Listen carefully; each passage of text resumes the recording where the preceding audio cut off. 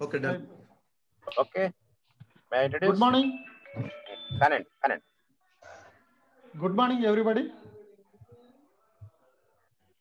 ఈరోజు వాష్ ప్రోగ్రాంలో భాగంగా ఈరోజు రెండో విడత కార్యక్రమంలో మొదటి విడతలో సూర్యాపేట తుంగతుర్తి ప్రాంతాల్లో ట్రైనింగ్ ఇవ్వటం జరిగింది. ఇప్పుడు ఈరోజు కోదాడ. ఏ అమ్మాయి? ఈరోజు కోదాడ హుజూర్ నగర్లో ఉండేటువంటి మూడు వందల ఇరవై దగ్గర దగ్గర మూడు వందల ఇరవై పాఠశాలలో ఉన్నటువంటి one two three star rating ఉన్నటువంటి స్కూల్స్కి మనం ఎట్లా నాలుగు ఐదు స్టార్ రేటింగ్లకు వెళ్ళాలి? దాంట్లో ఎటువంటి పద్ధతులు అనుసరించాలి? స్కూల్లో ఎటువంటి పరిశుభ్రత వాతావరణం ఉండాలి? అనేటువంటిది ఈరోజు ప్రధానంగా చర్చించుకోబోతున్నాం. ఉదయం పది గంటలకు స్టార్ట్ అయినటువంటిది సాయంత్రం ఐదు గంటల దాకా కంటిన్యూస్గా జరుగుతుంది. ఇప్పుడు ఎవరు జాయిన్ అయ్యారు ఎవరు లీవ్ అయ్యారు అనేటువంటి విషయాలన్నీ కూడా ఇక్కడ డాటా రికార్డ్ అవుతూ ఉన్నది. కంపల్సరీ అందరూ జాయిన్ కావాల్సిందే. దీని తదనంతరం డిఓ గారికి రిపోర్ట్ సబ్మిట్ చేయాల్సి ఉంటుంది. దీనిలో భాగంగా ప్రీ టెస్ట్ ఉంటుంది. పోస్ట్ టెస్ట్ కూడా ఉంటుంది కనుక మీరందరూ ప్రీ టెస్ట్ పోస్ట్ టెస్ట్ రెండు నింపాల్సినటువంటి అవసరం ఉన్నది. అదే రకంగా ఈ కార్యక్రమానికి కోఆర్డినేటర్గా వ్యవహరిస్తున్నారు V Venkateswarlu Vanamala Venkateswarlu GHM ZPHS Gattikal garu. అలాగే మరొక కో కోఆర్డినేటర్గా కోఆర్డినేటర్గా ఉన్నటువంటి దామెర శ్రీనివాస్ గారు జిహెచ్ఎం జెడ్పిహెచ్ఎస్ నూతనకల్ గారు. అలాగే సీనయ్య జిహెచ్ఎం జెడ్పిహెచ్ఎస్ అనంతారం గారు. అలాగే madam Sivakumari. Madam ZPHS girls Kodad garu. అలాగే సత్యనారాయణ రెడ్డి జిహెచ్ఎం హుజూర్ నగర్ గారు వీళ్ళు మనకి కోఆర్డినేషన్లో భాగంగా ఉన్నారు. వాళ్ళ ఆధ్వర్యంలో దాదాపు పద్నాలుగు మంది ఆర్పీలు వాళ్ళతో కలిపి పద్నాలుగు మంది ఆర్పీలు వాళ్ళ క్లాస్ తీసుకోవడానికి రెడీగా ఉన్నారు. మనకు మొత్తంగా పది సెషన్స్ ఉంటాయి పది క్లాసులు ఉంటాయి. ఒక్కొక్కటి హాఫ్ అన్ అవర్ చొప్పున ఉంటుంది. మీరు ఈ క్లాసులను వినండి విని నోట్ చేసుకోండి. ఈ పద్ధతులన్నీ కూడా పాఠశాలలో అవలంబించాలని కోరుకుంటూ నెక్స్ట్ సెషన్ని స్టార్ట్ చేయాల్సిందిగా ఇంట్రడ్యూస్ చేయాల్సిందిగా ప్రోగ్రామ్ గురించి మాట్లాడాల్సిందిగా గౌరవనీయులు దామెర శ్రీనివాస్ గారిని మాట్లాడుతున్నాను. ఆ తర్వాత కోఆర్డినేటర్ వనమల గారు స్టార్ట్ చేస్తారు. Over to Damera Srinivas sir.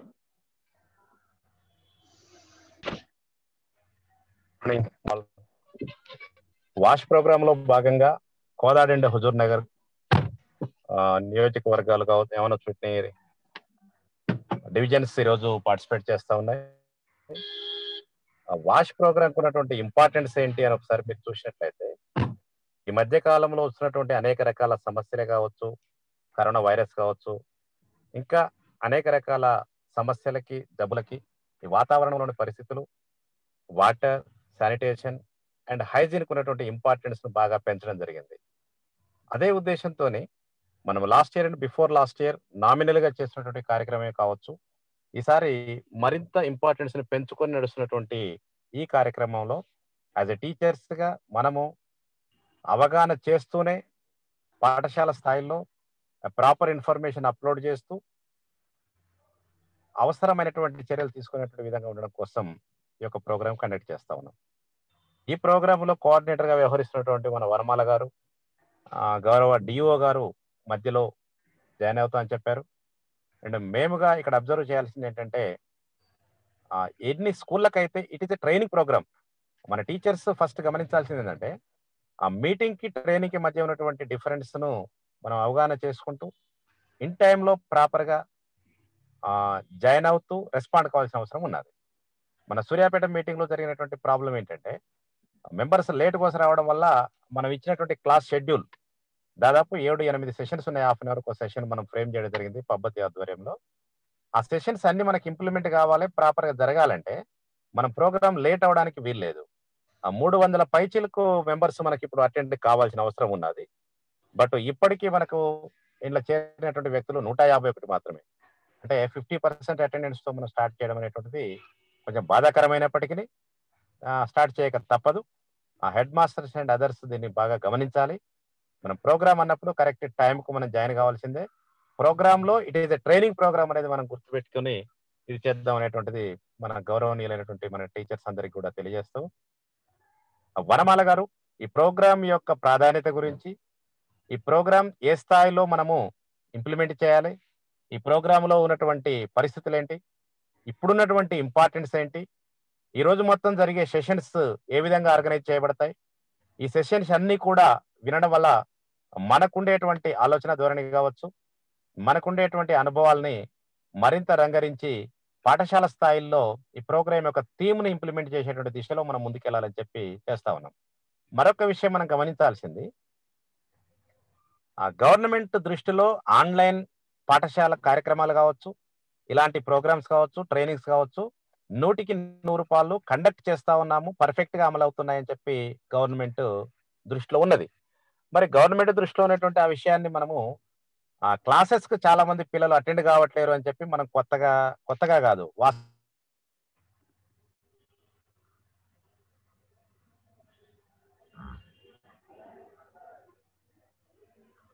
Friends sir మీ వాయిస్ మ్యూట్ అయ్యారు మీరు. మనం గమనించి ప్రోగ్రామ్ ఉన్నటువంటి ఇంపార్టెన్స్ మనం గమనించి ఈ యొక్క ప్రోగ్రామ్లో సక్సెస్ఫుల్గా మనం పార్టిసిపేట్ చేయాలి. వీలైతే మీ ఫ్రెండ్స్ ఎవరన్నా జాయిన్ కాని వాళ్ళు ఉన్నట్టయితే వాళ్ళకు మెసేజ్ పెట్టండి. ఉన్నటువంటి వాళ్ళు ఈవినింగ్ వరకు అప్ టు క్లోజ్ అయ్యేంత వరకు మనం మీటింగ్ లాంటిదైతేనేమో రావచ్చు పోవచ్చు. It is a training class once again I'm saying that it a training class కాబట్టి ప్రతి అంశాన్ని మీరు కూలంకషంగా ఆలోచించండి చర్చించండి. పాఠశాల లెవెల్లో నెక్స్ట్ ఇంప్లిమెంట్ చేయండి. ఇన్ఫర్మేషన్ అప్డేట్ చేసేటప్పుడు మీ యొక్క స్టార్ రేటింగ్ పెంచుకోండి. అందుకోసమే ఈ అవగాహన కార్యక్రమాన్ని ట్రైనింగ్ రూపంలో తీసుకురావడం జరిగింది. అటెండెన్స్ కూడా కంపల్సరీ అని పెట్టి ఆ, సూర్యాపేట అండ్ ఆ, ఈ యొక్క ఇప్పుడు జరిగేటువంటి రెండు నియోజకవర్గాలు రెండు డివిజన్స్ యొక్క దీంట్లో ఎవరైతే ఆబ్సెంట్ ఉన్నారో వీలైతే మళ్ళీ అందరినీ పిలిచి కూడా మళ్ళీ ఒక ప్రోగ్రామ్ పెట్టే ప్రయత్నం కూడా చేస్తే బాగుంటుందని చెప్పి నాకున్న ఆలోచన. మన కోఆర్డినేటర్ గారు ఈ విషయాలన్నీ మనకు చర్చిస్తూనే ఆ ఓపెనింగ్ సెక్షన్లో ప్రోగ్రామ్ యొక్క ఇంపార్టెన్స్ అండ్ ఈ రోజు జరిగేటువంటి ప్రతి క్లాస్ ఎక్కడెక్కడ ఏముంటది అనేది టూకీగా టచ్ చేస్తూ వారు దీని యొక్క ఇంపార్టెన్స్ చెప్పాల్సిందిగా వారికి అవకాశం ఇస్తూ over to coordinator mister Vanamala Venkateswarlu garu. Please take this okay sir thank you sir thank you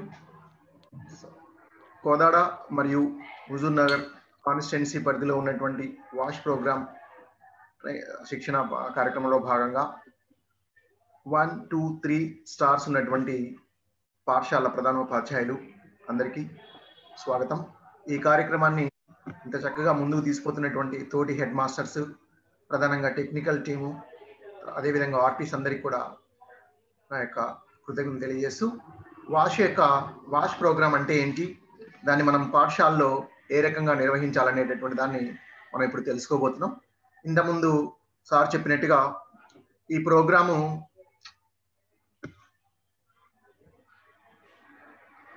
just ఒక ఎయిట్ సెషన్స్గా విభజించి చేస్తున్నాము. ఏ ఒక్కదాన్ని కూడా మిస్ కాకుండా అన్నిటికీ సమానమైనటువంటి ప్రాధాన్యత ఉంది కాబట్టి ఎవరు కూడా ఏ అంశాన్ని కూడా మిస్ కాకుండా చూస్తారని చెప్పేసి భావిస్తున్నాము. ఓకే ప్రోగ్రామ్లోకి వెళ్దాం. సార్ వినపడుతుందా? పబ్బా సార్. హలో. వినపడుతుందా? ఆ, సార్ నేను ఓకేనా? ఎస్ ఓకేనండి VV garu continue right right right introduction to wash in schools okay right ఈ మనకి వాష్ యొక్క ఉద్దేశాలు ఏంటి ఏ రకంగా నిర్వహించాలి? వాష్ యొక్క కార్యక్రమంలో ఏమేం కార్యక్రమాలు మనం చేపట్టాల్సి ఉంటుందనే దాన్ని మనము ఈరోజు తెలుసుకోబోతున్నాం. మెయిన్గా to develop understanding on what is wash and importance of wash in schools మనందరికీ కూడా wash programme wash means water sanitation and hygiene మళ్ళీ ఒకసారి చెప్తున్నాను. వాష్ అంటే డబ్ల్యూఏ అనేటటువంటి అక్షరాలు మనకి అక్రోనైమ్ నుంచి డబ్ల్యూఏ అనేది నీటికి ప్రాధాన్యతని గురించి ఎస్ అనేది శానిటేషన్ ప్రాధాన్యత గురించి హెచ్ అనేది హైజిన్ ప్రాధాన్యత గురించి తెలియజేస్తూ వాష్ అనేటటువంటి ప్రోగ్రామ్ని ప్రపంచం మొత్తం మీద కూడా యూనిసెఫ్ డబ్ల్యూహెచ్ఓ భారతదేశంలో అయితే ఎన్ఐఆర్డి సంస్థలు అదేవిధంగా మన ఎస్సీఆర్టీ మన రాష్ట్ర ప్రభుత్వము డియుఓ వీళ్ళందరి భాగస్వామ్యంతో నిర్వహించబడుతున్నటువంటిది. ఇంత బృహత్తరమైనటువంటి కార్యక్రమంలో ఎంతో మంది పాల్గొంటారు వాళ్ళందరికీ కంటే కూడా గ్రౌండ్ లెవెల్లో దీన్ని ఇంప్లిమెంట్ చేసినటువంటి హెడ్ మాస్టర్స్ మరియు ఉపాధ్యాయులు విద్యార్థులే దీని యొక్క ఆవశ్యకతని దీని యొక్క ప్రత్యేకతని దీని యొక్క ప్రభావాన్ని తెలుసుకోవాల్సి ఉంటుంది కాబట్టి మనందరికీ దీని పట్ల సరి అయిన అవగాహన ఉండడం కొరకు ఈ ఒకరోజు శిక్షణ కార్యక్రమాన్ని మనం తీసుకోబోతున్నాం. అందుకు భాగంగానే మనము దీని యొక్క ఉద్దేశాలు ఏంటి దీని యొక్క అనుసరించాల్సిన కార్యక్రమాలు ఏంటి చూడబోతున్నాం.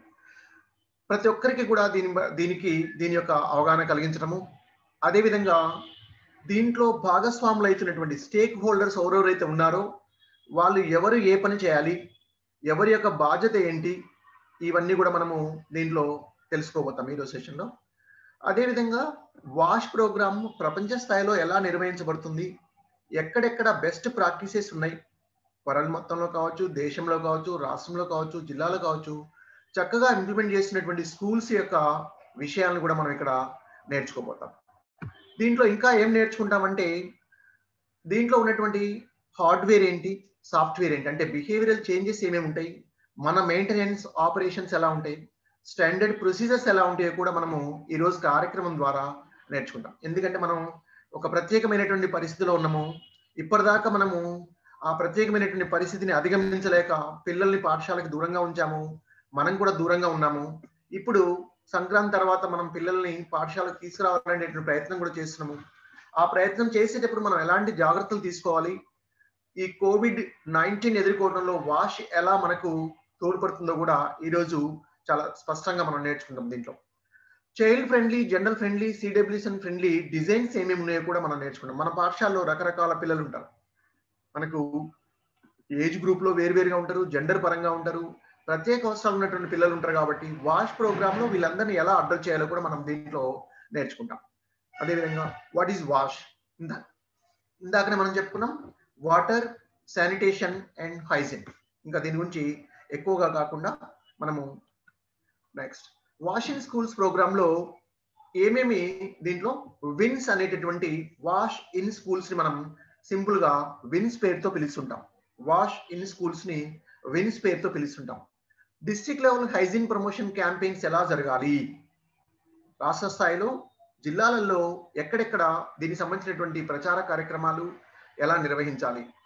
Supporting all schools in installing rain water harvesting and conservation conservation units ఇప్పటికే చాలా పాఠశాలల్లో మన రాష్ట్రంలో లేదా మన జిల్లాలో అయితే డిఆర్డిఏ లేదా ఉపాధి హామీ పథకం కింద చాలా కార్యక్రమాలు మనం చేపట్టి ప్రతి పాఠశాలలో కూడా వాన నీటిని సార్? స్క్రీన్ షేర్ చేసి చెప్తారా? స్క్రీన్ షేర్ రావట్లేదా? రావట్లేదు. ఓహో అలానా? సరే ఒకసారి మీ స్క్రీన్ షేర్ ఇవ్వరా? ఈ స్లైడ్ నెంబర్ ఫోర్ నుంచి ఇవ్వరా నాకు? నేను వస్తుంది అనుకుంటున్నా వస్తుందా ఇప్పుడు? ఇప్పుడు స్టార్ట్ అయింది. ఓకే. స్లైడ్ షోలో మీరు కనపడుతున్నాం? స్లైడ్ షోకి వెళ్ళి దానికి పెద్దగా చేయండి. పెద్దగా చేయాలా? స్లైడ్ షోకి వెళ్ళండి పైన. స్లైడ్ షో ఇంకా రైట్కి ఇక్కడ లేదు సార్ అది? ఇక్కడ ఇక్కడ ఇక్కడ. హోమ్ పక్కన ఉన్నది చూడండి. ఇది ఇది వేరే దాంట్లో ఓపెన్ అయింది. సరిపోవట్లేదు ఇటు రండి రైట్కి రండి. రైట్ రైట్ సెంటర్లో మధ్యలో వాషింగ్ స్కూల్స్ హెడ్డింగ్ పైన. ఓకే ఆ, పైకి. ఆ ట్యాబ్స్ ఉన్నాయి చూడండి. ఇంకా పైన డిజైన్ కనపడుతుంది కదా? నాకు కనబడతలేదు అది ఓకే. మీరు చేస్తారా ఓకే? ఆ, సరే. ఆ, నేను పని చేయండి. ఓకే సార్ రైట్ నాది డబ్ల్యూపిఎస్లో ఓపెన్ అయింది. అందుకని అది తీసుకోవట్లేదు.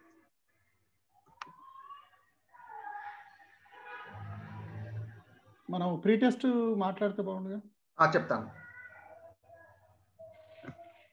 సార్ ఇంకా కొంచెం స్ట్రెంత్ పెరిగిన తర్వాత మీకు షేర్లో చార్ట్లో ఒక లింక్ ఇస్తాము. ఈ ఇంట్రొడక్షన్ అయిపోయిన తర్వాత ప్రీ టెస్ట్లో కొన్ని క్వశ్చన్స్ ఉంటాయి. ఆ క్వశ్చన్స్ మీరు ఆన్సర్ చేసి మళ్ళీ చార్ట్లోనే క్లోజ్ అయిపోతుంది. ఎంతమంది ఆన్సర్ చేసిరు కూడా మాకు తెలిసిపోతుంది అన్నట్టు. కీ లెర్నింగ్స్ దగ్గర ఉండరా ముందా? కీ లెర్నింగ్స్ తర్వాత స్లైడ్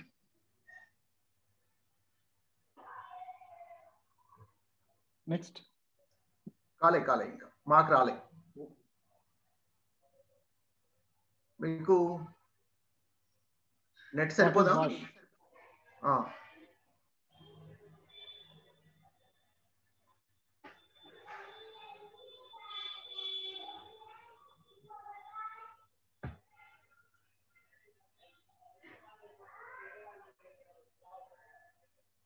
వచ్చిందా సార్?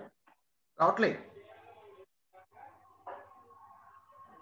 షేర్ స్క్రీన్ కాలేదు అసలు? స్క్రీన్ షేర్ అయింది కానీ ఇంకా మీకు మామూలుగా ఫైలే చూపిస్తున్నాను మీకు. శ్రీను? శ్రీను? ఆ, సార్. సార్ చెప్పండి. రావట్లేదా share screen? Sir screen share అవుతుంది కానీ ఓపెన్ కాలేదు. మీ సిస్టంలో ప్రాబ్లం అది. అవునా? మీ శ్రీను మీరు చేస్తారా? నా దగ్గర లేవు సార్ ఫైల్స్. ముప్పై సార్ లేవు? ఉన్నాయి. ఉన్నాయి కానీ అది సార్కి అలా మీరు ఆపారా కరెంట్ సార్? లేదంటున్నారు. కరెంట్ లేదంటారు కదా. ఆ, వచ్చింది. మీరు. సార్ మీరు జూమ్ తప్ప మిగిలిన. క్యాన్సిల్ చేయండి మీ దాంట్లో. Right right okay okay sir. Continue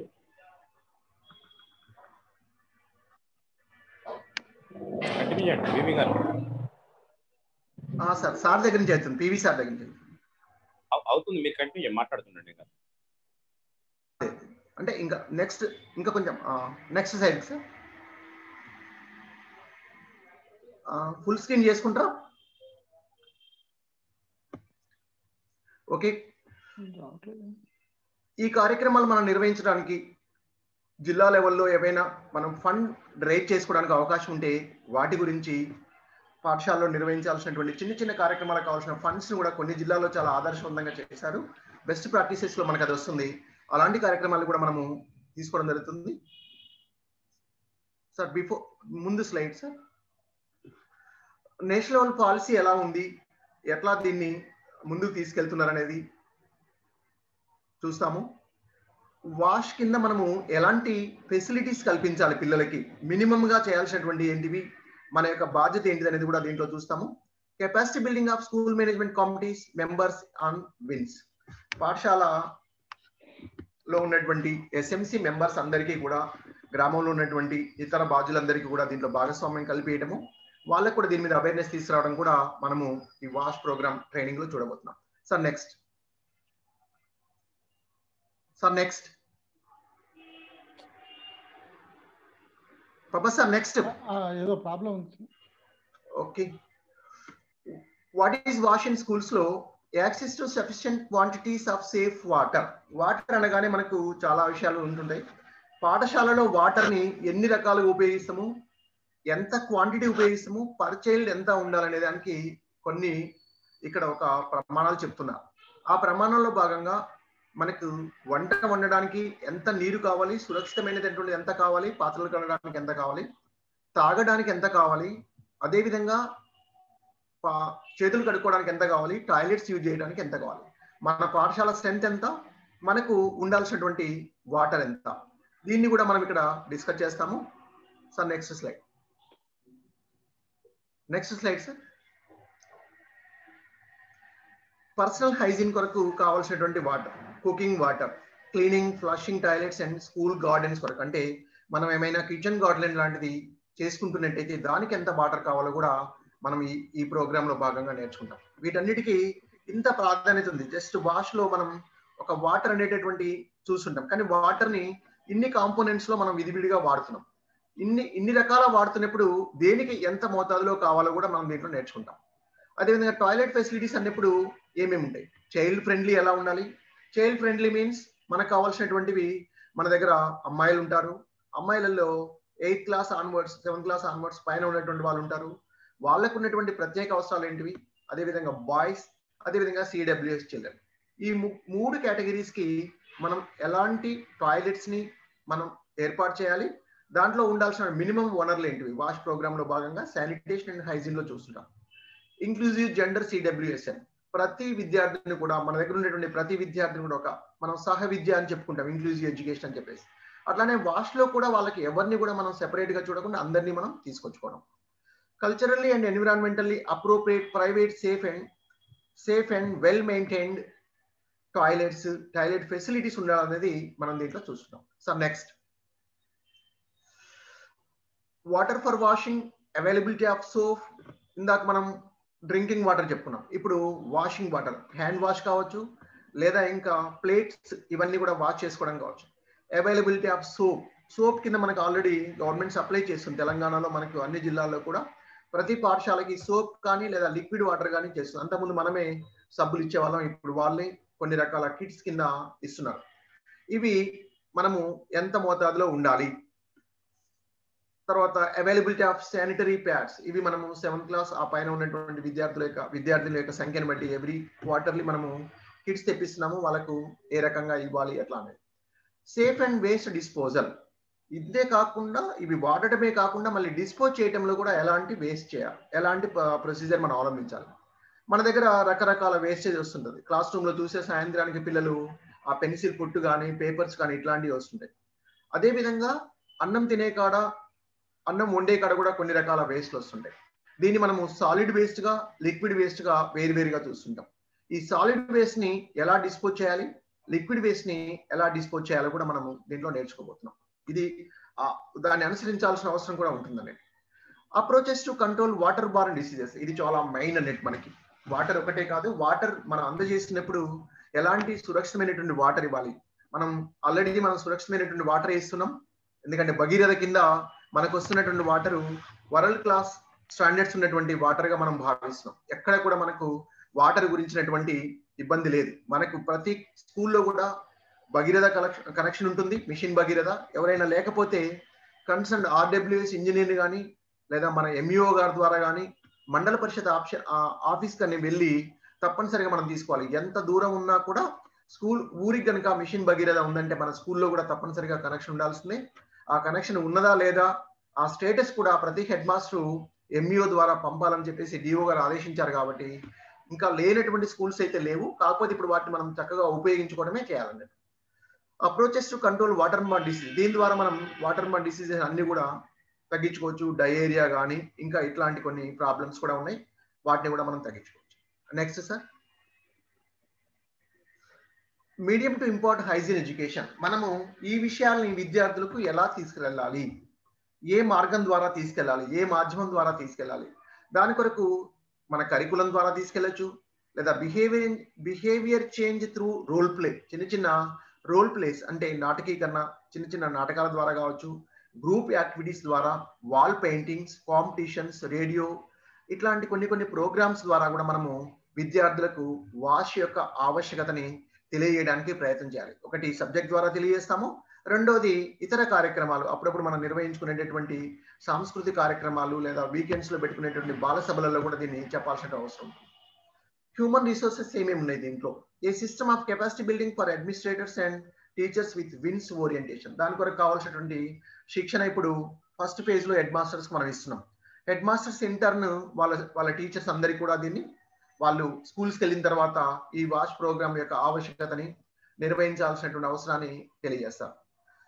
school management committees కూడా తెలియజేయాల్సిన బాధ్యత హెడ్ మాస్టర్స్ మీదనే ఉంటుంది WinS embedded in the monitoring system of Swachh Bharat and SSA దీని కొరకు హ్యూమన్ రిసోర్సెస్గా మనం ఉంటున్నాము వాళ్ళకి ఏ మార్గంలో అందజేయాలో చూస్తున్నాము అందజేసినటువంటిది ఏ రకంగా ఉంది అని మానిటరింగ్ చేయడం కొరకు ఎస్ఎస్ఏ ద్వారా స్వచ్ఛ భారత్ మిషన్ ద్వారా కూడా ఇది మానిటరింగ్ చేయబడుతుంది. Next sir why washing schools అసలు వాష్ ప్రోగ్రామ్ ఎందుకు మనం పాఠశాలలో నిర్వహించాలి? టు ఇంప్రూవ్ చిల్డ్రన్స్ హెల్త్ మన పాఠశాలలో చదివేటటువంటి పిల్లల యొక్క ఆరోగ్యాన్ని మనం మెరుగుపరచడానికి ఆరోగ్యం మెరుగుపరిస్తే వాళ్ళ యొక్క యాబ్సెంటిజం అనేది తగ్గుతుంది కాబట్టి అనారోగ్య బారిన పడకుండా చూడడం కొరకు మనం ఈ ప్రోగ్రామ్ని పాఠశాలలో నిర్వహిస్తుంటాం. దీని ద్వారా అటెండెన్స్ అనేది బాగా మెరుగుపడుతుంది.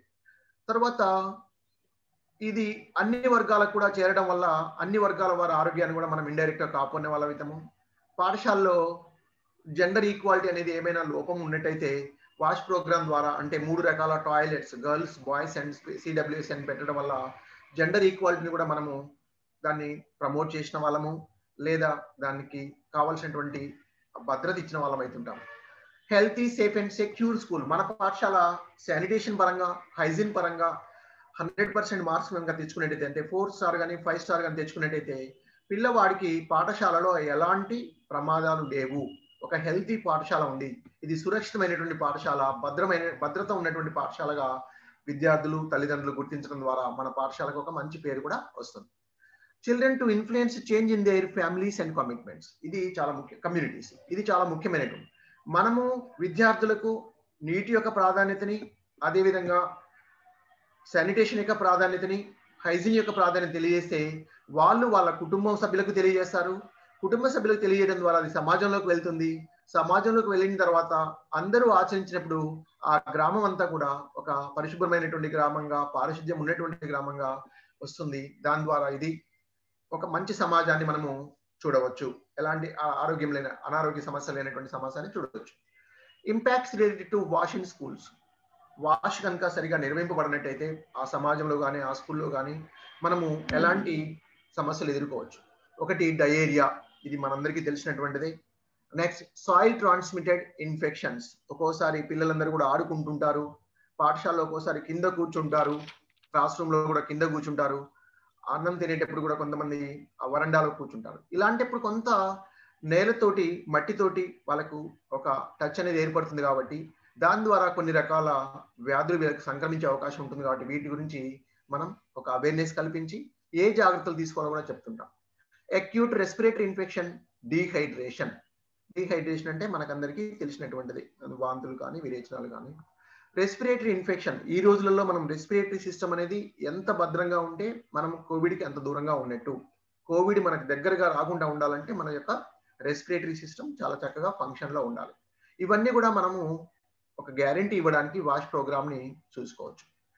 ఈక్వాలిటీ ఈక్విటీ వచ్చిన ఈక్వాలిటీ వచ్చినప్పుడు జెండర్ కానీ సోషియో ఎకనామిక్ స్టేటస్ కానీ ఏది చూడం మనం. మన బల్లకి వచ్చిందంటే ప్రతి విద్యార్థి మన గేట్ దాటి లోపలికి వచ్చిందంటే ఏ ఏ నేపథ్యం నుంచి వచ్చినటువంటి విద్యార్థి అయినా ఏ జెండర్ అయినా ఒకే విధంగా మనం భావిస్తుంటాం. ఇవన్నీ కూడా మనము ఇక్కడ ఒక గ్యారంటీ ఇస్తుంటాము. దానికి కావాల్సినటువంటి భద్రతని కాపాడు. Non health issues health issues అయినప్పుడు diarrhoea soil transmitted acute respiratory infection dehydration ఇట్లాంటివి చూస్తున్నాం జెండర్ పరంగా వచ్చినటువంటి తారతమ్యం. నాన్ హెల్త్లో వచ్చినప్పుడు ఎడ్యుకేషనల్ అటైన్మెంట్. ఎవడైతే ఆరోగ్యంగా ఉంటాడో వాడికి చక్కగా పాఠశాలకు వస్తాడు ఎప్పుడైతే రెగ్యులర్ ఉంటాడో చదువు పరంగా కూడా ముందంజలో ఉంటాడు కాబట్టి ఎడ్యుకేషన్ అటైన్మెంట్ని ఇది చూస్తుంది absenteeism ని తగ్గిస్తుంది డ్రాప్ అవుట్స్ని తగ్గిస్తుంది కాన్సన్ట్రేషన్ విద్యార్థులకు ఏకాగ్రతని ఏకాగ్రతని కూడా కడుపులో రా- రకరకాల జబ్బులుండి నులి పురుగులుండి ఇతర ఇబ్బందులుంటే వాడి కాన్సన్ట్రేషన్ కూడా చక్కగా ఉండదు కాబట్టి. ఇవన్నీ లేకుండా మనం ఎన్ష్యూర్ చేసుకుంటున్నాం కాబట్టి తప్పనిసరిగా అతని యొక్క కాన్సన్ట్రేషన్ మనం పెంచవచ్చు ఇంప్రూవ్ టెస్ట్ స్కోర్స్ ఏ పరీక్ష రాసినా కూడా అతను చక్కటి ఫలితాన్ని సాధించేటట్టుగా మనం చూసుకుంటాం. ప్రైవసీ అండ్ సేఫ్టీ ప్రైవసీ అమ్మాయిల పరంగా మనం మనం చక్కటి ప్రైవసీని కల్పించాలి. అదే విధంగా ఒక భద్రత కూడా కల్పించాల్సిన బాధ్యత మనకు ఉంది ఇది మనం ఇస్తాం నాన్ హెల్త్లో భాగంగా.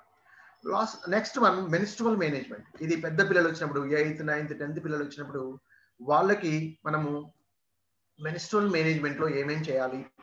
నాప్కిన్స్ కావచ్చు లేదా ఇంకా వాళ్ళు ఎలా శుభ్రంగా ఉండాలి? శుభ్రంగా ఉండడానికి కావాల్సిన మనం ఏమేమి అక్కడ ఏర్పాటు చేయాలి? అట్లానే వాడినటువంటి ప్యాడ్స్ని ఎక్కడ పడేయాలి? ఎలా మనం వాటిని డిస్పోజ్ చేయాలో కూడా దీంట్లో నేర్పుకుంటాం. Sir next. ఇక పా- మనకు పాఠశాల పరంగా కానీ ఇంటి పరంగా కానీ ఇబ్బంది కలిగించేటటువంటి ఒక ఆరు ఎఫ్లు ఉన్నాయి. ఈ ఆరు ఎఫ్లు విద్యార్థుల్ని ఏ రకంగా ఇబ్బంది పెడుతుంటవి? ఈ ఆరు ఎఫ్ల పట్ల మనం ఎలా జాగ్రత్త ఉండాలి? ఏ ఎఫ్ ఏం తీసుకొస్తుందో చెప్తున్నాడు. ఫస్ట్ వన్ ఫేసెస్ ఇది చూస్తున్నాం. ఇప్పటికీ అంటే ఇంత ముందు బాగా ఉండేది ఇది. ఓఫెన్ డెఫికేషన్ అనేది ఇప్పుడు ఎక్కువగా లేదు. కానీ అక్కడక్కడ ఏదైనా ఉన్నట్టయితే ఇప్పటికి కూడా పిల్లలు టాయిలెట్స్ ఉన్నా యూరినల్స్ ఉన్నా కూడా యూరినల్స్ ఒక్కోసారి ఇంకా బయటికి వెళ్తున్నారు. గ్రామాలలో కొంచెం ఇది కనపడుతుంది కాబట్టి దీని ద్వారా సంక్రమించినటువంటి ఏంటి? ఒక్క ఒక్క దాంతో మనకు నాలుగు రకాల అంశాలు ప్రభావితమవుతున్నాయి. అది ఫ్లూయిడ్స్ని ఫింగర్స్ ద్వారా అంటే నో గోర్లు కట్ చేసుకోకపోతే వచ్చినటువంటి సమస్యలతోటి తర్వాత ఫ్లైస్ మనం ఎక్కడైతే ఓపెన్ డెఫికేషన్ చేస్తామో ఈగలు ఈగల ద్వారా సంక్రమించినటువంటివి అదేవిధంగా పొలాల్లోకి చిలకల్లోకి వెళ్ళినప్పుడు అక్కడ ఉన్నటువంటి కొన్ని క్రిమి కీటకాలు కూడా విద్యార్థుల్ని ఇబ్బంది పెడుతుంటాయి. ఎఫ్ ఫర్ ఫేసెస్ తర్వాత fluids fingers flies next fields last one food ఇవన్నీ కూడా వచ్చేసి మళ్ళీ మనకి ఏ రకంగా ఇబ్బంది పెడుతున్నాయి. లాస్ట్లో ఇక్కడ న్యూ హోస్ట్ ఇవన్నీ కూడా మనం మనం వాటికి ఏం చేస్తున్నాము? వాటన్నింటినీ కూడా ఒక రకంగా ఇన్వైట్ చేస్తున్నట్టుగా అవుతుంది. ఈ జాగ్రత్తలు తీసుకోకపోతే. అవి మనలో చేరి మనకు అనారోగ్యాన్ని ఆ, అనారోగ్యాన్ని ఇస్తున్నాయి next one sir next sir next slide okay okay okay ఒక్క నిమిషం. Fact you should know soil transmitted infection in pervasive soil నేల ద్వారా లేదా మట్టితో మనం సంబంధాన్ని కలిగి ఉండటం వల్ల ఆటలెప్పుడు కానీ లేకపోతే ఇతర ఇతర సమయాలలో మనం మట్టితో సం సంబంధం లేకుండా ఉండడం అనేది పాఠశాలల్లో సాధ్యం కాదు. రూరల్లో చాలా ఎక్కువగా ఉంటుంది. దానివల్ల మనకు వచ్చినటువంటి ఇష్యూస్ ఏంటివి? One to two billion are infected. ప్రతి సంవత్సరంలో చూడండి దాదాపుగా రెండు బిలియన్స్ ఈ రకంగా ఇన్ఫెక్ట్ అవుతున్నారు కాళ్ళకు చెప్పులు లేకపోవడం వల్ల బూట్లు లేకపోవడం వల్ల లేదా మామూలు కాళ్ళతో పాఠశాలకు రావడం వల్ల వచ్చే దారిలో బురద ఉండొచ్చు ముండ్లు ఉండొచ్చు లేదా ఇంకా చెమ్మ ఉండొచ్చు. వీటి వల్ల ఎట్లా ఇబ్బంది అవుతున్నారు children have the greatest burden of disease over four hundred million infected. ఇక్కడ చూస్తే ఈ విధంగా రావడం వల్ల పాఠశాలకి దాదాపుగా నాలుగు వందల మిలియన్స్ ఇన్ఫెక్ట్ అవుతున్నటువంటి సందర్భాలు ఉన్నాయి. Roundworm hookworm are the most pervasive ఇంకా ఇంకా మనకు ప్రమాదం ఉన్నటువంటివి రౌండ్ వామ్స్. మన పాఠశాలల్లో బయాలజికల్ సైన్స్ నేపథ్యం ఉన్నటువంటి వాళ్ళు ఉంటారు. వాళ్ళ సహాయం తీసుకొని ఈ అంశాలన్నింటినీ ప్రతి పిల్లవానికి మనము చేరేటట్టుగా చేసినట్టయితే ఈ జాగ్రత్తలు తీసుకుంటే వీటన్నిటి నుంచి కూడా మనం దూరంగా ఉండొచ్చు. Transmission through injection or through skin. ఒక్కొక్కసారి ఇక్కడ వేరే ఇంజెక్షన్స్ ద్వారా కానీ లేదా ఇంకా రకంగా కూడా మనకు ప్రాబ్లమ్స్ వస్తున్నాయి. స్కిన్తో టచ్లో ఉండటం వల్ల ఏదైనా కూర్చుకోవడం వల్ల. Results in anaemia anaemia stunting cognitive impairment. ఇవన్నిటి యొక్క ప్రభావం ఎలా ఉంటుందంటే మూడు రకాలుగా ఉంటుందన్నట్టు. ఒకటి ఎనీమియా. ఎనీమియా మీన్స్ రక్తహీనతకి దారి తీస్తుంది. ఈ మెయిన్గా రౌండ్ వామ్స్ హుక్ వామ్స్ ఇట్లాంటివి వచ్చినప్పుడు రక్తహీనులుగా మారిపోతుంటారు. రక్తహీనతే కాకుండా స్టంటింగ్. స్టంటింగ్ మీన్స్ వాళ్ళు వయసు తగినటువంటి ఎత్తు ఉండకుండా ఉంటారు. మన పాఠశాలలో మనం అక్కడక్కడ చూస్తున్నాం కొందరిలో. వాళ్ళు ఇంకా ఎదుగుదల అనేది సరిగా ఉండదు. ఎదుగుదల మీన్స్ హైట్ పరంగా చూసినాం. అదేవిధంగా కాగ్నిటివ్ అంటే జ్ఞానాత్మక రంగంలో కూడా వాళ్ళు వెనకబాడుతనం అనేది గమనిస్తుంటాం. ఇది మనం చూసినటువంటి అంశం. Sir next sir next stunting చూడండి విద్యార్థి సిక్స్టీ టూ మిలియన్ చిల్డ్రన్ అంటే ఫార్టీ ఎయిట్ పర్సెంట్ దాకా మనకు ఈ స్టంటింగ్కి లోన్ అవుతున్నారు. The big issue wash and stunting wash లేకపోతే స్టంటింగ్ ఎలా వస్తుంది? స్టంటింగ్లో height for age contributes over a third of under five deaths globally ఒక అదే కాకుండా డెత్స్ కూడా ఇది దారి తీస్తుందట స్టంటింగ్ అనేది. India has the largest number of stunted children in the world with over forty percent moderately or severely underweight underweight కూడా దారి తీస్తుంది మనకు చాలా మంది పిల్లలు అండర్ వెయిట్తో ఉన్న వాళ్ళు కనపడుతుంటారు బాగా. స్కూల్స్లో కానీ మనం వీధులలోకి వెళ్ళినప్పుడు కానీ sir next next sir okay okay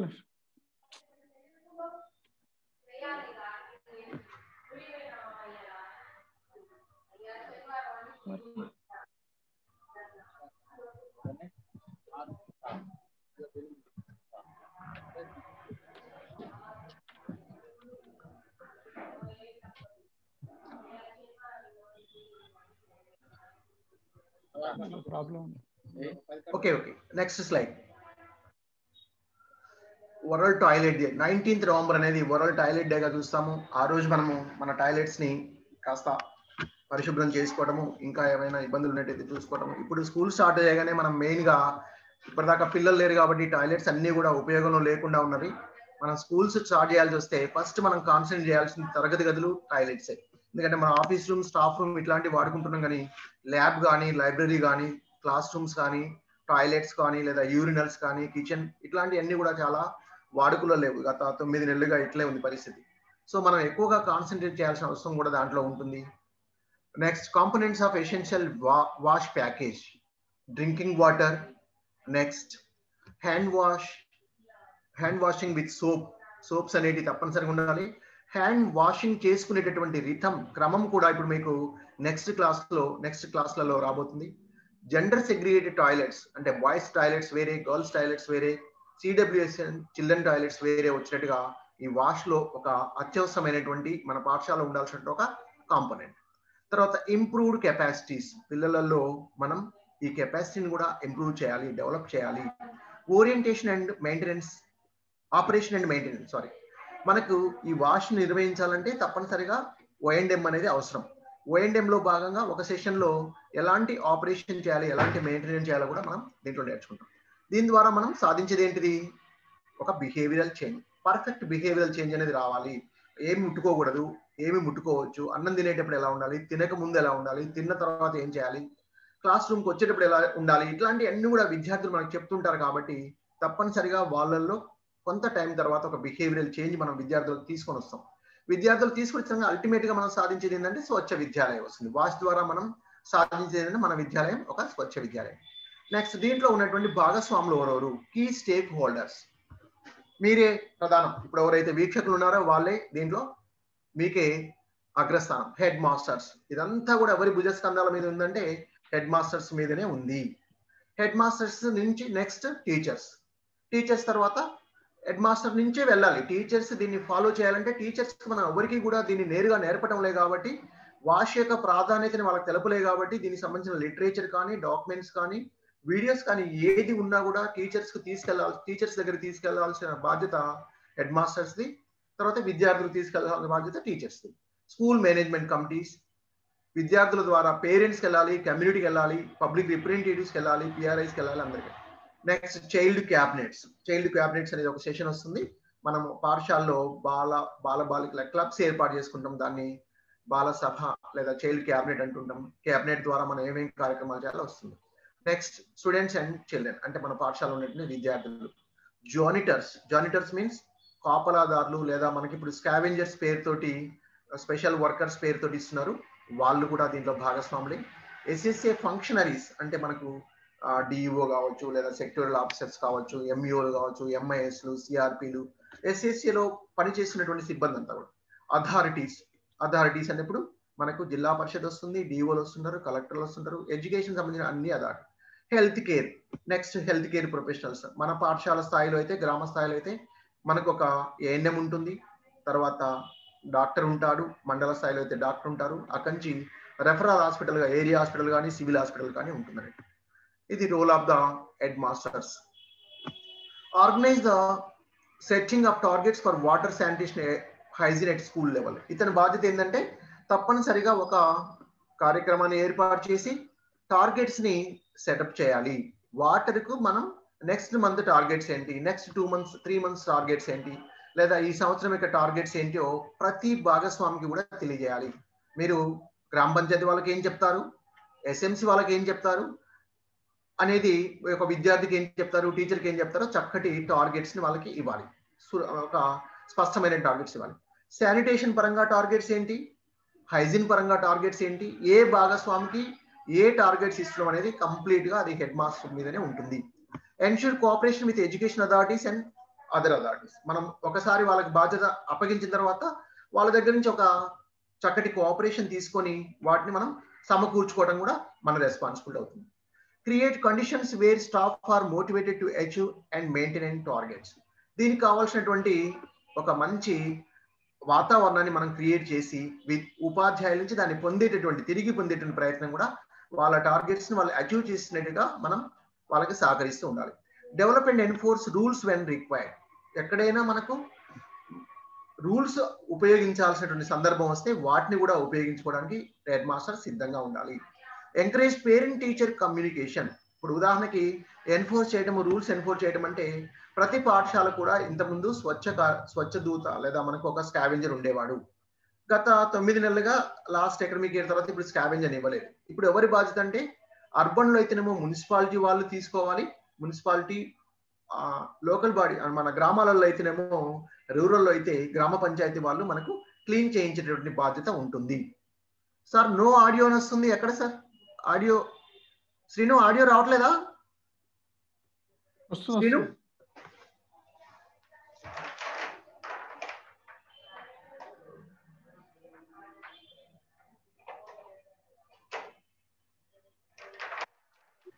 audio వస్తుంది సార్ అక్కడ వినే వాళ్ళ వాళ్ళ మొబైల్ ప్రాబ్లం ఉంటది. మిగతా వాళ్ళకైతే వెరీ. క్లియర్ సరే, హ్యావ్ టు కంటిన్యూ సరే సార్.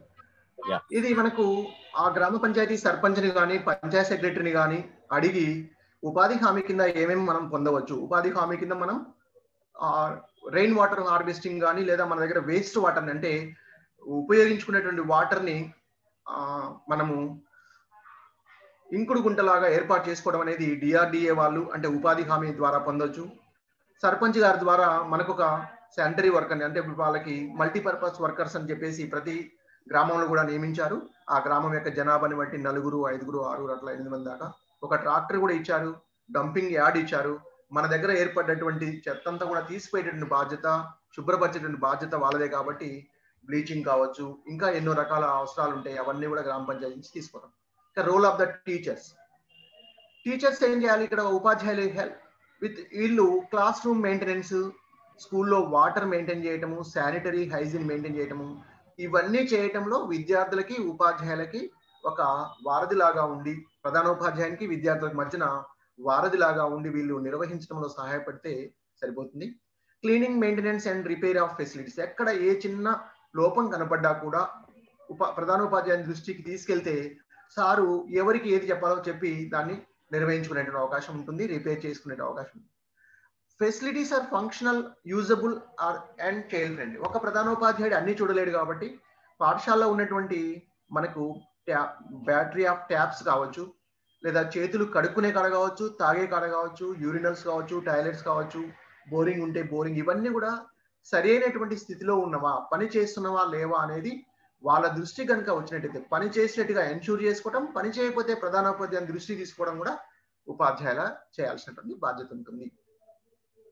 చిల్డ్రన్స్ని ఎంకరేజ్ చేయటం టు అడాప్ట్ అప్రోప్రియేట్ బిహేవియర్ వాళ్ళల్లో ఒక ప్రవర్తన మార్పు మనం వాష్ గురించి చెప్పిన తర్వాత మరుసటి రోజు నుంచి వాళ్ళలో ఎలాంటి ప్రవర్తన మార్పు వస్తుందో ఆ ప్రవర్తన మార్పు అనేది మంచిగా కనబడ్డటువంటి పిల్లల్ని ఎంకరేజ్ చేయటము ప్రేయర్లో అప్రిషియేట్ చేయటము పరిశుభ్రతని పాటించినటువంటి పిల్లల్ని వాళ్ళని ఆదర్శంగా ఇతరులకు చెప్పడం ఇవన్నీ కూడా చేయటము టీచర్ బాధ్యతగా ఉంటుంది. ఎందుకంటే కొంత ఆరోగ్య విద్య ద్వారా కావచ్చు ఇతర మాధ్యమాల ద్వారా కావచ్చు విద్యార్థులకు మనం చెప్పొచ్చు.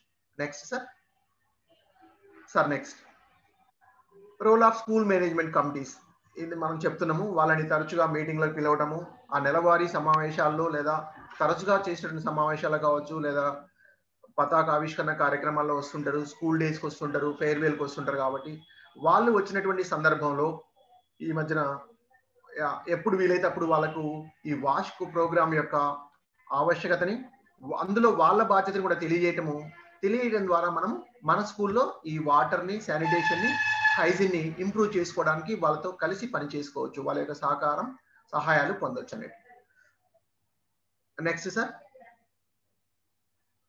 వాళ్ళు ఇంకా ఏదైనా స్వచ్ఛందంగా సోప్స్ కానీ ఇతరత్ర నాప్కిన్స్ కానీ ఇతరత్ర సహాయం చేసే వాళ్ళు ఎవరైనా ఉండేటైతే దాన్ని కూడా మనం పొందవచ్చు అని చెప్తున్నాను. పేరెంట్స్ అండ్ కమ్యూనిటీ దీని ద్వారా పిల్లల్ని కలవడం పిల్లల ద్వారా మనము పేరెంట్స్కి సమాజాన్ని కలవడం ద్వారా encourage children to follow procedures for use and care of water నీటిని ఎలా సంరక్షించుకోవాలి? ఎలా వాడాలి? ఎలా వృధా చేయకూడదు? ఇవన్నీ చెప్పడం ద్వారా అది పేరెంట్స్కి వెళ్తుంది.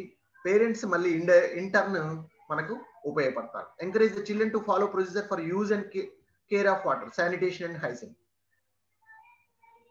positive వాతావరణాన్ని అంటే ఒక చక్కటి హైజీనిక్ వాతావరణాన్ని తీసుకురావడానికి కూడా మనం ఈ పేరెంట్స్ యొక్క సపోర్ట్ మనం తీసుకోవచ్చు. Supports are participation active in parent teacher associations or పీటీఏలు ఉన్నాయి మనకు. పీటీఏల ద్వారా కూడా వాళ్ళకి ఈ విషయాన్ని తెలియజేసి వాళ్ళ యొక్క సంపూర్ణ సహకారాన్ని పొందే ప్రయత్నం చేయాలి. ఇక next students role of the child cabinet అంటే స్టూడెంట్స్ కాకుండా స్టూడెంట్స్ యొక్క ప్రతినిధులు. Help all children to adopt appropriate wash behaviour మనం ప్రతి క్లాస్కి కొంతమంది ప్రతినిధులను తీసుకుంటాం. అది ఎలా ఏర్పాటు చేయాలో ముందు వస్తుంది. ఈ ప్రతినిధులు చేయాల్సినటువంటి బాధ్యత అంటే వాళ్ళు ఏ ఏ బాధ్యతలు తీసుకున్నారు? కొంతమంది ఫుడ్ మీద ఉంటారు కొంతమంది పరిశుభ్రత మీద ఉంటారు కొంతమంది వ్యక్తిగత ఆరోగ్యం మీద ఉంటారు. వీళ్ళందరూ మానిటర్ చేయడము క్లీన్లీనెస్ చేయడము ప్రమోట్ చేయడానికి విద్యార్థుల యొక్క సహాయ సహకారాలు మనం పొందవచ్చు. తప్పనిసరిగా వాళ్ళని వాళ్ళని ఇన్వాల్వ్ చేస్తేనే మనకు చక్కటి ప్రోగ్రామ్ అవుతుంది. చక్కగా మనం విజయం సాధిస్తాం. Sir next role of school children and students. ఇంతకుముందు మనం విద్యార్థుల యొక్క ప్రతినిధుల గురించే చెప్పుకున్నాం. కానీ మాస్గా చేయాల్సినటువంటి చోట విద్యార్థులు అందరూ కలిసి చేసినట్టు ఒక అక్కడ ఒక మనకు ఒక పిక్చర్ కనబడుతుంది అందరు కూడా చీపిళ్ళు తీసుకున్నారు. చీపిళ్ళు తీసుకొని ఎప్పుడో ఒకసారి మనం ఎంత చేసినా కూడా ఇంకా కొంత క్లాస్ రూమ్స్లో కానీ లేదా బయట ఆడుకునేటువంటి స్థలంలో కానీ చిన్న చిన్న మొక్కలు పెరగడం ఇవన్నీ కూడా జరుగుతుంటాయి. ఇలాంటప్పుడు ఏంటంటే ఒకసారి మాస్గా అందరినీ కూడా ఇన్వాల్వ్ చేస్తూ శుభ్రపరచుకున్నట్టయితే తొందరగా మనకు కార్యక్రమం పూర్తవుతుంది. దాని ద్వారా మనము ఎక్కువ పరిశుభ్రతని పారిశుద్ధ పారిశుద్ధ్య వాతావరణాన్ని కూడా మనము తీసుకురావడానికి సాధ్యమైంది దాని కొరకు విద్యార్థుల యొక్క ఇన్వాల్వ్ చేయాల్సి ఉంటుంది. Active involvement of teachers and students in operation and maintenance activities of the school ఇక్కడ చూడండి తడి చెత్త పొడి చెత్త కొరకు రెండు వేరు వేరు సిమెంట్ రింగులు ఏర్పాటు చేసుకున్నారు. ఈ రింగులలో ఒక గ్రీన్ డబ్బాతోటి కొంత చెత్తను తీసుకొస్తున్నారు. అలానే రెడ్ డబ్బాతో కూడా చెత్తను తీసుకొస్తున్నారు. ఈ చెత్తను తీసుకొచ్చిన తర్వాత ఎట్లా వీటి వీళ్ళు వీటిని వేరు వేరు చేస్తున్నారు. ఇది ఒక ఎరువుగా మారిపోతుంది. ఆ ఎరువుగా మారిన తర్వాత మనం మళ్ళీ మన పాఠశాలలో ఏమైనా మొక్కలు ఉన్నట్టయితే కిచెన్ గార్డెన్ ఉండైతే దానికి ఇండైరెక్ట్గా వాడుకోవచ్చు. లేదా గ్రామ పంచాయతీ వాళ్ళు కూడా సేకరిస్తున్నారు. వాళ్ళ దగ్గర నుంచి కూడా మనం ఎరువును తీసుకోవచ్చు. నెక్స్ట్ ఇక్కడ చిన్న చిన్న ఇక్కడ ఒకటి లిక్విడ్ కనబడుతుంది ఒకటి. సార్ చూపిస్తున్నారు అక్కడ మనకి. తర్వాత సోప్స్ పిల్లలకి సప్లై చేసినటువంటి ఇతర అంశాలన్నీ కూడా మనకు కనపడుతుంది శానిటేషన్ వర్కర్స్ వచ్చేసి ఏ రకంగా వీటిని ఉపయోగించవచ్చు ఇవన్నీ కూడా మనం విద్యార్థుల సహాయాన్ని మనం తీసుకోవచ్చు. Next sir role of janitors అందరికంటే చక్కగా మన పాఠశాలని శుభ్రంగా ఉంచేది ఎవరంటే మన అందరము ఎంత చేసినా కూడా తెల్లారేసరికి మనకు ఒక నీట్గా ఉండేటువంటి పాఠశాల ఆవరణను కానీ టాయిలెట్స్ని కానీ క్లాస్ రూమ్స్ని కానీ ఇవన్నీ ఇచ్చేది మహాతల్లులు వీళ్ళే. వీళ్ళు వీళ్ళ బాధ్యతే చాలా పెద్దది. వీళ్ళకి మనం ఎంత చేసినా కూడా తక్కువే. మొన్న మనం కోవిడ్లో చూసాం.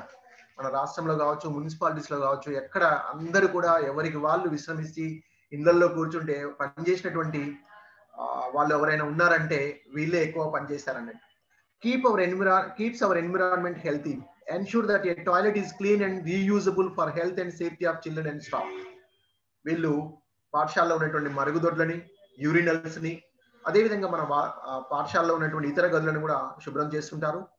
And integral part of school sanitation వీళ్ళు ఒక స్కూల్ శానిటేషన్లో ప్రధానమైనటువంటి భూమిక ఈ స్టేక్ హోల్డర్స్ అయినటువంటి జానిటర్స్ జానిటర్స్ అంటే మన దగ్గర ఏమంటుంటాము వీళ్ళని?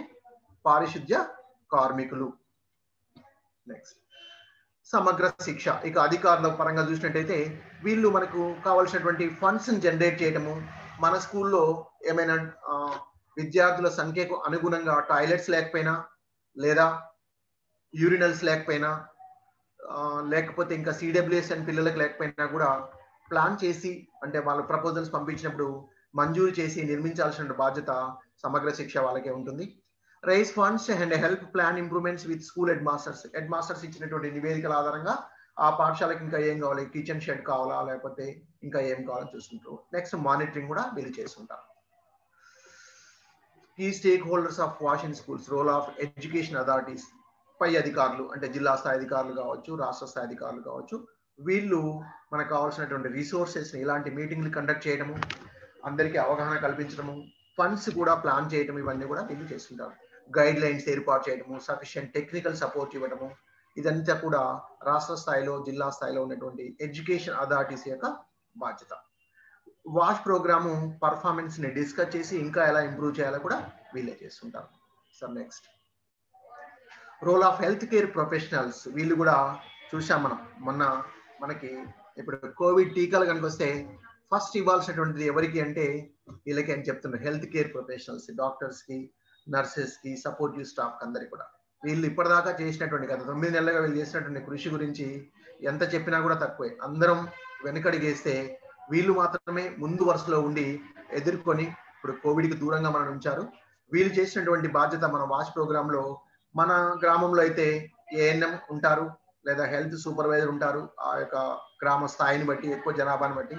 అదేవిధంగా ఆయాలని చెప్పేసి కూడా ఉంటుంటారు. వాళ్ళు దాదాపుగా మన దగ్గరికి నెలలో ఒకటి రెండు సార్లు వచ్చిపోతుంటారు. అప్పుడప్పుడు మనకి డివార్మింగ్ టాబ్లెట్స్ అని చెప్పేసి సంవత్సరంలో ఒకటి రెండు సార్లు ఇస్తుంటారు. విద్యార్థుల యొక్క బరువుని అదేవిధంగా ఎత్తుని ఇలాంటి అన్ని మెజర్మెంట్స్ తీసుకుపోతుంటారు ఇంకా ఏమైనా ఉన్నట్టయితే పిల్లల్ని రెఫర్ చేస్తుంటారు ఫర్దర్ పై స్థాయి హాస్పిటల్స్కి ఇది హెల్త్ కేర్ ప్రొఫెషనల్స్ యొక్క బాధ్యత. Who plays a major role in your school for WinS మరి మీ పాఠశాలలో విన్స్ కొరకు విన్స్ మీన్స్ వాష్ ఇన్ స్కూల్స్ మీ పాఠశాలలో ఎవరికి ఇస్తారు ఈ బాధ్యత? మీరే తీసుకుంటారా? ఇంకా ఎవరికైనా ఇది మీరు దాన్ని అప్పచెప్తారా? అది మీరు చూసుకోండి. ఎవరు బాగా చేయగలిగితే వాళ్ళు చూసుకుంటారు. ఇది మనకు వాష్ ప్రోగ్రామ్ యొక్క ఇంట్రొడక్షన్ మరియు ఆవశ్యక ఆవశ్యకత గురించినటువంటి చిన్న వివరాలు. నెక్స్ట్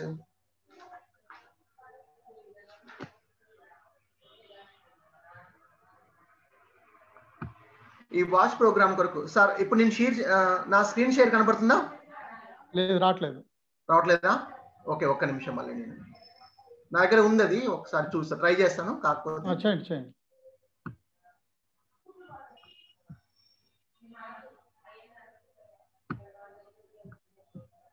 కనబడుతుందా స్క్రీన్ అవుతుంది?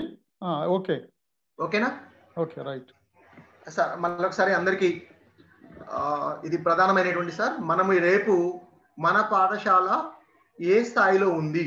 వాష్ ప్రోగ్రామ్లో మనము ఎన్ని మార్కులు పొందాం అనే దానికి ఏదైనా చెక్ లిస్టా సార్ ఈ ప్రశ్నావళి ప్రతి పాఠశాలలో కూడా స్వచ్ఛ పాఠశాల అనడానికి మీకు ఎన్ని మార్కులు వచ్చాయి? దీంట్లో వంద మార్కులకు క్వశ్చన్స్ ఉంటాయి సార్. ఈ వంద మార్కులకు ఉన్నటువంటి క్వశ్చన్స్లో మనం ఎన్ని మార్కులు పొందాము? వంద మార్కులకు ఉన్నటువంటి క్వశ్చన్స్ని మనకేం చేశారంటే ఏడు భాగాలుగా చేశారు. ఏడు భాగాల్లో వ్యక్తిగత పరిశుభ్రత కింద ఎనిమిది క్వశ్చన్స్ ఉంటాయి. ట్వంటీ ఫోర్ మార్క్స్ ఉంటాయి sir maximum marks twenty four అదేవిధంగా వంట సిబ్బంది పరంగా సిక్స్ క్వశ్చన్స్ ఉంటాయి. సార్ వస్తుందా? సార్ వస్తుందా? ఓకే ఓకే షేరింగ్ చూద్దాం. కనిపిస్తుందా? వంట సిబ్బంది పరంగా సిక్స్ క్వశ్చన్స్ ఉంటాయి ఇవి ట్వెల్వ్ మార్క్స్ ఉంటాయి మనకి. అదేవిధంగా వాటర్ మన పాఠశాలలో వివిధ అవసరాలకు వాడుతున్నటువంటి వాటర్ గురించి నాలుగు క్వశ్చన్స్ మనం ఆన్సర్ చేయాల్సి ఉంటుంది. ఈ ఆన్సర్కి ఎయిట్ పాయింట్స్ ఉంటాయి.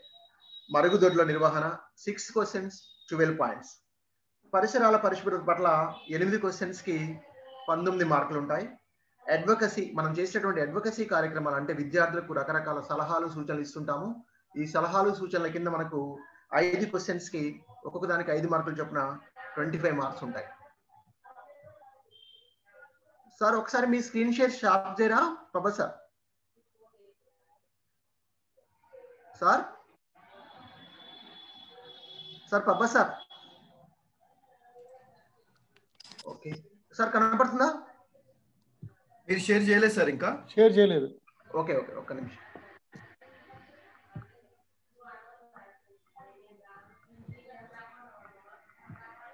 ఇప్పుడు వస్తుందా? ఓకే. ఓకే. ఈ వ్యక్తిగత పరిశుభ్రత కింద ఇందాక మనము ఎయిట్ క్వశ్చన్స్ ఆన్సర్ చేయాలనుకున్నాం. యాక్చువల్గా ఇది కొన్ని పాఠశాలలో లాస్ట్ లాస్ట్ టైంలో సిఆర్పీలు చేసినట్టుగా కొంతమంది చెప్తున్నారు. కొంతమంది ఏమో స్వయంగా హెడ్ మాస్టర్స్ చేసుకున్నామని చెప్తున్నారు. సరే ఎవరు చేసుకున్నప్పటికీ ఇప్పుడు అటెండ్ అవుతున్నటువంటి అందరూ కూడా డెబ్బై నాలుగు కానీ అంతకంటే తక్కువ మార్కులు రావడం వల్ల మనం మళ్ళీ ట్రైనింగ్ తీసుకోవాల్సి వస్తుంది సార్. సో ఈసారి డెబ్బై ఐదు కానీ డెబ్బై ఐదు నుంచి వంద వరకు మార్కులు వచ్చినట్టుగా కనుక మనం ప్రయత్నం చేసుకుంటే మనకి అవసరం రాదిక సో ఫస్ట్ పిల్లలందరూ కూడా ప్రతిరోజు స్నానం చేస్తున్నారు. దీన్ని కనుక మనము ఆ విన్స్ యాప్లో ఎస్ అనేటట్టయితే మనకు త్రీ మార్క్స్ వస్తాయండి. ఇది మనం ఎన్షూర్ చేసుకోవాలి. ఇది ఎవరు ఎన్షూర్ చేసుకోవాలి? చిల్డ్రన్ క్లబ్స్ కానీ క్లాస్ టీచర్ కానీ లేదా తరగతి పోయినటువంటి ఇతర ఉపాధ్యాయులు ఇందాక మనం అనుకున్న. వాష్ ప్రోగ్రామ్ని ఎవరికి ఇస్తున్నారు హెడ్ మాస్టర్ గారు? ఇస్తే ఆ ఉపాధ్యాయుడు. ఇట్లా వేరు వేరు లెవెల్స్లో కనుక చేసుకున్నట్టయితే తప్పనిసరిగా దీనికి మూడు మార్కులు మనకు వస్తాయి పిల్లలందరూ కూడా గోర్లు కత్తిరించుకున్నారా? లేదా? కత్తిరించబడి శుభ్రంగా ఉంటే త్రీ మార్క్స్ ఇది ఏంటంటే లేకపోతే పూర్తి మార్కులు పోతాయి సార్. దీంట్లో మూడులో మళ్ళీ ఒకటి రావడం రెండు రావడం అనేది ఉండదు అన్నట్టు. పిల్లలందరూ శుభ్రమైనటువంటి ఉతికిన దుస్తులు ధరిస్తున్నారు. పిల్లలందరి పళ్ళు దంతాలు శుభ్రంగా ఉన్నవి. పిల్లలందరూ తల దువ్వుకొని వస్తున్నారు. పిల్లలందరూ కూడా కాళ్ళకు పాదరక్షలు ధరించి ఉన్నారు. భోజనం చేయడానికి ముందు పిల్లలందరూ వాళ్ళ చేతులు శుభ్రంగా చేతితో కడుక్కుంటున్నారు సబ్బుతో కడుక్కుంటున్నారు సబ్బు అరేంజ్ చేయడము లేదా లిక్విడ్ అరేంజ్ చేయడం అనేది హెడ్ మాస్టర్ గారి బాధ్యత. పిల్లలందరూ కూడా మరుగుదొడ్డి వినియోగించుకున్నాక చేతులు శుభ్రంగా కడుకు సబ్బుతో కడుక్కుంటున్నారు. ఇట్లా ఇవి ఈ పాయింట్స్ కనుక మీ పాఠశాలలో అన్ని కనుక ఉన్నట్టయితే మనకు ట్వంటీ ఫోర్ మార్క్స్ వస్తాయి సార్. ఇంకా మనకు ఒక యాభై ఒక్క మార్కులు వస్తే మనం మళ్ళీ నెక్స్ట్ ఇయర్ ట్రైనింగ్ రావాల్సిన అవసరం రాదు. దాని కొరకు మనకు ఇమ్మీడియట్గా వంట సిబ్బంది పరంగా ఇవన్నీ మనం ఆచరిస్తున్నటువంటి ఒకసారి వంట సిబ్బంది పరంగా మనం ఏం చేస్తున్నాం చూస్తే వంట సిబ్బంది అందరూ కూడా స్నానం చేసి శుభ్రమైన దుస్తులు ధరించి వస్తున్నారు. ఒక్కసారి వాళ్ళకి తెలియజేస్తే పాఠశాల ప్రారంభంలోనే తప్పనిసరిగా వాళ్ళు ఈ రకంగా బడికి వస్తున్నారంటే మీరు ఒక్కసారి ఎన్షూర్ చేసుకుంటే వాళ్ళందరూ ఆ రకంగా వస్తే మనకు టూ పాయింట్స్ వస్తాయి. వంట సిబ్బంది అందరి గోర్లు కత్తిరించబడి శుభ్రంగా ఉన్నాయి. పిల్లలే చూడమంటే చూస్తారు. పిల్లల్ని ఒకరికి ఇన్ఛార్జ్ ఇస్తే వాళ్ళు చూస్తారు. వంట వారందరూ వారి జుట్టు దగ్గరగా ముడి జడ వేసుకుని ఉన్నారు. క్యాప్ కూడా ధరిస్తున్నారు. మీరు ఈ క్యాప్ అనేది లేదా అప్రాన్ అనేది ఉందా లేదా ఒకసారి చూసుకోవాలి లేదా గట్టిగా కొంగు కానీ ఏదైనా చేసుకోవాలి. వంట వారందరూ వంట చేయడానికి ముందు చేతి చేతులు సబ్బుతో శుభ్రంగా కడుక్కున్నారు. మనమే సబ్బు అరేంజ్ చేస్తున్నాం. ఈ సబ్బు ఇవ్వడం కూడా ఇప్పుడు కోవిడ్ నేపథ్యంలో సబ్బుని ఒక్కరు ముట్టుకున్నాక ఇంకోరు ముట్టుకోవడానికి వీలు లేదు. మరి ఎలా దానికి మార్గం అంటే నెక్స్ట్ క్లాస్లో మీకు ఆ సబ్బుని ఎలా ఒకరు వాడినటువంటి సబ్బు ఒకరే అందరు కలిసి ఒకే సబ్బు వాడకుండా మార్గాలు కూడా సార్లు చెప్తారు. వంట వారందరూ ఆహారం ముట్టుకోవడానికి వడ్డించడానికి ముందు చేతులు శుభ్రంగా కడుక్కుంటున్నారు. ఇది మనం ఎన్షూర్ చేసుకోవాలి. పరిశుభ్రత పాటించే వంట సిబ్బందిని అభినందించే విధానం పాఠశాల ఉంది. ఇది ఇది చేయాలి. దీనికి రెండు మార్కులు ఉన్నాయి మనకు. ఈ రకంగా వంట కేటాయించినటువంటి పన్నెండు మార్కులు వస్తే పైన విద్యార్థుల పరంగా వ్యక్తిగత పరిశుభ్రత ఇది కలిసి మనకు ముప్పై ఆరు మార్కులు అవుతాయి ఇక నెక్స్ట్ నీరు. నీరు పరంగా ఇప్పుడు అన్ని పాఠశాలలో కూడా సురక్షితమైనటువంటి నీరే అందుబాటులో ఉంటుంది.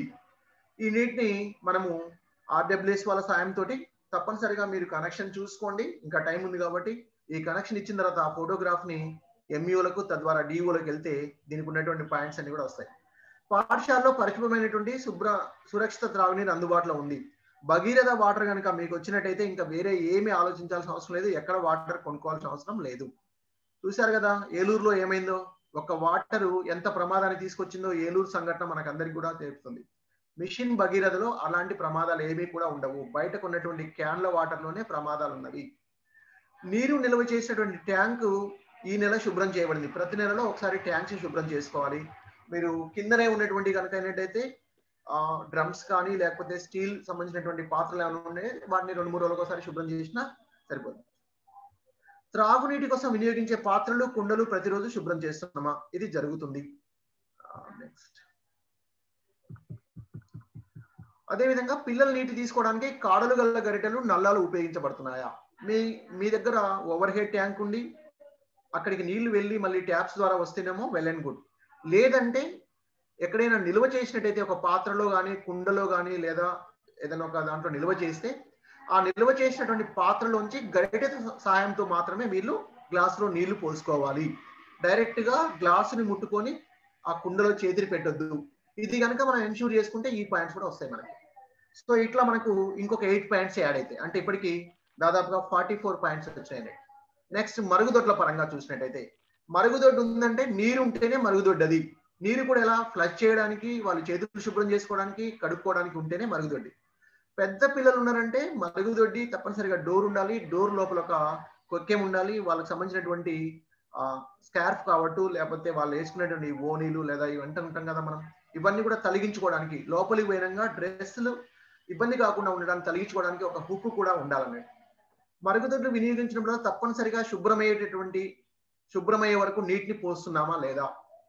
ఈ బాలికల మరుగుదొడ్లో మూతగల చెత్త బుట్ట అందుబాటులో ఉందా లేదా? చెత్త చెదారం వేయడానికి ఒక బుట్ట ఉందా లేదా?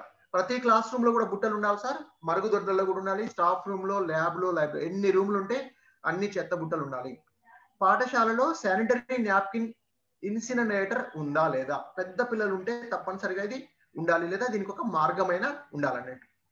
మరుగుదొడ్లలో గోడలపై మరుగుదొడ్డి సక్రమ వినియోగం గురించినటువంటి చిత్రాలు వేయబడ్డాయా? హ్యాండ్ వాష్ గురించి కావచ్చు. మరుగుదొడ్డిని ఉపయోగించడంలో కొన్ని సలహాలు సూచనలు పెయింట్ ద్వారా కానీ ఇంకా వేరే రూపంలో కానీ ఒక ఫ్లెక్సీ రూపంలో కానీ అక్కడ మనం వేలాడదీశామా లేదా?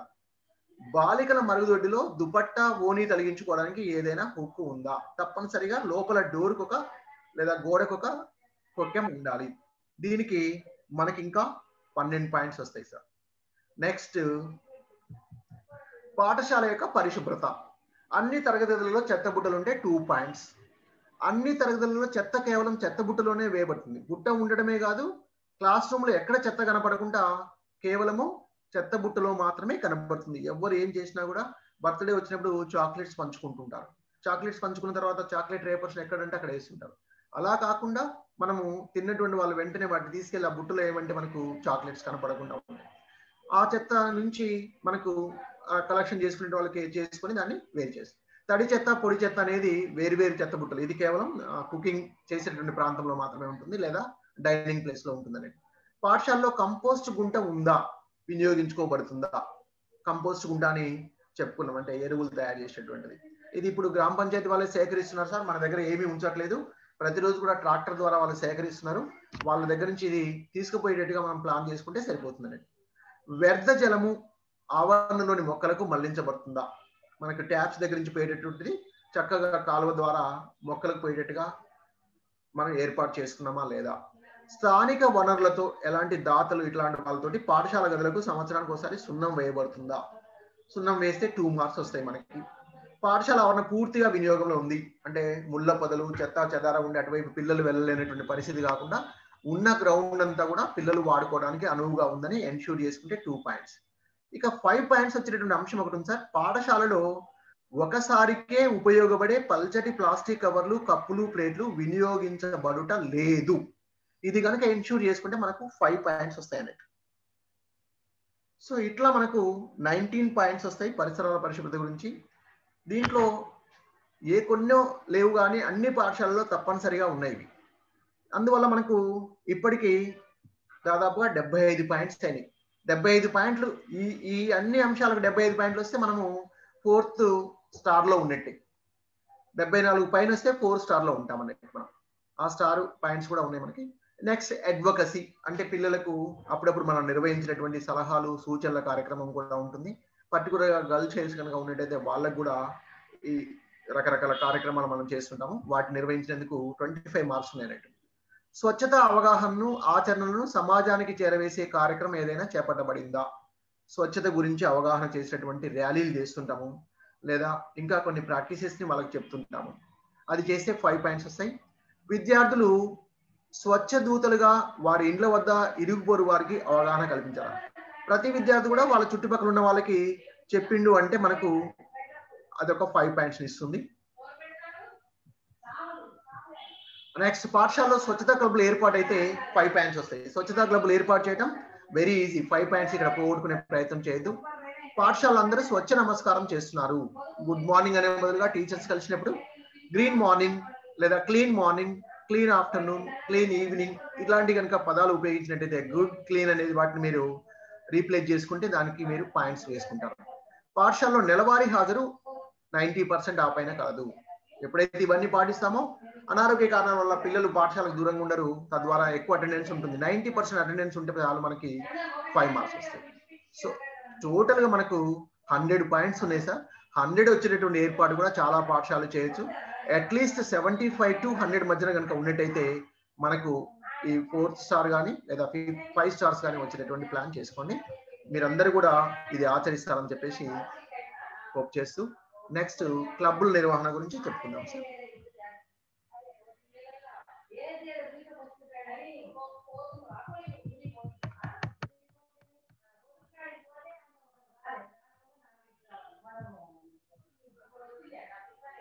సార్ ఇప్పటికీ వన్ ఎయిటీ వన్నే ఉంది. ఇంకా ఎంఈఓ గారు కానీ కాంప్లెక్స్ హెడ్ మాస్టర్లు కానీ కొంచెము ఇనిషియేషన్ తీసుకొని నెక్స్ట్ టూ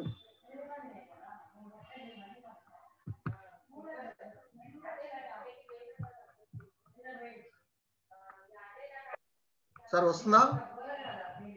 వస్తుంది మీతో పాటు ఇంకో సౌండ్ వస్తుంది ఎక్కడది?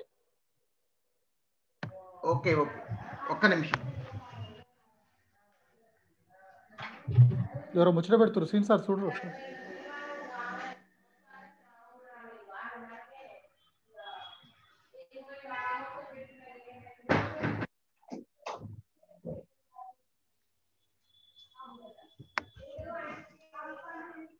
ఇక మన పాఠశాలలో ఏర్పాటు చేసుకోవాల్సిన క్లబ్స్ గురించి చిన్న అంశం ఉంది సార్. దాన్ని కూడా చూద్దాము. సార్ ఇప్పుడు క్లియరా? Okay okay sir clear. స్వచ్ఛతా క్లబ్లు ఓకే. స్వచ్ఛతా క్లబ్ల యొక్క ఏర్పాటు మరియు నిర్వహణ.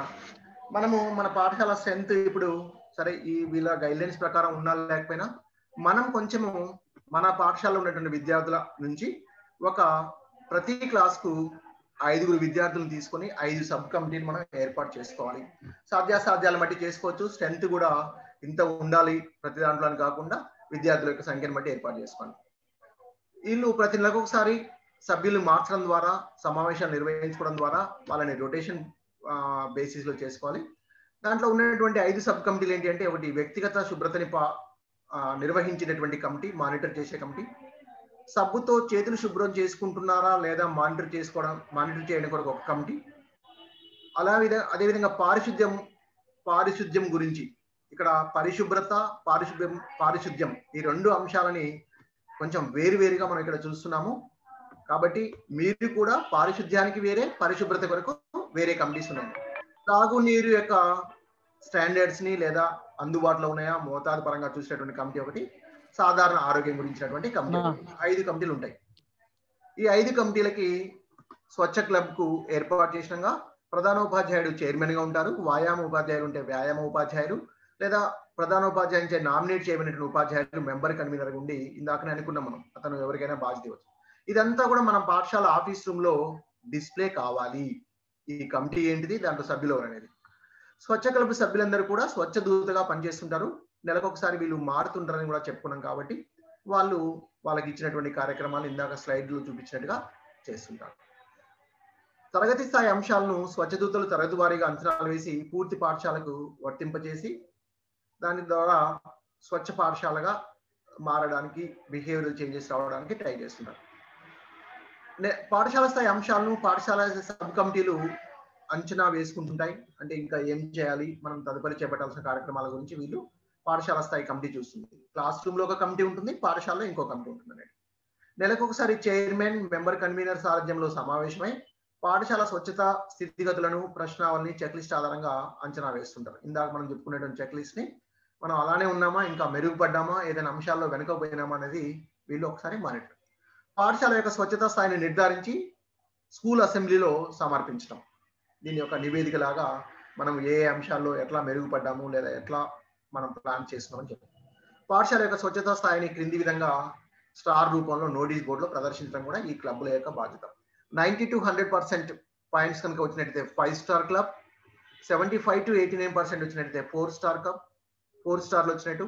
Fifty one to seventy four వస్తే ఇది సరి అయినటువంటి నిర్వహణ లేనట్టు. Thirty five seven fifty thirty five కంటే లోపు ఈ మూడు కూడా three star two star one star కనుక వస్తే మనం ఇంకా మెరుగుపరచుకోవాల్సింది చాలా ఉన్నట్టుగా మనం భావించాల్సి ఉంటుంది ఇది క్లబ్బుల యొక్క నిర్వహణ.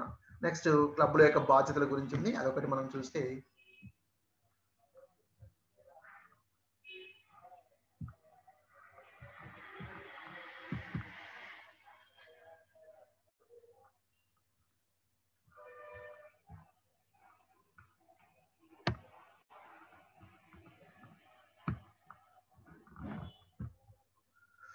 రైట్ అండ్ త్రీ కింద ఈ ఇప్పుడు మీకు ఒక నాలుగు పేపర్స్ చూపిస్తున్నాం సార్. ఇది మీ ఎంఈఓ గారి దగ్గర కానీ మీ ఇతర మార్గాలలో ఉంటుంది. కా- మీకు ఇది వచ్చేటట్టుగా దీని ఒక ఫైల్ చేసుకునేటటువంటి చేయండి. ఎవరైనా వచ్చినా కూడా మీ దగ్గర ఇది తప్పనిసరిగా అన్ని పాఠశాలల్లో కూడా ఉండాలి.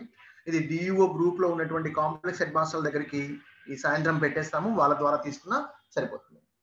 స్వచ్ఛ క్లబ్ సబ్ కమిటీలు వారి యొక్క బాధ్యతలు. మనం ఇందాక ఐదు సబ్ కమిటీలు ఉన్నాయని చెప్పుకున్నాం. స్వచ్ఛ క్లబ్లో ఐదు సబ్ కమిటీలకు ఎవరెవరికి ఏ బాధ్యత ఉంది? ఫస్ట్ వ్యక్తిగత పరిశుభ్రత సబ్ కమిటీ. విద్యార్థులందరి యొక్క వ్యక్తిగత పరిశుభ్రతని వీళ్ళు పర్యవేక్షించాలి. క్లాస్కి ఐదుగురు ఉంటారని చెప్పుకున్నాం. ఈ క్లాస్కి ఐదుగురు చూడాల్సింది. అనగా రోజు స్నానం చేయడము పళ్ళు తోముకోవడము గోళ్ళు శుభ్రంగా ఉన్నాయా చూసుకోవడం తల దూకోవడం శుభ్రమైన దుస్తులు ధరించడం పాదరక్షలు ధరించడా లేదా? ఇది ప్రతిరోజు కూడా మానిటర్ చేసేటటువంటి కమిటీ. వీళ్ళు చేయాల్సినటువంటి పనులు స్నానం చేసినా లేదా? పళ్ళు తోముకున్నారా లేదా? తల దూకున్నారా లేదా? శుభ్రమైనటువంటి దుస్తులు ధరించారా లేదా? పాదరక్షలు ధరించారా లేదా? ఈ కమిటీ ఐదు అంశాలని పర్యవేక్షించాలి. Next hand wash sub committee విద్యార్థులందరూ కూడా ముఖ్యమైనటువంటి సమయాల్లో అంటే భోజనానికి ముందు భోజనం తర్వాత టాయిలెట్ ఉపయోగించిన తర్వాత ఇంటర్వెల్ ఎప్పుడైనా నీళ్ళు తాగడానికి వచ్చినప్పుడు సరిగా చేతులు కడుక్కుంటున్నారా లేదా చూసేటటువంటి బాధ్యత హ్యాండ్ వాష్ కమిటీ ఇది స్వచ్ఛ కమిటీలో సబ్ కమిటీస్ నెక్స్ట్ పారిశుద్ధ్యము. విద్యార్థులందరూ తప్పనిసరిగా టాయిలెట్స్ యూరినల్స్ ఉపయోగించుకునేలా చూడటం. అంటే నిర్దేశిత ప్రాంతంలోనే వీళ్ళ యొక్క కాలకృత్యాలు తీర్చుకుంటున్నారా లేదా చూడటం. టాయిలెట్స్ ఉపయోగించాక నీటితో ఫ్లచ్ చేసేలా చూడటం. తర్వాత ఇది బహిరంగ మలమూత్ర విసర్జనల వల్ల కలిగే దుష్ఫలితాలపై విద్యార్థులందరిలో అవగాహన కలిగించడం. బిహేవియరల్ చేంజ్ అని చెప్పుకున్నాం. ఇది జరుగుతుందా లేదా అనేది ఎన్షూర్ చేసే బాధ్యత పారిశుద్ధ్య సబ్ కమిటీకి ఉంటుంది. నెక్స్ట్ త్రాగునీరు. ఇది డబ్ల్యూఏ కింద వస్తుంది అనేది త్రాగునీటిని వంట చే వంట చేయడానికి ఉపయోగించే నీటిపై మూతలు ఏమైనా ఉన్నాయా లేదా? వంట చేసే ముందు వాళ్ళు తెచ్చుకునేటువంటి నీటి మీద మూతలు ఉన్నాయా లేదా చూసుకోవడము. చేతులు కడుక్కున్నాక మాత్రమే నీటిని తాకేలా చూడటము. నీటిని నేరుగా ఎప్పుడు తాకొద్దు. పొడవాటి గరిటెతో కానీ లేకపోతే ఇంకా కాడగంటెతో కానీ చూడటం. లేదా ట్యాప్స్. తక్కువ టచ్ అనేది ఉండాలి. లో టచ్ ఆర్ మినిమం టచ్ అనేది ఇప్పుడు కోవిడ్ నేపథ్యంలో వచ్చినటువంటి కాన్సెప్ట్ అనేది త్రాగునీరు మురికి చేతుల వల్ల కలుషితం కాకుండా చేతులు ముంచకుండా కాడ ఉన్న గరిటెతోటి మనము లేదా నల్లతోటి దీన్ని ఉపయోగించుకునేటట్టుగా ఎన్ష్యూర్ చేయాలి. లేకపోతే దానికి కావాల్సిన ఏర్పాట్లు చేసుకోవాలి. ఫండ్స్ గురించి దాతల సహాయం తీసుకోవాలని ఇంత ముందే మనం చెప్పుకున్నాం. సాధారణ ఆరోగ్యానికి సంబంధించినటువంటి ఒక కమిటీ. విద్యార్థుల యొక్క ఆరోగ్యానికి ఒక కమిటీ. ఇది మెయిన్గా విద్యార్థుల్లో అంటువ్యాధుల గురించి ఆయా సీజన్లలో ప్రబలేటటువంటి వ్యాధుల గురించి దానికి సంబంధించిన నివారణ మార్గాల గురించి విద్యార్థులు సమాజంలో అవగాహన కలిగించడం మనం విద్యార్థులు కలిగిస్తాము విద్యార్థులు పేరెంట్స్ కలిగిస్తారు. పేరెంట్స్ ద్వారా అది సమాజంలోకి వెళ్ళిపోతుంది. తద్వారా ఒకటి ఒక చక్కటి ఆరోగ్యకరమైనటువంటి గ్రామం అనేది మనం చూసుకుంటాం. పిల్లల్లో బాధ్యతాయుతమైనటువంటి ఆరోగ్య అలవాట్లను పెంపొందించడం తుమ్మినప్పుడు దగ్గినప్పుడు నోటికి హ్యాండ్ కర్చీఫ్ అడ్డం పెట్టుకోవడము ఎక్కడ పడితే అక్కడ ఉమ్మకపోవడము ఇవన్నీ కూడా చేసేటట్టుగా. ఉమ్మడం గురించి అయితే మనం చూస్తున్నాం. కొన్ని ఊర్లలో కొన్ని ప్రాంతాల్లో ఇంకా ఉమ్మేటటువంటి అలవాటు తరచుగా ఉమ్మేటటువంటి అలవాటు ఉంటుంటుంది. ఎక్కడ పడితే అక్కడ ఉమ్ముతుంటారు. ఈ ఉమ్మేటటువంటి దాన్ని వాళ్ళకు కొన్ని వీడియో క్లిప్పింగ్స్ ద్వారా ఎక్కడ ఇలా జరిగితే ఎలా ఉంటుంది దానివల్ల ఏం జరుగుతుంది? ఇంతకుముందే చెప్పుకున్నాం మనం ఒక సిక్స్ ఎఫ్లలో ఒక ఎఫ్ గురించి చెప్పుకున్నాం ఫ్లైస్ అని.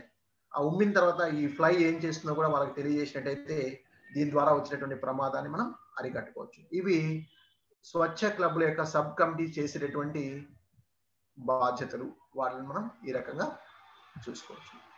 ఇది సార్ మనకి ఇంట్రడక్షన్లో భాగంగా వాష్ యొక్క ఆవశ్యకతలో భాగంగా మనము చేయాల్సినటువంటి హెడ్ మాస్టర్గా ఈ రోజు ఇక్కడ శిక్షణలో పాల్గొనేటువంటి వాళ్ళు చేయాల్సినటువంటి బాధ్యతలు పనులు మనం ఎవరెవరికి ఏమి అప్పగించాలి ఎవరి దగ్గర నుంచి ఎలాంటి సాయం తీసుకోవాలో ఇది వివరించినటువంటి. ఇప్పుడు నేను చెప్పినటువంటి చదివినటువంటి ఏవైతే డాక్యుమెంట్స్ ఉన్నాయో ఈవినింగ్ మీకు స్కూల్ కాంప్లెక్స్ తప్పని హెడ్ మాస్టర్లుగా వాట్సాప్కి వస్తుంది అక్కడి నుంచి మీరు సేకరించి ఫైల్ చేసి పెట్టుకోండి సార్. నెక్స్ట్ కార్యక్రమంలో భాగంగా ఇప్పుడు మనం ఏ నేపథ్యంలో ఉన్నాము ఎలాంటి ప్రమాదకర స్థితిలో ఉన్నామో ఆ స్థితి నుంచి బయటపడడానికి మనము ఇంకా ఎలాంటి ప్రమాదంలోకి వెళ్ళకుండా ఉండడం కొరకు COVID nineteen preparedness in schools introduction infection prevention and control ఈ అంశాల గురించి మనకు పబ్బతి వెంకటేశ్వర్లు గారు వివరంగా తెలియజేస్తారు. కోవిడ్ నైన్టీన్ గురించి ఈ సెషన్లో వినాల్సిందిగా విజ్ఞప్తి. Sir before going to my session we have to conduct a pre test no sir pre test okay ఏం sir yes yes seen sir ఉన్నారా సార్ టెస్ట్ నేను ప్రీ టెస్ట్లో పోస్ట్ చేస్తూనే ఉన్నా సార్ ఒకసారి అనౌన్స్ చేద్దాం. చేయండి. మీరు చేయండి. మిత్రులారా మీకు ఇప్పుడు చాట్ బాక్స్లో ప్రీ టెస్ట్కి సంబంధించినటువంటి ఒక లింక్ ఒకసారి మిమ్మల్ని ఇంట్రడ్యూస్ చేసుకోండి. నేను చెప్పనా? దామర్ సార్ పద్ధతి గురించి చెప్పండి ఒకసారి. మీరు చెప్తారు కానీ నేను చెప్పట్లేదు. లేదు పద్ధతి అన్నాను కానీ చెప్పలేదు ఓకే ఇవాళ మీరే once again yes yes I'm giving now good morning to all once again ఈరోజు ఇప్పటి వరకు జరిగిన సెషన్లో మీరు అబ్జర్వ్ చేసి ఉంటారు. మన కోఆర్డినేటర్ వనమాల వెంకటేశ్వర్లు గారు దాదాపు అన్ని క్లాసులలో ఏమేం జరుగుతుంది అనేది టూకీగా మనకు వివరించడం జరిగింది. మాక్సిమం సబ్జెక్ట్ అంతా కవర్ చేసినట్టుగా మాకైతే అవగాహన అయింది. చాలా ధన్యవాదాలు వివి గారికి. అదే విధంగా నెక్స్ట్ సెషన్లో ఈ మధ్యలో మీరు వింటా ఉన్నారు సంక్రాంతికి ముందా సంక్రాంతి తర్వాతన ఎప్పుడు స్టార్ట్ చేయాలి పాఠశాల అనేది గవర్నమెంట్ తర్జన భర్జన చేస్తూ ఏదో ఒక డేట్ను కన్ఫర్మ్ చేయడానికి దగ్గరలో మనం ఉన్నాము. అలాంటి టైంలో పాఠశాలలు అంటూ మనం ప్రారంభిస్తే డబ్ల్యూహెచ్ఓ నామ్స్ ప్రకారం ఎలాంటి కోవిడ్ నిబంధనలు మనం పాటించి పాఠశాలను నడపాల్సినటువంటిది ఒక పెద్ద క్వశ్చన్ మార్క్గా సవాల్గా ఎదురవుతుంది. ఆ సవాల్ను ఛేదించడం కోసం ఆ క్వశ్చన్ మార్క్ సమాధానం చెప్పడం కోసం అటు గవర్నమెంట్ ఇటు department as a teachers and students అందరూ కూడా దీంట్లో పాల్పంచుకుంటూ అంటే కోవిడ్ నిబంధనలు పాటిస్తూ పాఠశాలలు నడపాల్సినటువంటి ఆవశ్యకత రేపు మనకు ఎదురవుతుందని చెప్పి అర్థమైనటువంటి విషయం. అందుకోసమే ఈ యొక్క వాషిలో భాగంగా పాఠశాల లెవెల్లో కోవిడ్ నిబంధనలు పాటిస్తూ ఏ విధంగా మన ప్రికాషన్ తీసుకోవాలనేటువంటి ఒక ప్రధానమైన అంశాలు. నేను అనుకుంటాను మొత్తం ఈ యొక్క ఈ రోజు జరిగేటువంటి ట్రైనింగ్ సెషన్ మొత్తంలో ఒక గుండెకాయ లాంటిది హార్ట్ ఆఫ్ ద సెషన్ అంతా కూడా ఇది అవుతుంది అందుకోసం ఈ సెషన్ మొత్తానికి ఆ ఓవరాల్గా ప్రోగ్రామ్ షెడ్యూల్ నుంచి చూస్తే ఆ మొన్న జరిగిన క్లాసు ఈ రోజు జరిగిన క్లాసులో కీలక భూమిక వహిస్తూ సబ్జెక్ట్ మొత్తాన్ని అవపోసన పెట్టినటువంటి మన పబ్బతి వెంకటేశ్వర్లు గారు ఈ యొక్క COVID rules and COVID norms వాటికి సంబంధించినటువంటి విషయాలు ఈ సెషన్లో మీకు వివరిస్తారు. దాని నుంచి మనము రేపు పాఠశాల ఇంప్లిమెంట్ చేసే అవకాశాలు ఎక్కువగా ఉంటాయి కాబట్టి ఆ దిశలో మీరంతా సావధానంగా యొక్క సెషన్ ఆలకిస్తారని చెప్పి కోరుతూ over to mister Papathi go ahead thank you introduce me sir నా సెషన్ ముందుగా మొదలు కావడానికంటే ముందు మీకు ఆల్రెడీ చాట్ బాక్స్లో ప్రీ టెస్ట్కి సంబంధించిన ఒక లింక్ పెట్టారు.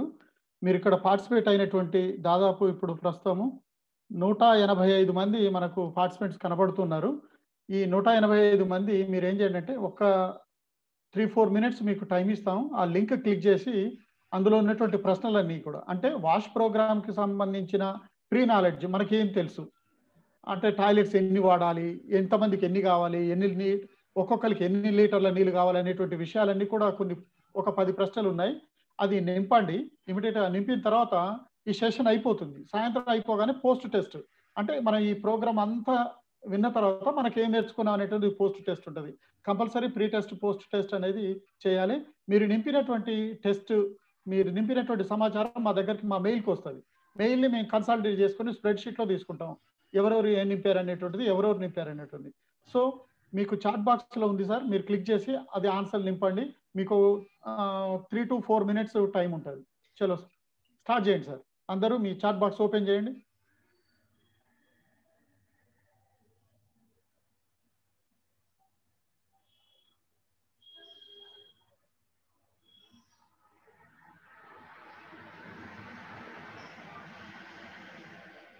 చాట్ బాక్స్ అన్మ్యూట్ ఆప్షన్ ఇచ్చాను. ఎవరికైనా డౌట్ ఉంటే మాట్లాడతారని అన్మ్యూట్ ఆప్షన్ ఇచ్చాను. ఎవరికైనా డౌట్ ఉంటే అన్మ్యూట్ చేసుకుని మాట్లాడండి సార్ సార్ తోటి.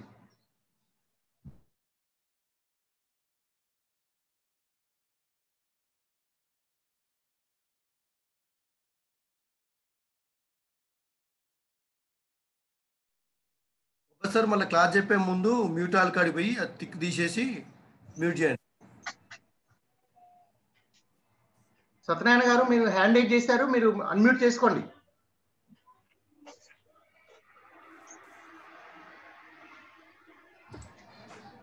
Sir sir Srinu?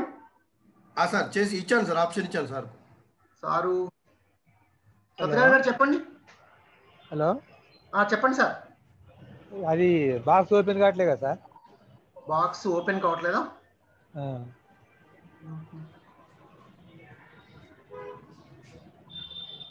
ఏం బాక్స్ సార్? బాక్స్ ఏంటి? ఎగ్జామ్ అని చెప్పిరుగా. ప్రీ టెస్ట్ ఆ, ఆ, అవును. ఫోర్ ఫోర్ మినిట్స్లో చేయమన్నారు? అది ఏం ఓపెన్ కావట్లే?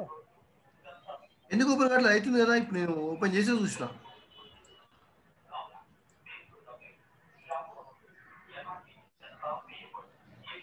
మెయిల్ అడ్రస్ అడుగుతుంది సార్ మెయిల్ సైన్ ఇన్ కండి. Only one eighty two garu. Out of three sixty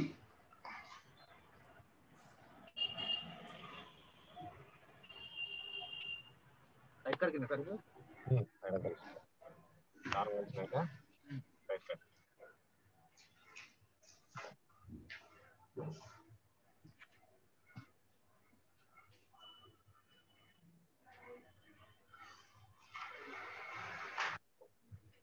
ఒక sir eleven thirty five start చేయండి sir.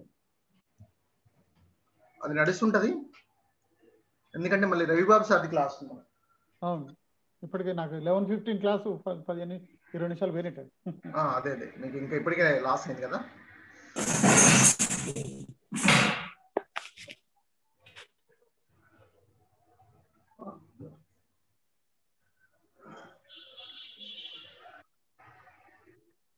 Ravi Ravibabu sir? Ravibabu sir ready రెడీగా ఉన్నారు. Good morning sir. You're ready yes yes sir good morning next మీదే session అందుకని. Okay sir Srini sir Ravibabu sir గురించి తెలుసుగా? Address ఉందిగా మీ దగ్గర చెప్దాం లేండి ఏం కాదు. మీరు నాకు ఒకటి చెప్పండి. నెక్స్ట్ రవిబాబు సార్ సార్ కోస్ట్ ఇచ్చాను sir okay okay next next తర్వాత. నెక్స్ట్ పబ్బ సార్ అయిపోతే.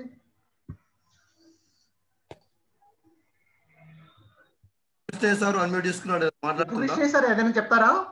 ఆ, సార్ చెప్పండి ఏదైనా అడుగుతారా? రీటెస్ట్ ఎట్లా సార్ ఇది? చేయటం ఓపెన్ రావట్లేదు సార్. మేడం కొన్ని క్వశ్చన్స్ ఉంటాయి దాంట్లో. ఆ క్వశ్చన్స్ మీరు ఆన్సర్ చేయండి. రావట్లేదంటే? బాక్స్ ఎక్కడ బాక్స్ ఎక్కడ రావట్లేదు సార్. చాట్ బాక్స్ దొరికిందా మేడం ఎక్కడో రావట్లేదు. మొబైల్లో జాయిన్ అయితే మేడం మీరు ఆ మోర్ ఆప్షన్ కాడ చాట్ అనే ఆప్షన్ ఉంటుంది. ఆ చాట్ క్లిక్ చేస్తే ఓపెన్ అవుతుంది అది మొబైల్లో మీరు మొబైల్లో ఉన్నారా ల్యాప్టాప్లో ఉన్నారా మేడం? మొబైల్లో. మొబైల్ ఇప్పుడు సార్ చెప్పారు మోర్ ఆప్షన్ కాడ క్లిక్ చేయండి సార్. శ్రీదేవి గారు మోర్ ఆ, ఆప్షన్లోకి వెళ్ళండి. ముందు మీరు మోర్లోకి వెళ్ళండి. ఆ, తర్వాత చాట్లోకి వెళ్ళాం దాంట్లో చాట్ ఆ చాట్లోకి వెళ్ళండి. కృష్ణయ్య గారు మీరు?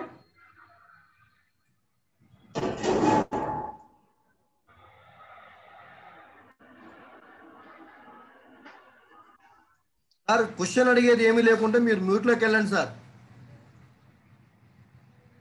సార్ గుడ్ మార్నింగ్ ఆ, sir. Penugonda garu good morning చెప్పండి. అందులో ఒక క్వశ్చన్ రా ఒక క్వశ్చన్ రాంగ్ ఉందండి ఓకే మీరు దాన్ని ఇప్పుడు అది ప్రీ టెస్ట్ ప్రీ టెస్ట్. కానీ అట్లా ఎస్బిఎస్బి ప్రకారం పిల్లలకి ఎంతమందికి one twenty member boys girls ఉంటే ఎన్ని టాయిలెట్స్ కావాలని అడిగారు. ఓకే. ఆన్సర్లోనేమో three litres two litres better each స్టూడెంట్కి రిలవెంట్ ఆన్సర్ లేదు. కన్సర్న్ కాదంటారు. కన్సర్న్ కాదు కదా అడిగిన ప్రశ్నకి. సమాధానం. ఓకే. అది లీటర్స్ నుంచి మార్చేయండి సార్ యూనిట్స్ అనేది అంటే యూనిట్స్ కూడా కాదు రాంగ్ అది. Two point five one point five ఉంది. అట్లా యూనిట్స్ కంక్లూడ్ చేసుకుంది కదా. Okay sir, okay. ఒకసారి questions చూస్తాం. ఎక్కడ? సరే సరే చూస్తాం సార్ మళ్ళీ. ఆ, ఓకే అది ఒకటాను. అయితే మీరు సైన్ ఇన్ కావాలి. సైన్ ఇన్ కావాలి. ఆ, ఇంకా ఇంకా క్వశ్చన్స్ కొంచెం లాంగ్ ఆన్సర్స్ ఇస్తున్నారు. ఇప్పుడు అందులో role of the SMC. Principal teachers అవన్నీ కష్టం కదా రాయటం అందులో. ఎంతో కొంత రాయండి సార్. వర్డ్స్ రెండు లో వర్డ్స్ ఇప్పుడు కాంట్రిబ్యూషన్ డోనర్స్ వచ్చిన- చిన్న చిన్న చిన్న చిన్న వర్డ్స్లో రాయండి. పారాగ్రాఫ్ కాకుండా సెంటెన్స్ కాకుండా. అదే ఈచ్ ఇప్పుడు ఐదుగురు రోల్స్ రాయాలి అందులో ఒకే లైన్లో. అట్లా. అదే అదే. ఓకే సార్ థ్యాంక్ యూ ఒక నిమిషం. చాట్లో క్వశ్చన్స్ రావట్లేదు సార్. ఇదే మేడమా? చాట్ తర్వాత క్వశ్చన్స్ ఎంటర్ కావట్లేదు. మేడం చాట్లో క్వశ్చన్స్ రావు మేడం. చాట్లో లింక్ వస్తుంది. ఆ, ఆ లింక్ క్లిక్ చేస్తే మీరు మొబైల్లో మీ మెయిల్ తోటి sign in కావాలంటది.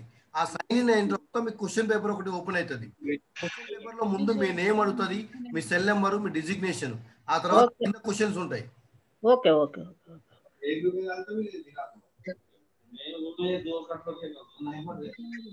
okay sir? Okay. మీరు సెషన్ సార్ మీరు స్టార్ట్ చేయండి సార్. సెషన్ ప్రొఫెసర్ ఒక్క నిమిషం. నేను లాక్ చేస్తాను. ఆ సార్ ఎవరు అడుగుతున్నారు? అడగండి. సార్ నా పేరు Lakshmareddy sir UPS Ramachandra Madapalli mandal sir. చెప్పండి. సార్ ఆల్రెడీ నేను క్లాస్ స్టార్ట్గా ముందే ఆ గూగుల్ ఫామ్ నింపేసా సార్. మరి ఒకసారి రెస్పాండ్ ఆల్రెడీ రెస్పాండ్ అని వస్తుంది. జీరో బై జీరో స్కోర్ అని వస్తుంది సార్. ఆల్రెడీ నింపిరు కదా అవసరం లేదులేండి. అదే సార్ మళ్ళీ డౌట్ వచ్చి జీరో బై జీరో స్కోర్ అని వస్తుంది స్కోర్ అంటే జీరో బై జీరో అని వస్తుంది మీ మీ ప్రీ టెస్ట్ అయిపోయింది అన్నట్టు అయిపోయినట్టు సార్ అదే డౌట్ వచ్చింది సార్. మళ్ళీ మళ్ళీ కొట్ట నింపితే మళ్ళీ నాది అదే వస్తుంది okay okay sir okay sir thank you okay professor continue చేయండి ఓకే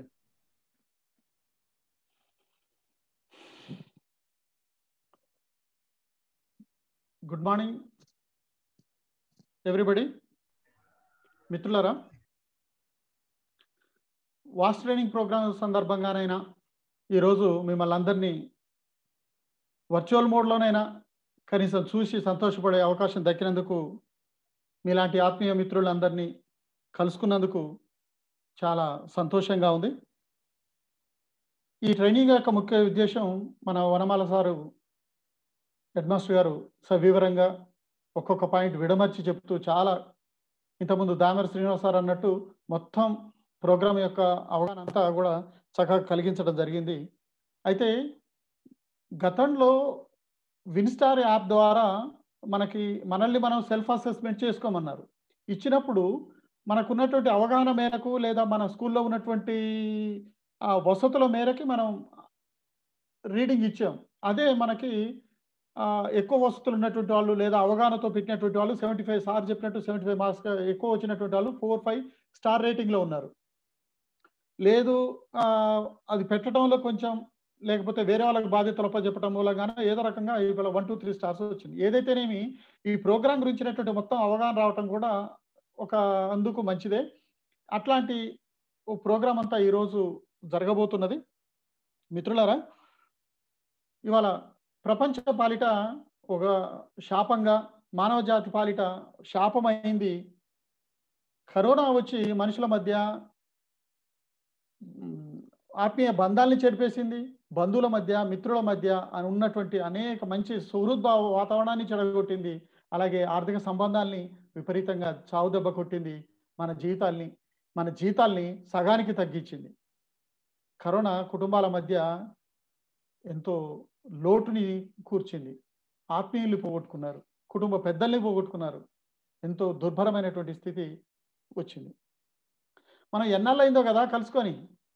ఆనాడు ఏనాడో మార్చిలో కలుసుకున్నాం. ఎన్నాళ్ళయిందో కదా మన బడి గంట చూసి విని. ఎన్నాళ్ళయిందో కదా మన బడి నల్లబోడు చూసి. ఎన్నాళ్ళయింది కదా పిల్లల గంతులు ఎగిరే వాళ్ళ యొక్క నవ్వులు అవన్నీ కూడా వాళ్ళ గోల భరించి చూసి. ఎన్నాళ్ళయిందో కదా మన చాక్పీస్ బోర్డు పట్టుకొని. ఎన్నాళ్ళయిందో కదా మన స్టాఫ్ తోటి కూర్చొని కాసింత షేర్ చేసుకుంటూ భోజనం చేస్తున్నటువంటి నవ్వుకుంటూ తొల్లుకుంటూ చేసినటువంటిది.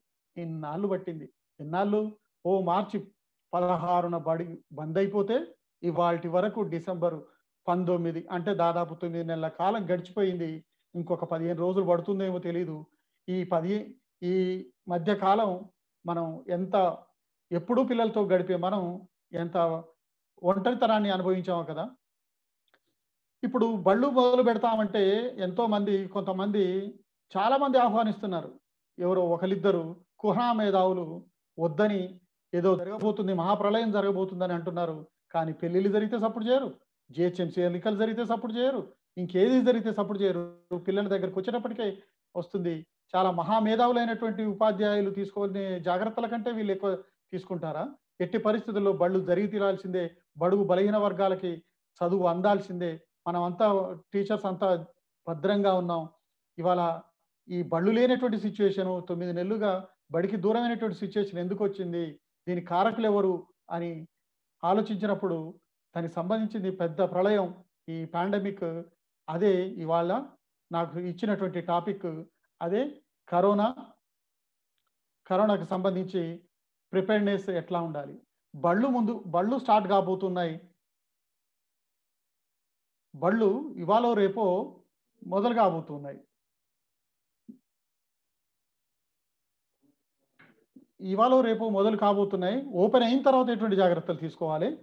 ఓపెన్ అయిన తర్వాత ఎటువంటి జాగ్రత్తలు తీసుకోవాలి అనేటువంటిది. బడి నడుస్తున్నప్పుడు ఎటువంటి జాగ్రత్తలు తీసుకోవాలి అనేటువంటిది. అసలు కోవిడ్ అంటే ఏమిటి? దాని కథ ఏంది? దాని కథ కమామిషి ఏంది? ఈ ప్రపంచాన్ని ఇట్లా వణికించిన ఈ కోవిడ్ అనేటువంటిది ఏమిటో ఈరోజు మనం చూద్దాం. మిత్రులరా ఇక్కడ కొన్ని స్లైడ్స్ ద్వారా మీకు వివరించే ప్రయత్నం చేస్తాను. కాస్త జాగ్రత్తగా వినండి. ఇంతకుముందు సార్ అన్నట్టు మొత్తంగా మనల్ని మనకెంత జ్ఞానం ఉన్నప్పటికీ మనకు చాలా కోవిడ్ గురించినటువంటి విపరీతమైనటువంటి సమాచారము విపరీతమైనటువంటి లిటరేచరు అనేక రకాలుగా మనకి మార్కెట్లో లేదా టీవీల ద్వారా అన్ని చోట్ల ఉన్నది. అయినా సరే ఒకసారి మనం దీన్ని చర్చించుకుందాం.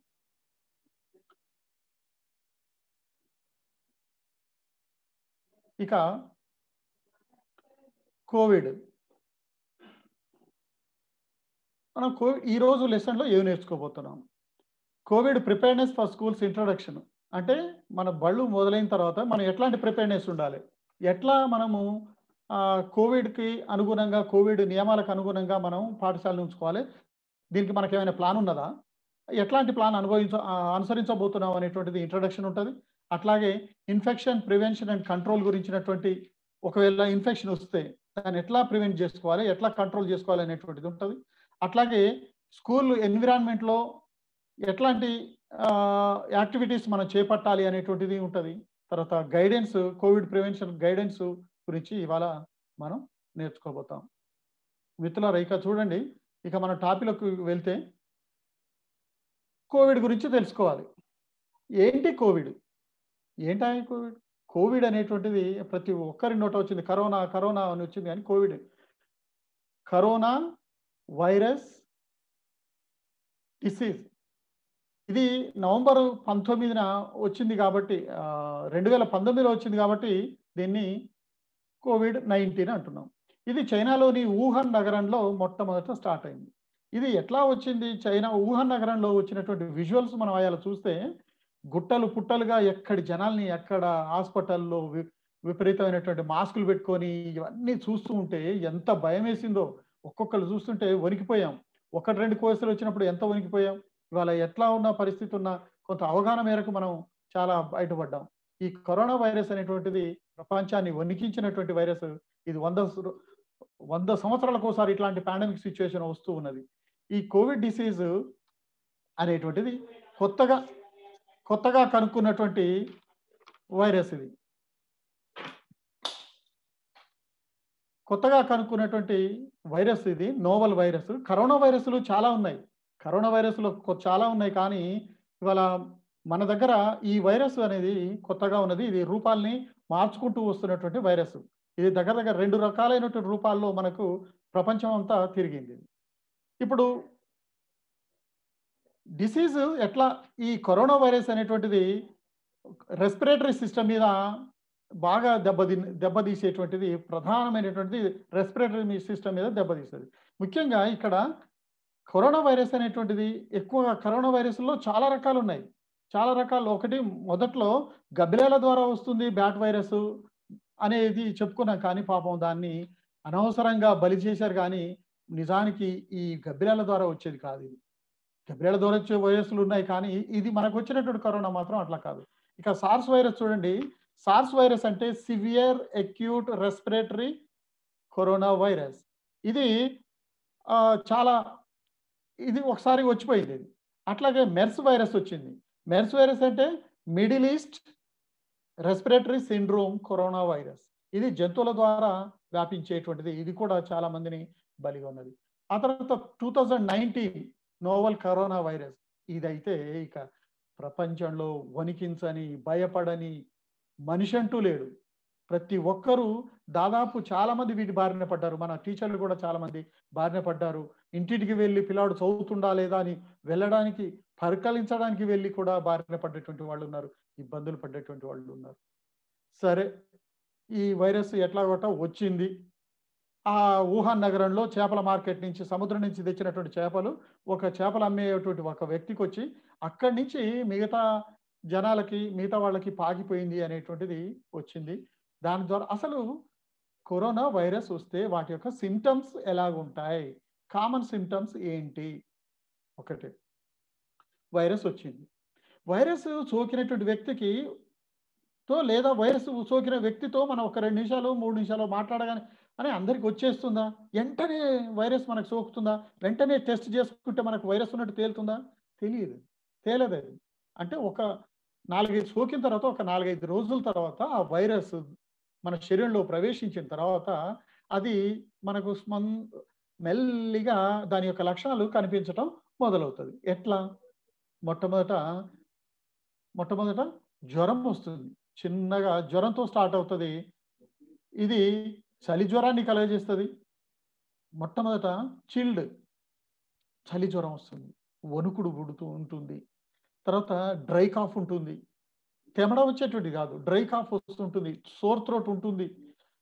తర్వాత బాగా ఫీవర్ రెండు మూడు రోజులు బాగా వస్తూ ఉంటుంది. తర్వాత ఒక్కోసారి ఆ ఫీవర్ తగ్గిపోయే అవకాశం ఉంది. ఇక మజిల్ పెయిన్ అయితే విపరీతమైనటువంటి మజిల్ పెయిన్ ఉండే అవకాశం ఉంటుందంట. మజిల్ పెయిన్ బాగా విపరీతమైన కండరాల నొప్పులు ఇవన్నీ కూడా ఉంటాయి. తర్వాత అంతకుముందు ఆల్రెడీ మనం సోర్ త్రోట్ గురించి చెప్పుకున్నాం. తర్వాత బ్రీతింగ్ అనేది చాలా మందిలో బాగా ఇబ్బంది పెట్టినటువంటిది ఏందయ్యా అంటే బ్రీతింగ్.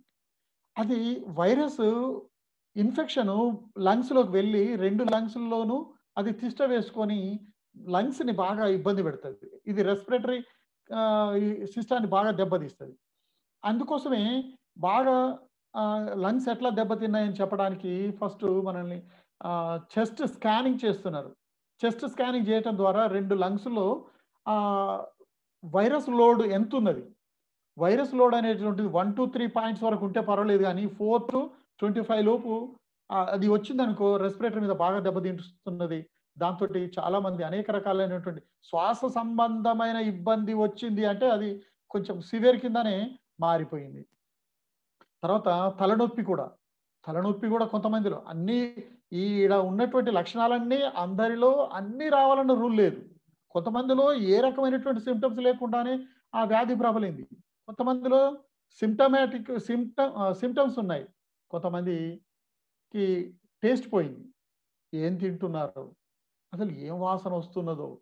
ఎంత మంచి పూల వాసన చూసినా ఏంటే వాసన రాదు? ఎంత మంచి ఇంట్లో ఎంత మంచి పిండి వంటలు చేసినా ఆ వాసన రాదు? అవి తింటే టేస్ట్ తెలియదు. ఈ టేస్ట్ కూడా పోయింది. సెన్స్ పోయింది. టేస్ట్ స్మైల్ స్మెల్ సెన్స్ పోయింది. టేస్ట్ సెన్స్ పోయింది. ఇది దగ్గర దగ్గర పదిహేను నుంచి నెల నెల పదిహేను రోజుల వరకు ఈ టేస్ట్ రికవరీ కావడానికి టైం పట్టినటువంటి సందర్భాలు ఉన్నాయి. ఈ ఈ సిమ్టమ్స్ కనపడగానే మనం చాలామంది మొదట్లోనైతే చాలా కంగారు పడిపోయారు.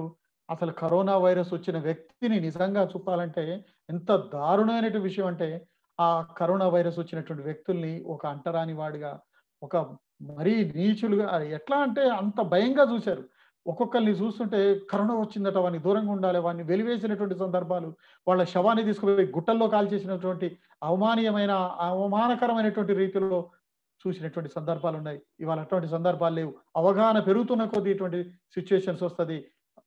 ఈ కరోనా వచ్చినటువంటి వ్యక్తిని మనిషిగా చూడండి అదొక రకమైన జబ్బు. తాను కోరి తెచ్చుకున్నది కాదు కదా. తను చేసినది ఏవి తప్పు తప్పుడు విధానాల వల్ల అది వచ్చింది కాదు కదా. మనటువంటి అటువంటి ఆటిట్యూడ్ అటువంటి వైఖరి మనలో మారాల్సిన అవసరం ఉన్నది. కాబట్టి కరోనా ఇక ఈ సివియారిటీ ఎట్లా ఉంటుంది? అనేది మనం చూసినప్పుడు ఇప్పుడు మన పేపర్లో నిత్యం చూస్తున్నాం. Ninety four percent ninety five percent of the COVID patients are recover అవుతున్నారు. వాళ్ళు చాలామంది ఆ సివియారిటీ నుంచి కోలుకుంటున్నారు. అంటే దాదాపు మామూలుగా వచ్చేటువంటి సీజనల్గా వచ్చేటువంటి ఫ్లూలు కావచ్చు అట్లాంటి దానిగానే ఇప్పుడు మారిపోతున్నది.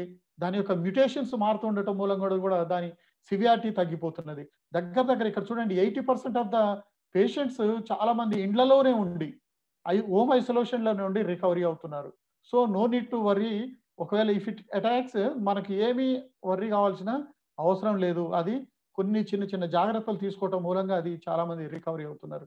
Only fourteen percent of the patients are వాళ్ళు ఎక్కడికి కొంచెం సివియర్ అయిపోయి ఆక్సిజన్ పెట్టాల్సినటువంటి పరిస్థితి. ఆక్సిజన్ సిలిండర్లు వాడాల్సినటువంటి పరిస్థితి ఉన్నది. ఇంకా only six percent that more than fifty years ఉన్నటువంటి వాళ్ళలో మాత్రమే ఈ క్రిటికల్ కేర్ యూనిట్లోకి తీసుకొని వెళ్ళాల్సి వస్తున్నది. వాళ్ళు ఇక వెంటిలేటర్ మీదకి వెళ్ళాల్సినటువంటి కండిషన్స్ ఉన్నాయి. వీటిలో కూడా డెత్ రేట్ అనేటువంటిది పాయింట్లలోకి మారిపోయింది. Point one two point five లేదా మ్యాక్సిమం వన్ పర్సెంట్కి డెత్ రేటు మోర్టాలిటీ రేటు ఉన్నది. కాబట్టి దీన్ని భయపడాల్సినటువంటి అవసరం లేదు. ఇది ఇప్పటి వరకు ఉన్నటువంటి సివియారిటీ. దీన్ని ఇప్పుడు ఇక మనకు వ్యాక్సినేషన్ వస్తున్నది కాబట్టి వ్యాక్సిన్ వస్తున్నది కాబట్టి ఇంకా దాని గురించి భయపడాల్సిన అవసరం లేదు. వ్యాక్సిన్ ఇవాళ రేపు లేదా ఆ సంక్రాంతి వరకల్లను ఎట్టి పరిస్థితుల్లో వ్యాక్సినేషన్ వస్తుంది. కాబట్టి పిల్లలకి కూడా వేస్తారు. ముందుండేటువంటి టీచర్లకు కూడా ఇది అందుతుంది కాబట్టి చాలా మందికి ఎక్కువ మందికి ఇది అందుతుంది కాబట్టి భయపడాల్సిన అవసరం లేదు. ఇంకొకటి హెర్డ్ ఇమ్యూనిటీ కనుక వస్తే ఏ వ్యాక్సిన్ అవసరం లేదు ఏం లేదు. అంటే వచ్చిపోవటం మూలంగా మనుషుల్లో అది ఇమ్యూనిటీ పవర్ పెరుగుతుంది. సో అది కరోనా వైరస్ వచ్చినా కూడా ఏం కానటువంటి స్థితి ఉంటుంది. ఇక ఇక్కడ చూడండి.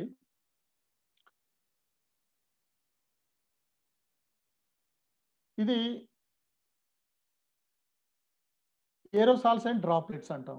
ఏరోసాల్స్ అంటే మనం దగ్గినప్పుడు తుమ్మినప్పుడు లేదా మామూలుగా శ్వాస తీసుకుంటున్నప్పుడు మనం ముక్కు నుండో నోటి నుండో వెలువడేటువంటి తుంపరలు లేదా వాటిని డ్రాప్లెట్స్ అంటే మాట్లాడుతున్నప్పుడు వచ్చే తుంపర్లు డ్రాప్లెట్స్ అయితే డ్రాప్లెట్స్లో దాదాపు ఒక్కొక్క డ్రాప్లెట్లో పన్నెండు వందల వరకు ఏరోసాల్స్ ఉంటాయి.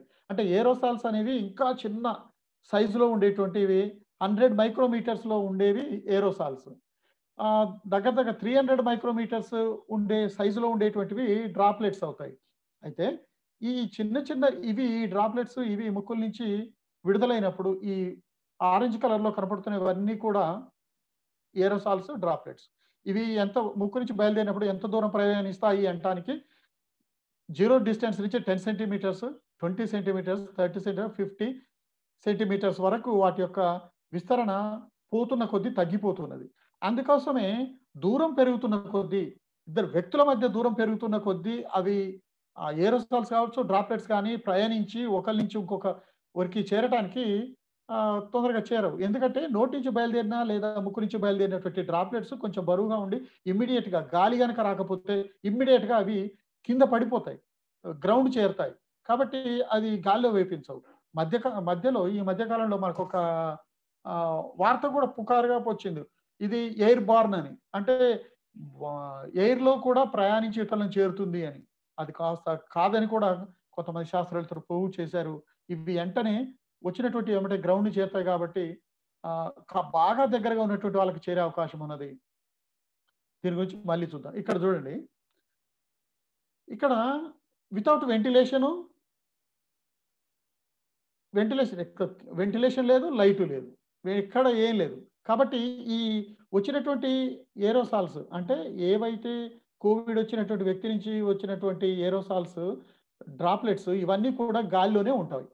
అవి ఆ ఎక్కువసేపు ఆ వ్యక్తి ఆ రూమ్లో ఉంటే ఏమవుతుంది? అది అతని నుంచి వచ్చినటువంటి ఏరోసాల్స్ అన్నీ కూడా ఆ రూమ్లో ఎక్కువ అవుతాయి అనమాట కాన్సన్ట్రేషన్ ఎక్కువ అవుతుంది. అంటే చాలా పెరిగిపోతాయి ఆ రూమ్లోకి. అంటే వెంటిలేషన్ లేకపోతే ఆ వెంటిలేషన్లో కరోనా ఉన్నటువంటి వ్యక్తితో పాటు ఇంకెవరైనా ఉంటే అవి అందులోనే తిరిగాడి తిరిగాడి తిరిగాడి ఒకరి గాలి ఒకరు పీల్చుకొని ఇంకొకరికి అవకాశం వ్యాపించే అవకాశం ఉన్నది. అందుకోసమే వెంటిలేషన్ అనేటువంటిది చాలా ఇంపార్టెంట్. ఇక ఇక్కడ చూడండి. ఇప్పుడు మీకు ఇంతకుముందు చెప్పినట్టు ఆరెంజ్ డాట్లో కనపడు ఆరెంజ్ డాట్స్గా కనబడుతున్నవన్నీ కరోనా ఎఫెక్టెడ్ కరోనాతో ఉన్నటువంటి డ్రాప్స్ అనుకోండి. ఇక్కడ మనకు మూడు రకాలైనటువంటి సిచ్యుయేషన్స్ కనబడుతున్నాయి. ఒకటి సైలెంట్గా ఉన్నప్పుడు ఒకటి మాట్లాడుతూ ఉన్నప్పుడు మరొకటి అరుస్తున్నప్పుడు లేదా పాట పాడుతున్నప్పుడు ఎట్లా ఉంటుంది అనేటువంటిది. ఇక్కడ చూడండి సైలెంట్గా ఉన్నప్పుడు అతని నుంచి వచ్చేటువంటి రెండు నిమిషాల్లో అతని నుంచి వచ్చేటువంటి కరోనా పార్టికల్స్ అవి చాలా తక్కువగా వచ్చాయి. రెండు నిమిషాల్లో ఒకటో రెండో ఉన్నాయి. అదే ఫిఫ్టీన్ మినిట్స్లో అయితే అతని నుంచి వచ్చే ఒక కొద్ది మాత్రమే. ఒక ఆరు ఏడు ఎనిమిది కావచ్చు. ఒక వన్ అవర్కి మరికొన్ని ఎక్కువగా కనబడతాయి. అదే వ్యక్తి మాట్లాడుతూ ఉన్నప్పుడు అతని నుంచి విడుదలయ్యేటువంటి చూడండి ఎక్కడ. ఎంత ఎన్ని పెరిగాయి? తర్వాత పదిహేను నిమిషాల తర్వాత ఫిఫ్టీన్ మినిట్స్ తర్వాత ఇంకా కొంచెం ఎక్కువ అయ్యాయి తర్వాత వన్ అవర్ తర్వాత ఎన్ని వచ్చాయో చూడండి. ఈ పరిస్థితుల్లో ఇతనితో పాటు గడిపితే ఈ పార్టికల్స్లో ఏవో కొన్ని మనల్ని చేరే అవకాశం ఉంటుంది. వితౌట్ మనం ఏంటి ఏ రకమైనటువంటి ప్రివెంటివ్ మెజర్స్ తీసుకున్నప్పుడు నేను చెప్తున్నది. ఇక్కడ అరుస్తున్నాడు లేదా పాట పాడుతున్నాడు.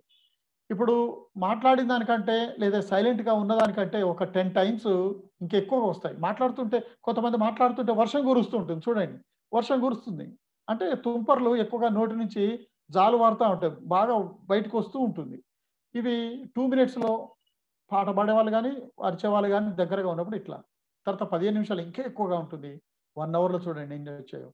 ఇంత ఇంత ఉంటుంది. కాబట్టి మనం ఈ ఇటువంటి అప్పుడు చాలా జాగ్రత్తలు తీసుకోవాలి. అంటే కామ్గా ఉండటం అనేటువంటినప్పుడు చాలా తక్కువగా రిలీజ్ అవుతాయి. ఇక కీ బిహేవియర్స్ ప్రివెంటివ్ మెజర్స్ ఏం తీసుకోవాలి? సరే రాకుండా ఏం చేసుకోవాలి అనేటువంటి జాగ్రత్తల గురించి ఇప్పుడు ఒక్కొక్కటిగా నేర్చుకుందాం. హ్యాండ్ హైజీన్ చేతుల యొక్క పరిశుభ్రత. చేతుల పరిశుభ్రత అనేటువంటి దాంట్లో మనం ఇక్కడ మనకి చేతులు శుభ్రం చేసుకునే విషయంలో రెండు రకాలుగా మనం శుభ్రం చేసుకుంటున్నాం. ఒకటి సోప్తో శానిటై సోప్తో శుభ్రం చేసుకుంటున్నాం శానిటైజర్లు వాడుతున్నాం. ఏవి మంచివి ఏవి చెడ్డవి అనేది ఒక్కొక్కటిగా చూద్దాం అసలు. ఫస్ట్ హ్యాండ్ శానిటైజేషన్లో హ్యాండ్ శానిటైజేషన్ అంటే ఇక్కడ మిత్రులరా మనం చాలాసార్లు ఏదో పని మీద బయట ప్రదేశాలకి బయట ఎక్కడో చోట చాలామందిని కలవాల్సి వస్తుంది బయటికి పోవాల్సి వస్తున్నది. ఎక్కడెక్కడో మన చేతులు తోటే పనులు చేస్తాం కాబట్టి ఎక్కడెక్కడో చేతులు పెడతాం ఏమో చేస్తాం. ఇక్కడ మనం ఒక ఇంటికి వెళ్ళినప్పుడు లేదా ఒక ఆస్ప ఒక ఏవైనా గూడ్స్ కొనుక్కొచ్చుకోవడానికి లేదా ఏవైనా వస్తువులు కొనుక్కొచ్చుకోవడం కిరాణా షాప్కో లేకపోతే ఇంకెక్కడికో పోయినప్పుడు లిఫ్ట్లో వెళ్తున్నప్పుడు బస్సు ఎక్కుతున్నప్పుడు బండి నడుపుతున్నప్పుడు ఎక్కడెక్కడో మనం చేతులు పెడతాం. ఎక్కడ చేతులు పెట్టినా అక్కడ ఏది ఉందో చాలా డస్ట్ ఉంటుంది. ఈ కరోనా వైరస్ సంబంధించిన వైరస్ ఉండే అవకాశం ఉన్నది. ఇదొక్కటే కాదు చేతులు అనేటువంటివి అనేక వేల వేల బ్యాక్టీరియాలు వైరస్లు చేతికి అంటుకొని ఉంటాయి. చేతులు అనేటువంటివి చేతులు అనేటువంటివి అనేక రోగాలను తీసుకొచ్చే అవయవాలు. మనిషికి రోగాలు ఏవైనా తీసుకొచ్చాయంటే చేతులే. సహాయం చేసే చేతులే కానీ రోగాలు తీసుకొచ్చేవి కూడా చేతులే. అనేక రకాలైనటువంటి డస్ట్ పార్టికల్స్ ఉంటాయి. అన్నీ అయ్యే ముట్టుకుంటాం కాబట్టి అదేమో చేత్తో ముట్టుకుంటాం అదేమో వాటర్ తాగుతాం దాంతో తింటాం కాబట్టి చెయ్యి అనేది చాలా డేంజరస్ చేతుల్ని చాలా శుభ్రంగా ఉంచుకోవాలి. మనకు ఒక పిచ్చిలాగా మారాలట. ఒక చి చేతులు కడుక్కోవటం అనేటువంటిది ఒక పిచ్చి. కుర్చీ ముట్టుకున్నాం ఎమ్మటే వెళ్ళి కడుక్కోవటం. కంప్యూటర్ కంప్యూటర్ కీబోర్డ్ ముట్టుకున్నాం. వెంటనే మళ్ళీ వాటర్ తాగేటప్పుడు ఎప్పుడో చేతులు కడుక్కోవడం ఫ్రీక్వెంట్గా ఎక్కువగా చేతులు కడుక్కుంటూ ఉండాలి. కడుక్కున్న ప్రతిసారి ఉత్త నీళ్ళతో కడుక్కోకూడదు. ఎందుకనేది మళ్ళీ చెప్తా. సబ్బే ఎందుకు వాడాలి అనేది కూడా చెప్తాను. చేతులు కడుక్కునేటప్పుడు సబ్బును వాడటం అనేటువంటిది చాలా ఇంపార్టెంట్. సబ్బును వాడాలి. సబ్బును వాడేటప్పుడు ఒక నలభై సెకండ్ల పాటు చేతుల్ని శుభ్రంగా వేళ్ళ మధ్య అరిచేతులు ఇవన్నీ కడుక్కోవాలి.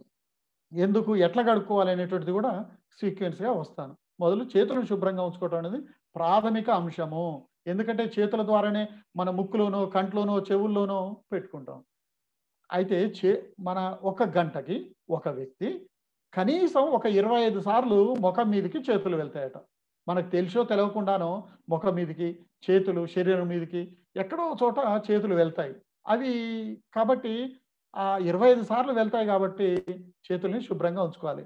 నోరు ద్వారా ముక్కు ద్వారా అవి ప్రవేశిస్తాయి కాబట్టి కంటి ద్వారా మన కళ్ళు నలుచుకోవటం ముక్కు చేదటం ఇవన్నీ అనుకోకుండానే జరుగుతాయి కాబట్టి చేతులు ప్రధానంగా ఈ వైరస్ను తీసుకొచ్చేటువంటి ప్రధాన అవరోధం. కాబట్టి చేతులు శుభ్రంగా ఉంచుకోవటం అనేది వెరీ ఎసెన్షియల్ తర్వాత రెస్పిరేటర్ హైజీన్ ఇక్కడ చూడండి మనకు సహజంగానే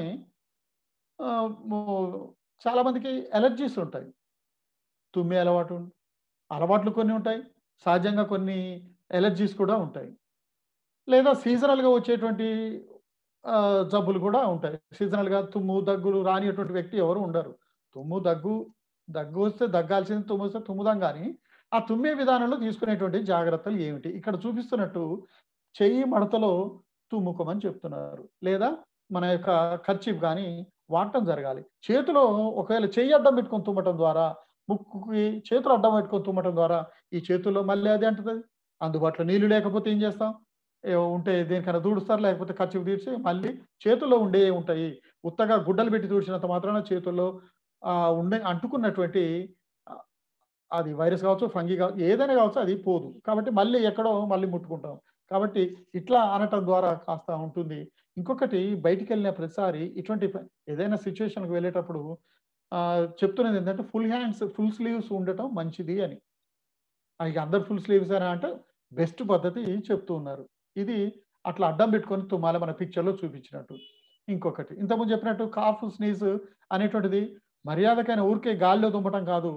కొంతమంది మాస్క్ పెట్టుకుంటారు తుమ్ము రాగానే మాస్క్ తీసేసి తుమ్ముతున్నారు బయట తుమ్ముతున్నారు. బయట తుమ్ముడు కాదు. ఏదైనా ఒకటి ఖర్చీపు లాంటిది ఏదో తుమ్ముకోవటం లేకపోతే సెకండ్ పిక్చర్లో ఉన్నటువంటి దాని ద్వారా చేయాలి కానీ తుమ్మటం తగ్గటం అనేటువంటిది చేయకూడదు. ఇంకా చెప్తే ఈ తుమ్ముడు దగ్గుడు ఉమ్మేసుడు అనేటువంటి అలవాటు మనం హాస్పిటల్స్లోకి వెళ్తే బాగా కనపడుతుంది. లేదా పబ్లిక్ ప్లేస్లలో పబ్లిక్ గవర్నమెంట్ హాస్పిటల్ గవర్నమెంట్ ఆఫీసులలో కనపడుతుంది. ఏ మూలకు చూసినా తుప్ప తుప్ప ఊసినటువంటి పాన్నవిలు ఊసినటువంటి కనపడతాయి.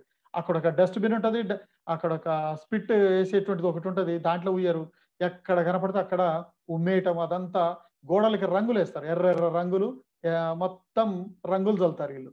ఈ రంగులు చల్లే బి ఆలోచన నుంచి మనం రావాలి. మళ్ళీ సాయంత్రం బిహేవియర్ చేంజ్ గురించి మాట్లాడుకునేటప్పుడు దాని గురించి మాట్లాడదాం.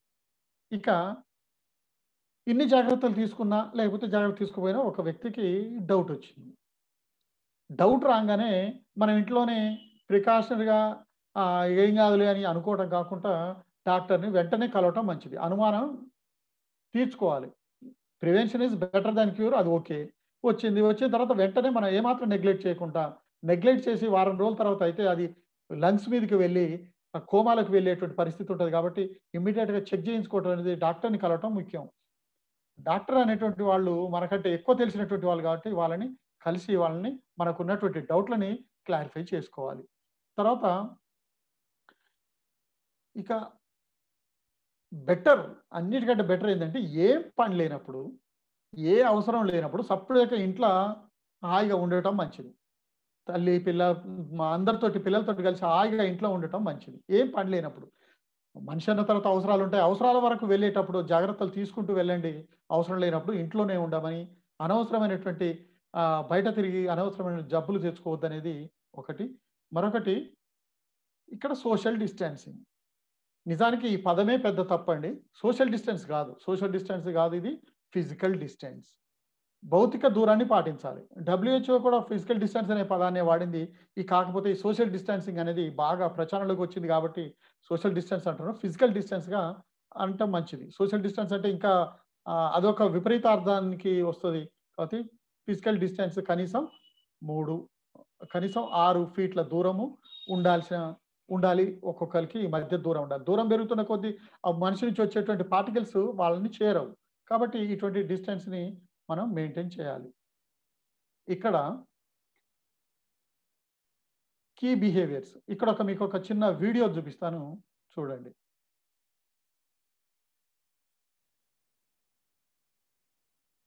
జాగ్రత్తగా వినండి చూడండి ఒకసారి.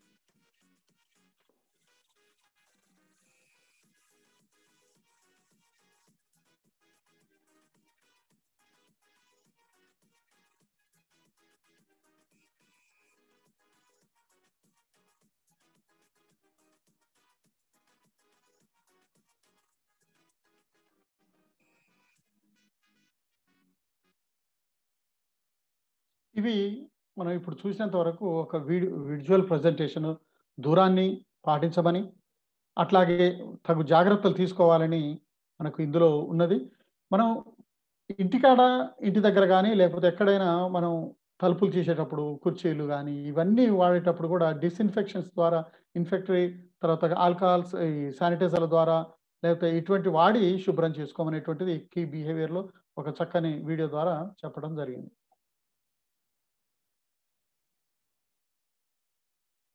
నెక్స్ట్. ఇక్కడ హ్యాండ్ వాషింగ్ గురించి చెప్పుకుంటున్నాం. హ్యాండ్ వాషింగ్ అనేది ఒక పది సంవత్సరాల క్రితం పది పదిహేను సంవత్సరాల క్రితం హ్యాండ్ వాషింగ్ కార్యక్రమం మొదలైంది. అప్పుడు కూడా చేతులు ఎలా శుభ్రం చేసుకోవాలో కొన్ని ట్రైనింగ్లు ఇచ్చాం. ఈ సోప్ హ్యాండ్ వాషింగ్లో సోప్ అనేటువంటిది ఎందుకు ఇంత ప్రాముఖ్యతని చోటు చేసుకుంది. అసలు ఏ శాస్త్రవేత్తలకు అందని మందుకు అందని ఏ శా ఏ రకమైనటువంటి వ్యాక్సిన్ తయారు చేయడానికి అనేటువంటి ఒక వైరస్ వచ్చింది కదా ఈ వైరస్ ఇంత పెద్ద భయాన్ని పుట్టించినటువంటి వైరస్ ఉత్త సోప్తో కడుక్కుంటే పోతే వాడు ఈ ట్రంప్ అన్నట్టు చేతులు శానిటైజర్ కడుక్కుంటే అయిపోయేదానికి ఏదో ఆయన వాళ్ళగా మాట్లాడాడు. అట్లా నిజంగానే ఈ సబ్బు ద్వారా వైరస్ చచ్చిపోతుందా? ఎస్ సోప్ అనేటువంటిది ఇంటర్నల్గా తీసుకునేది కాదు శానిటైజర్ తీసుకునేది కావు కానీ చేతులకు అంటినా లేదు వీటిని నుంచి చాలా దూరం చేసే అవకాశం ఉంది. సోపు శానిటైజర్ కంటే చాలా చాలా బెస్ట్. సోప్ అనేటువంటిది అత్యుత్తమమైనటువంటిది. శానిటైజర్లు కన్నా సోప్ చాలా ఉత్తమమైనటువంటిది. వాటరు సోపు మనకు అందుబాటులో లేనప్పుడు మాత్రమే శానిటైజర్ వాడాలి. అది శానిటైజర్ అనేది ఆల్కహాల్ బేస్డ్ కెమికల్.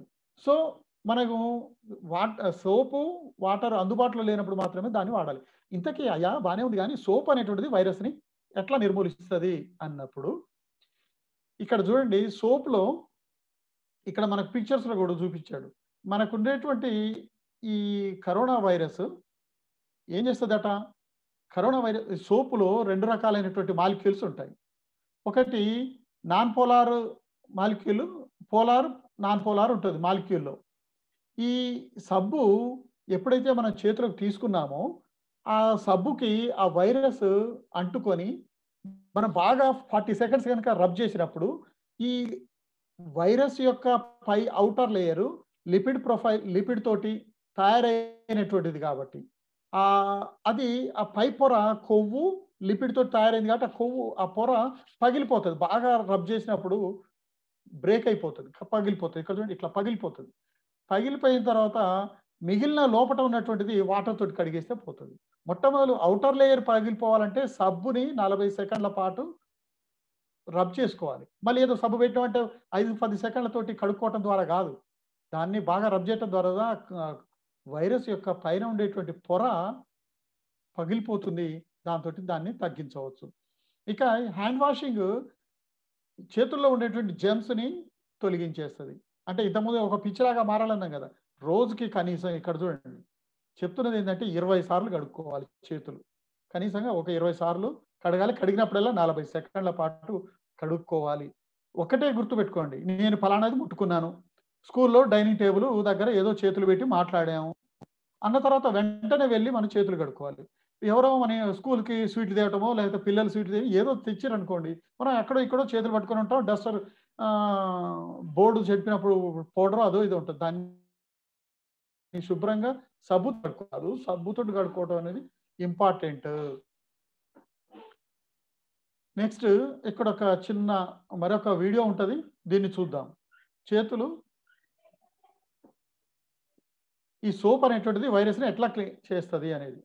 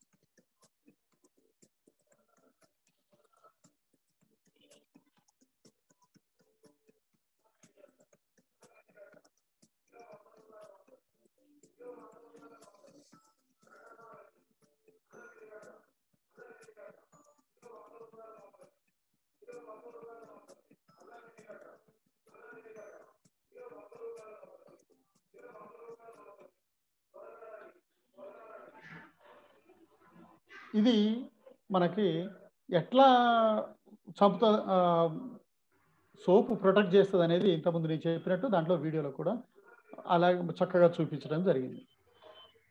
ఇక హ్యాండ్ శానిటైజర్స్ హ్యాండ్ శానిటైజర్స్ ఏం చేస్తాయి? బాగా ప్రచారంలోకి వచ్చినటువంటిది శానిటైజర్ బాగా శానిటైజర్ వాడాలి అనేటువంటిది.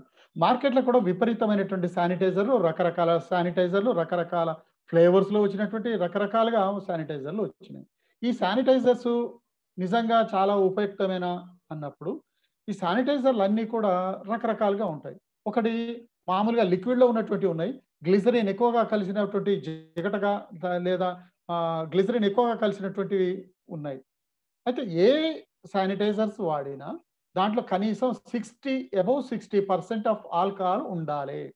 మీరు అక్కడ చూడండి. ఇక్కడ నేను కొన్ని శానిటైజర్లు చూపిస్తున్నాను.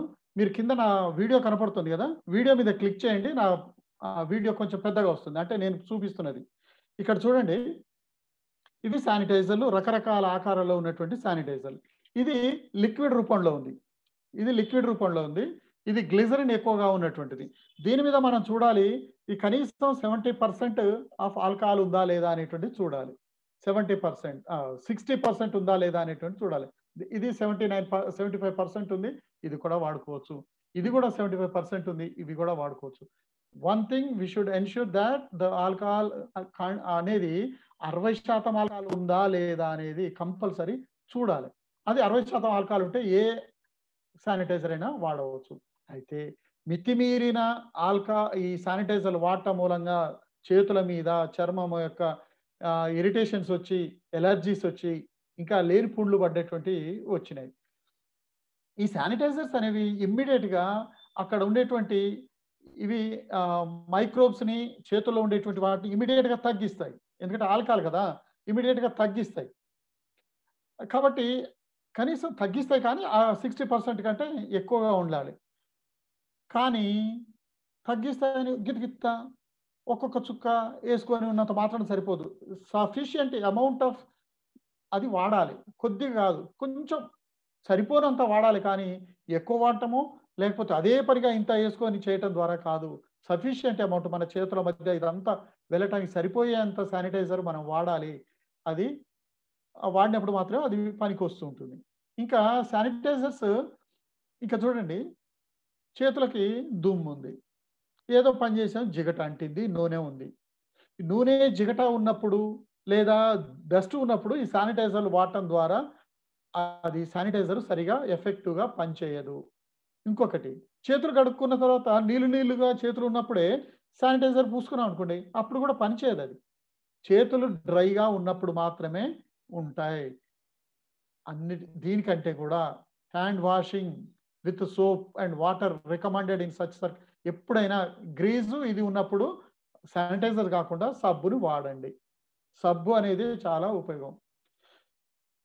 ఇప్పుడు ఇంతకుముందు నేను చెప్పినట్టే సబ్బు వాటర్ దొరకనప్పుడు మాత్రమే ఇటువంటి వాడాలి. Sixty to ninety five alcohol వాడినప్పుడు మాత్రమే పనిచేస్తుంది. అప్పుడు మాత్రమే అది. ఇంకా ఈ ఆల్కహాల్ మొత్తంగా వైరస్ను చంపేయకుండా కూడా వాటి యొక్క రెడ్యూస్ చేస్తూ ఉంటుంది. ఇక చూడండి. చేతులు ఎట్లా కడుక్కోవాలి అన్నదానికి ఇక్కడ కొన్ని ఉదాహరణలు ఇచ్చారు. శానిటైజర్ చేతులకు తీసుకోవటం ఎట్లా రాసుకోవాలి ఇక్కడ చేతులకి ఎట్లా ఏ ఒక్కొక్కటి ఎట్లా సెవెన్ స్టెప్స్ ఉంటాయి చేతులు కడుక్కునే విధానం. ఇప్పుడు దీని తర్వాత నెక్స్ట్ వీడియో ఉంటుంది. ఆ వీడియోలో పిల్లలు ఎంత చక్కగా చెప్పారో మనం చూస్తాం. ఇక్కడ కొన్ని పిక్చర్స్ ఉన్నాయి చూడండి. చేతుల వేళ్ళ మధ్య రాయటం తర్వాత మొత్తంగా మణికట్టు ఇదంతా కూడా. వీడియో చూస్తున్నటువంటి వాళ్ళు ఈ చూస్తున్నటువంటి వాళ్ళు మొబైల్లో చూస్తున్నటువంటి వాళ్ళు మీ ఫోన్ని వర్టికల్ హారిజాంటల్ మోడ్లో పెట్టుకొని చూస్తే విజిబిలిటీ ఎక్కువగా ఉంటుంది. ఇంతకుముందు నా నా వీడియో మీద క్లిక్ చేసినటువంటి వాళ్ళు మళ్ళీ ఈ దీని మీదకి రండి. మళ్ళీ స్క్రీన్ మీదకి రండి. ఇప్పుడు చూద్దాం. ఇక్కడ ఒక అద్భుతమైనటువంటి యాక్టివిటీ మన పిల్లలు చేశారు. చూద్దాం.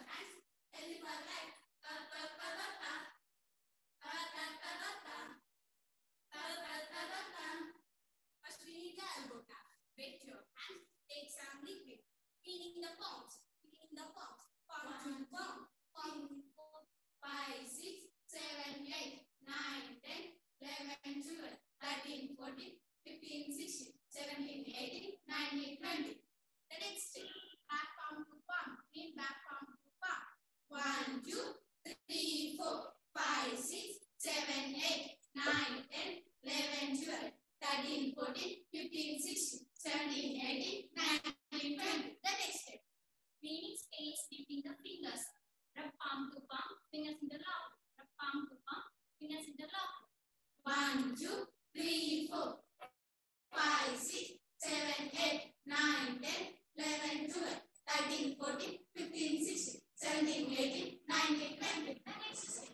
Cleaning the fingers interlocked, palm to palm.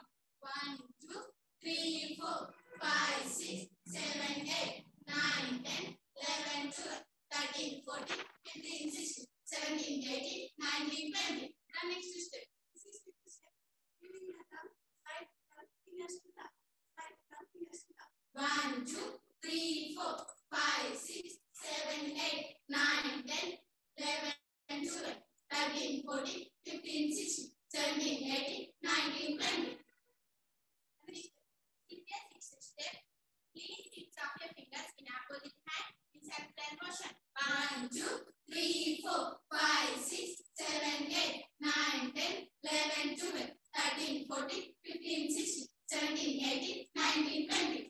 step is completed. The next step. This is seven step and now step. In this twelve, in this twelve. One, two, three, four, five, six, seven, eight, nine, ten, eleven, twelve, thirteen, fourteen, fifteen, sixteen, seventeen, eighteen, nineteen, twenty. The most your hands. Sir పపతి గారు sir conclude చేసుకురండి conclude చేసుకురండి next session conclude ఏమన్నట్టు చేద్దాం okay okay sir ఇక్కడ liquid liquid soap ఎట్లా తయారు చేసుకోవాలనేది ఇక్కడ కూడా ఇచ్చారు చూడండి. ఒక టేబుల్ స్పూను ఒక ఐదు టేబుల్ స్పూన్ల పౌడర్ తీసుకొని ఒక ఇరవై లీటర్ల బకెట్లో కలుపుకొని కూడా మనం శానిటైజర్ లేదు సబ్బు లేదన్నప్పుడు మనం ఇట్లా చాలా మంది పిల్లలు ఉన్నప్పుడు ఒక ఇరవై లీటర్ల బకెట్లో ఐదు స్పూన్ల డిటర్జెంట్ తీసుకొని కూడా మనం దాన్ని బాగా కలిపి ఒక డబ్బాలో పోసుకొని పిల్లలకి ఇది ఇవ్వవచ్చు. ఇది మనం చాలా షాపుల్లో చూస్తూ ఉన్నాం. చాలా షాపుల దగ్గర పెడల్స్ ద్వారా శానిటైజర్స్ పెడుతున్నారు. శానిటైజర్ తయారు చేసుకునేటువంటి విధానం ఇక్కడ ఉన్నది. ఒక ఇరవై లీటర్ల క్యాన్ దానికి ఒక నాజిల్ పెట్టి మనం ఇట్లా కూడా తయారు చేసుకోవచ్చు. ఇక ఒక ఇట్లాంటిది తయారు చేసుకోవడానికి కావలసినటువంటి ఐటమ్స్ ఏమి ఉన్నాయి? ఒక ప్లాస్టిక్ డ్రమ్ము సగానికి చీల్చిన ప్లాస్టిక్ డ్రమ్ము ట్యాబ్స్ ఇట్లాంటివి కూడా తయారు చేయవచ్చు. కాకపోతే వీళ్ళ మధ్య డిస్టెన్స్ కూడా ఉండేటట్టు ఒకసారి చూసుకొని ఇదంతా తయారు చేసుకోవడానికి ఒక మూడు వేల రెండు వందలు అయింది. టైం కూడా అవుతున్నది కనుక కాస్త ఇది ఇంకా కొద్దిగా కాస్ట్గా ఉన్నటువంటిది. తర్వాత ఎన్విరాన్మెంటల్ క్లీనింగ్. అంటే మనకు పాఠశాల ఊపరైన తర్వాత టేబుల్స్ ఉంటాయి తర్వాత గోడలు ఉంటాయి ఇవన్నీ ఫ్లోర్ ఉంటుంది ఇవన్నీ కూడా మనం వీటిని క్లోరిన్ మొదలైనటువంటి క్లోరినేటెడ్ వాటర్ తోటి ఇవన్నిటిని మనం క్లీన్ చేసుకోవాల్సినటువంటి అవసరం ఉంటుంది. కంపల్సరీ అక్కడ డస్ట్ అదంతా ఉంటాయి. మనకు రెండు రకాలు. ఫ్లోరిన్ తలుపులు ఇవి క్లీన్ చేసుకోవడం ఒక విధానం అయితే పిల్లలు వాడేటువంటి వస్తువులు క్లీన్ చేసుకునేటువంటి విధానం ఒకటి. ఇక్కడ డిస్ఇన్ఫెక్షన్ ఇక్కడ చూడండి ఫ్లోరింగ్ కెమికల్స్ ద్వారా వాడేతూ అక్కడ ఉండేటువంటి ఫ్లోరింగ్ అవన్నీ కూడా వాడతారు. అవి ఆ క్లోరినేటెడ్ వాటర్ క్లోరినేట్ వాడటం ద్వారా మనం అక్కడ ఉన్నటువంటి సర్ఫేస్లన్నీ కూడా క్లీన్ చేసుకుంటాం. ఇక క్లీనింగ్ అనేటువంటిది ఇది ఇవన్నీ ఏంటి మైక్రోబ్స్ని క్లీన్ చేస్తుంది. క్లీనింగ్ అనేటువంటిది మనకి డిటర్జెంట్ ఆ పౌడర్స్ వాడటం ద్వారా మనం వాటిని డస్ట్ని క్లీన్ చేసుకోవచ్చు. ఈ రెండు రకాలైనటువంటి పద్ధతులు డిస్ఇన్ఫెక్షన్ క్లీనింగ్ చేసుకోవడం ద్వారా మనం పిల్లలకి ఎటువంటి జబ్బులు రాకుండా చూసుకోవచ్చు. ఇది ఫ్రీక్వెంట్గా చేస్తూ ఉండాలి. అట్లాగే మనం ఎటువంటి వాడాలి అన్నప్పుడు five percent phenyl five percent bleach ten percent bleach అన్నప్పుడు ఎట్లా తయారు చేసుకుంటారు? క్లోరినేషన్ వన్ పర్సెంట్ కావాలంటే two hundred chlorine solution eight hundred water.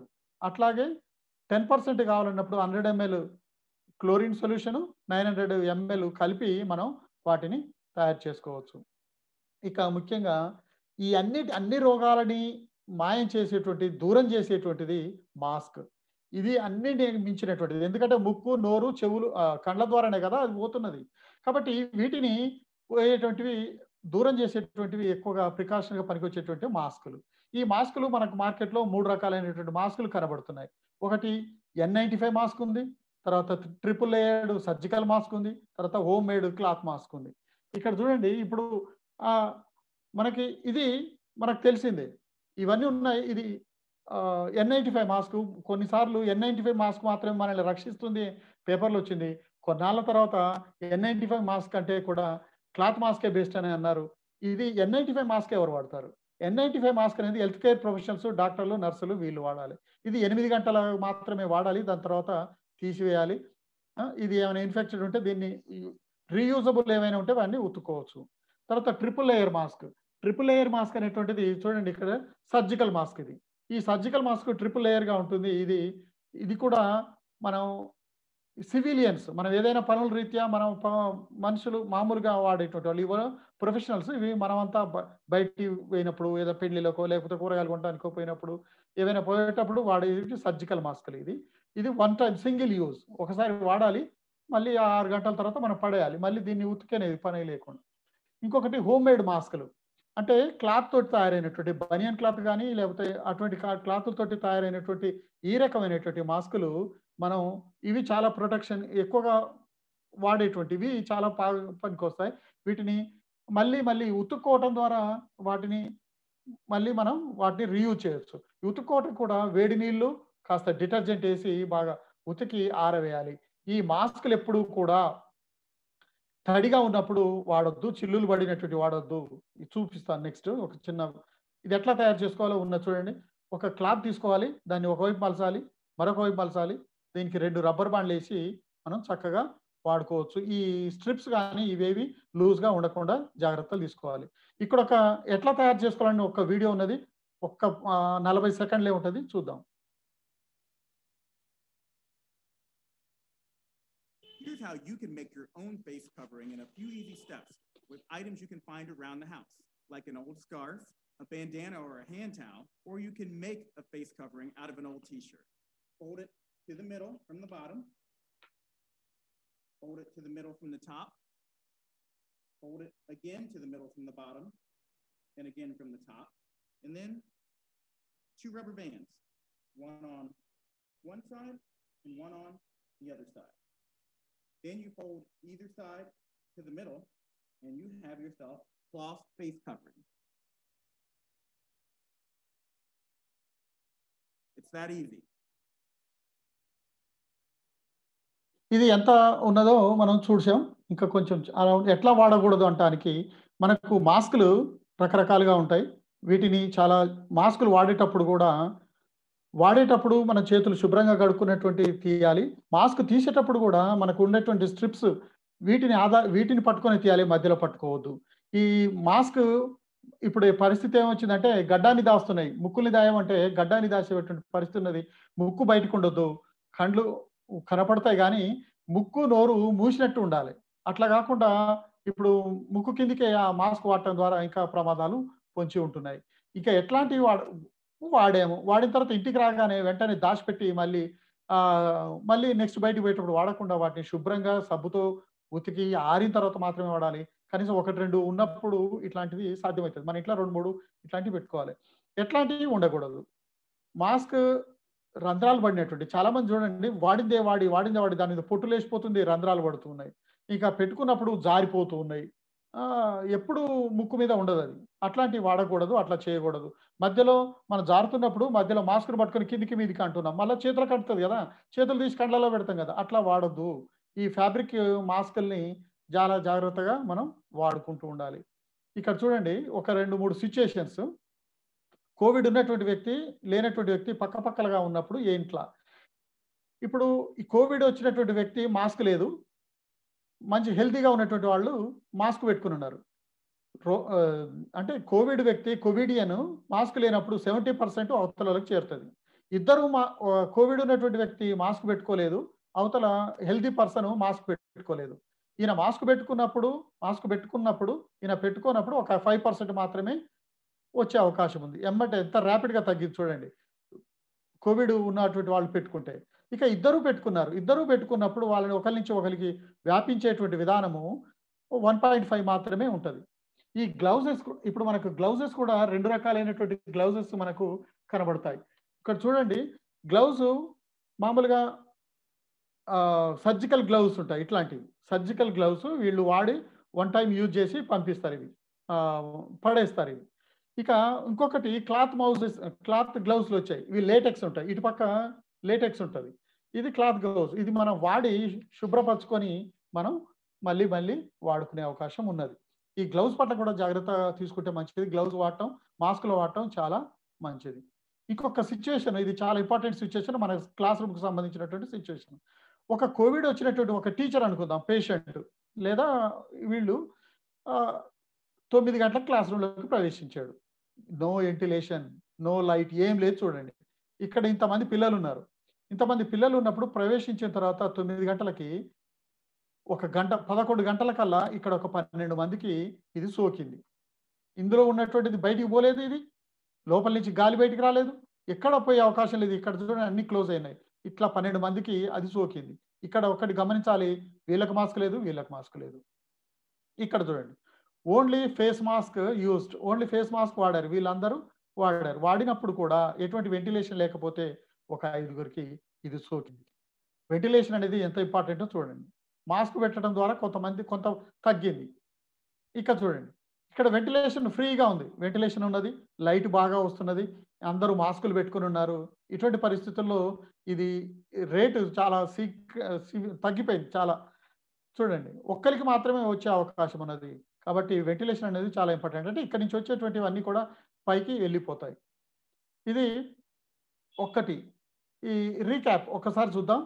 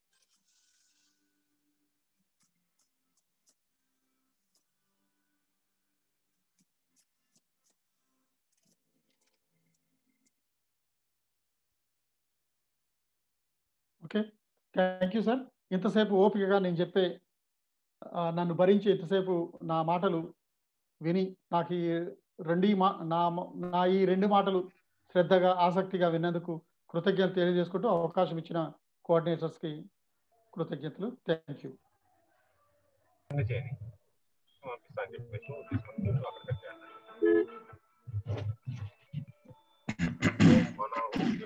hello. మనకు రేపు పాఠశాల ప్రారంభానికి ముందు కోవిడ్ నామ్స్ ప్రకారం ఏ విధమైన జాగ్రత్తలు తీసుకోవాలి? ప్రికాషన్స్ ఎలా ఉంటాయి?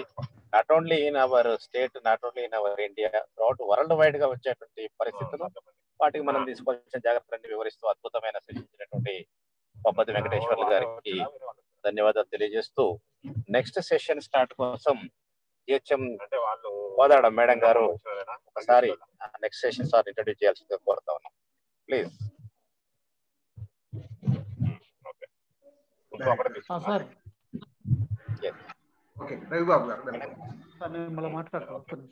మాట్లాడు ఒక నిమిషం మాట్లాడండి రెస్పాండ్ ఆ, సార్. మీరు కూడా.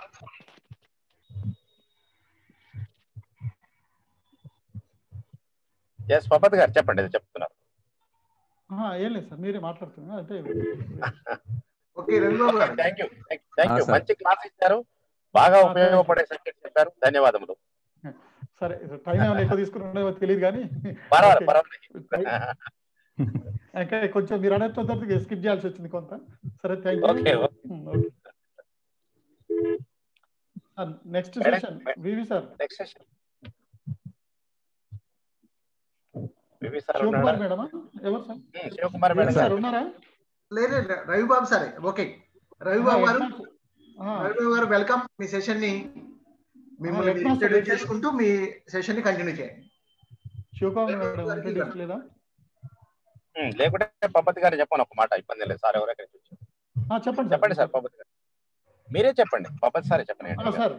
ఇప్పుడు next session best practices in wash. వాష్ ప్రోగ్రామ్లో బెస్ట్ ప్రాక్టీసెస్ ఎట్లా ఉన్నాయో పిక్చర్స్ ద్వారా మనకు దేశవ్యాప్తంగా ఉన్నటువంటి కొన్ని మోడల్స్ తీసుకొని మనకు రవికుమార్ గారు రవిబాబు గారు తెలియజేస్తారు. రవిబాబు గారు school assistant bio science ZPHS Jalalpuram.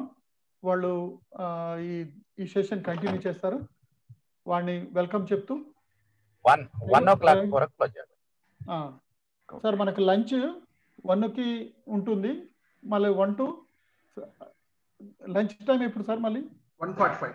One forty కి మళ్ళీ రీజాయిన్ కావాలి సార్.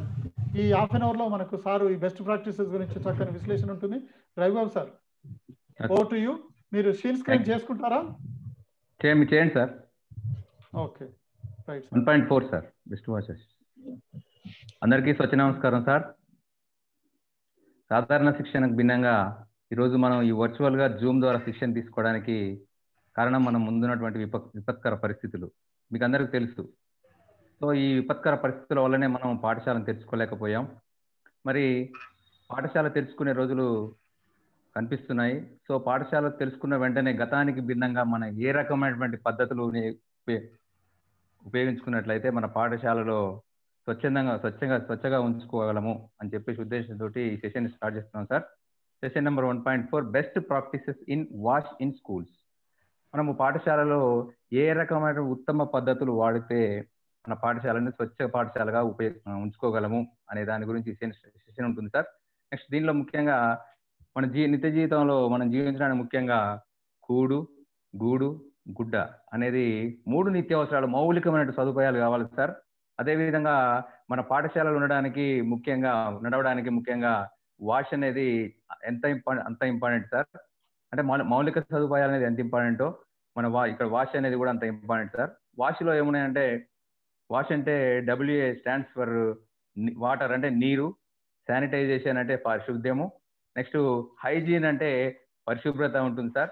మరి మరి పాఠశాలలో ఏర్పాటు చేసుకోవడం ఉత్తమమైన పద్ధతులు ఏమని చూద్దాం ఇప్పుడు. అసలు సీజన్ ఆబ్జెక్టివ్ ఆబ్జెక్టివ్స్ ఏంటి? అంటే ఈ ఈ సీజన్ మనం నేర్చు అంటే చూడడం ద్వారా లేదా వినడం ద్వారా మనం ఏ రకమైన లక్ష్యాలను సాధించాలనుకుంటున్నామో తెలుసుకోవడానికి to develop and understanding about good wash మనము వాష్లో ఉన్నటువంటి మంచి పద్ధతులని మంచి పద్ధతులని ఏమున్నాయో తెలుసుకుంటాం sir. Next infrastructures and practices currently in school in India ప్రస్తుతం పాఠశాలలో ఉన్నటువంటి ఇన్ఫ్రాస్ట్రక్చర్ సంబంధించినటువంటి కానీ లేదా ఉపయోగించినటువంటి పద్ధతులను ప్రస్తుతానికి వాడే పద్ధతులన్నింటి తెలుసుకొని దానికి మన పాఠశాలకు అన్వయించుకొని మన పాఠశాలని ఎలా తీసుకుంటాం నేర్చుకుంటాం సార్? అదేవిధంగా ఇది ఈ సీజన్ యందు స్వచ్ఛ విద్యాలయ పురస్కారానికి సెలెక్ట్ అయినటువంటి కొన్ని స్కూళ్ళని ఉదాహరణగా చేసుకొని మనం సీజన్ని నేర్చుకుంటాం సార్. అందుకటి ఏఎస్సిహెచ్ అభివృద్ధి చేయబడిన కొన్ని కేస్ స్టడీస్ కొన్ని కేస్ స్టడీస్ ఉపయోగించి ఈ సీజన్ని మనం నేర్చుకుంటాం. అది కీ లెర్నింగ్స్ ఏంటి? Key accepts aspects of good wash in school programming. అసలు మనకు మెయిన్ కీ కీ ఏంటంటే వాష్ అనేది మన స్కూల్లో ప్రోగ్రామింగ్ని ఎలా మెయింటెనెన్స్ చేయాలి? అది కీ సంబంధించినటువంటి learning sir. Next slide sir. Audio visual clean award in అంటే చూడండి ఆడియో విజువల్ క్లీన్ ఉత్తమ అవార్డులు పొందినటువంటి స్కూళ్ళ గురించి నేర్చుకుంటాము. దీంట్లో ముఖ్యంగా మనం స్కూల్ అంటే ఏ రకమైనటువంటి పద్ధతులు అవలంబించినట్టయితే మన స్కూలు ఒక అవార్డు లెవెల్కి వెళ్తుందని చెప్పేసి నేర్చుకుంటాం sir. First of all school premises అంటే స్కూల్ యొక్క వాతావరణం ఎలా ముందు వాతావరణం ఆవరణ ఎలా ఉండాలి? ఇక్కడ చూడండి మీరు front view of the school. అంటే స్కూల్ యొక్క ముందు భాగం. మనం స్కూల్ చూడగానే భలే ఉందిరా స్కూల్ అన్నట్టు కనిపించగలగాలి. సో ఇక్కడ చూడండి ఇది కేజీ కేజీ కేజీవిబి కొత్తూరులో ఉన్నటువంటి పాఠశాల ఆంధ్రప్రదేశ్లోని పాఠశాల. ఇక్కడ పాఠశాల కనుక మీరు గమనించినట్లయితే పాఠశాల యొక్క ఆవరణ చూడండి ముందరగా గేట్ చూడండి గేట్కు నీట్గా పెయింట్ గేట్ చక్కగా ఉంది. అదే విధంగా పాఠశాల యందు గోడల పైన ప్రహరీ పైన చూడండి స్కూల్ పిల్లలు అటువంటి బొమ్మలు వేయడం జరిగింది. అదే విధంగా పాఠశాల ఆవరణలో ఆవరణలో స్కూల్ ఓన్లీ స్కూల్కి వెళ్ళే టైం వరకు దారి వరకు మాత్రమే ఈ టైల్స్ ఏర్పాటు చేయడం జరిగింది. అంతేకాకుండా ఈ పాఠశాలలో చూడండి ఎంత గ్రీనరీగా ఎంత పచ్చగా ఉందో చెట్లని చాలా చక్కగా పెంచుకోవడం జరిగింది. పాఠశాల ముందు భాగం యందు ఇటుకలను పేరుస్తూ ఒక గార్డెనింగ్ కూడా నీట్గా తయారు చేసుకోవడం అనేది జరిగింది. Next slide sir. Hello sir next slide నిమిషం. సో ఇలాంటి మన పాఠశాల కూడా ఏర్పాటు చేసుకున్నట్టయితే చాలా చక్కగా ఉంటుంది. ఇక్కడ స్కూల్ యొక్క ముందు ఆవరణ భాగం చూడండి ఎంత మంచిగా ఉందో. ఇది గుజరాత్లోని ఆ, దామ్నగర్ పాఠశాల. ఈ పాఠశాల ఎందు ఎంత హైలీగా ఉందని చూడండి. ఇక్కడ పాఠశాలకు ఎందు స్కూల్ పిల్లలు వెళ్ళడానికి మెయిన్ గేట్ మెయిన్ ద్వారంలో చూడండి. మంచిగా టైల్స్ చేయడం జరిగింది. అదే పాఠశాల టైల్స్ పక్కన ఎందు గ్రౌండ్ గ్రౌండ్ ఉండడం జరిగింది. అదేవిధంగా పాఠశాలలో అక్కడక్కడ ఆ, మంచి వృక్ష చెట్లు ఎంత అందంగా ఉన్నాయి చూడండి. అదేవిధంగా పార్కింగ్ కూడా సపరేట్ ప్లేస్ అనేది ఉంచుకోవడం జరిగింది. దీని యొక్క పాఠశాల పై భాగం ఎందు వాటర్ ట్యాంక్ను కూడా ఏర్పాటు చేసుకోవడం అనేది జరిగింది. అదేవిధంగా ఇంకో పాఠశాల కనుక మనం చూసుకున్నట్లయితే స్కూల్ ప్రిమిసెస్ ముందు యొక్క భాగం చూడండి. ఇక్కడ కేరళలోని పాఠశాల జవహర్ నవోదయ విద్యాలయ పాఠశాల అండి ఇది. రెసిడెన్షియల్ మీకు తెలుసు ఇది ఈ పాఠశాల చూడండి ఎంత ఆహ్లాదకరంగా ఉందో. ఇక్కడ చూసినట్లయితే మెయిన్గా గ్రీనరీ చూడండి ఎంత చక్కగా ఉందో. అదే విధంగా ఈ గ్రీనరీ యొక్క పాఠశాల యొక్క ఆపోజిట్ ఆపోజిట్లో గాంధీ గారి విగ్రహాన్ని ఏర్పాటు చేసుకోవడం స్వచ్ఛ స్వచ్ఛ విద్యాలయం భాగంగా ఇక్కడ ఆ, గాంధీ గారి విగ్రహాన్ని ఏర్పాటు చేసుకోవడం జరిగింది. అదే విధంగా పాఠశాల యొక్క ఆవరణ ఎందు సైడ్కి చూడండి ఎంత చక్కగా ఒక పార్కు మాదిరిగా ఒక పార్క్ మాదిరిగా పిల్లల ఆహ్లాదకరంగా ఆడుకోవడానికి ఖాళీ టైంలో కూర్చోవడానికి నీట్గా ఉంచుకోవడానికి పిల్ల ఇక్కడ గ్రీనరీని చక్కగా ఏర్పాటు చేసుకోవడం జరిగింది. ఇలా ఏర్పాటు చేసుకున్నందుకు ఈ పాఠశాలకు ఉత్తమ స్వచ్ఛ అవార్డు అనేది రావడం అనేది జరిగింది. నెక్స్ట్ స్లైడ్ సార్ అంటే ముఖ్యంగా పాఠశాలలో మనం అనుసరించినటువంటి ఫస్ట్ పాఠశాల వాతావరణం తర్వాత మనం అందించాల్సిన ఏంటంటే డ్రింకింగ్ వాటర్ అనేది. డ్రింకింగ్ వాటర్ అనేది మన పాఠశాల కంపల్సరీగా అందించాల్సిన అవసరం మన మనపైన ఆధారపడి ఆధారపడింది సార్ ఇంకోటి ఏంటంటే ఇక్కడ పాఠశాలకు సంబంధించినటువంటి ఆర్ఓ ప్లాంట్ కానీ ఏర్పాటు చేసుకోవాలి. సరే ఆరో ప్లాంట్ లేనప్పుడు ఇంతకుముందు సార్ చెప్పినట్టు మిషన్ భగీరథ అనేది కంపల్సరీగా అన్ని స్కూళ్ళకి ఏర్పాటు చేసుకోవాల్సిన అవసరం అనేది ఎంతైనా ఉంది. ఇక్కడ చిన్నగా ఒక ఉదాహరణ చెప్తాను సార్. మా పాఠశాల యందు మా పాఠశాల యందు వాటర్ సప్లై సరిగా లేకుండా ఉండే.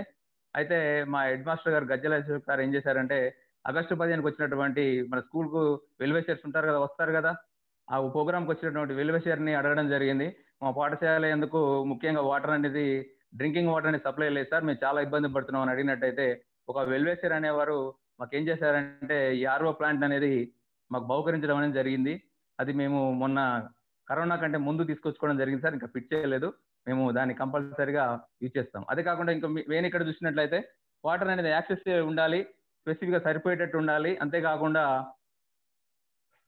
చూడండి ఇక్కడ మామూలుగా ట్యాంక్ వాటర్ వాటర్ ఉంది వాటర్ ఉంది పర్లేదు. అదే కాకుండా మనం ఒక పాటను కానీ అట్లా కాకుండా ఏం చేయాలంటే ఇక్కడ ప్లాస్టిక్ డబ్బాలు ఉన్నాయి చూడండి ఇక్కడ. ఆ డబ్బాలను వాటర్ క్యాన్లను కనుక మనం వాడినట్లయితే పిల్లలు అనే వాళ్ళు చేతులు దాంట్లోకి గ్లాసులో ముంచకుండా జాగ్రత్తగా వాటర్ అనేది కంటామినేషన్ అనేది కాకుండా దాన్ని ఉన్నటువంటి ట్యాప్ను ఓపెన్ చేయడం ద్వారా వాటర్ తాగే అవకాశం అనేది ఉంటుంది. అదేవిధంగా ఒకవేళ మనం గనక మన స్కూల్లో ఈ క్యాన్లు అనేవి అందుబాటులో లేకపోతే ఒకవేళ పాట్ని కానీ వినియోగించినట్టయితే ఆ పాట్ని ఎందుకు ఒక గరిటెగా ఉన్నటువంటి గరిటె గన- గరిటెను గనక పొడుగా కాడ ఉన్నటువంటి గరిటెను ఉపయోగించి ఆ వాటర్ తీసుకున్నట్టయితే వాటర్ కంటామినేషన్ అనేది మనం ఆపుకోవచ్చు. అంతేవిధంగా ట్రీటెడ్ వాటర్ సప్లై చూడండి వాటర్ అనేది ఇది పాండిచ్చేరిలోని అమలాపురం అనేటువంటి స్కూల్ ఇది.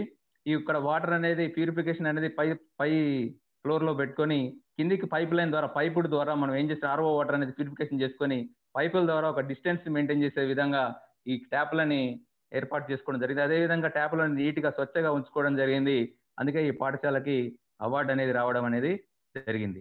Next light sir next water సఫిషియెంట్గా ఉంది అని ఉన్నప్పుడు అలాంటి పద్ధతులు ఉపయోగిస్తే సరిపోతుంది. అదే విధంగా వాటర్ అనేది ఇక్కడ ఇప్పుడు ఉన్నటువంటి ప్రతి పాఠశాలలో అందుబాటులో ఉండాల్సి లేకుండా లేని పాఠశాలలు కూడా కొన్ని ఉన్నాయి.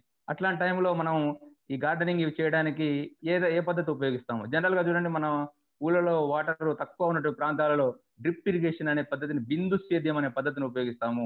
ఈ బిందు సేద్యం ఉపయోగించడం వల్ల వాటర్ అనేది ఎక్కువగా వేస్ట్ కాకుండా ఉంటే తక్కువ ఉన్నటువంటి ప్రాంతాల్లో కూడా మనం పంటలు పండించేటువంటి అవకాశం ఉంది. మన స్కూల్ ఇక్కడ చూడండి ఇది హిమాచల్ ప్రదేశ్లోని జిఎంఎస్ పాఠశాల. ఈ పాఠశాల యందు వీరు ఏం చేశారంటే చూడండి ఒక స్టాండ్ తీసుకొని ఆ స్టాండ్కు మనం లో కాస్ట్లో కాస్ట్ సంబంధించినటువంటి మెటీరియల్ ఉపయోగించి ఫర్ ఎగ్జాంపుల్ మనం వాడేసినటువంటి water bottle Thums Up bottle ఉంటాయి కదా వాటిని తీసుకొని వాటిని రివర్స్గా వేలాడదీసి దానికి చిన్న హోల్ చేసి దూది కానీ కాటన్ కానీ పెట్టి చిన్న చిన్న డ్రాప్స్గా పడే విధంగా ఏర్పాటు చేసుకొని ఇక్కడ ఇది ఏర్పాటు చేసుకోవడం జరిగింది. ఇది ఏంటంటే మెయిన్ వాటర్ తక్కువగా లభించేటువంటి పాఠశాలలు కదా. చూడంగా అదే విధంగా ఇంకో విధంగా మనం ఏ విధంగా చేయొచ్చు అంటే ఇలా చిన్న చిన్న వాటి డ్రిప్ ఇరిగేషన్ ఏ విధంగా చేయొచ్చు అంటే మనకు వచ్చినటువంటి లభించేటువంటి లో కాస్ట్ మెటీరియల్ బాటిల్ తీసుకొని ఆ బాటిల్ మన గ్లూకోజ్ బాటిల్ ఉంటుంది కదా ఆ గ్లూకోజ్ బాటిల్ సంబంధించినటువంటి వైర్ను కత్తిరించి దానికి పిన్ చేసి దాన్ని చిన్నగా ఒక డ్రాప్ ఒక డ్రాప్ అదే విధంగా మనం ఏర్పాటు చేసుకోవచ్చు సార్. ఇది మన పాఠశాలలో కూడా తక్కువ వాటర్ ఉన్నటువంటి పాఠశాలలో చాలా జాగ్రత్తగా విజయవంతంగా ఉపయోగించుకోవచ్చు. మనం వన్ ఆర్ టూ డేస్ పాఠశాల కాలేజ్ వచ్చినా కానీ మన తోట అనేది బడి తోట అనేది జాగ్రత్తగా కాపాడుకోవచ్చు అదేవిధంగా నెక్స్ట్ అంశం ఏంటంటే వాటర్ సప్లై చేసినాం. వాటర్ ఇచ్చిన తర్వాత నెక్స్ట్ ఇవ్వాల్సింది ఏంటంటే టాయిలెట్స్ అండి. ఈ టాయిలెట్స్ అనేది చాలా ఇంపార్టెంట్ అదేవిధంగా టాయిలెట్స్ అనేవి జెండర్ సెగ్రిగేట్ టాయిలెట్స్ ఉండాలి. అంటే బాయ్స్కి వేరే ఉండాలి గర్ల్స్కి వేరే ఉండాలి. ఇంకా ఇక్కడ చూడండి ఇక్కడ ఇది జార్ఖండ్లోని గౌట్ పాఠశాల. ఈ పాఠశాలను చూడండి ఎంత చక్కగా అందంగా తీర్చిదిద్దారో. చూడండి పాఠశాల యందు బాయ్స్ అని సపరేట్ రాసి దానికి బాయ్స్ బొమ్మని చిత్రంగా వేయడం జరిగింది. అదే విధంగా గర్ల్స్ సైడ్ ఒక అమ్మాయి అమ్మాయి పిక్చర్ని పేస్ట్ చేయడం అనేది జరిగింది. అదే విధంగా మధ్యలో పిల్లలు వాష్రూమ్కి వెళ్ళిన వెంటనే చేతులు హ్యాండ్ వాష్ కంపల్సరీగా చేసుకోవడానికి అక్కడ గుర్తుగా ఏం చేస్తే చూడండి ఇంతకుముందు సార్ చెప్పినట్టు హ్యాండ్ వాషింగ్ అనేది ఇంపార్టెంట్ కదా. ఈ హ్యాండ్ వాష్ సంబంధించినటువంటి స్టెప్స్ని పిల్లలకు ఏ విధంగా చేసుకోవాలి అనే ఉద్దేశంగా ఈ పాట దీనికి స్టెప్స్ వేసుకోవడం జరిగింది. అదే విధంగా వేసుకున్న చేసుకున్న తర్వాత హ్యాండ్ వాష్ చేసుకున్న తర్వాత శుభ్రం చేసుకోవడానికి నాప్కిన్స్ వాడడం జరిగింది. అదే విధంగా ఇక్కడ సోప్ చూడండి లిక్విడ్ సోపులు కూడా ఉన్నాయి. అదే కా అంతేకాకుండా శానిటైజర్లు కూడా శానిటైజర్స్ లిక్విడ్ సోప్స్ అవి కూడా ఏర్పాటు చేసుకోవడం జరిగింది. చూడండి ఇక్కడ పాఠశాల ఇది వాష్రూమ్ చూసినట్లయితే దానికి గడి డోర్ మంచిగా ఉంది. అదేవిధంగా దానికి గడియ కూడా పెట్టుకునే విధంగా చాలా చక్కగా ఉంది. సో ఇది ఇలాంటి కొత్త కొత్త ఆలోచనలతో ఏర్పాటు చేసుకున్నందుకు ఈ పాఠశాలకు బెస్ట్ టాయిలెట్ అంటే అవార్డు టాయిలెట్ రంగంలో అవార్డు రావడం అనేది జరిగింది. నెక్స్ట్ ఇంకొక పాఠశాల చూసుకున్నట్టయితే అసలు టాయిలెట్స్ అంటే ఏంటి? టాయిలెట్స్ ఎలా ఉండాలంటే చూడండి టాయిలెట్స్ అనేవి ఫంక్షనల్గా ఉండాలి. చాలా స్కూళ్ళలో టాయిలెట్స్ అనేవి కొంచెం కొంచెం పని చేయట్లేదు కదా? కంపల్సరీగా టాయిలెట్స్ అనేది ఏం చేయాలి? ఒక ఫంక్షనల్గా ఉండాలి. అది పనిచేసే విధంగా ఉండాలి. అదే విధంగా ఇన్క్లూజివ్ ఉండాలి. ఇన్క్లూజివ్ అంటే ఏంటి? వాటర్ అందుబాటులో ఉండాలి. కొన్ని పాఠశాలలో ఏం చూస్తుంటే బయట వైపు వాటర్ ఉంటుంది లోపల వైపు టాయిలెట్స్ లెటర్స్ ఉంటాయి కదా. అదే విధంగా వాటర్ అనేది సఫిషియెంట్గా సరిపోయేంత ఉండాలి. నెక్స్ట్ మెన్స్ట్రువల్ హైజీన్ మేనేజ్మెంట్ ఈ మెన్స్ట్రువల్ హైజీన్ మేనేజ్మెంట్ అనేది హై స్కూల్ సంబంధించిన అంశం సార్. ఇది చాలా చక్కగా ఏ విధంగా వినియోగించు అనేది నెక్స్ట్ వస్తుందో చూసుకుందాం. నెక్స్ట్ సేఫ్ డిస్పోజల్ మనం వ్యర్థం అంటే మనం మన ద్వారా వచ్చినటువంటి వ్యర్థాలను ఎలా డిస్పోజల్ చేయాలి? సేఫ్గా సేఫ్గా డిస్పోజల్ చేసే విధంగా ఈ టాయిలెట్స్ను మెయింటైన్ చేయాలి సార్ సో దీనికి ఈ పాఠశాలకు అవార్డు రావడం అనేది జరిగింది. నెక్స్ట్ జెండర్ ఇన్క్లూజివ్ యూరినల్స్ ఇక్కడ చూడండి.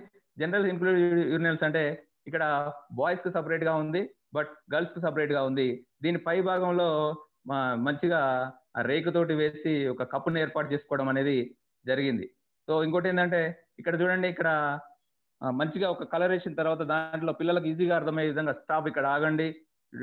Do you do you wash your hands మీ చేతులని క్లీన్ చేసుకున్నారా అని ఒక క్వశ్చన్ అడిగితే ఏమైతుంది? వాళ్ళు చదువుకొని అరే నేను నిజంగా నా చేతులు క్లీన్ చేసుకోలేదు కదా అన్న ఉద్దేశంతో చేతులు క్లీన్ చేసుకుంటారని చెప్పేసి ఆలోచన పరంగా ఒక పిక్చర్ని అక్కడ పేస్ట్ చేయడం అనేది జరిగింది.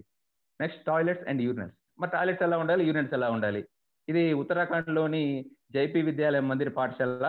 ఈ పాఠశాల టాయిలెట్ చూడండి ఎంత హెవీగా ఎంత హైలైట్గా ఉన్నాయో చూడండి ఇక్కడ. పాఠశాల ఎందు డోర్లు ఉన్నాయి. నెక్స్ట్ ఇన్క్లూజింగ్గా ఫ్లష్ చేయడానికి నూతనంగా ఫ్లష్ చేయడానికి ట్యాంక్స్ ఉన్నాయి వాటర్ వాటర్ సేవ్ చేయడానికి ఉన్నాయి. జనరల్గా ఈ వాటర్ అనేది ఫ్లష్ చేయటప్పుడు నీట్గా ఫ్లష్ చేయడానికి దగ్గర దగ్గర ఒక వ్యక్తికి దగ్గర దగ్గర ట్వంటీ ఫైవ్ లీటర్స్ దాకా వాటర్ అనేది అవసరం అనేది అవసరం. అదేవిధంగా పాఠశాలలో వెంటిలేషన్ చూడండి ఎంత చక్కగా ఉందో. వెంటిలేషన్ కూడా పాఠశాలకు మన వాష్రూమ్లోకి వెంటిలేషన్ కూడా చాలా చక్కగా వస్తుంది. మన స్పెల్ ఉన్నట్టయితే కంపల్సరీ బయటకు వెళ్ళిపోవడం జరిగింది. అదే అదే విధంగా ఇక్కడ యూరినల్స్ చూడండి. యూరినల్స్ ఇన్క్లూజివ్గా ఉన్నాయి. వాష్రూమ్ పక్కన యూరినల్స్ ఉన్నాయి ఇన్క్లూజివ్గా ఉన్నాయి. దానికి వాటర్ సప్లై ఉంది. బిందు రూపంలో వాటర్ బాడీ వెంబడి క్లీన్ అయిపోతుంది.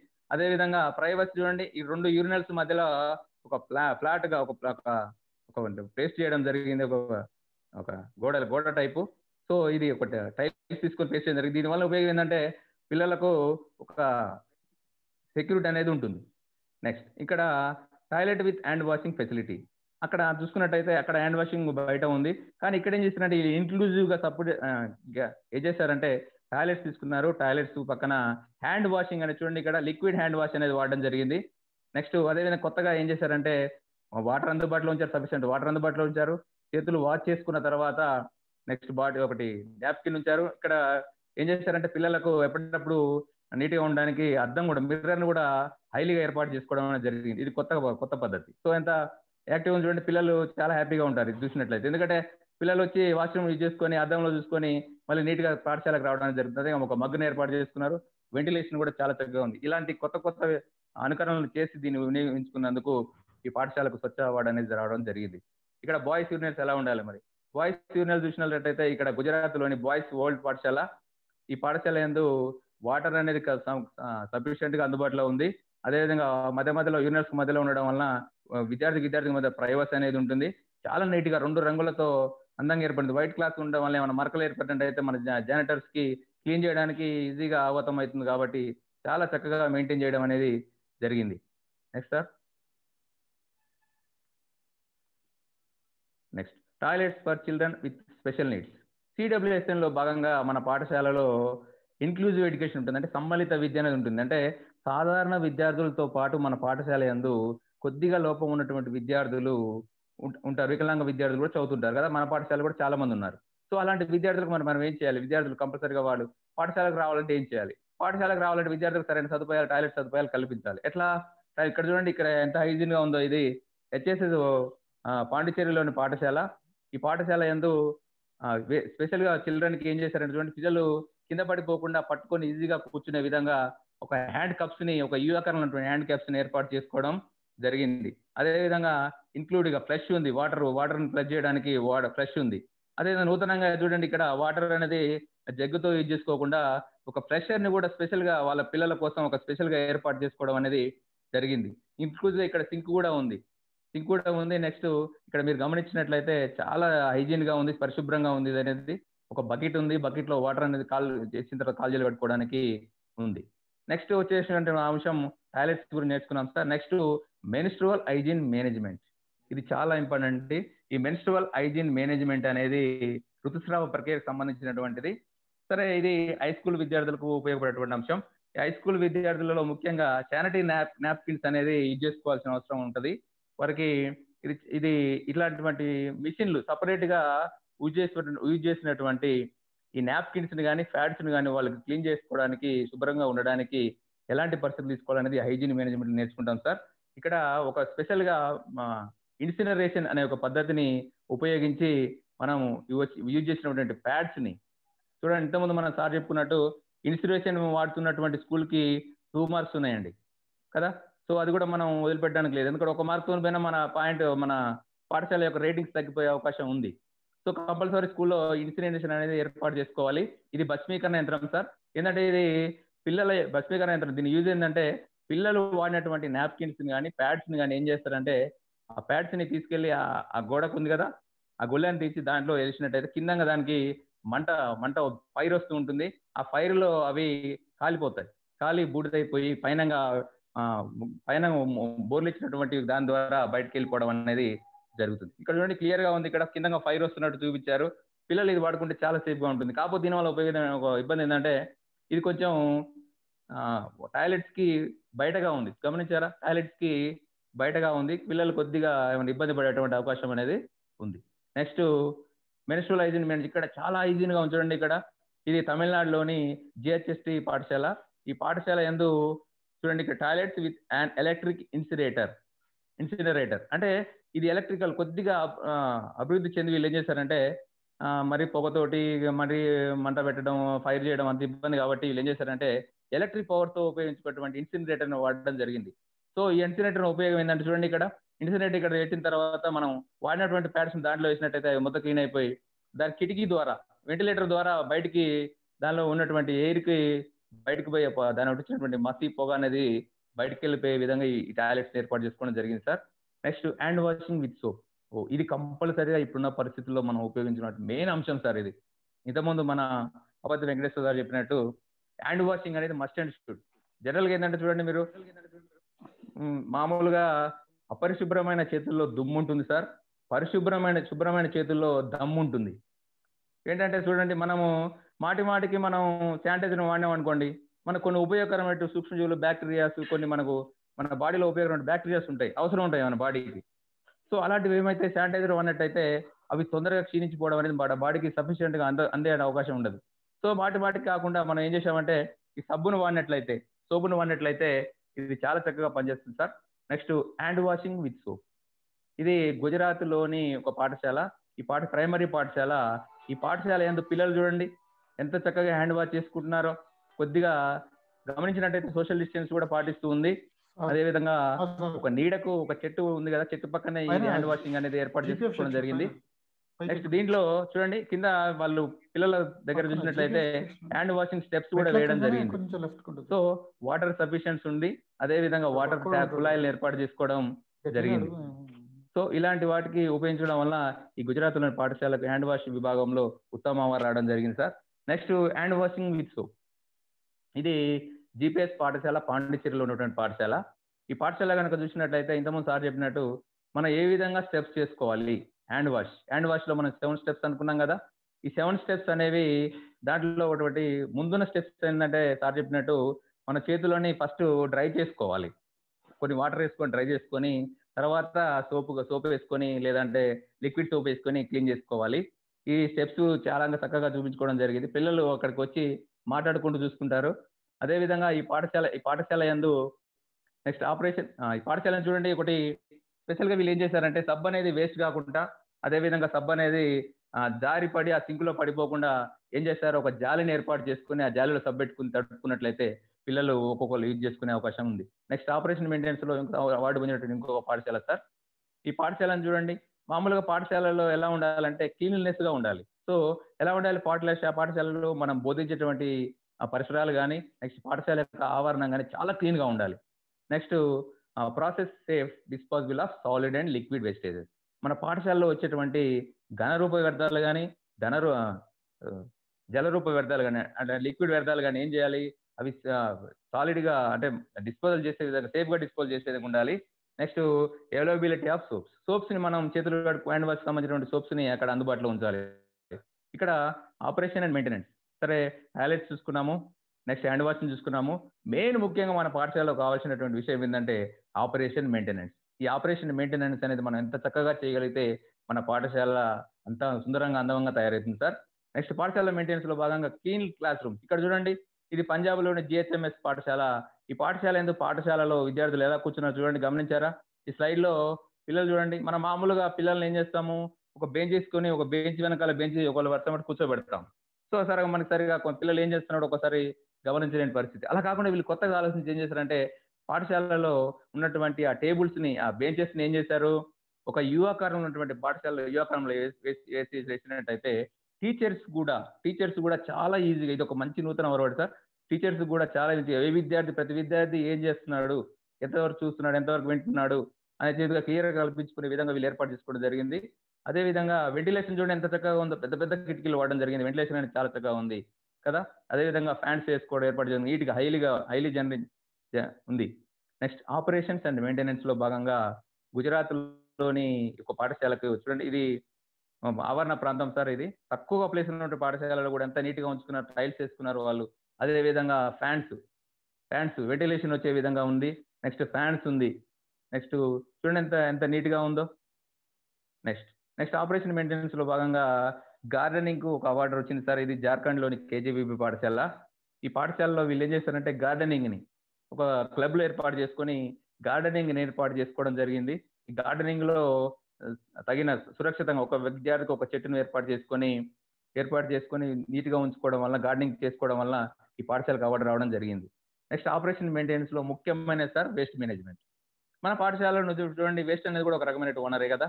సో వేస్ట్ అనేది చాలా ఉత్పత్తి అవుతుంది. ఇదే పాఠశాల కదా ఎక్కడైనా ఉత్పత్తి అవుతుంది. దాని దాన్ని మనం ఎలా మేనేజ్ చేయాలి? చూడండి ఇక్కడ పాఠశాలని పాండిచ్చేరిలోని అమలాపురం పాఠశాలలో ఇక్కడ చూడండి పాఠశాలలో రకరకాల డస్ట్బిన్స్ వాడడం జరిగింది. ఇంతకుముందు సార్ చెప్పినట్టు ప్రతి పాఠశాలలో రెండు రకాల డస్ట్బిన్స్ ఉండాలి. రెండు ఒకటి తడి చెత్త వేయడానికి రెండోది పొడి చెత్త వేయడానికి. అదే విధంగా డస్ట్బిన్ పక్కనే చూడండి ఇక్కడ కంపోస్ట్ బిట్ని ఏర్పాటు చేసుకోవడం జరిగింది. ఈ కంపోస్ట్ బిస్ట్ల వల్ల ఉపయోగం ఏంటి?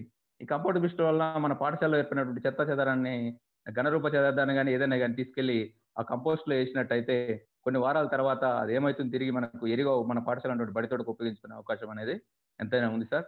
Next operation and maintenance waste segregation ఇంతకుముందే మనం చెప్పుకున్నట్టు ప్రతి పాఠశాల రెండు రకాలటువంటి డస్ట్బిన్స్ ఉపయోగించాలని చెప్పాం. దానికి కూడా మార్క్స్ ఉన్నాయి సార్. అదేవిధంగా డస్ట్బిన్స్ ఇక్కడ పాఠశాల చూడండి రకరకాల డస్ట్బిన్స్ ఉపయోగించారు.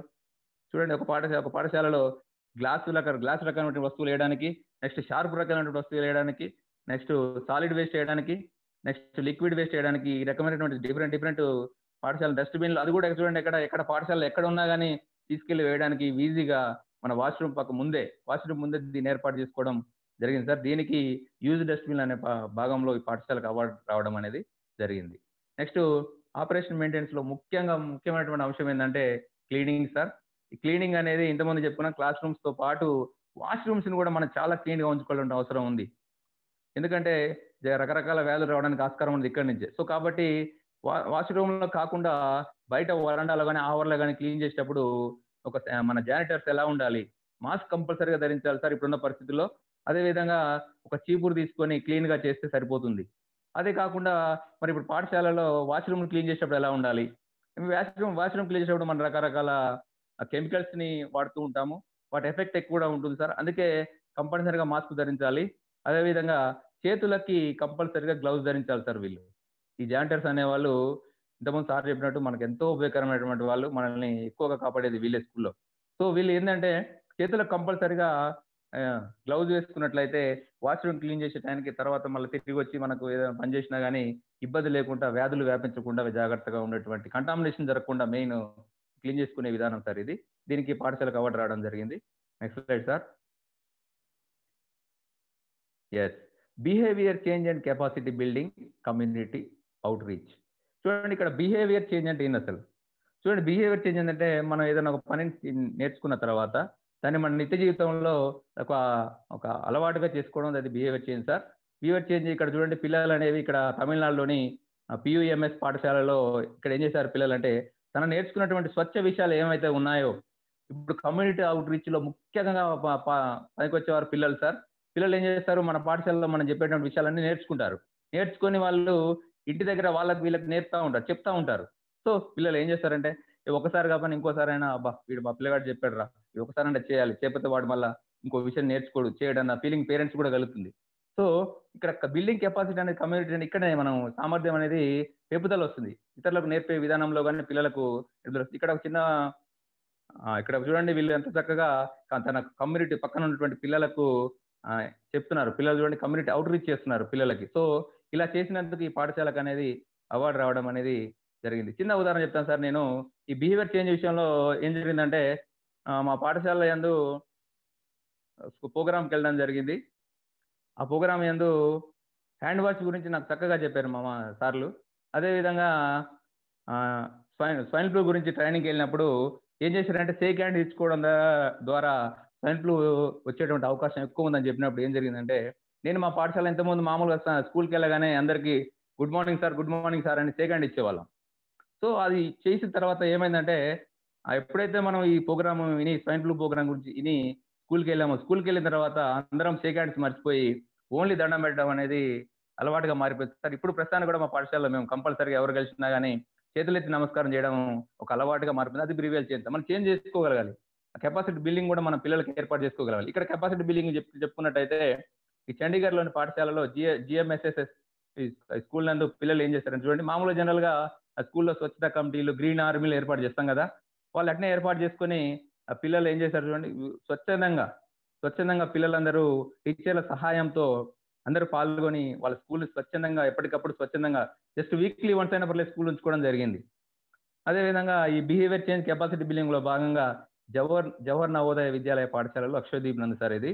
ఈ పాఠశాల యందు ఈచ్ వన్ ప్లాంట్ వన్ అంటే చూడండి అంటే ప్రతి ఒక్కరూ ఒక చెట్టును రక్షించాలి నాటాలి.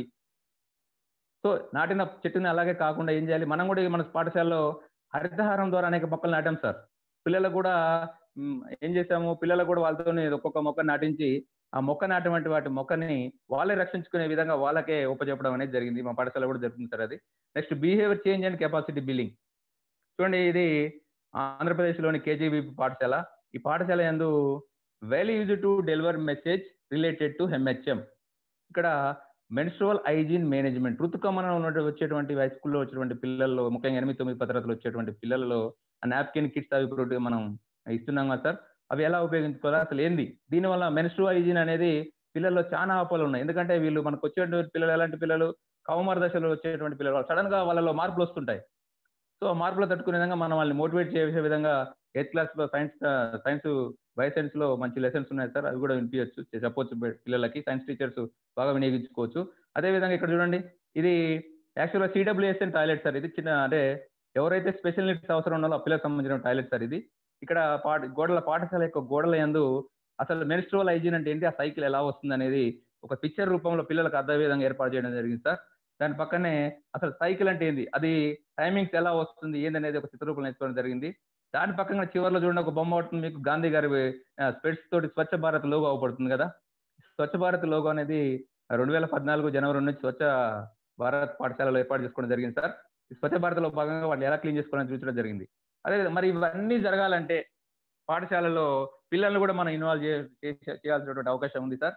సో చైల్డ్ క్యాబినెట్ ఏర్పాటు చేసుకోవాలి. మనం చెప్పినటువంటి ఇప్పుడు చెప్పినటువంటి విషయాలన్నీ మన పాఠశాలలో జరగాలంటేంది మనమే కాకుండా పిల్లల్ని కూడా మనం బాధ్యత రహిత బాధ్యతాయుతంగా వాళ్ళని కూడా ఇన్వాల్వ్ చేస్తే వాళ్ళు కూడా యాక్టివ్గా పాల్గొని వాళ్ళ వాళ్ళ నుంచి ఇంటి వాళ్ళ ఇంటికి ఇంటి నుంచి సమాజానికి ఇలా మనం చేసినటువంటి బిహేవియర్ చేంజ్ అనేది మారిపోవడం జరుగుతుంది సార్.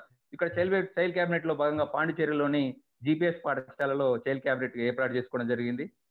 క్లబ్లు ఏర్పాటు చేసుకోవడం జరిగింది. దీని ద్వారా ఏం చేస్తారు? ఆ పాఠశాలలో ఉన్నటువంటి స్వచ్ఛత క్లబ్లు కానీ నెక్స్ట్ మధ్యాహ్న భోజన కమిటీ కానీ సార్ అయిపోయింది అయిపోయింది సార్ అయిపోయింది సార్. పాఠశాలలో స్వచ్ఛత క్లబ్లు కానీ అవి ఏర్పాటు చేసుకోవడం అనేది జరిగింది. ఆ విషయంలో దానికి అవార్డు రావడం జరిగింది. Next mid day meal. మన పాఠశాలలో ఈ ప్రోగ్రామ్ అనేది చాలా సక్సెస్ఫుల్గా నడుస్తుంది సార్. దీని వల్లనే మన పాఠశాలలో ఆబ్సెంట్ శాతం అని తగ్గుతుంది ఎందుకంటే పిల్లవాడు మధ్యాహ్నం భోజనానికి వెళ్తాడు. వాడు వస్తాడా రాడా కూడా తెలియదు కదా? అట్లాంటి మన పాఠశాలలో ఉంచే విధంగా పిల్లలకు మధ్యాహ్నం భోజన పథకాన్ని ఏర్పాటు చేసుకోవడం వల్ల మన పాఠశాలలో పురోగతిని సాధించడం సార్. అయితే అటెండెన్స్ విషయంలో. అదే ఇక్కడ చూడండి ఇక్కడ మన పాండిచేరిలోని ఒక పాఠశాల చూసుకున్నట్లయితే మిడ్ డే మీల్స్లో భాగంగా ఎంత చక్కగా ఉన్న చూడండి. వాళ్ళు భోజనాన్ని వండడానికి ఒక పాత్రలను ఉపయోగిస్తున్నారు. వడ్డించడానికి ఒక పాత్రలను ఉపయోగిస్తున్నారు. అదేవిధంగా వాళ్ళు ఏం చేస్తారంటే తలకు క్యాబ్ను కానీ ఏర్పరచుకోవాలి. కంపల్సరీగా మిడ్ డే మీల్స్లో ఎలాంటి జాగ్రత్తలు తీసుకోవాలంటే వడ్డించే వాళ్ళు చేతులను ఫస్ట్ శుభ్రంగా వాష్ చేసుకోవాలి.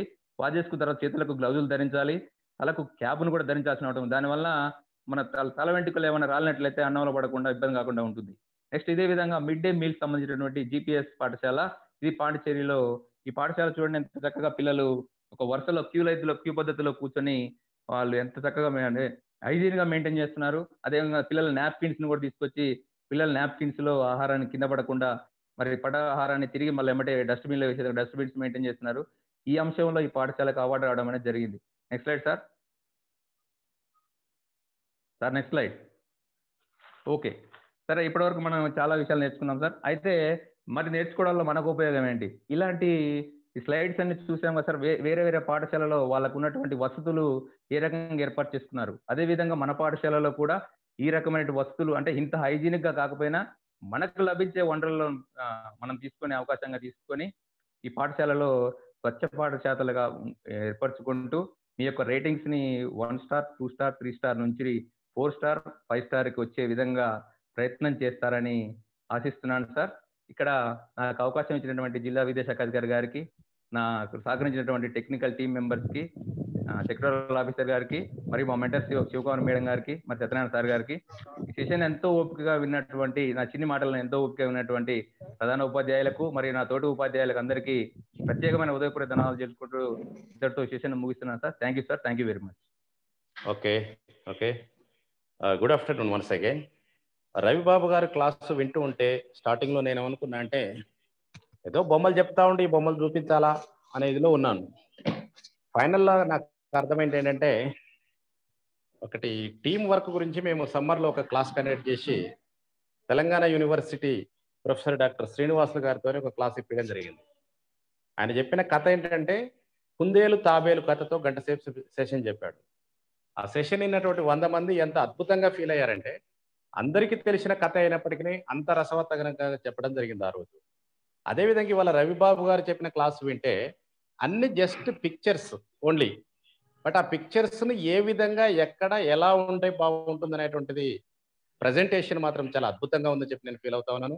ఏదేమైనా మనకి ఎక్కడ ఏమిటి ఎలా ఉంటే బాగుంటుంది అనేటువంటిది డిఫరెంట్ డిఫరెంట్గా దేశంలో ఉన్నటువంటి అనేక రాష్ట్రాలకు సంబంధించినటువంటి పాఠశాలలో including our AP and Telangana ఆ మంచిని స్వీకరించి మనందరికి పంచినటువంటి రవిబాబు గారికి మనందరి పక్షాన ధన్యవాదాలు తెలియజేస్తూ let's we have to take lunch hour ఒకటి ఏడవుతుంది. లంచ్ అవర్కి క్లోజ్ చేస్తున్నాను session. At one forty five we have to start మరో అద్భుతమైనటువంటి పర్సన్ మీకు వాటర్ గురించి ఎక్స్ప్లెయిన్ చేయడానికి రెడీగా ఉంటారు మిస్టర్ దామల కోటేశ్వరరావు గారు. వన్ ఫార్టీ ఫైవ్కి we have to meet again thank you thanks to all present good afternoon to all ఈ రోజు జరుగుతున్నటువంటి వాష్ ప్రోగ్రామ్లో ఎయిట్ సెషన్స్లో మనకు మార్నింగ్ అవర్స్ మాక్సిమం ఒక fifty percent of session completed afternoon session join అవుతున్నటువంటి అందరికీ స్వాగతం సుస్వాగతం. ఎసెన్షియల్ ఎలిమెంట్స్ ఇన్ వాష్లో ప్రధానమైనటువంటిది వాటర్ ఈ వాటర్ గురించి చెప్పడం కోసం మిస్టర్ దామల్ల కోటేశ్వరరావు మనకు వెయిట్ చేస్తా ఉన్నారు. వారికి మనందరి పక్షాన స్వాగతం పలుకుతూ ప్రధానమైనటువంటి వనరును ఈ యొక్క వాష్ ప్రోగ్రామ్లో ఏ విధంగా ఉపయోగించుకోవాలి అనుకున్నటువంటి ఇంపార్టెన్స్ ఏంటి అనేటువంటి విషయాన్ని మనం లిజన్ చేసేటువంటి ప్రయత్నం మనం చేద్దాం. Mister Koteswararao please Uh, take your class and uh, you have only 30 minutes. You have to conclude your session within the stimulated time also. Okay, because the next session is also there. Just it's oh, the time now, 48, oh, You have to continue up to 220. Thank you. It is uh, over to Koteshwarov. Okay, thank you, sir. Ah. Uh, sir, voice in fine voice బాగుంది మీరు బాగున్నారు photo బాగుంది. కంటిన్యూట్ ఒకసారి చేసుకోండి sir Koteswararao sir unmute చేసుకున్నాం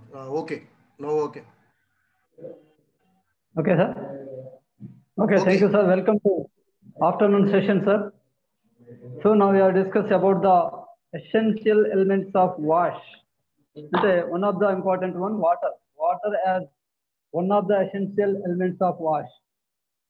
So sir ప్రపంచంలో అతి విలువైనటువంటిది గాలి తరువాత మనిషికి మానవునికి ప్రాథమికంగా ఉపయోగపడేటటువంటిది నీరు అని చెప్పగానే తప్పదు. వాటర్ చాలా విశిష్టమైనటువంటి గుణాలు కలిగినటువంటిది. మానవ శరీరానికి హండ్రెడ్ పర్సెంట్ ఎనర్జీని ఇస్తూ ఉన్నదంటే అది నైంటీ పర్సెంట్ మన వాటర్ వల్లనే అని చెప్పుకోవచ్చు. సో సార్ మన మిత్రులందరికీ మరొకసారి స్వాగతం పలుకుతూ ఈ నీరు యొక్క sir sir Venkateshwar sir. Hello. Sir Pabbathi Venkateswarlu sir ఉన్నారా సార్? ఎస్ ఎస్ గారు స్క్రీన్ షేర్ చేయడం. స్క్రీన్ షేర్ చేయమని చెప్పండి సార్. పబ్బత్ సార్ ఓకేనా? రెస్పాండ్ ఒబ్బత్ సార్ జాయిన్ కాలేదు సార్. వనమాల సార్ మీరు చేయండి సార్ షేరింగ్ చేయండి. సార్ది నా దగ్గర లేచిండి అది. వన్ పాయింట్ ఫైవ్ కదా? One point five. పంపించండి సార్ సార్ పంపించండి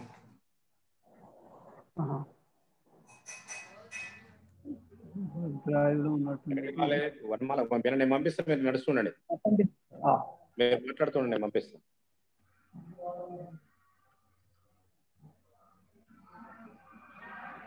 Okay sir. నీరు చాలా ప్రధానమైనటువంటిది. మరొకసారి నీటి గురించి తెలుసుకునే ముందు దాని యొక్క ఇంపార్టెన్స్ రాష్ట్ర స్థాయిలో దేశ స్థాయిలో ప్రపంచ స్థాయిలో సార్ ఏ విధంగా ఉన్నదని తెలుసుకోవడం కోసం ఒక చిన్న ఎగ్జాంపుల్. మనం మన రాష్ట్రంలో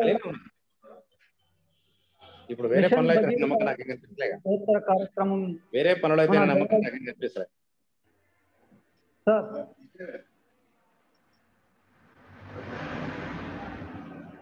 సార్ క్లియరా సార్?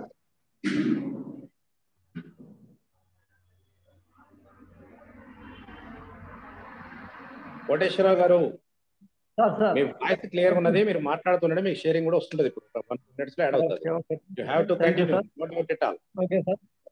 Sir మన తెలంగాణ రాష్ట్రంలో బృహత్తరమైన కార్యక్రమం నీటి కోసం చేపట్టడం జరిగింది sir. That is you know mission Bhagiratha మన గౌరవ ముఖ్యమంత్రి గారు చాలా ఛాలెంజ్గా తీసుకొని మనకు మిషన్ భగీరథ ద్వారా వాటర్ ఇవ్వడం జరుగుతూ ఉంటుంది. ఒకటి విషయం సార్. నీరు ప్రధానంగా రెండు విధాలుగా మనకు లభించడం జరుగుతుంది.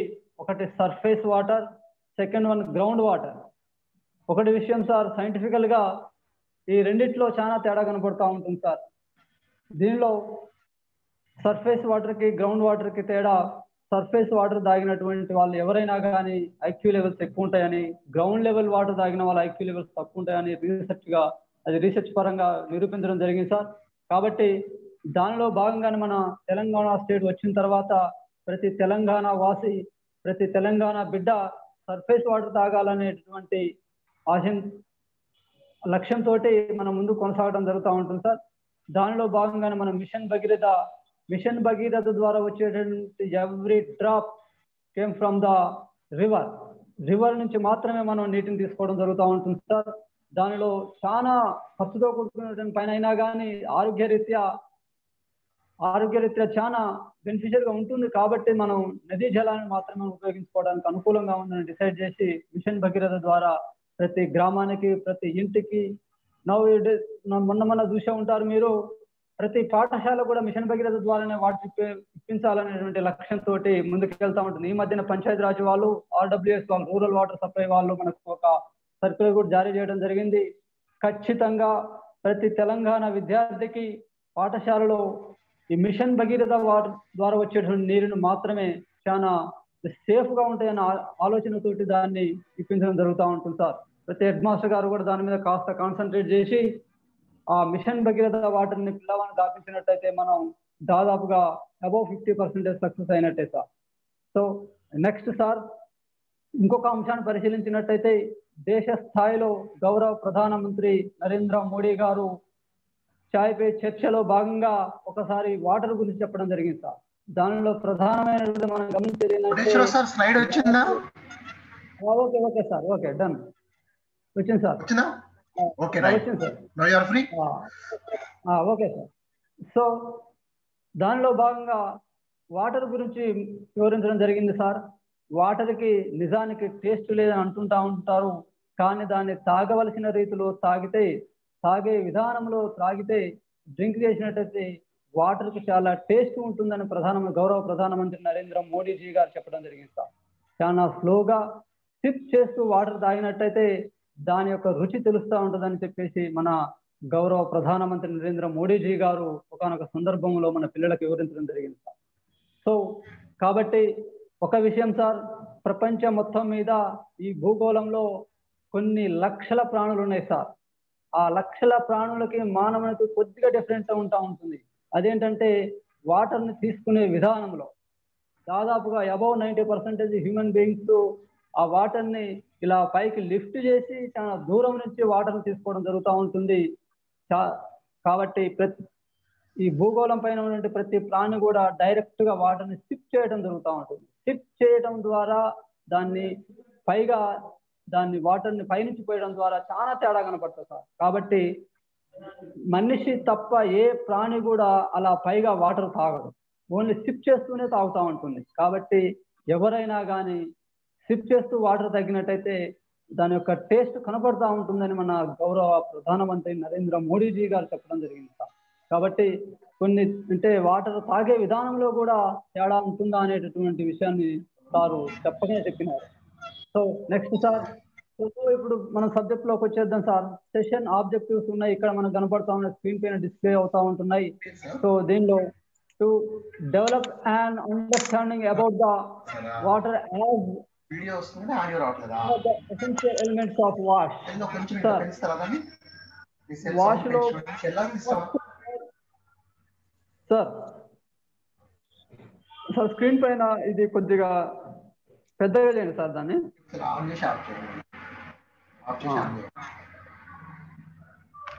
okay sir. Okay sir. Okay okay okay ఇదే సార్. ఓ కీ లెర్నింగ్ సార్ ఇక్కడ మనకు కనపడతా ఉన్నాయి. మరోసారి మనకి స్క్రీన్ పైన డిస్ప్లే అవుతున్నటువంటి కీ లెర్నింగ్స్ ఉన్నాయి sir. Understanding the national and international norms and standards for water adequacy and storage testing and conservation నీటిని ఇన్ని విధాలుగా మనం చేసుకున్నట్టయితే అంటే ప్రతిదీ కూడా చాలా ఇంపార్టెంట్ సార్. అడెక్వసీ కానీ స్టోరేజ్ కానీ టెస్టింగ్ కానీ కన్జర్వేషన్ కానీ so understanding the importance of what testing to ensure to ensure water quality and safety of water one of the most important అయినటువంటిది వాటర్ని టెస్ట్ చేయడం సార్ దాని యొక్క క్వాలిటీని సేఫ్టీగా ఉంచడం కోసం చాలా ప్రధానమైనటువంటిది ఇక్కడ మనం చర్చించబోతా ఉంటున్నాం సార్. తర్వాత understanding the importance of water conservation and reuse contributes to sustainability of wash in school ప్రతి పాఠశాలలో కూడా నీరుని టెస్ట్ చేసే విధానం కాంచి మొదలు పెడితే దాన్ని సంరక్షించే విధానం వరకు కూడా చాలా పగడ్బందీగా ఎంతో ప్రణాళికాయుతంగా చేసుకున్నట్టయితే ఆ వాటర్ని మనం రీయూజ్ చేసుకోవడానికి కూడా ఉపయోగపడతా ఉంటా ఉంటుంది మనం చెప్పగానే చెప్తా ఉంటున్నాం సార్. సార్ ఇలాంటి చాలా అంశాలను మనం డిస్కస్ చేయబోతా ఉంటున్నాం sir. Sir next sir activity the wash tower sir. And one sir. Yes sir it is the most important one మనకు ఆ స్క్రీన్ పైన డిస్ప్లే అవుతా ఉంటుంది. ఒకసారి పరిశీలించండి sir. How is water required in every day life మనిషికి మానవునికి కావలసినటువంటి ప్రతి నిత్యము నీరు చాలా ఉపయోగకరమైనటువంటి సార్. దాంట్లో ఒక్కసారి దాన్ని ఒక్కొక్క దాన్ని మనం పరిశీలించినట్టయితే drinking hand washing toilets personal hygiene cleaning of school premises and surrounding cooking and kitchen gardening sir ఈ సార్ వన్ బై వన్ ఒక్కసారి మనం వివరించుకుంటా పోతున్నట్టయితే ఒక్క ఐదు నిమిషాలు చూడండి సార్ ఈ స్క్రీన్ పైన. డ్రింకింగ్ వాటర్ సార్ ప్రతి మనిషికి కావాల్సినటువంటిది డ్రింకింగ్ వాటర్ సార్ ఆ డ్రింకింగ్ వాటర్ కూడా చాలా సేఫ్గా ఉండాలి చాలా హైజీన్గా ఉండాలని చెప్పుకుంటా ఉంటున్నాము. అదే నీరు ద్వారా మనం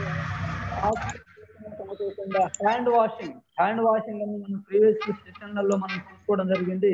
Hand wash very most important one hand wash కనుక కరెక్ట్గా చేయగలిగినట్లయితే హ్యూమన్ బీయింగ్స్ వచ్చేటటువంటి ఎయిటీ పర్సెంట్ డిసీజ్ మనం రిమూవ్ చేయడానికి అవకాశం ఉంటా ఉంటుంది?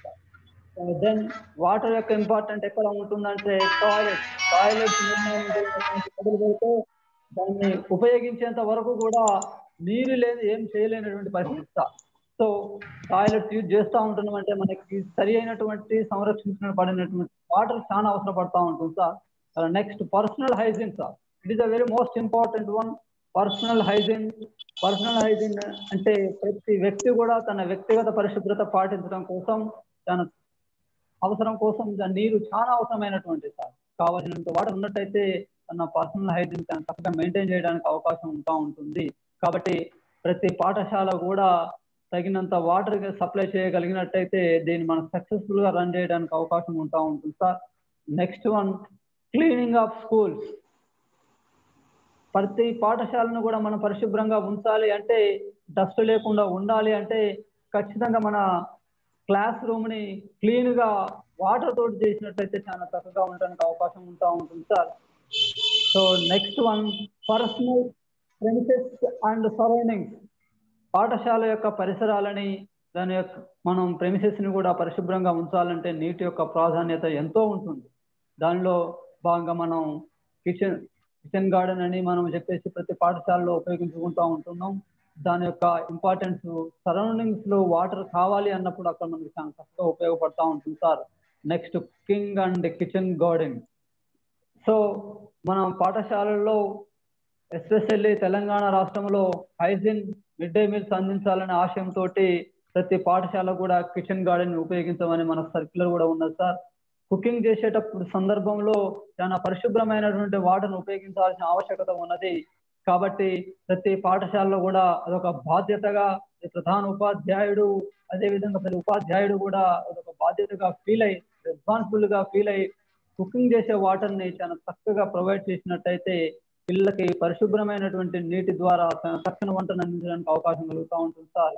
కిచెన్ గార్డెన్ కూడా చాలా very very important sir. It is one of the most important one kitchen garden ఇప్పటి వరకు మనము ఎక్కడి నుంచో కూరగాయలను పట్టకొచ్చి మనం ఇక్కడ సప్లై చేయడం జరుగుతూ ఉంటుంది. అలా కాకోకుండా మనమే ఓన్గా రిస్క్ తీసుకొని ఒక గార్డెన్ తయారు చేసి ఆ చెట్లను కనుక పెంచి దాని ద్వారా వచ్చి రెండు కూరగాయలను మన విద్యార్థులకు అందించినట్టయితే వారి యొక్క ఆరోగ్యాన్ని చాలా చక్కగా తీర్చిదిద్దిన వాళ్ళం అవుతాం మనము.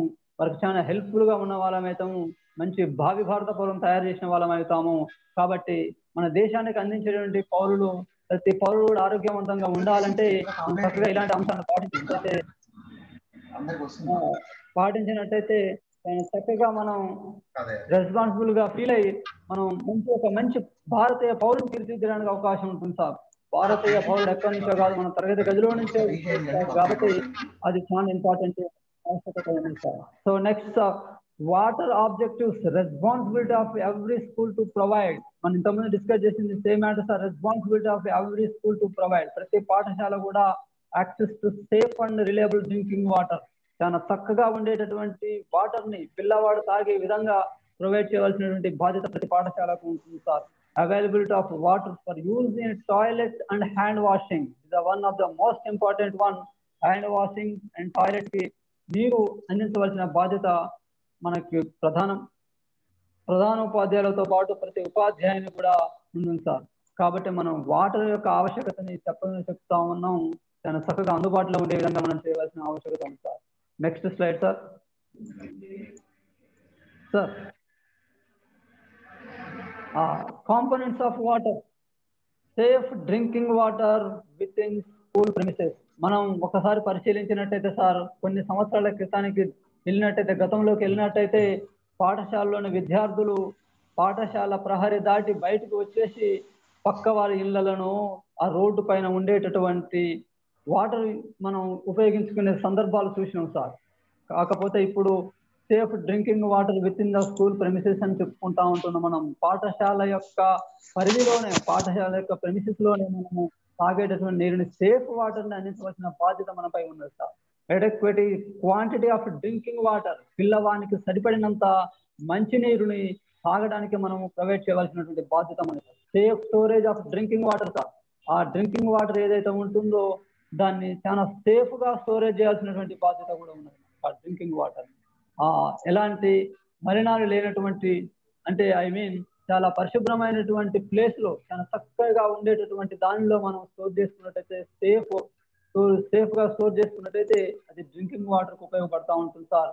Periodically water quality testing ఇది ఒకటి చాలా ఇంపార్టెంట్ అయినటువంటి అంశం సార్. ప్రతి ప్రధాన ఉపాధ్యాయులు కూడా పాఠశాలలో బాధ్యతాయుతంగా ఆ, పిల్లలు తాగేటటువంటి నీరుని పీరియాడికల్గా టెస్ట్ చేయాల్సినటువంటి ఆవశ్యకత ఉన్నది సార్. అది త్రీ మంత్స్ సిక్స్ మంత్స్ అధికారుల యొక్క ఆలోచన మేరకు మనకు ఉన్నటువంటి వనరుల మేరకు ఆలోచించి ఆ వాటర్ క్వాలిటీని టెస్ట్ చేసి దాన్ని మన బోర్డు పైన డిస్ప్లే చేయవలసిన ఆవశ్యకత ఉంటుంది సార్. నోటీస్ బోర్డు పైన డిస్ప్లే చేసినట్టయితే మనకు వచ్చిన సందర్శకులు కూడా మన పిల్లలు ఎలాంటి వాటర్ తాగుతున్నారని గమనించడానికి అవకాశం ఉంటుంది కాబట్టి దీన్ని ఒక ఛాలెంజ్గా తీసుకొని ప్రతి మూడు నెలలక ఆరు నెలలక ఒకసారి వాటర్ని టెస్ట్ చేసి ఆ టెస్ట్ యొక్క రిపోర్ట్స్ ఏదైతే ఉన్నాయో దాన్ని అందరికి అందుబాటులో ఉంచినట్టు చేసినట్టయితే మనం చాలా వరకు సక్సెస్ఫుల్గా పాఠశాలని నీటి కొరత లేకోకుండా తీర్చిదిద్దిన వాళ్ళం అవుతా ఉంటుంది సార్. చక్కని వాటర్ని పిల్లలకు అందించిన వాళ్ళం అవుతుంది sir.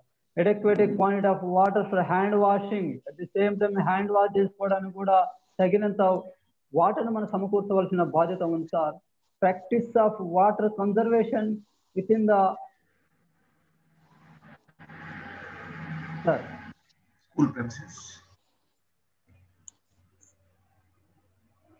okay sir screen ఎటు పోయింది సార్ అది okay sir next water adequacy drinking water sir drinking వాటర్ని ఒక విధంగా చూసినట్లయితే అది మెజర్మెంట్స్తో కూడుకున్నటువంటి కొలతలతో కూడుకున్నటువంటిది ప్రతి పిల్లవాడు కూడా ఖచ్చితంగా ప్రతి రోజు వన్ పాయింట్ ఫైవ్ లీటర్స్ తాగే విధంగా మనం శ్రద్ధ వహించాల్సి ఉంటుంది సార్ దీన్ని ఒకసారి చూసినట్టయితే వివిధ రాష్ట్రాలలో ఉదాహరణకి కేరళ స్టేట్లో వాటర్ బెల్ అనేటువంటి ఉపయోగించే వాళ్ళు అంటే పిల్లలు చదువులు ఆటలలో నిమగ్నమై తన యొక్క సమయాన్ని మర్చిపోతూ తను తాగేటువంటి నీరుకు ప్రాధాన్యత ఇవ్వలేని పరిస్థితి ఏర్పడతా ఉంటుంది. కాబట్టి అలాంటి పరిస్థితి లేకోకుండా ఆ సిచ్యువేషన్ మరొకసారి రిపీట్ కాకోకుండా వాటర్ బిల్లుని కనుక యూజ్ చేసినట్టయితే మనము ఖచ్చితంగా ప్రతి పిల్లవానికి వాటర్ సఫిషియెంట్ ఇచ్చిన వాళ్ళం అవుతా ఉంటుంది సార్.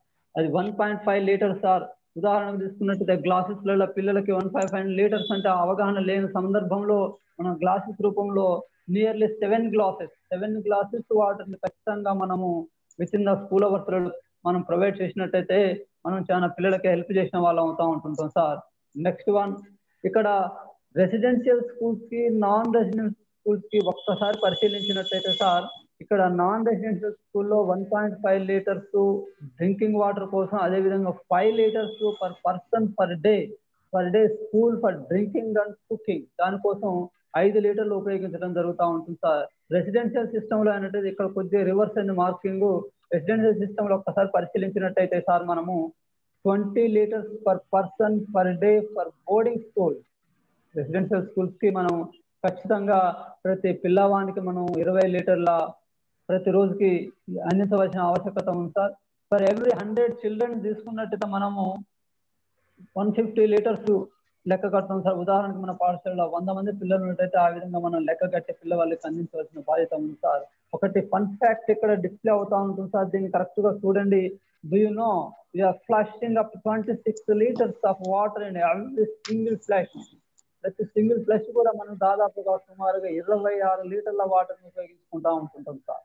అంటే దీన్ని బట్టి మనకి టాయిలెట్ యూజ్ చేసేటటువంటి సందర్భంలో ద మోర్ వాటర్ అవసరపడతా ఉంటుంది సార్ మనకి. కాబట్టి మనకు సరిపోయినటువంటి వాటర్ని ఇంచవలసినటువంటి బాధ్యత మనకి ఎంతైనా ఉన్నది sir. Sir next sir next sir okay sir. Water safety. ఒక్కసారి వాటర్ సేఫ్టీ గురించి మనం పరిశీలించినట్టయితే ఒకసారి what is the safe water safe వాటర్కి ఇచ్చినటువంటి డెఫినేషన్ ఒక్కసారి పరిశీలించిన సార్. ఇక్కడ water that does not represent any significant risk sir sir miss అయినది any significant risk to health over a lifetime of consumption is called safe water ఇది sir safe water అంటే పిల్లవానికి కానీ ప్రతి మానవునికి కానీ హ్యూమన్ బీయింగ్ అనేటువంటి వ్యక్తికి తన లైఫ్ టైంలో కూడా ఎలాంటి రిస్క్ లేకోకుండా ఉండాలి అంటే ఆ హెల్త్ కరెక్ట్గా ఉండాలంటే కరెక్ట్ ఉండేటటువంటి వాటర్ని మనం సేఫ్ వాటర్ని ఇవ్వగలిగితే ఆ సందర్భంగా అలాంటి టైంలో మాత్రమే ఇవ్వగలిగితే లైఫ్ టైం కూడా ఎలాంటి ఇబ్బంది లేనటువంటి రిస్క్ లేనటువంటి మన వాటర్ని ఇవ్వగలిగితే దాన్ని సేఫ్ వాటర్ అంటా అనుకుంటా ఉంటుందా it is safe for drinking food preparation personal hygiene washing and washing so it is sir drink water చాలా చక్కగా ఉండాలి పరిశుభ్రంగా ఉండాలి చాలా సేఫ్గా ఉండాలని చెప్పుకుంటా ఉంటున్నాం at the same time food preparation టైంలో కూడా అలాంటి వాటర్ని ఉపయోగించాల్సిన బాధ్యత మనపై నెక్స్ట్ టైం పర్సనల్ హైజీన్ మన వ్యక్తిగతమైనటువంటి పరిశుభ్రత ఏదైతే ఉన్నదో దాన్ని పాటించడం కొరకు కూడా చాలా చక్కని నీరుని ఉపయోగించవలసి ఉంటుంది పరిశుభ్రమైనటువంటి నీటిని మాత్రమే మనం ఉపయోగించాలి. అదేవిధంగా వాష్ చేయటానికి wash is a very most important one student life student లైఫ్లో మనం మొదటగా నేర్పవలసిన హ్యాండ్ వాషింగ్ అని కొన్ని సంవత్సరాల తరబడి మనం నేర్పుతా ఉంటున్నాం. మళ్ళా దాన్ని రిపీట్ చేస్తూ ఉంటున్నాం. అది ఎందుకంటే చేసిన పనిని పలుసార్లు చేసినట్లయితే పిల్లవానికి అలవాటుగా మారిపోయి అది ఒక మంచి చక్కని అలవాటుగా మారిపోతా ఉంటుంది సార్. కాబట్టి పిల్లవాడు చాలా ఛాలెంజ్గా తీసుకొని చాలా చక్కగా డిసిప్లైన్గా ముందుకెళ్ళడానికి అవకాశం ఉంటా ఉంటుంది sir. Sir next slide sir. పిల్లవాడు అక్కడ వాటర్ తాగుతూ ఉంటున్నాడు. Impact of contaminated water on health ఆరోగ్యం పైన నీటి యొక్క ప్రభావం ఎలా ఉంటుంది? కంటామినేటెడ్ వాటర్ ప్రభావం ఎలా ఉంటుందో ఒకసారి మనం పరిశీలించినట్టయితే నెక్స్ట్ స్క్రీన్ పైన ఒక్కసారి డిస్ప్లే చేయండి సార్. స్క్రీన్ పైన ఉంటుంది అది.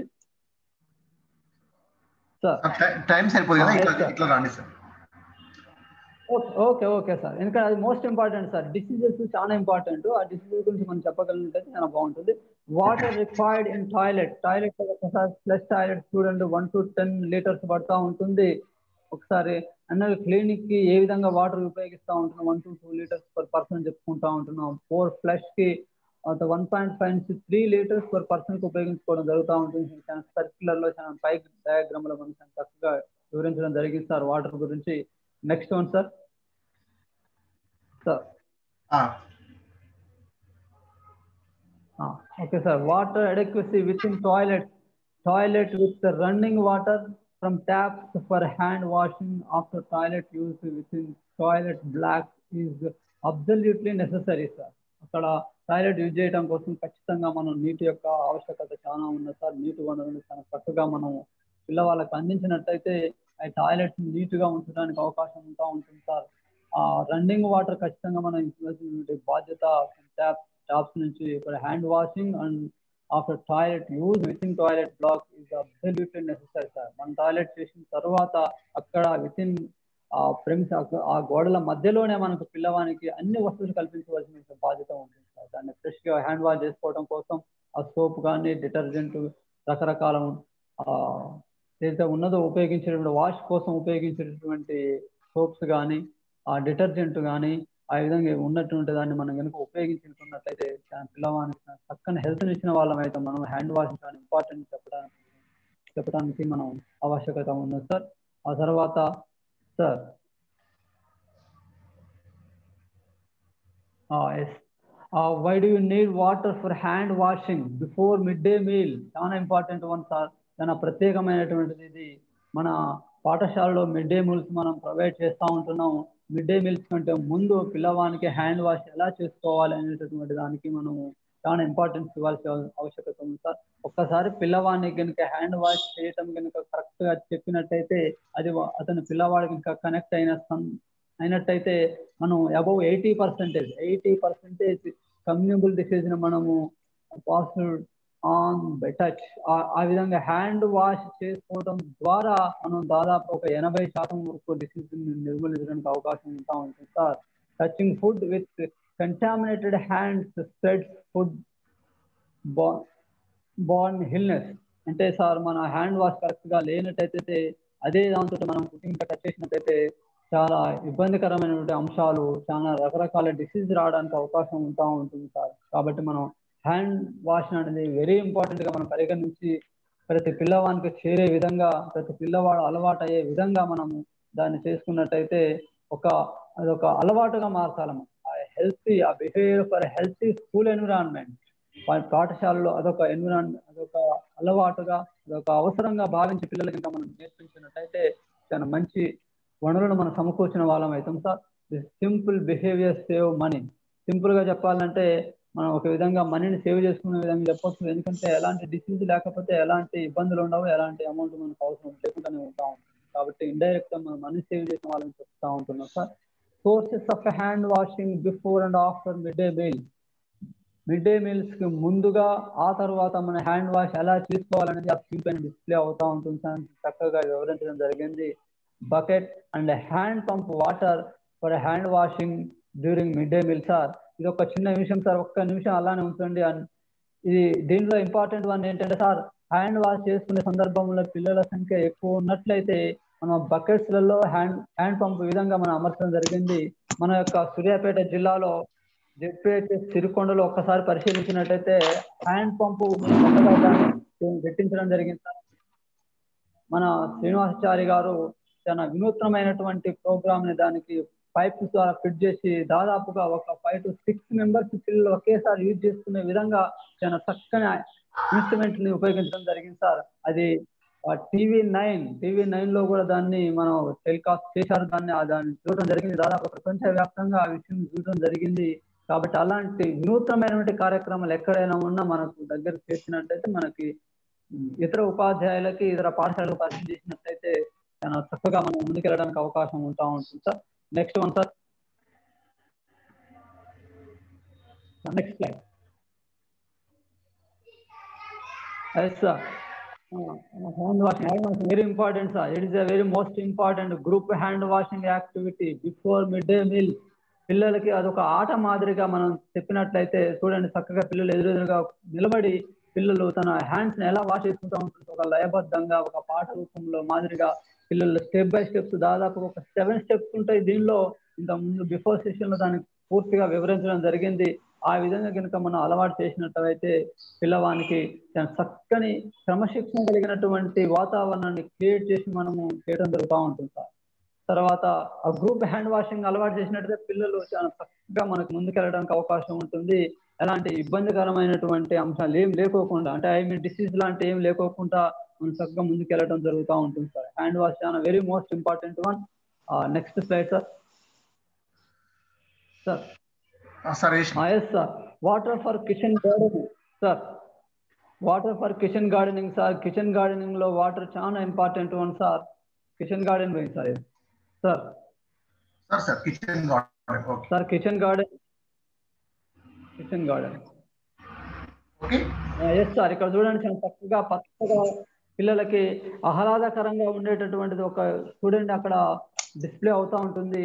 The idea behind kitchen gardening is to supply variety of food and boost nutritive value of mid day meals it also encourage children to grow plants vegetables and fruits sir ఇది చాలా ప్రతిష్టాత్మకమైనటువంటి sir ప్రతి పాఠశాలలో కూడా మన kitchen garden maintain చేయాల్సినటువంటి ఆవశ్యకత ఉన్నది sir మన కిచెన్ గార్డెన్లో ఉండేటటువంటి ఎదిగేటటువంటి ఆకుకూరల్ని కూరగాయలని కనుక మన పిల్లలకి అందించిన వాళ్ళం అయితే మనకు పిల్లలకి హండ్రెడ్ పర్సెంట్ న్యాయం చేసిన వాళ్ళం అవుతాం సార్. వాళ్ళ హెల్త్ దృష్ట్యా చాలా చక్కని మనం కూరగాయలను అందించిన వాళ్ళం అవుతాము ఈ మధ్య చాలా పెస్టిసైడ్స్ లేనటువంటి కూరగాయలను పండించాలనేటువంటి ఆలోచనతోటి అదే దాంతో మనం ముందుకు వెళ్తా ఉంటున్నాం సార్. ప్రతి పాఠశాలలో కిచెన్ గార్డెన్ కనుక ఏర్పాటు చేసుకున్నట్లయితే చాలా ఎంతో పిల్లలకు మంచి భవిష్యత్తుని ఇచ్చిన వాళ్ళం అవుతా ఉంటుంటాం. కాబట్టి మనం చెప్పుకొచ్చేది ఏంటంటే ప్రతి పాఠశాలలో ఖచ్చితంగా కిచెన్ గార్డెన్ మెయింటైన్ చేయాలి వాళ్ళ అవసరానికి తగినట్టుగా వాళ్ళ యొక్క ఏరియాని బట్టి మనం ఉపయోగించుకున్నట్లయితే చాలా బాగుంటా ఉంటుంది sir. Next one sir sir please ఇక. ఇది అంటే ఎసెన్షియల్స్ అన్ని చెప్పేసిరు మీరు ముగింపు చెప్పేయండి సార్. Okay sir. టైం అయిందా? సార్ ఒక ఐదు నిమిషాలు మీ దగ్గర okay. Sir thank you okay. Sir definitely so sir ఇప్పుడు మనం అంటే నీటి యొక్క ప్రాధాన్యత గురించి చాలా చక్కగా మనం వివరించుకోవడం జరిగింది సార్. అంటే ప్రతి పాఠశాలలో కనుక నీటి యొక్క ఆవశ్యకత ఎలా ఉంది అనేటటువంటి మనం ఒక్కసారి చూసినట్టయితే ఈ దీన్ని మన ఉపాధ్యాయులు కానీ ప్రధాన ఉపాధ్యాయులు దీన్ని పాటించి పిల్లలకు మంచి ఆరోగ్యమైనటువంటి అంశాన్ని అందించిన వాళ్ళం అవుతాం సార్. సార్ ఇంతవరకు మన టైం కేటాయించినటువంటి ఉపాధ్యాయులకి ప్రధాన ఉపాధ్యాయులు అదే విధంగా కోఆర్డినేషన్ సిబ్బందికి అందరికి కూడా పేరు పేరున ధన్యవాదాలు తెలియజేస్తూ థర్టీ మినిట్స్ నియర్లీ ఉన్నటువంటి అందరు కూడా నాకు ధన్యవాదాలు తెలియజేస్తూ అవకాశం కల్పించినటువంటి పెద్దలకి కృతజ్ఞత తెలియజేస్తూ. Okay thank you sir. సెలవు. Sir Damari garu. Okay thank you Koteswararao garu. Water importance గురించి వాటర్ కన్జర్వేషన్ గురించి చక్కటి ప్రజెంటేషన్ ఇచ్చారు. నెక్స్ట్ మనకి నెక్స్ట్ కార్యక్రమంలో భాగంగా ఎసెన్షియల్ ఈవే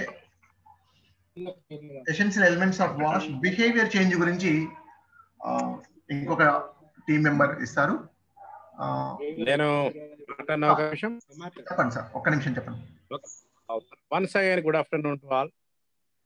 ఇప్పుడు వచ్చేటువంటి సెషన్లో మిస్టర్ పబ్బతి వెంకటేశ్వర్లు గారు మనకి ఈ యొక్క బిహేవియరల్ చేంజ్ గురించి ఒక థర్టీ మినిట్స్ ప్రెజెంటేషన్ ఇవ్వడానికి వచ్చాడు. సార్ ఒక ఫైవ్ మినిట్స్ ముందు కోటేశ్వరరావు గారు ఫైవ్ మినిట్స్ బేరం సార్ ట్వంటీ ఫైవ్ నే. ట్వంటీ ఫైవ్ కోటేశ్వరరావు గారు అద్భుతమైన ప్రెజెంటేషన్ ఇచ్చారు. మనకు బేసికల్లీ ఒక చిన్న విషయం చూసినట్లయితే పాఠశాలలో మనం చదువు చెబితే పిల్లలు నేర్చుకుంటారు అనేటువంటిది చాలా వరకు కరెక్ట్ కాకపోవచ్చు. సైకలాజికల్లీ మన బిహేవియరల్ చేంజ్ మనం తీసుకురాగలిగితే చదువు నేర్చుకోవాలనేటువంటి ఆలోచన పిల్లల్లో కనుక మనం తీసుకురాగలిగితే ఖచ్చితంగా చదువు వస్తుంది. అలానే ఇక్కడ కూడా వాష్ ప్రోగ్రాంలు కూడా ప్రధానమైనటువంటిది. మనం ఎన్నిసార్లు చెప్పినా పిల్లలు ఫాలో అవుతారా కదా సంగతి తర్వాత కానీ పిల్లలకు ఈ విషయం పైన అవగాహన పొంది జీవిత కాలం మొత్తంలో పరిశుభ్రంగా ఉండేది ఏ విధంగా అనేటువంటి బిహేవియర్ కనుక చేంజ్ చేయగలిగితే వాళ్ళకు ఉన్నటువంటి అలవాటును మనం కొంత చేంజ్ చేయగలిగితే ఆలోచన ధోరణి చేంజ్ చేయగలిగితే మనం సక్సెస్ అవుతాము that type of behavioural change class will take from mister Pabbathi Venkateswarlu twenty minutes class తీసుకుంటారు. అందరూ కూడా టైం ఫంక్షన్ని పాటిస్తూ మీకు ఇచ్చిన స్టిమ్యులేటెడ్ టైంలోనే మీరు చెప్పాల్సింది మొత్తం చెప్పగలగడం. అదే స్పీకర్ యొక్క లక్షణం కాబట్టి దాన్ని సద్వినియోగపరచుకుంటారని చెప్పి కోరుతూ it is over to mister Pabbathi okay thank you sir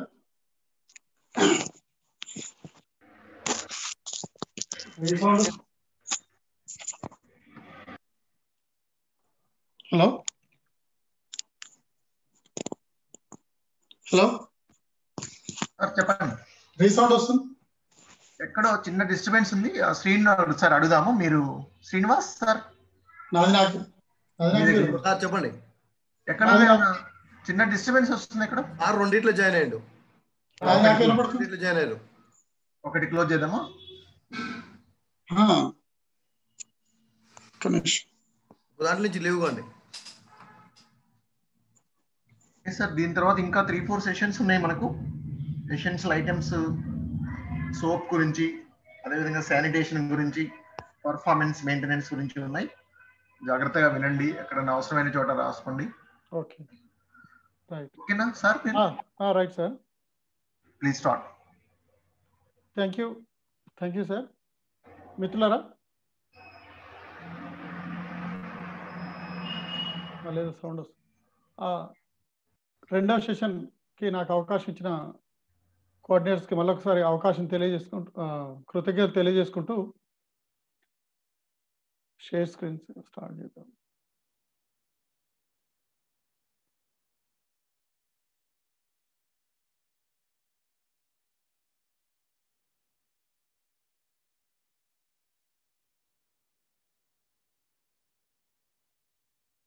Oh, yeah.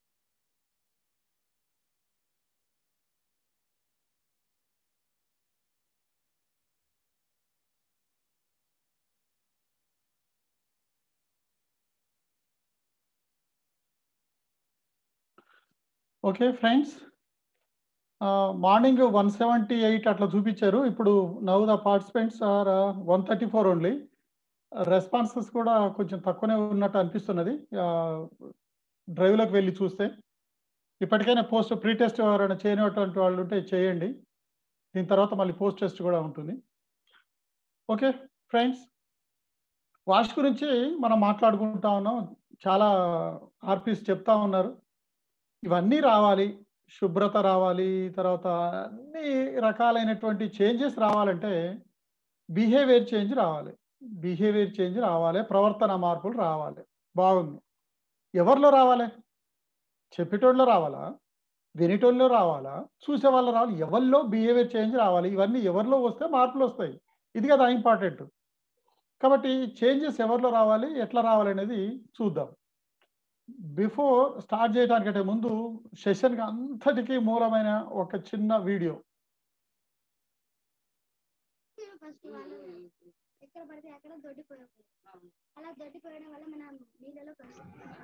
Sir train late నడుస్తుంది ఇప్పటికే.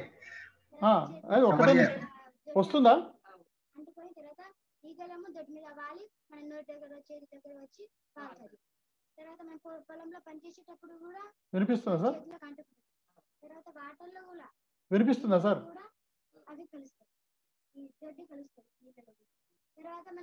సౌండ్ రావట్లేదు. సౌండ్ రావట్లేదా? ఓకే.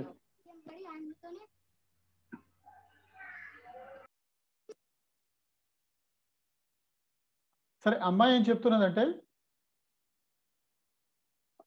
స్కూల్లో టీచర్స్ తనని మోటివేట్ చేసి సమాజంలోకి కమ్యూనిటీ దగ్గరికి పంపిన తర్వాత ఓపెన్ డెఫికేషన్ ఉంటే ఎట్లాంటి జబ్బులు వస్తాయి? ఓపెన్ డెఫికేషన్ ఉంటే టాయిలెట్స్ మీద ఆడినటువంటి ఈగలు వాటర్ వాటర్లో మీద ఆల్తాయి ఫుడ్ మీద ఆల్తాయి ఆ ఫుడ్ను మళ్ళీ మనం తీసుకుంటాం. అనేక రకాలైనటువంటి జబ్బులు వస్తాయి. స్టంట్స్ ఉన్నటువంటి పిల్లలు ఉంటారు. గ్యాప్ అంటే నాలెడ్జ్ అట్లా తక్కువ ఉంటుంది. కాబట్టి అట్లా ఉండొద్దు. అందరూ మరుగుదొడ్లు వాడాలని ఒక బిహేవియర్ చేంజ్ తీసుకురావడానికి తను ప్రయత్నిస్తున్నది. చాలా అద్భుతమైనటువంటి వీడియో కానీ అది ఎందుకో ప్లేట్ కావట్లేదు. సరే. ఈ బిహేవియర్ చేంజ్ ప్రవర్తన మార్పులు ఇది ఎవరిలో రావాలి అన్నప్పుడు ఇక్కడ ఈ వీడియోలో ఈ సెషన్లో ఏం చూస్తాం? What change in behaviour are we seeking మనం ఏ మార్పులు రావాలనుకుంటున్నాం? ఇదంతా డెవలప్ కావాలంటే ఏ మార్పులు రావాలి ఇన్ హూమ్ ఎవరిలో రావాలి? నేను ఫస్ట్ స్టార్టింగ్లో చెప్పినట్టు మార్పులు రావాలి. అందరూ మారాలి మారాలి మారాలి సమాజం మారాలి వాడు మారాలి వీడు మారాలి అంటే మనం కూడా మారాలి కదా. ఎవరిలో మార్పులు రా వస్తే ఇదంతా ఫుల్ సక్సెస్ అవుతుంది అనేది చూద్దాం. Why should we school try to change their behaviour ఈ స్కూలే ఎందుకు? అన్నప్పుడు స్కూల్ అయితేనే పిల్లలైతేనే టీచర్లు అయితేనే సమాజానికి తర్వాత స్కూల్కి తర్వాత పిల్లలకి మధ్య సంధానకర్తలుగా ఉండేటువంటి వాళ్ళు అద్భుతమైనటువంటి వ్యక్తులు టీచర్స్. టీచర్స్ ఒక ఎదుగుతున్నటువంటి సమాజంలో ఎదుగుతున్నటువంటి పిల్లలకి ఒక మోటివేషన్ కనుక ఇస్తే మోటివేషన్ను తీసుకెళ్ళి వాళ్ళు తమ తల్లిదండ్రులకి పక్కన ఉన్నటువంటి పొరుగు వారికి సమాజానికి వాళ్ళు మోటివేట్ చేస్తారు. ఇవాళ పిల్లలు చెప్తే వినండి తల్లిదండ్రులు ఉండరండి నాకు తెలిసి. పిల్లలే చాలా కీ రోల్ ప్లే చేస్తారు. వాళ్ళే లివింగ్ మీడియా. వాళ్ళు చెప్తే వాళ్ళు మారం చేసో లేకపోతే ఏదో రకంగానో తల్లిదండ్రుల్లో మార్పులు తీసుకొస్తారు. అదే స్కూల్ ఎందుకు ఆ పాత్ర వహించాలి అన్నప్పుడు స్కూల్ అయితేనే అద్భుతంగా పనిచేస్తున్నది. టీచర్లు చెప్తే అందరూ వింటారు కాబట్టి స్కూల్ని ఎన్నుకోవడం జరిగింది. Next why has to bring in the change ఎందుకు మార్పులు ఎందుకు తేవాలి? ఉండదు ఉండే రాదండి ఎట్లా అట్లా ఉంటున్నారు కదా ఉండే రాదండి అంటే మార్పులు ఎందుకు రావాలి? ఇంత ఇన్ని చెప్తున్నటువంటి అనేక రకాల డిసీజెస్ కారణమైనటువంటి ఈ పరిశుభ్రత లేకపోవటం మూలంగా అనేక జబ్బులు పడుతున్నారు అనేక అనారోగ్యాల పాలవుతున్నారు ఆర్థికంగా ఇబ్బందులు పడుతున్నారు. కోలుకోలేనటువంటి దెబ్బ తగులుతున్నది కాబట్టి ఇటువంటి పరిశుభ్రత రావాలి కాబట్టి అటువంటి మార్పులు ఒక్కొక్కరిలో మార్పులు వస్తేనే రావాలనేది ఈరోజు discuss చేయబోతాం. How can we do this మరి దీన్ని ఎట్లా చేస్తాం? ఏ ఏ పద్ధతులు వాడతాం? What are the systems place to do it what efforts can we make ఎట్లాంటి పద్ధతులు అనుసరించాలనేటువంటిది ఇవాళ చూద్దాం. Essential components for behaviour change ఏం కావాలి? మార్పులు రావాలంటున్నాం. మార్పులు రావడానికి మనకు ముఖ్యంగా ఇందులో వాడేటువంటి కాంపోనెంట్స్ ఏంటి? హ్యాండ్ వాషింగ్ విత్ సోప్ చేతుల శుభ్రత. చే చేతి పరిశుభ్రత సబ్బు ద్వారా చేతులు శుభ్రపరచుకునేటువంటి ఇది ఇందులో ఉంటుంది. పర్సనల్ హైజీన్ పర్సనల్ హైజీన్ అంటే వ్యక్తిగత పరిశుభ్రత. స్నానం చేశారా? ఉదయం ఒక్కసారి చేస్తారా? సంవత్సరానికి ఒక్కసారి చేస్తారా? పండగ పండగకి చేస్తారా? లేకపోతే ఉదయం సాయంత్రం స్నానం చేస్తారా? ఎప్పుడు చేయాలి అనేటువంటిది నెయిల్స్. గోర్లు ఎట్లా కత్తిరించుకోవాలి? గోర్లు కూడా గోర్లలో చేరేటువంటి మట్టి మనకి ఎన్ని రకాలైనటువంటి ఎన్ని రకాలైనటువంటి వైరస్కి బ్యాక్టీరియాకి ఇవన్నిటికీ నిలయంగా ఉంటుందో మనకు తెలిసిందే. అట్లాగే బ్రషింగ్. బ్రష్ ఎట్లా చేసుకోవాలి? బ్రష్ ఎప్పుడు చేసుకోవాలి? ఉదయం సాయంత్రం చేసుకోవాలా ఎట్లా చేసుకోవాలి? ప్రాపర్ బ్రషింగ్ ఎట్లా? కోంబింగ్ హెయిర్ దూకొని రావటం ఫుట్వేర్ చెప్పులు వేసుకోవటం. ఇంతకుముందు ఉదయం సార్ చెప్తున్నట్టు చెప్పారు. ఫుట్వేర్ లేకపోతే ఏమవుతుంది? ఫుట్వేర్ లేకపోతే జనరల్గా బయాలజీ సార్ చెప్తూ ఉంటారు. ఫుట్వేర్ లేకపోతే నిమటోడ్ జీవులు ఉంటాయి. నిమటోడ్ నిమటోడు ప్లాటియల్మింతిస్ జీవులు మట్టిలో బురదలో అక్కడ ఇక్కడ ఉంటాయి. అవి కాలికైనటువంటి గాయాల మూలంగా అవి శరీరంలోకి ప్రవేశిస్తాయి. దాంతో నట్టలు బద్దె పురుగులు కడుపులోకి చేరి ఎదుగుదలను ఆపుతాయి కడుపు నొప్పి ఇతరత్ర వాటికి కారణమవుతాయి. కాబట్టి చిన్నదో మంచిదో చెడ్డదో ఏదో ఒకటి ఫుట్వేర్ చెప్పులు ఉండాలి. సరే ఏదేమైనా అన్నిటికీ కారణం పేదరికం అయితే కావచ్చు కానీ ఉన్న దాంట్లో నైనా ఏదో ఒకటి ఎత్తుకొని ఒక చెప్పులు వేసుకోవడం అనేది ఉండాలి. టాయిలెట్ యూసేజ్ ఎట్లా చేయాలి? టాయిలెట్ యూసేజ్ ఈ దగ్గర ఎట్లా అనేది చెప్దాం. టాయిలెట్ యూసేజ్ దగ్గర మన బిహేవియర్ చేంజ్ రావాలి. టాయిలెట్కి వెళ్ళి వెళ్ళి వచ్చిన తర్వాత చేతులు కడుక్కోవటం ముందు చేతులు కడుక్కోవటం తర్వాత సబ్బుతోటి కడుక్కోవటం నీళ్ళతోటి కడుక్కోవటం వేరు సబ్బుతోటి కడుక్కోవటం వేరు. ఇది మనం పాటించాల్సిన అవసరం ఉన్నది. మీ మిత్రులరా టాయిలెట్కి వెళ్ళినప్పుడు చాలాసార్లు మన బాత్రూంలో చాలా సబ్బులు మిగిలిపోతూ ఉంటాయి. చిన్న చిన్న ముక్కలు మిగిలిపోతూ ఉంటాయి. ఏం చేయండి అంటే పడేయటం కాదు.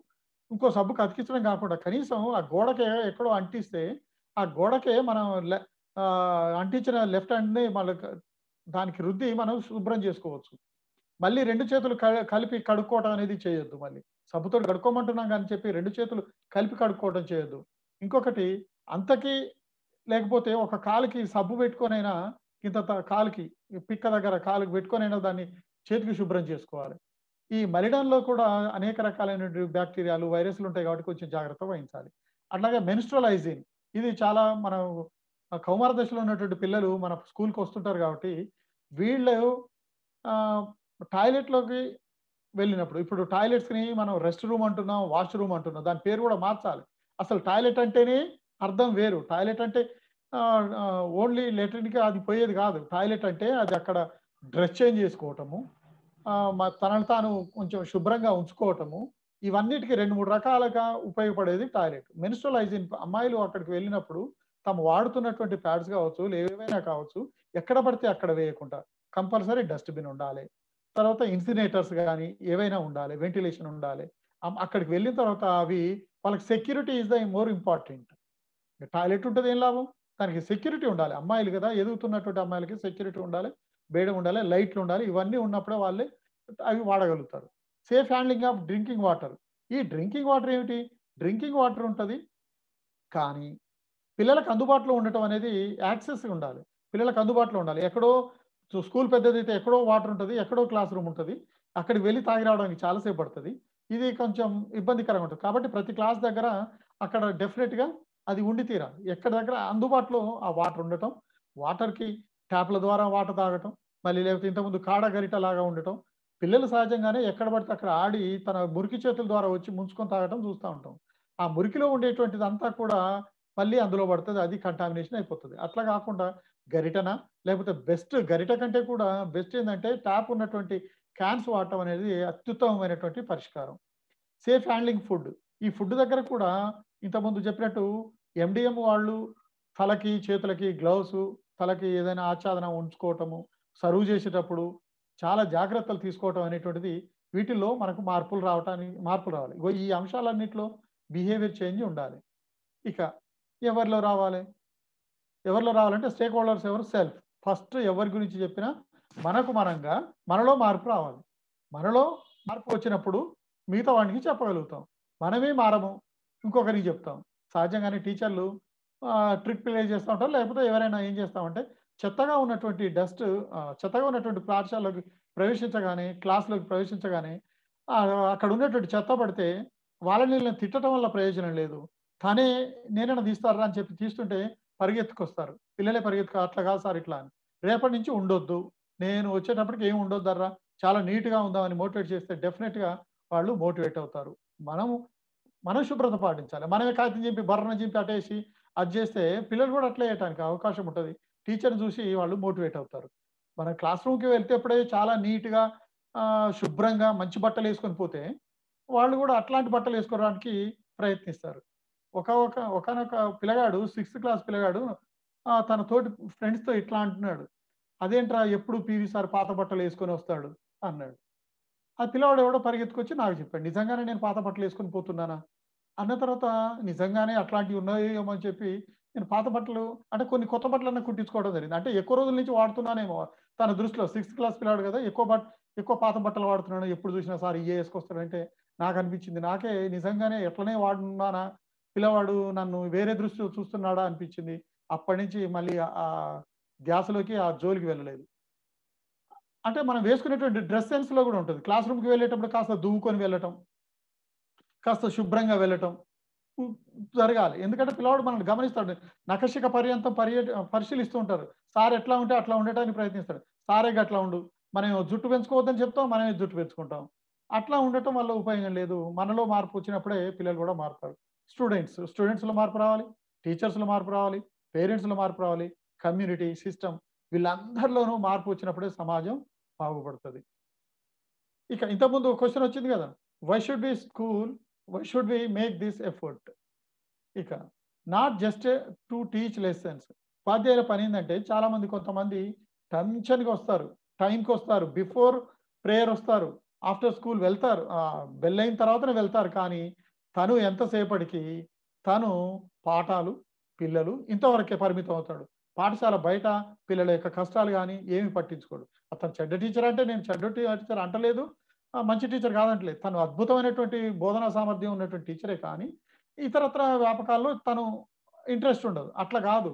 అన్ని విషయాలను పట్టించుకోగలగాలి. తన ఉండేటువంటి పిల్లలు మన వయసు మన పిల్లల కంటే కూడా తన తక్కువ వయసు పిల్లలు కాబట్టి వాళ్ళకి ఏ ఇబ్బందులు వచ్చినా కూడా వాళ్ళకు ఫ్రెండ్లీగా ఉండటం అనేటువంటిది నేర్చుకోవాలి. ఇంగ్లీష్లో కూడా ఉన్నది. Not just a teacher but అనేటువంటి ఒక లెసన్ ద్వారా కూడా టీచర్ అనేటువంటి వాడు ఒక టీచరే కాదు ఫ్రెండ్ లాగా కూడా ఉండాలి అనేటువంటిది. అట్లని చెప్పి వానికి అట అట్లా ఉండటం ద్వారా పిల్లలకి అనేక రకాల ఇబ్బందులు. ఇంటి దగ్గర చాలా మంది సహజంగా తల్లిదండ్రుల మధ్య ఉండేటువంటి పంచాల మూలంగా తను తిండి లేకపోవటం లేకపోతే స్కూల్ మానేయటం లాంటి కార్యక్రమాలు చేస్తూ ఉంటారు. అట్లా ఆబ్సెంట్ అయినప్పుడు ఎందుకు రావట్లేడు అనేటువంటి బాధలు కూడా మనం చూస్తాం కాబట్టే మనం స్కూల్ని సెలెక్ట్ చేసుకోవడం జరిగింది. To develop positive behaviour about health and sanitation. ఇది పిల్లల్లో మనం కలిగిస్తాం కాబట్టే మన స్కూల్స్ని పిల్లల్ని బాగా మోటి చే మోటివేట్ చేయగలిగినటువంటి వాళ్ళు టీచర్లే. తల్లిదండ్రులు చెప్తేనైనా వినరాళ్ళు. లేదు లేదు మా టీచర్ చెప్పాడు మా టీచర్ చెప్పింది కరెక్ట్. టీచర్ ఈవెన్ తప్పు సమాధానం చెప్పినా కూడా మా టీచర్ చెప్పింది రైట్ అనేటువంటి వాదించేటువంటి పిల్లలు ఉన్నారు. అంత బలమైనటువంటి ముద్ర మన టీచర్లలో టీచర్ పిల్లల మీద ఉంటుంది. అందుకోసమే స్కూల్ సెలెక్ట్ స్కూల్ని మనం ఒక మీడియాగా వాడుతున్నాం. అట్లాగే to translate the knowledge into action అంటే మనకు ఉన్నటువంటి జ్ఞానాన్ని మనం అమల్లో పెట్టడం. పిల్లలైతేనే మనం ఒక ఇట్లా చాలా శుభ్రంగా ఉండాలని చెప్పాం. చాలా శుభ్రంగా ఉండాలని చెప్పిన తర్వాత పిల్లలు అది అలవర్చుకున్నారు పోయి ఇంటికాడ వాళ్ళ అమ్మతోటి వాళ్ళ నాన్నతోటి వాదనేసుకొని లేకపోతే వాళ్ళు ఏదైనా మురికి చేతులతోటో లేకపోతే ఇంకేదైనా చేస్తున్నప్పుడు వాదించి మరి అట్లా చేయొద్దు అని చెప్పి మారం చేసైనా సరే అలవాట్లు మార్పిస్తారనమాట స్కూల్ ఎందుకు హెడ్ మాస్టర్లు ఎందుకు అన్నప్పుడు రైట్ ఏజ్ మంచి ఈ మోటివేషన్కి లైఫ్ స్టైల్ కొత్త జీ జీవన పంతాలోకి వెళ్ళేటువంటి పిల్లలు హై స్కూల్లో ఉంటారు. టెన్త్ క్లాస్ అయిపోయినా ఇంటర్మీడియట్లోకి వెళ్తారు. అంటే యువకుడుగా ఎదుగుతున్న తరుణంలో ఉండేటువంటి వచ్చేటువంటి మార్పు జీవితాంతం ఉంటుంది. వాళ్ళలో ఈ మార్పు తీసుకొచ్చేది పాఠశాల. అందుకోసమే ఈ పాఠశాల చాలా మంచి అలవాట్లని మంచి సామాజిక పౌరులుగా తీర్చిదిద్దడంలో ప్రధానమైనటువంటి పాత్ర పోషిస్తుందని చెప్తాం. అడల్టేజ్లోకి ప్రవేశిస్తున్నటువంటి విద్యార్థులు కాబట్టి వాళ్ళలో మంచి మార్పులు తీసుకురావాలి. అట్లాగే ఇంతకుముందు చెప్పాను చిల్డ్రన్ ఆర్ లివింగ్ మీడియా అని. వీళ్ళైతేనే మంచి సమాజానికి ఉన్న స్కూల్కి మంచి వారధులుగా ఉంటారు. వీళ్ళైతేనే సరిగ్గా చెప్పగలుగుతారు. పిల్లలు చెప్తున్నది ఆసక్తిగా వింటాం ఏం చెప్తున్నారు అనేటువంటిది. పిల్లలు దేవుడితో సమానం అంటారు కదా. ఆ దేవుడితో సమానమైనటువంటి పిల్లలు చెప్పేది చాలా శ్రద్ధగా తల్లిదండ్రులైనా ఎవరైనా వింటారు. అదే ఇంతకుముందు టీచర్ ఇన్ఫ్లుయెన్స్ పిల్లల మీద చాలా ఉంటుంది. కాబట్టి పిల్లలు పిల్లల మీద పడ్డటువంటి మోటివేషన్ ఎల్లకాలము ఉంటుంది. ఇక factors that motivate the children ఈ ఏం ఫ్యాక్టర్స్ పనిచేస్తాయి? ఫెసిలిటేషన్ ఫంక్షనల్ టాయిలెట్స్ ఉండాలి. ఉన్నదా? టాయిలెట్ ఉన్నది. పేరుకే ఉన్నది. అక్కడెక్కడో గ్రౌండ్లో ఒక వంద మీటర్ల రెండు వందల మీటర్ల దూరాన గొల్లె ఊడిపోయినా తలుపు ఊసిపోయినా సెక్యూరిటీ లేని నీళ్ళు లేని ఓ టాయిలెట్ ఉంటుంది. అది టాయిలెట్ టాయిలెట్ కాదు కదా. అది ఫంక్షనల్గా ఉందా లేదా అనేది చూడాలి. అది ఫంక్షనల్గా ఉండేటట్టు చూసుకోవడానికి కూడా అవసరం. ఈ అలాగే టాయిలెట్ ఉంటుంది వాటర్ ఉండదు. ఇది చూస్తే టాయిలెట్లు ఎట్లా ఉంటాయంటే కొన్ని టాయిలెట్లు కొన్ని చోట్ల పట్టించుకోకపోతే ఆ టాయిలెట్ ఒక అర కిలోమీటర్ దూరం వాసన వస్తుంటుంది స్మెల్ వస్తుంటుంది. ఆ పిల్లలంతా ముక్కులు మూసుకొని కూర్చుంటూ ఉంటారు. వాటర్ సరి అయినటువంటి వాటర్ ఎంత ఎక్కువ వాటర్ వాడితే అవి అంత ఫంక్షన్కి వస్తాయి. వాటర్ కోసం water compulsory head over head tank అనేటువంటి ఉండటం అనేది చాలా ముఖ్యం. అట్లాగే సోప్ అవైలబిలిటీ కూడా టాయిలెట్ నుంచి బయటకు రాగానే సోప్ అందుబాటులో ఉంటే వాళ్ళు చక్కగా దాన్ని వాడుకోగలుగుతారు. ఇప్పుడు ఎంతమంది కానీ సోపులు పెడతాం సార్? ఎంతమంది కానీ సోపులు తెస్తాం అన్నప్పుడు కొన్ని ప్రాంతాల్లో ఏం చేస్తారట సోపు ఫ్లేక్స్ సోపు ఫ్లేక్స్ అంటే ఏం లేదు ఒక సోప్ ఉంటుంది. ఆ సోపుని మన కూరగాయలు గీసే కూరగాయలు పొట్టు గీచేటువంటి పీలర్ ఉంటుంది కదా ఆ పీలర్ తోటి కాస్త ఇట్లా గీకి కొంచెం ముక్క వస్తుంది కదా పలసగా అది ఒక చే పిల్లలు చేతులు వేస్తారు ఆ పిల్లవాడు చే మంచిగా కడుక్కుంటూ అక్కడ అతను వెళ్తాడు. ఇక ప్రతి ఒక్కరు ఒకే సబ్బు పలుమార్లు ఒకే ఒక సబ్బుని అందరూ వాడటం ద్వారా కూడా కంటామినేషన్ అంటే ఒకరిది ఒకరికి వచ్చే అవకాశం ఉన్నది. ఇది కూడా ఇబ్బందికరమే కాబట్టి దీనికి లిక్విడ్ సోపు వాడమన్నారు. లిక్విడ్ సోప్ అయితే ఈజీగా ఒకరితో ఒకరికి అంటుకోవడానికి వీల్లేదు. లిక్విడ్ సోప్ అంటే మళ్ళీ మనకు ఆల్రెడీ సావ్లాన్ సప్లై చేశారు. ఒకవేళ లేకపోతే పొద్దున నేను ఆ ఐదు స్పూన్ల ముచ్చట చెప్పాను కదా అట్లా కూడా తయారు చేసుకోవచ్చు. డిటర్జెంట్ ఒక ఐదు స్పూన్లు ఒక ఇరవై లీటర్ల దాంట్లో వేస్తే చాలా రోజులు వస్తుంది చాలా పిల్లలకు వస్తుంది. అట్లా కూడా చేయవచ్చు. అది సోపు వాడటం. ఇంకా కొంతమంది ఏం చేశారు?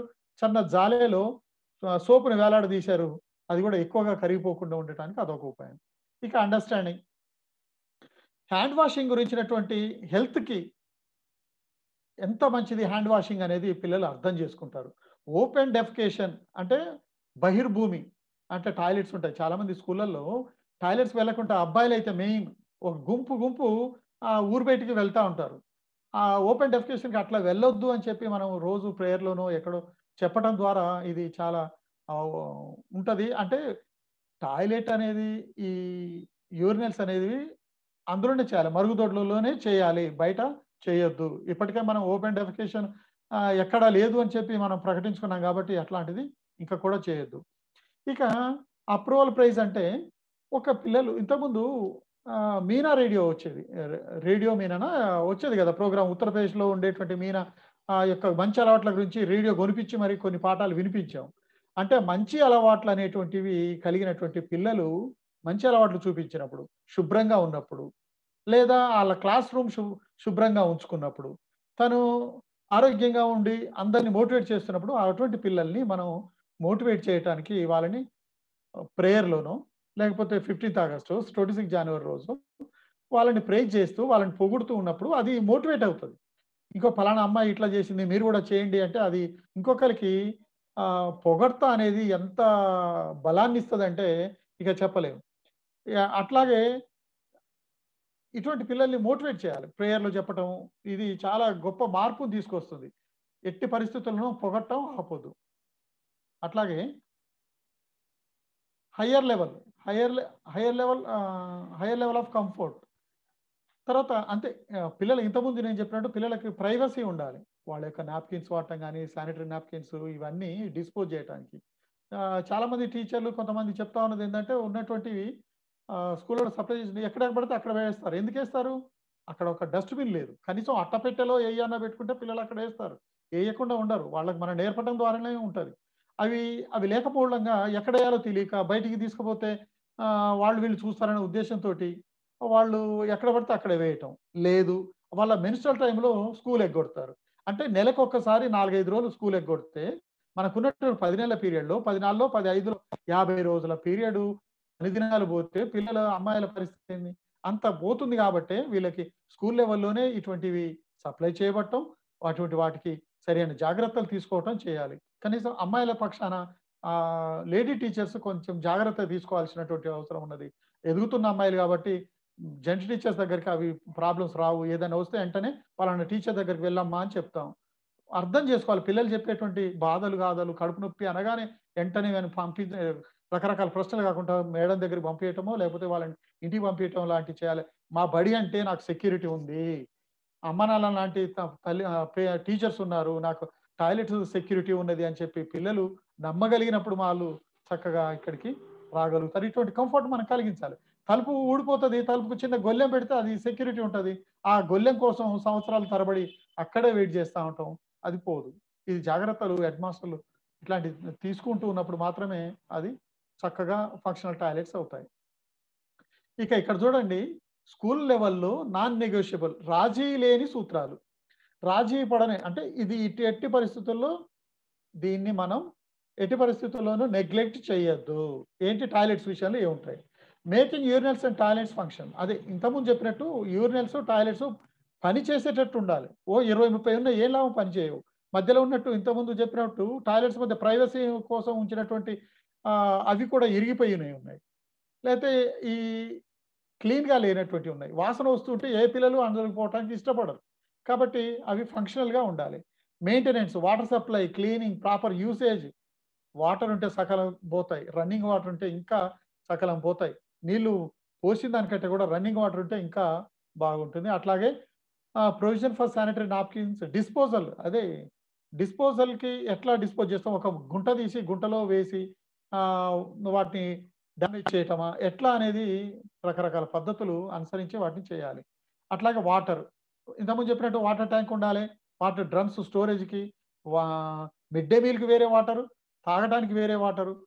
ఇప్పుడు కడిగిన నీళ్ళే వంటకి వాడకు అంటే ఏవైతే బియ్యం కడుగుతుంటారో ఆ వాటరే ఎసరు అంటాం కదా ఎసరో లేకపోతే అందులో పోసేటువంటి దానికే వాడుతాం బా- సరైనది కాదు. కలర్ కూడా మారుతా ఉన్నాయి. కొంచెం ప్యూరిఫైడ్ వాటర్ తాగే నీళ్ళు పోసి వండటం ద్వారా అది కొంచెం మంచిగా వా- భోజనం ఉంటూ ఉంటుంది. ఇటువంటి నీళ్ళకి ఎటువంటి ఇబ్బంది లేనటువంటి పరిస్థితి మనం కల్పించుకోవాలి. Safe drinking water drinking and cooking hand washing కూడా ఇంతకుముందు చెప్పినట్టు వాటర్ కూడా సరి అయినటువంటి వాటర్ అందుబాటులో ఉండాలి. వాటర్ లేకపోతే ఇంకా సోప్ ఉన్నా వేస్ట్ అది. ఇక పర్సనల్ హైజీన్ ఇంతకుముందు చెప్పినట్టు బట్టల విషయంలో చెప్పుల విషయంలో దూ దూకునే విషయంలో ఇప్పుడు ఒక టీచరు ఎంత చెప్పినా ఒకడు ఎంతమందికో చెప్పలేడు ఎంతమందిని పరిశీలి చేయలేడు. అయితే దీనికోసం మనము మనం కమిటీలు వేసాం. రకరకాల కమిటీలు ఉన్నాయి. ఐదు కమిటీల గురించి సార్ చెప్పాడు. వాళ్ళు ఒక క్లాస్కి లేకపోతే ఒక ఇద్దరు మెంబర్స్ను పెట్టడం ద్వారా వాళ్ళు పరిశీలించుకుంటారు. ప్రేయర్లోనే ఎంతమంది గోర్లు పెంచుకున్నారు ఎంతమంది జుట్టు పెరిగిందో ఒక రెండు నిమిషాలు మాట్లాడితే డెఫినెట్గా అది ప్రాబ్లం సాల్వ్ అయ్యే అవకాశం ఉంది. నిత్యం మాట్లాడుతూ ఉండటం పర్సనల్ హైజీన్ మీద మాట్లాడుతూ ఉండటంలో చేయాలి. ఇది స్కూల్ లెవెల్లో చేసేటువంటిది. ఇంకా స్కూల్ లెవెల్లో ఏముంటాయి? క్లీన్లీనెస్. ఇప్పుడు ఏం చెప్తున్నారంటే టీచర్ కానీ పిల్లలు కానీ స్కూల్లోకి ఎంటర్ అవుతుండగానే ఎంటర్ అవుతుండగానే ఆ పాఠశాల వాతావరణం ఎట్లుంది? ఎక్కడెక్కడ కాగితాలు పడి ఉన్నాయి? ఎక్కడెక్కడ డస్ట్ ఉన్నది? ఇవాళ పరిస్థితి ఏంటంటే పల్లెటూళ్ళలో మా స్కూల్ లాంటి స్కూల్లో మేము పోయేటప్పటికి పిల్లలు కొంతమంది ఇక అయిపోయినటువంటి పిల్లలు రకరకాలైనటువంటి తిన్నవి తెచ్చుకొని తిన్నవి పడేయటము లేకపోతే తాగిన సీసాలు పడి ఉండటం ఇట్లాంటివి చేస్తున్నారు. దానికి ఒక గేట్ లాంటివి ఏర్పాటు చేసుకుంటాం. దానికి అట్లాంటి ప్రయత్నం మేము కూడా చేసుకుంటాం. ఆల్రెడీ గేట్లు ఉన్నటువంటి వాళ్ళు కూడా ఉన్నారు. అంటే బళ్ళలోకి ప్రవేశించగానే చెత్త ఎక్కడైనా ఉంటే ఎంబటే మన పిల్లలైనా మనమైనా సెల్ఫ్గా చెత్తని తీసేటువంటి పని చేయాలి. దీనికి దాన్ని క్లీన్ చేసేటువంటి వర్కర్స్ అయినా ఆ డస్ట్బిన్లలో వేయటం ఇవన్నీ కూడా ఉండాలి అని. పాఠశాలలోకి ఎంటర్ అవుతుండగానే అది మొదలవ్వాలి అని. అట్లాగే ప్రతి క్లాస్ రూమ్కి డస్ట్బిన్స్. మనకు గ్రీన్ క్లబ్స్ ఉన్నాయి. ఆ గ్రీన్ క్లబ్స్లో కూడా ఇచ్చినటువంటి ఫండ్ ఎంతో ఇచ్చారు. ఆ ఐదు వేలు ఎంతో ఇచ్చారు. ఆ ఫండ్స్ నుంచి డస్ట్బిన్లు కొనమని చెప్పారు. ఆ డస్ట్బిన్లు ప్రతి ఒక్క క్లాస్ రూమ్కి ఉండాలి స్టాఫ్ రూమ్లో ఉండాలి వరండాలో కూడా అట్లాంటివి ఉండాలి. ఈ వచ్చినటువంటి చెత్త అంతా ఎక్కడ వేయాలి? మళ్ళీ దానికి ఒక కంపోస్ట్ పిట్ ఏర్పాటు చేసుకోవటం జరగాలి. దాన్ని మేనేజ్మెంట్ డిస్పోజల్ మేనేజ్మెంట్ కూడా మనం చూసుకోవాల్సి ఉన్నది. ఇప్పుడు ఇంకా పిల్లలు హెల్త్ విషయంలో ఆబ్సెంటీస్ ఆబ్సెంటీస్ అవుతారు ఎందుకు ఆబ్సెంట్ అవుతున్నారు? వీళ్ళు పిల్లలు రాకపోవడానికి గల కారణం ఏందని చెప్పి ఒక టీచర్ దగ్గర ఉన్న దగ్గర సిఆర్పికి చెప్పటము లేకపోతే ఎక్కువ మంది ఉన్నప్పుడు కొంతమంది టీచర్లని అక్కడికి పంపించటము లేదా ఒకడే టీచర్ ఉన్నప్పుడు ఎస్ఎంసి సభ్యుల్ని వాడుకోవటము ఏదో రకంగా మనం వాళ్ళని పిల్లలు ఎందుకు ఆబ్సెంట్ అవుతున్నారు అనేటువంటి విషయాలు తెలుసుకోవటం బై ఫోన్ కానీ లేదా ఎట్లయినా తెలుసుకొని వాళ్ళని బడికి వచ్చేటట్టు చూడటం. అట్లాగే పిల్లలు అప్పుడప్పుడు హెల్త్ క్యాంపులు ఏఎన్ఎం ద్వారా కానీ డాక్టర్స్ ద్వారా కానీ ఏర్పాట్లు చేసుకోవటం జబార్ కార్డ్స్ ఉన్నాయి మనకి. ఆ కార్డ్స్లో హెల్త్ కార్డ్ హెల్త్ టీమ్స్ వచ్చినప్పుడు వాళ్ళని ఫ్రీక్వెంట్గా చేంజ్ చేసి ఫ్రీక్వెంట్గా వాళ్ళని చెకప్ చేయించటం. మనం టీములతోటి ఇంటరాక్ట్ అవుతూ ఉంటాం. మెడికల్ క్యా మెడికల్ సిబ్బందితోటి ఏదైనా ఇబ్బంది వచ్చినప్పుడు వాళ్ళని పిలిపించుకొని మనమే చేస్తూ ఉండటం.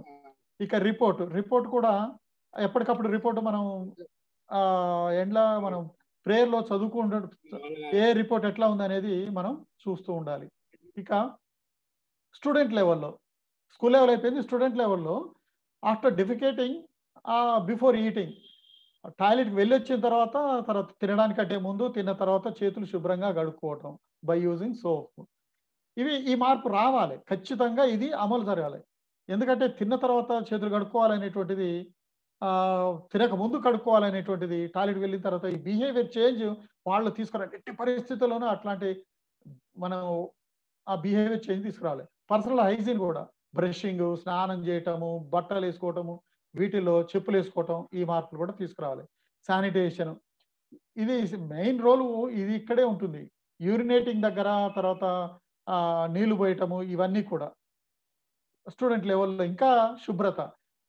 చెత్త రాగానే చెత్త కొంతమంది పిల్లలు ఏం చేస్తారంటే నోట్బుక్లు చింప అటు మూలకేయ చింప మూలకేయ అనేటువంటిది కాకుండా ఇంకా చిటుకని చెబుతారు చిన్న చిన్న ముక్కలు చేస్తారు బెంచ్ల కింద పడేస్తూ ఉంటారు. అదన్నీ కూడా తీసుకుపోయి మనం ఎక్కడో వెంటనే వేయటం. అలాగే ప్రతి ఒక్కరు తుమ్మినప్పుడు దగ్గినప్పుడు చీదినప్పుడు హ్యాండ్ కర్చీఫ్లు వాడటం దగ్గటం తుమ్మటం ద్వారా ఎటువంటి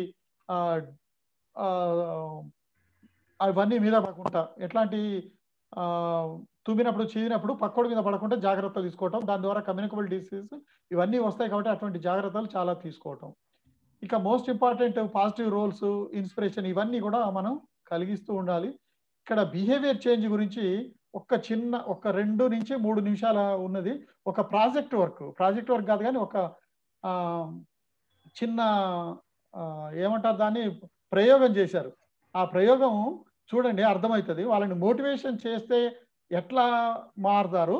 మోటివేట్ చేయకపోతే ఎట్లా ఉంటారు అనేటువంటిది చిన్న పిల్లల మీద చేసినటువంటి ప్రయోగం ఉన్నది. ఒకసారి చూపిస్తాను అది. So my crack research team decided to conduct an experiment to see if we could change something as difficult as hand washing habits, only with the toughest subjects of all kids. So here's what we did we took 80 munchkins and put them into groups. First, we gave them a challenging puzzle to put together. You know, kind of like the projects you adults are always busy with. Then, we gave them a distractions. Yes, una sir. Okay ఇంకా volume పెంచుకోవచ్చు ఎవరికి వాళ్ళు ఎవరికి వాళ్ళు పెంచవచ్చు Once I see that you guys have put the whole puzzle together correctly, I'll raise my flag, just like this, and then I'll blow my whistle.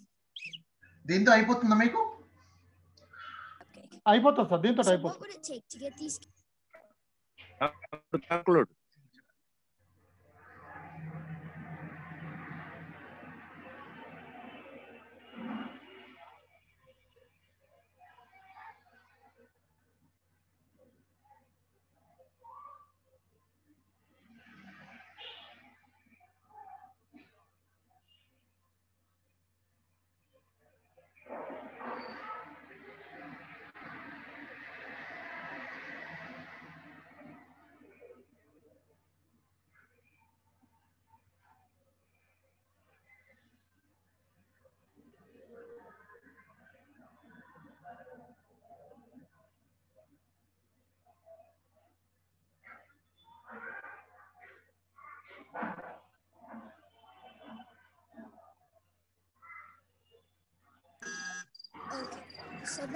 Colossal failure. Now what?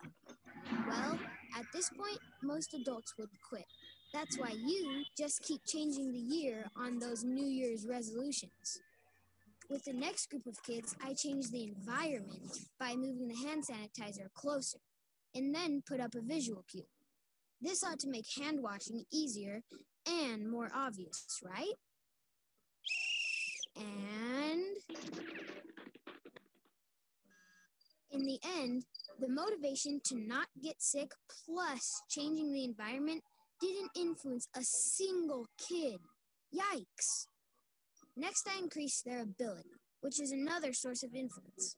I had them all complete what is known as deliberate practice or training to increase their familiarity with good hand hygiene. Will adding another source of influence get these hand washing offenders to wash up? Done. And. Well, now we're seeing some better results. We're combining three different sources of influence, and some of the kids are actually washing their hands. It looks like we're on the right track. So, next, I added another source of influence social influence. What if somebody spoke up and said something? What would happen if their bosses were in the room with them? Here come the cupcakes. And there goes the flag. Will they wash? No! Look at them pouncing on those cupcakes like a pack of ravenous hyenas. But it's not too late because something important happens. At just the critical moment, a peer, not even one of the bosses, speaks up. Wash your hands. Watch the effect.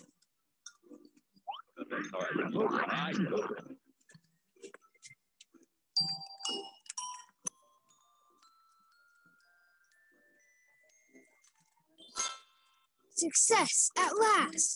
So, social motivation obviously made a difference. But was it the only thing that mattered? What about our other sources of influence? Here's what my kids had to say. The sign.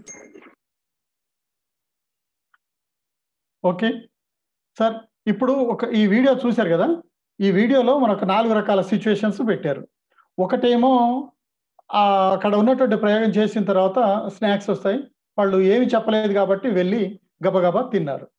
ఈ చేతులు కడుక్కోని లాంటిది ఏం జరగలేదు. రెండవ సిచ్యువేషన్లో sanitizers వాడారు. Sanitizers పెట్టారు కానీ ఎన్విరాన్మెంట్ చేంజ్ చేశారు. శానిటైజర్స్ పెట్టారు కానీ వాళ్ళు ఆ శానిటైజర్ కూడా వాడాలి. ఈ రెండు సిచ్యువేషన్లో పిల్లలు ఎక్కడ చేతులు కడుక్కున్నటువంటి శానిటైజర్ వాడే సందర్భాలు లేవు. మూడో సిచ్యువేషన్లో ఏం చేశారు? పిల్లలకి ప్రాక్టీస్ చేయించారు. ఆ శానిటైజర్ అందరి చేతుల్లో వేసి ప్రాక్టీస్ చేయించి కడిగిచ్చారు. అప్పుడు ఒకలో ఇద్దరు ఆ దాన్ని పాటించారు. నాలుగోసారి సోషల్ మోటివేషన్ అంటే ఒక డాక్టర్ని తీసుకొని వచ్చి చేతులు కడుక్కోవటంలో ఉన్నటువంటి లాభాలు దానికి కడుక్కోవాల్సినటువంటి అవసరం గురించి వాళ్ళు చెప్పించారు. ఈసారి వాళ్ళు ఆ ప్రయోగం చేసిన తర్వాత అందరూ వెళ్ళి మళ్ళీ సెల్ఫ్ మోటివేషన్ అంటే పక్క పిల్లవాడు కూడా అరిచాడు. ఏ అందరూ వాష్ యువర్ హ్యాండ్స్ అన్నాడు. అనేటప్పటికీ ఎవ్వరు కూడా అక్కడ వెళ్ళి వాటిని టాఫీస్ వాటి స్వీట్స్ని తినకుండా వెనకొచ్చి చేతులు కడుక్కున్నారు. అంటే మోటివేషన్ అనేటువంటిది ఉన్నప్పుడు మాత్రమే మనలో బిహేవియర్ చేంజ్ వస్తుంది. ఊరికే ఎన్విరాన్మెంట్ క్రియేట్ చేసినంత మాత్రాన కాదు లేకపోతే వాళ్ళకు వాళ్ళు నేర్చుకుంటారు అన్నంత మాత్రాన కాదు. ఇటువంటి బిహేవియర్ చేంజ్ డెఫినెట్గా తోటి పిల్లల మధ్య రావాలని వస్తుందని అట్లా వచ్చేటట్టు చేయాలని కోరుకుంటూ నాకు ఈ అవకాశం ఇచ్చిన కోఆర్డినేటర్కి గారికి కృతజ్ఞతలు తెలియజేసుకుంటూ ముగిస్తున్నా. Thank you.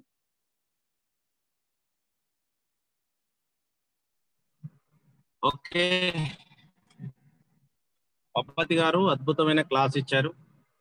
బిహేవియరల్ చేంజ్ ఎంత బాగా మారితే అసలు ఎవరు మారాలి అనే దాని గురించి ఒక అద్భుతమైన ఆన్సర్ ఇచ్చారు.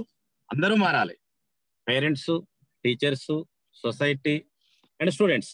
అందరి ఆలోచన ధోరణిలో దీని యొక్క ఇంపార్టెన్స్ మనకు తెలిసినప్పుడు ఖచ్చితంగా అమలైతే అనేటువంటి ఒక గొప్ప విషయాన్ని చెప్పారు. మరి మనందరి పక్షాన ధన్యవాదాలు తెలియజేస్తూ welcome to next session. Mister B Venkateswarlu garu ఈ వాష్లో ఒక ప్రధానమైనటువంటి అంశం మనకు కనిపిస్తా ఉంది. వాటర్ తర్వాత అంతకంటే ఎక్కువ ఇంపార్టెన్స్ అన్ని రకాల జబ్బులకు ప్రధాన కారణమైనటువంటి ఏదైతే ఆ చేతుల ద్వారా మనకు జరుగుతున్నటువంటి అనేక రకాల క్రిముల ఆ తాకిడే కావచ్చు ఇంకో రకం చూసుకుంటే మనలో కూడా కావచ్చు వీటన్నిటికీ ఒక పరిష్కారం ఏంటంటే హ్యాండ్ వాష్ అత్యంత ముఖ్యమైనటువంటి ప్రక్రియగా మనం ఇప్పుడు చెప్పాల్సిన అవసరం వచ్చింది. హ్యాండ్ వాషింగ్ గురించి మిస్టర్ వెంకటేశ్వర్లు గారు మనకు సవివరంగా వివరిస్తారు.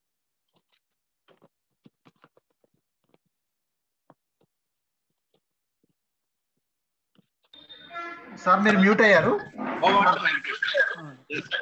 బ్యాండ్ విడ్త్లో ఉంది అంతే. వెంకటేశ్వర్లు గారు. Boora. Sir Venkateswarlu garu. Boora screen sir screen sir mute అయినట్టు ఉన్నాడా బుర వెంకటేశ్వర్లు ఉన్నాడా అసలు? ఆ, ఉన్నారు. సార్. సార్ ఒక్క నిమిషం. ఎవరిది కావాలి? Boora Boora B Venkateswarlu Huzurnagar sir hand raise చేయండి సార్. వెంకటేశ్వర్లు గారు? బూర వెంకటేశ్వర్లు ఓకే ఉన్నాడు దొరికినాడు. ఓకే సార్ అన్మ్యూట్ చేసుకోండి. ఇంకా? ఓకేనా? Sir. ఉండుగా. Next Satyanarayana garu hello sir. Next session sir. వినిపిస్తుందా సార్? ఆ, ఎస్ ఎస్ ఆ, ఓకే సార్. ఓకే షేర్ చేయమంటారా? ఓకే ఆ, మీరు స్టార్ట్ చేయండి షేర్ చేస్తాం సార్ ఇక్కడ నుంచే. చేయండి చేయండి. Okay sir. నాది స్క్రీన్ మీద నన్ను ఆపరేటర్ ఓకే ఫైన్ వెంకటేశ్వర్లు గారు gone okay sir thank you sir right ఓకేనా సార్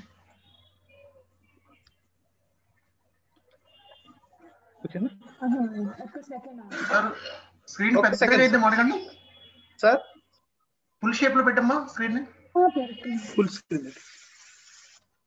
స్లైడ్ షోలోకి వెళ్ళండి. అందరం డబ్ల్యూపీఎస్లో వస్తున్నాం కాబట్టి ఇబ్బంది అవుతుంది సార్. ఇంతకుముందేమో వేరే విధంగా వచ్చింది. ఫైన్ ఇంకా రావాలి. అసలు నన్ను sound చేయగమ్మా okay sir you can start full screen రావాలన్నా. వచ్చింది. వచ్చింది వచ్చింది. ఓకే. ఫుల్ స్క్రీన్ నాది రండి వాళ్ళు. వచ్చింది నా- వచ్చింది సార్. వచ్చింది సార్. మాకు వచ్చింది రండి. మీకు ఆ, ఓకే కనపడదు. సార్. రైట్ ఆన్లైన్ ద్వారా వాష్ ప్రోగ్రామ్ని వీక్షిస్తున్నటువంటి ఉపాధ్యాయ మిత్రులకు టెక్నికల్ టీముకు అందరికి కూడా నమస్కారాలు.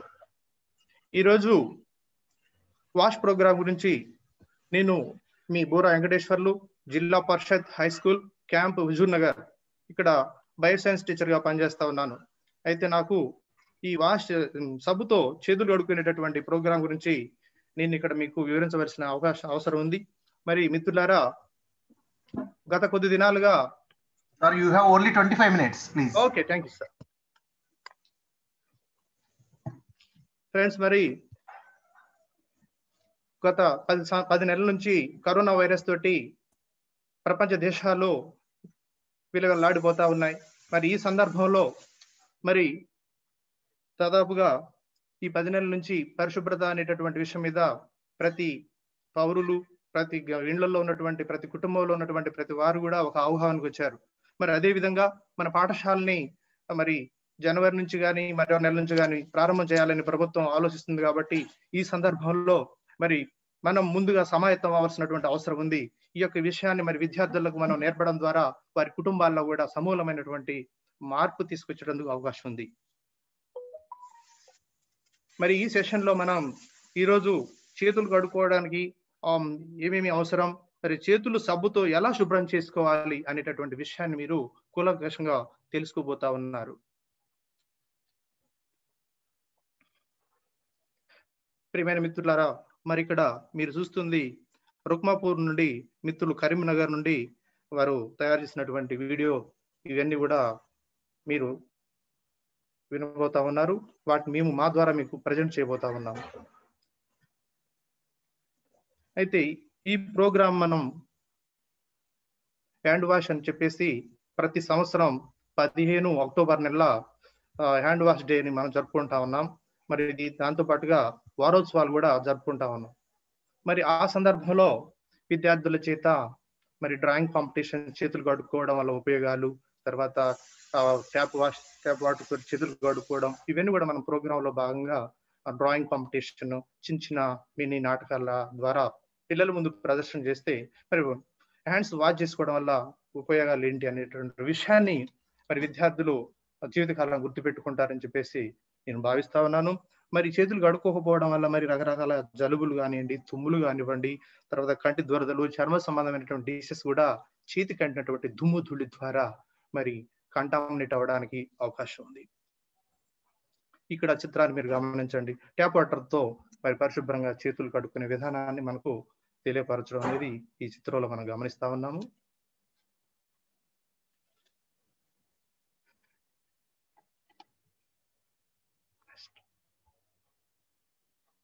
మరి కరోనా వైరస్ అనేటటువంటిది గత పది నెలలుగా ప్రపంచ దేశాలను గజగజలాడిస్తా ఉంది. ఈ కరోనా వైరస్ని మనం తరిమి వేయాలంటే మరి దీనికి వైరస్కి దాదాపుగా మందు లేదు కాబట్టి నివారణ ఒకటే మార్గం మార్గం. మరి దీనికి కావాల్సినటువంటి ప్రికాషన్స్ మనం తీసుకోవాల్సిన అవసరం ఉంది. ముఖ్యంగా హ్యాండ్ వాష్.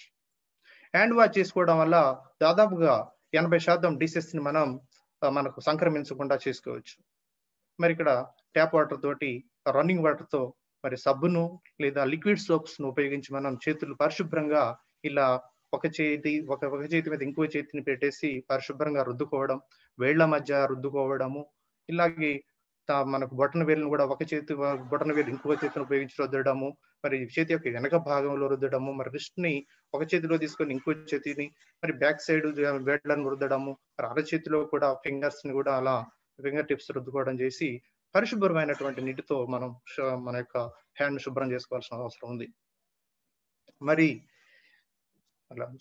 మరి ఇక్కడ మిత్రులారా గత పది సంవత్సరాల నుంచి మనకు ఆరోగ్య శాఖ వాళ్ళు చేతులు ఎలా కట్టు కడుక్కోవాలని చెప్పేసి మన పాఠశాలకు వచ్చి ప్రతి సంవత్సరం మనకు ఏఎన్ఎంస్ మన పిల్లలకి ట్రైనింగ్ ఇస్తానే ఉన్నారు. మనం కూడా చూస్తానే ఉన్నాం. మరి ఇప్పుడు ప్రత్యేకంగా ఎందుకు చెప్పవలసి వచ్చింది? మళ్ళా అని చెప్పేసి అందరికి కూడా మీకు అనుమానం రావచ్చు. మిత్రులారా మరి కరోనా వైరస్ అనేటటువంటిది భయంకరమైనటువంటి వైరస్. మరి గతంలో అనేక రకాల వైరస్లు వచ్చాయి. కానీ ఇంత ఓవర్గా ప్రపంచాన్ని ఏ వైరస్ కూడా వణికించలేదన్న విషయాన్ని మనం అందరం కూడా గమనించాలి. మరి ప్రస్తుతం ఈ సీజన్లో మనం ఈ ఈ కరోనా వైరస్ మరి టైంలో మరి పాఠశాల ఓపెన్ చేయాల్సినటువంటి అవసరం ఉంది కాబట్టి ఈ ప్రోగ్రామ్ని మరి ఇప్పుడు మనం నిర్వహిస్తున్నటువంటి ప్రోగ్రామ్ ద్వారా మీరు ఇక్కడ కొన్ని విషయాలు తెలుసుకోబోతున్నారు. అదేంటి అంటే అసలు చేతులు ఎందుకు కడుక్కోవాలి? ఆరోగ్యంపై దీని ప్రభావం ఏమిటి? గ్రూపులుగా చేతులు కడుక్కోవడం వల్ల వచ్చేటటువంటి లాభాలు ఏంటి అదేవిధంగా స్టెప్ బై స్టెప్ చేతులు కడుక్కోవడం ఎలా? అదేవిధంగా చేతులు కడుక్కోవడం వల్ల మరి హండ్రెడ్ పర్సెంట్ పరిశుభ్రత ఎలా మనము సాధించవచ్చు అనే విషయం. అదేవిధంగా చేతులు కడుక్కోవడం వల్ల ఆరోగ్యంలో కానీ విద్యార్థుల యొక్క ఆరోగ్యంలో కానీ ప్రవర్తనలో కానీ తద్వారా చదువుపై శ్రద్ధ పెరగడం కానీ అది ఎలా ఉంటుంది అనేటటువంటి విషయాల మీద మీరు ఒక అవగాహన కలిగి ఉంటారు. నెక్స్ట్ మనం ఇదే సెషన్లో చేతులు కడుక్కునేటటువంటి స్థలాలు మరి అక్కడ పిల్లలంతా గుమిగూడకుండా ఒకే దగ్గర మరి కొన్ని ఏర్పాట్లు చేసుకోవడము తినే ముందు చేతులు కడుక్కోవడము తిన్న తర్వాత చేతులు కడుక్కోవడము సోప్తో. అదేవిధంగా మరి ఎలా కడుక్కోవాలి అనేటటువంటి విషయాన్ని మీరు ఈ యొక్క ప్రోగ్రాంలో నేర్చుకోబోతా ఉన్నారు. అదేవిధంగా మిత్రులారా ఇక్కడ ఎప్పుడు ఎలా చేతులు వాచ్ చేసుకోవాలనేటటువంటి విషయాన్ని మనకి ఈ వీడియో చూపిస్తా ఉంది. మరి చేతులు శుభ్రం చేసుకోవడం అంటే ఏంటి? క్రిములు డస్ట్ పోవడానికి చేతులను శుభ్రంగా చేసుకోవాలి. సబ్బు రన్నింగ్ వాటర్తో కడుక్కోవాలి. సబ్బుతో రన్నింగ్ వాటర్తో చేతులను శుభ్రంగా చేసుకున్నప్పుడే చేతుల్లో ఉన్నటువంటి మురికి అనేటటువంటిది పూర్తిగా తొలగించబడుతుంది. అనారోగ్యం పాలవకుండా ఉండడానికి చేతులు శుభ్రంగా కడుక్కోవాలి అనేటటువంటి విషయాన్ని మీరందరూ గమనించవలసినటువంటి అంశం. మరి ఇక్కడ చూస్తే సబ్బుతో చేతులు కడుకున్నటువంటి పిల్లలు మనం ఇక్కడ గమనిస్తా ఉన్నాము. మరి అన్నం తినే ముందర మరి సబ్బుతోటి చేతులు ఎందుకు కడుక్కోవాలి?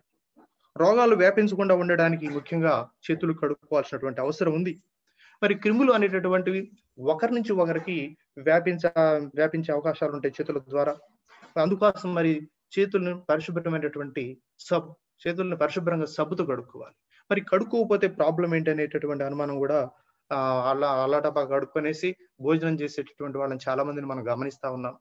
మరి ఇక్కడ చేతులు కడుక్కోకపోవడం వల్ల కడుపులో నొప్పి వస్తుంది. అదేవిధంగా శ్వాసకోశ సంబంధమైన రోగాలు వస్తాయి. అదేవిధంగా విరోచనాలు వస్తాయి. అదేవిధంగా కలరా ఇంకా మనకు రకరకాల ఓవరాల్ కమ్యూనికేటెడ్ డిసీజ్ కూడా వచ్చే అవకాశం ఉంది. వాటితో పాటుగా వైరల్ డిసీజ్ ఫ్లూ ఫ్లూ జ్వరం అదేవిధంగా జలుబు తుమ్మడము చర్మ సంబంధం అనేక రకాలైనటువంటి రోగాలు వస్తా ఉన్నాయి.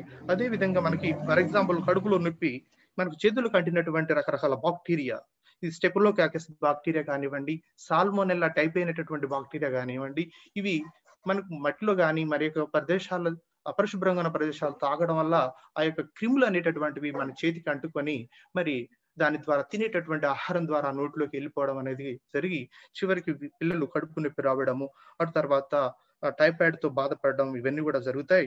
అదే విధంగా ముక్కులో వేలు పెట్టుకోవడం కానివ్వండి లేదా ఆ పరిశుభ్రమైనటువంటి అపరిశుభ్రమైన ప్రదేశాల్లో మరి చేతులు తాకిన తర్వాత ముక్కుని ఇలా టచ్ చేసినప్పుడు ముక్కులోకి వెళ్ళిపోయి శ్వాస ద్వారా మరి కొన్ని రకాలైన శ్వాస సంబంధమైనటువంటి రోగాలు రావడానికి అవకాశం ఉంది. ఇందులో మనకు వచ్చేసి స్టెప్టోకాక్సస్ అనేటటువంటి బాక్టీరియా కూడా ఈ న్యూమోనియా డిసీజ్ కలిగజేసేటటువంటి కెపాసిటీ ఈ స్టెప్టోకాకస్ అనేటటువంటి బాక్టీరియాకు ఉంది మరి ఇలాంటి బాక్టీరియాలను మనం అంతమొందించాలంటే చేతుల దగ్గర ముఖ్యంగా చేతుల్ని పరిశుభ్రంగా సబ్బుతో కడుక్కోవడం వల్లని వైరస్ కానివ్వండి ఫంగస్ కానివ్వండి ఇంకా వాటి యొక్క లార్వాలు గుడ్లు కూడా ఇక్కడ ఫంగస్ తాలూకు మరి తర్వాత తర్వాత ఇవన్నీ కూడా సబ్బుతో కడుక్కోవడం వల్లనే వాటిని మనం నిర్మూలించి మనం పరిశుభ్రంగా పరిశుభ్రంగా ఉండటం వల్ల ఆరోగ్యంగా ఉంటామని చెప్పేసి మీకు తెలియపరుస్తా ఉన్నారు అదేవిధంగా సబ్బుతోటే చేతులు ఎందుకు ఎందుకు కడుక్కోవాలి అనేటువంటి విషయాన్ని ఇక్కడ ఇందులో ఉంది. ఈ ఇక్కడ ఉన్నటువంటి చిత్రాన్ని కనుక గమనించినట్టయితే ఒకసారి చూడండి.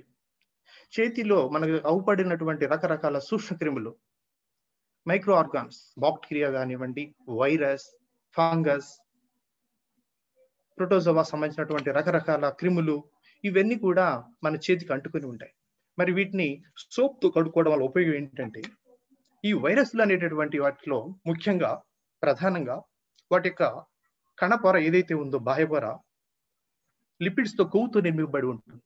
ఈ కొవ్వు కణాలు అనేటటువంటివి సబ్బు అనేటటువంటి సోప్ మంచి సోప్తో మనం కడుక్కోవడం వల్ల ఆ యొక్క ఈ లిపిడ్ పొర అనేటటువంటి విచ్ఛిన్నమైపోతుంది. లిపిడ్ పొర విచ్ఛిన్నం కాగానే అందులో ఉన్నటువంటి ఆర్యని రకరకాల కేంద్రక ఆమ్లాలన్నీ కూడా డిస్టర్బెన్స్ అయిపోయి వైరస్ విచ్ఛిన్నం అయిపోయి విడిపోయి అది డెడ్ అయ్యడానికి అవకాశం ఉంది. కాబట్టి మిత్రులారా చేయిని ప్రతి ఒక్కళ్ళు దాదాపుగా నలభై సెకండ్ల పాటు పరిశుభ్రంగా కడుక్కోవాల్సిన అవసరం ఉంది. ఈ విధంగా వైరస్ని మనకి చేతికి తాకినబడే దాన్ని నిర్మూలించినట్టయితే ఈ పరిశుభ్రమైనటువంటి చేతులతో మనం ఏదైనా సరే ఆరోగ్యంగా ఉంటామని చెప్పేసి మనం గుర్తుపెట్టుకోవాలి. అదే విధంగా మిత్రులారా మనకు ఇంతకుముందు ముందు కొన్ని రోజుల క్రితం వాట్సాప్లో కీరవాణి గారు పాడినటువంటి పాటను మనం గుర్తించుకున్నట్టయితే మనకు ఒక విషయం అవగతం అవుతా ఉంది. మరి కీరవాణి గారు చక్కటి పాటని మనకి వినిపించారు. మరి ఈ యొక్క పాట ఏం చెప్పారు ఆయన? చేతిలో పెట్టుకో మనకు వచ్చేసి చేతి వేడని ముక్కులో పెట్టుకుంటాం. కంటి దగ్గర ఉన్నటువంటి కంటిలో ఉన్నటువంటి నలుసుల్ని మనం తీయడం కోసం కంటి దగ్గర పెట్టుకుంటాం. చెవిలో కూడా చిటికి నీళ్ళు పెట్టుకుంటాం. అదే విధంగా సంకల్లో గోక్కుంటాం. అదే విధంగా ఎవరు చూడనప్పుడు గజ్జల్లో గోకోవడం ఇవన్నీ చేసి ఫైనల్గా ఎవరన్నా ఫ్రెండ్స్ వచ్చినప్పుడు హాయ్ అని చెప్పేసి షేక్ హ్యాండ్ ఇస్తాం. మరి మన బాడీలో అనేక రకాల జెమ్స్ అనేటటువంటి అదే విధంగా ఒక్కొక్కసారి నోట్లో కూడా ఏలు పెట్టేసి ఆ పళ్ళ సందనం మనం ఇరిగినప్పుడు చూస్తాం. మరి ఇన్ని రకాల ప్రదేశాల్లో పెట్టినటువంటి ఈ చేతిని వేరే మిత్రులు వచ్చినప్పుడు వాళ్ళకు షేక్ హ్యాండ్ ఇవ్వడం ద్వారా అదే విధంగా మనం ఫుడ్ తినేటప్పుడు మళ్ళా మనం శరీరంలో పోవడం షేక్ హ్యాండ్ ఇవ్వడం ద్వారా వాళ్ళగా ఈ మనలో ఉన్నటువంటి జెమ్స్ అని వాళ్ళకి సంక్రమించడం ఇలాంటి పరి పరిస్థితి వచ్చే అవకాశం ఉంటుంది. కాబట్టి మనం ఎదుటి మనుషుల వారిని ఎదురైనప్పుడు రెండు చేతులు జోడించి నమస్కారం పెట్టడం మరి ఉన్నటువంటి ఈ చేతుల్ని పరిశుభ్రంగా కడుక్కోవడం ఇక్కడ ఉన్నటువంటి ప్రధానమైనటువంటి అంశం. ఇలాంటి జాగ్రత్తలు పాటించకపోతే మరి విద్యార్థుల్లో పూర్తిగా ఆరోగ్యం చెడిపోవడం మరి వారి ద్వారా కుటుంబాల్లో కూడా ఈ యొక్క డిసీజ్ సంక్రమించడం ఒకరి నుంచి ఒకటికి వ్యాపించడం సమాజం అంతా కూడా రోగగ్రస్తం అయ్యే అవకాశం ఉంటుంది. మరి హ్యాండ్ వాష్ అనేటటువంటిది తినే ముందు ముఖ్యంగా ఆహారం తయారు చేసే ముందు కూడా మన పాఠశాలలో వంట వండే వాళ్ళని చేతులు పరిశుభ్రంగా కడుక్కోమని వాళ్ళకు కూడా మనం చెప్పాల్సినటువంటి అవసరం ఉంది. మరి దాంతో పాటుగా విద్యార్థులు కూడా చేతుల్ని పరిశుభ్రంగా కడుక్కునేటట్టుగా మనం చూడాలి. అదేవిధంగా టాయిలెట్కి వెళ్ళే వెళ్ళే ముందు సారీ టాయిలెట్కి వెళ్ళి వచ్చాక మరి ముఖ్యంగా చేతుల్ని పరిశుభ్రంగా చేసుకునేటట్టుగా అక్కడ సౌకర్యాలు కూడా కల్పించాలి. మరి అలా జరగనట్లయితే ఏమవుతుంది అని చెప్పేసి అనిపించవచ్చు. మరి దీనివల్ల డయేరియా మోషన్స్ కావడం అనేటటువంటిది కూడా జరుగుతుంది. పరిశుభ్రంగా చేతులు కడుక్కోకపోతే మరి ప్లేట్కి వెళ్ళి వచ్చాక చేతులు పరిశుభ్రంగా చేసుకున్నట్టయితే మరి దాని ద్వారా అక్కడ కొన్ని రకాలైనటువంటి బాక్టీరియాలు కానివ్వండి అవన్నీ కూడా మళ్ళా పక్క వారికి సంక్రమించడం తనకు కూడా ఆహారం ద్వారా తన నోట్లోకి మళ్ళీ వెళ్ళిపోవడం మరి ఇవన్నీ కూడా సంక్రమిస్తాయి కాబట్టి ఈ డయేరియా అనేటటువంటిది ముఖ్యంగా ఈక్వలై బాక్టీరియా. ఈక్వలై బాక్టీరియాలో వచ్చేటటువంటి డయేరియాని మనం చేతులను పరిశుభ్రంగా చేసుకోవడం వల్ల దాదాపుగా నలభై శాతం నివారించవచ్చు అని చెప్పేసి మనకు గణాంకాలు తెలియజేస్తున్నాయి. కాబట్టి చేతులను పరిశుభ్రంగా ఉంచుకోవాలని చెప్పేసి పిల్లలకి మీరు పూర్తిగా అవగాహన కల్పించాల్సినటువంటి బాధ్యత గురుతరమైనటువంటి బాధ్యత మన ఉపాధ్యాయ వర్గం మీద ఉందని చెప్పేసి గుర్తించాలి. చేతులు అని ఎప్పుడు కడుక్కోవాలి? ఏ సందర్భంలో కడుక్కోవాలి అనేటటువంటిది ఈ చిత్రం ద్వారా మీకు తెలియకనే తెలుస్తుంది. చక్కటి చిత్రం. మరి ఇప్పుడు చూడండి. ప్లేట్కి ఇల్లు వచ్చాక మరి చేతులను పరిశుభ్రంగా చేసుకోవాల్సిన అవసరం ఉంది.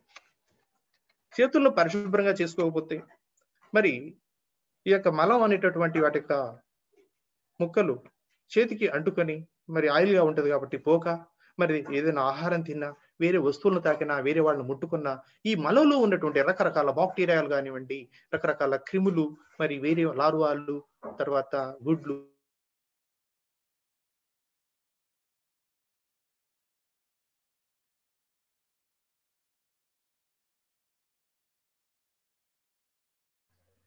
సార్ పవర్ డిస్టర్బెన్స్ ఉందా? వెంకటేశ్వర గారు మీకేమన్నా?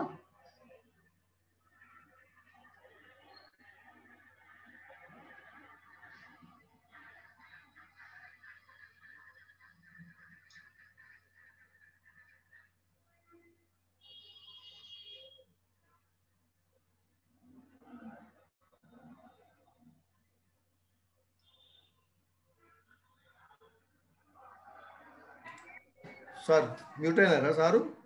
కాదు కాదు పవర్ పోయిన ఉంటుంది అక్కడ సార్. సార్ పవర్ ఏమైనా డిస్టర్బ్ అయిందా?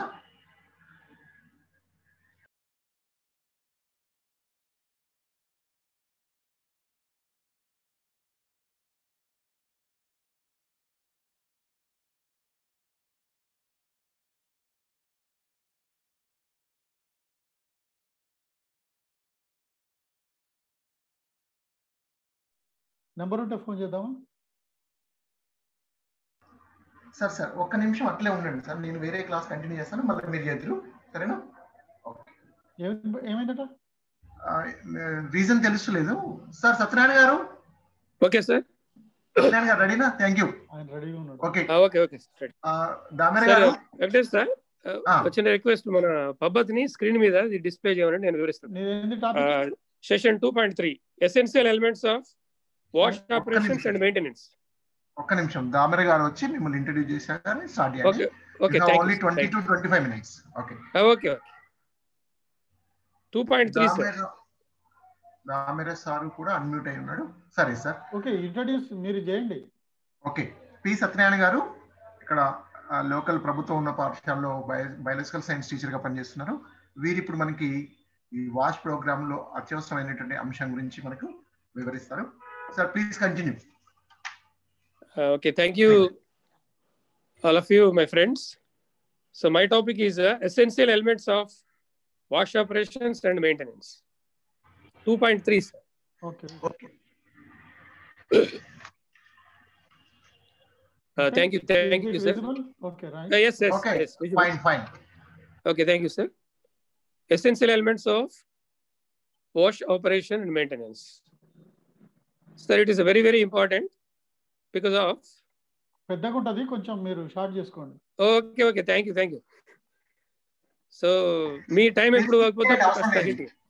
ఓకే మీరు మీరు చూపెట్టినే సార్ మాట్లాడు okay sir cleanliness is next the godliness శుభ్రత అనేటువంటిది దేవుడి తర్వాత మనం నెక్స్ట్ ప్రియారిటీ శుభ్రతకి ఇవ్వాలి.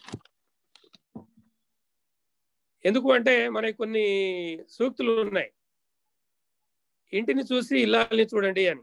అట్లాగే ఒక పాఠశాలలో ఉండేటువంటి ఆ పాఠశాల ఎన్విరాన్మెంట్లో ఉండేటువంటి టాయిలెట్స్ కానివ్వండి వాష్రూమ్స్ కానివ్వండి వంటగదులు కానివ్వండి వీటన్నిటి చూసేసి ఆ పాఠశాల హెడ్ మాస్టర్ యొక్క పనితనాన్ని మనం బేరీజ్ వేయచ్చు సో ఫ్యూచర్లో రీసెంట్గా నేను చూశాను.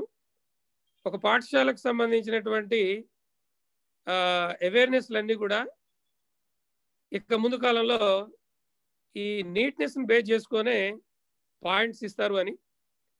అక్కడ ఉండేటువంటి అంటే రెగ్యులారిటీ గతంలో రెగ్యులారిటీ టీచింగ్ సబ్జెక్ట్స్ అవి ఉండే. ఇప్పుడు వాళ్ళు నీ నీట్నెస్ని మెయింటైన్ చేసుకొని అక్కడ ఉండేటువంటి టీచర్లు మరియు హెచ్ఎంకు పాయింట్స్ ఇస్తారనేటువంటిది రీసెంట్గా చూశాను. సో ఈరోజు సెషన్లో మెయిన్ ఆబ్జెక్టివ్ సార్ మనం ఈ కార్యక్రమంలో ఉన్నటువంటి మొత్తం కాంపనెంట్స్ మీద అవగాహన కల్పించడం మొట్టమొదట. కార్యక్రమంలో మనం ఏం చెప్పబోతున్నాం? వాళ్ళు ఏ అంశాలు అనేటువంటి నేర్చుకోబోతున్నారు అనేటువంటి అదేవిధంగా కార్యక్రమంలో పాల్గొనేటువంటి వారికి ప్రామాణిక ఆపరేటింగ్ విధానంలో పని చేసేటువంటిది. అంటే ఎట్లా చేయాలి? ఈ క్లీనినెస్లో ఎట్లాగా పార్టిసిపేట్ కావాలనేటువంటివి నేర్పడం. అలాగే ఈ కార్యక్రమంలో ఏం చేయాలి? ఏం చేయకూడదు? అనేటువంటి వాటి మీద అవగాహన కల్పించడం. అంటే మనం మెయిన్గా ఇక్కడ నేను ఏం చేయాలనే చెప్తున్నాను. ఏం చేయకూడదు అనేది కాదు. ఏం చేయాలి? ఏం చేయకూడదు అనేటువంటి వాటి మీద మనం మెయిన్ అవేర్నెస్ అనేటువంటిది ముఖ్యంగా ఈ కార్యక్రమంలో పాల్గొనేటువంటి వాళ్ళకు సమకూర్చడం.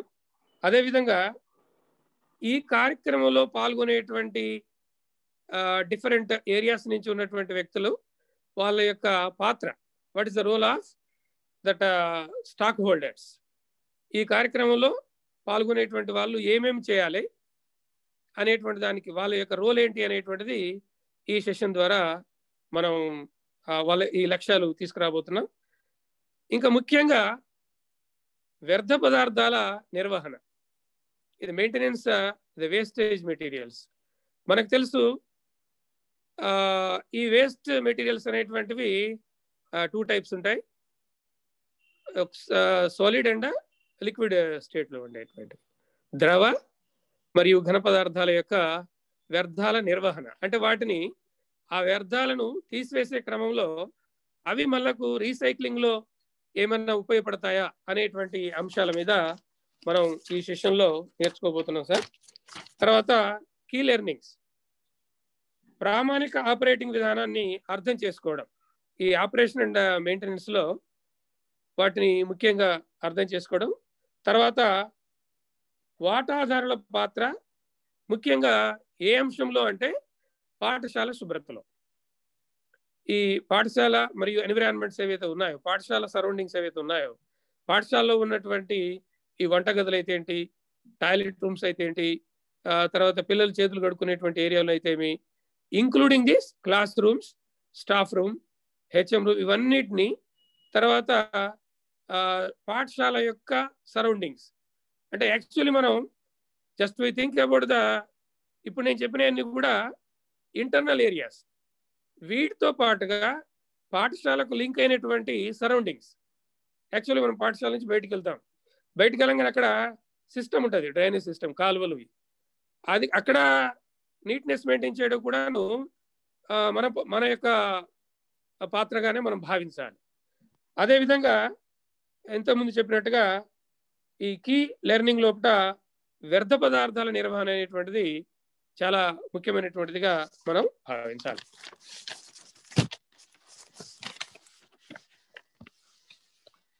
Sir next next slide sir.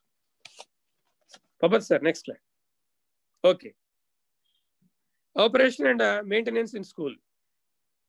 మరి ఒక పాఠశాల లోపల మనం ఏవైతే కార్యక్రమాలు అనేటువంటి నిర్వహించాలనుకుంటున్నామో వాటిల్లో it is the responsibility of a school to provide clean, functional, and well maintained water, sanitation, and hand, hand washing facility to all the school children. అంటే పాఠశాలలో చేరినటువంటి పిల్లలు ఎంతమంది అయితే ఉన్నారో వాళ్ళందరికీ కూడాను మనం ఇస్తున్నటువంటి విద్యతో పాటుగా especially we provide the sanitation areas అంటే శుభ్రతకు సంబంధించి. అంటే వాడు యాక్టివ్గా ఆ క్లాస్ రూమ్లో ఎప్పుడు వినగలుగుతాడు అంటే సో ఆరోగ్యంగా ఉన్నప్పుడు. మరి ఆరోగ్యం అనేటువంటిది వాళ్ళ ఇంటికే ఇంట్లో ఉన్నటువంటి వాళ్ళ పేరెంట్స్కే వదిలేస్తే సరిపోదు కదా.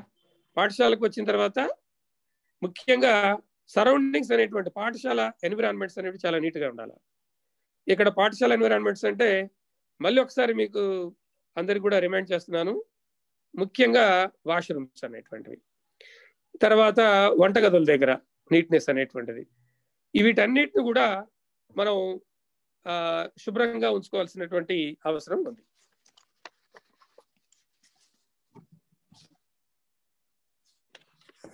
Okay. Next what is operation and maintenance దీంట్లో మనకు ఆపరేషన్ అనేటువంటి సకాలంలో రోజువారీ కార్యకలాపాలు వాటికి సంబంధించినటువంటి సౌకర్యాలు మనం ప్రొవైడ్ చేయడం. For example cleaning of hand pump platform it's a very very important ఇక్కడ ఈ హ్యాండ్ పంప్ మీన్స్ మనకు తెలుస్తుంది బోరింగ్ బోర్ ఉంటుంది కదా బోరింగ్ ఉంటుంది కదా. దాని సరౌండింగ్లో దానికి ఉన్నటువంటి ప్లాట్ఫామ్ ఏదైతే ఉందో అది చాలా నీట్గా ఉండాలి. దాంట్లో అక్కడ మనం మెయింటెనెన్స్ మన నిర్వహణ అనేటువంటి సక్రమంగా లేనట్లయితే అది కంటిన్యూషన్లో అంటే దాన్ని ఊడ్చకపోయినా ఆ నీరు అనేటువంటిది అట్లాగే స్టాగ్నేట్ అయినా అక్కడ పాకురు పట్టే అవకాశం ఉంటుంది. పిల్లలు ఏంటి వాళ్ళ నేచర్ జనరల్గా ఎగురుతూ ఉంటారు. అక్కడ ఒకరినొకరు నెట్టుకునేటువంటి క్రమంలో ఒకవేళ మనం రోజువారీ కార్యక్రమాల్లో భాగంగా దాని నీట్నెస్ అనేటువంటిది మనం మెయింటైన్ చేయకపోతే జారిపడేటువంటి అవకాశం ఉంటుంది. కాబట్టి ఆ అవేర్నెస్ అనేటువంటిది మనం కల్పించాలి. తర్వాత next one drainage system madam ఇది తీసేయడం close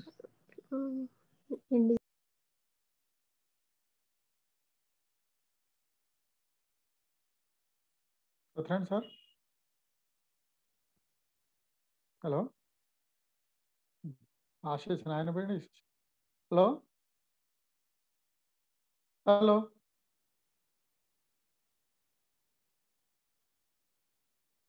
Satyanarayana sir.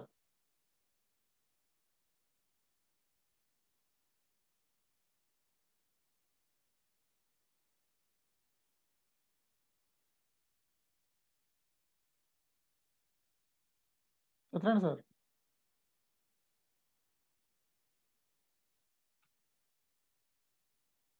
అరే. ఏంటి ప్రాబ్లం ఏంటి?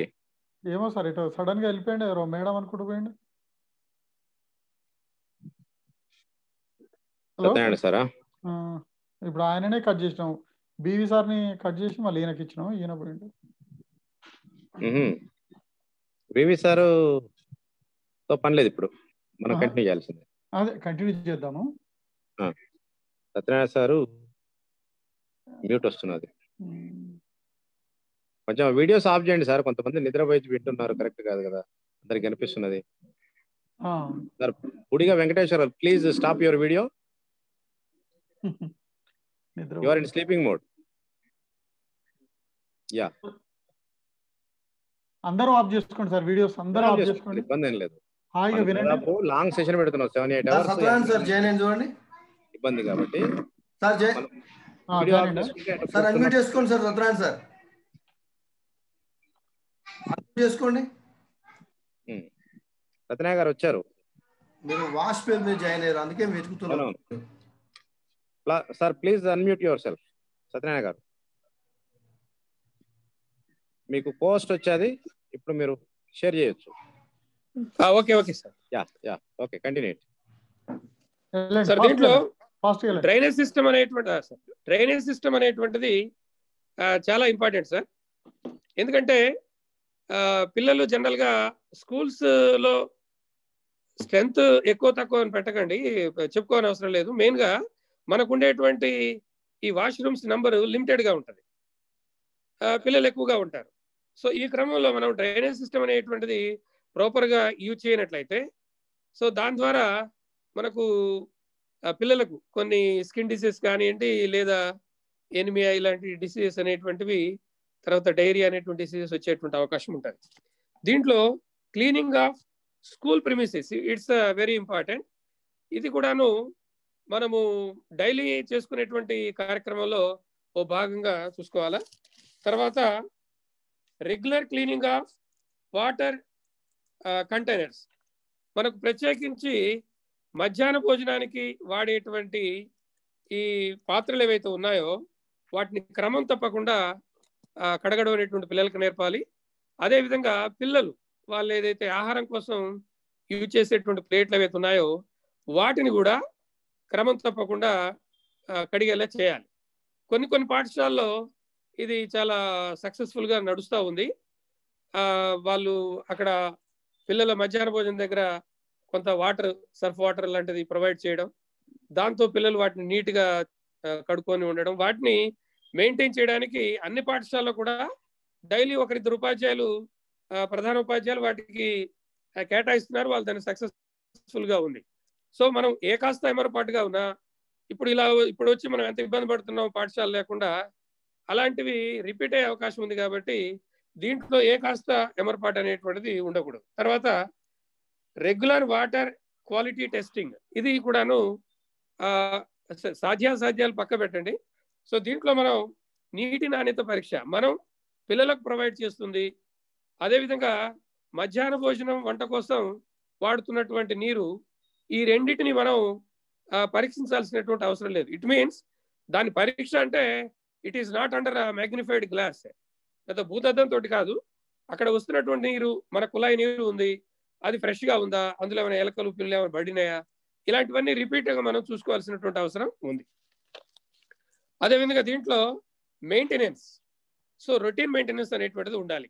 అంటే క్రమం తప్పకుండా ఎవ్రీడే అనేటువంటిది మెయింటెనెన్స్ అనేటువంటిది ఉంటే ఇక్కడ మనం ఈ ఏరియాలో సక్సెస్ అయినట్టుగా మనం భావించాలి. తర్వాత ఈ మెయింటెనెన్స్లో బ్రేక్ డౌన్ అది విచ్చిన నిర్వహణ. ఇట్ మీన్స్ ఒక వర్క్ అనేటువంటిది ఒకరే కాకుండా డిస్ట్రిబ్యూట్ చేసేటువంటి ఏరియాలో దాన్ని చిన్న చిన్న పార్ట్స్గా మనం చేసుకోవాల్సినటువంటి అవసరం ఉంది. So next one okay thank you sir తర్వాత objectives of operation and maintenance లక్ష్యాలు. దీంట్లో మొట్టమొదటిది సురక్షితంగా పారవేయడం. So it is very very important అంటే మన పాఠశాల నుంచి మన నుంచి కొన్ని అన్వాంటెడ్ ఆబ్జెక్ట్స్ అనేటువంటి వచ్చే అవకాశం ఉంటుంది. సో వీటన్నిటిని ఎక్కడ పడితే అక్కడ పారవేయకుండా so safe disposable of solids and liquid waste ఇవి ద్రవ రూపంలో ఘన రూపంలో ఉండేటువంటి వీటిని మనం స్పెసిఫిక్గా ప్రొవైడ్ చేయబడేటువంటి ఒక నియమితమైనటువంటి ప్రాంతంలోనే వాటిని ఉంచడానికి ఉంచే ఉంచేటువంటి కార్యక్రమంలో మనం నిర్వహించినట్టయితే బాగా ఉంటుంది. అదేవిధంగా మంచి నిర్వహణ గుడ్ ఆపరేషన్ అండ్ మెయింటెనెన్స్ అంటే ఇది కూడాను. సో ఇవన్నీ కూడా అన్ని పాఠశాలలో జరగబడుతున్నాయి. జరుపు జరపబడుతున్నాయి. కానీ మనం మరొకసారి జాగ్రత్త కార్యక్రమంలో జాగ్రత్తగా ఉండేటువంటి దాంట్లో నిర్వహించాల్సింది. తర్వాత పాఠశాల పర్యావరణ శుభ్రత. సో ఎస్పెషల్ మనం మరొకసారి cleaning and maintenance of the school environments. Environments it is inside and outside. వీటిని మనం ప్రతిరోజు నిర్వహించినట్లయితే మన పాత్ర అనేటువంటిది ఒక ninety nine point nine percent success అయినట్టుగా భావించాల్సి వస్తుంది. Next solution next sir next public sir daily maintenance sir daily okay okay okay wait wait wait wait wait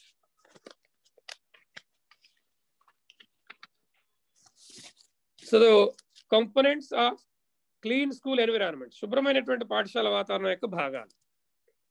దీంట్లో మొట్టమొదటిది school clean school premises and class rooms ఇది పాఠశాల యొక్క ఆవరణ మరియు తరగతి గదుల్ని ఎప్పటికప్పుడు శుభ్రం చేసుకోవడం. దీంట్లో సో మనకు అన్ని పాఠశాలలో క్లీన్ చేయడానికి వర్కర్స్ ఉండకపోవచ్చు. సో మనము పిల్లల ద్వారానా? పిల్లల ద్వారా మనకి ఏమైనా ప్రాబ్లం వస్తుంది అంటే సో అవేర్నెస్ అది. మనకు అక్కడ ఉన్నటువంటి వనరులను వినియోగించుకొని ప్రతిరోజు క్లాస్ రూమ్స్ శుభ్రం చేయడం no water logging in the school ఎక్కడ కూడా నీరు నిల్వ ఉండకుండా చూసుకోవాలి. స్టాగ్నేట్ అయ్యేటువంటి వాటర్ ఎక్కడెక్కడ మనకు ఏ రూట్లో కనిపిస్తుందంటే ఎస్పెషల్లీ వంటగదుల దగ్గర. సో తర్వాత పిల్లలు ఆ, నీరు త్రాగి ఈ పాత్రలు శుభ్రం చేసుకున్నటువంటిది. తర్వాత స్టాఫ్ రూమ్ మెంబర్స్ శుభ్రం చేసుకునేటువంటి ఏరియాలో వాటర్ స్టోర్ అయ్యేటువంటి అవకాశం ఉంటుంది. అది ఎప్పటికప్పుడుగా వెళ్ళి పెట్టేట్టు చూడడం అనేటువంటి మన బాధ్యత. Next one clean mid day meal kitchen ఇది చాలా ముఖ్యమైనటువంటిది. ఎందుకంటే అక్కడ ఆ రూమ్లో మనకు అన్నెసరీ కొన్ని నెక్స్ట్ డే వంట తయారు చేయడానికి కావాల్సినటువంటి వస్తువులు కానివ్వండి ఈ పాత్రలు కానివ్వండి మనం ఉంచేటువంటి క్రమంలో అక్కడ మనం చాలా శుభ్రతను పాటించాల్సినటువంటి అవసరం ఉంది. ఈ కార్యక్రమంలో ఈ వంట కార్యక్రమంలో పాల్గొనేటువంటి వారు ఎవరైతే ఉన్నారో వాళ్ళకు మనం అవేర్నెస్ కల్పించాల్సినటువంటి అవసరం ఎంతైనా ఉంది. తర్వాత clean mid day meal eating areas ఇది చాలా అవసరం. ఎందుకంటే ఇప్పుడు మనకు మెను అనేది మారింది. ఆ, క్రమం తప్పకుండా ఆల్టర్నేట్గా ఎగ్స్ కూడా ప్రొవైడ్ చేస్తూ ఉన్నారు. సో ఈ కోడిగుడ్ల యొక్క పై భాగంలో ఉండేటువంటి ఆ పెంకు తీసి ఏ ఒక దగ్గర భద్రపరిచేటువంటి క్రమంలో ఇది కొంత అవేర్నెస్ అనేది డ్రాబ్యాక్ అవుతా ఉంది. దీనికోసం మనం ప్రత్యేకంగా పాత్రలు ఉంచేసి అందరి పిల్లల్ని కూడా ఎందుకంటే అందరికీ ఒకేసారి మనం గుడ్లు ప్రొవైడ్ చేస్తున్నాం. సో అవి ఒక గ్రూప్ వారీగా కొన్ని ఆ, బుట్టలు కానివ్వండి లేదా గంపలు కానివ్వండి లేదా బస్తా లాంటివి ఉంచేసి అక్కడ ఈ కోడిగుడ్ల యొక్క పైపుట్టు తీసి ఉంచేటువంటి ఆ, కార్యక్రమాన్ని మనం నిర్వహించినట్లయితే ముఖ్యంగా మంచిగా ఉంటుంది. తర్వాత భోజనం చేసేటువంటి క్రమంలో మనం తీసుకోవాల్సిన జాగ్రత్త ఏంటంటే పిల్లలు కొంత ఎక్కువ పెట్టుకోవడం అన్నం. లేదు వాళ్ళకి కావాల్సినటువంటి ఆహారం కంటే ఈ భోజనం వడ్డించే వాళ్ళు అదనంగా వడ్డించే క్రమంలో లేదా పిల్లలకు కొన్ని రకాల కూరగాయలంటే ఇష్టం ఉండదు. సో అలాంటివి ఎక్కువైనప్పుడు వాళ్ళు ఏం చేస్తున్నారంటే మన పాఠశాలల్ని మనం నీట్గా ఉంచుకునేటువంటి ఏరియాలో ఈ పిల్లలు మనం చూడకుండా అక్కడ వేస్తున్నారు. సో ఆ విషయంలో మనం చాలా జాగ్రత్త పాటించాల్సినటువంటి అవసరం ఉంది. ఇది పాటిస్తే ఎందుకంటే అది ఆ ఆహారం మనం చూడం ఏదో కార్నర్ వేస్తారు దాంట్లో ఈగలు వాలి ఇంకా కొన్ని రకాలైనటువంటి సైడ్ ఎఫెక్ట్స్ వచ్చేటువంటి అవకాశం ఉంది. Second one drinking water sources. Especially ఈ డ్రింకింగ్ వాటర్ సోర్సెస్ అనేవి ఎక్కువ పాఠశాలలో ఈ వంటగదులకు దగ్గరగా ఉంటాయి.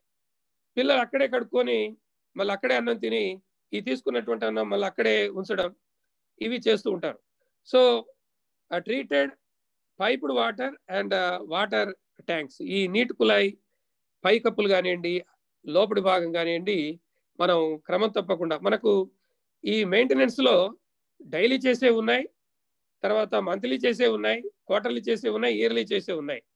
సో దీన్ని అట్లీస్ట్ మనం వీక్లీ ట్వైస్ అయినా ఈ ఈ కుళాయి నీరు ఉండేటువంటి భాగాల్ని మనం శుభ్రం చేసుకునేటువంటి క్రమాన్ని మనం పాటించాల్సినటువంటి అవసరం ఉంది.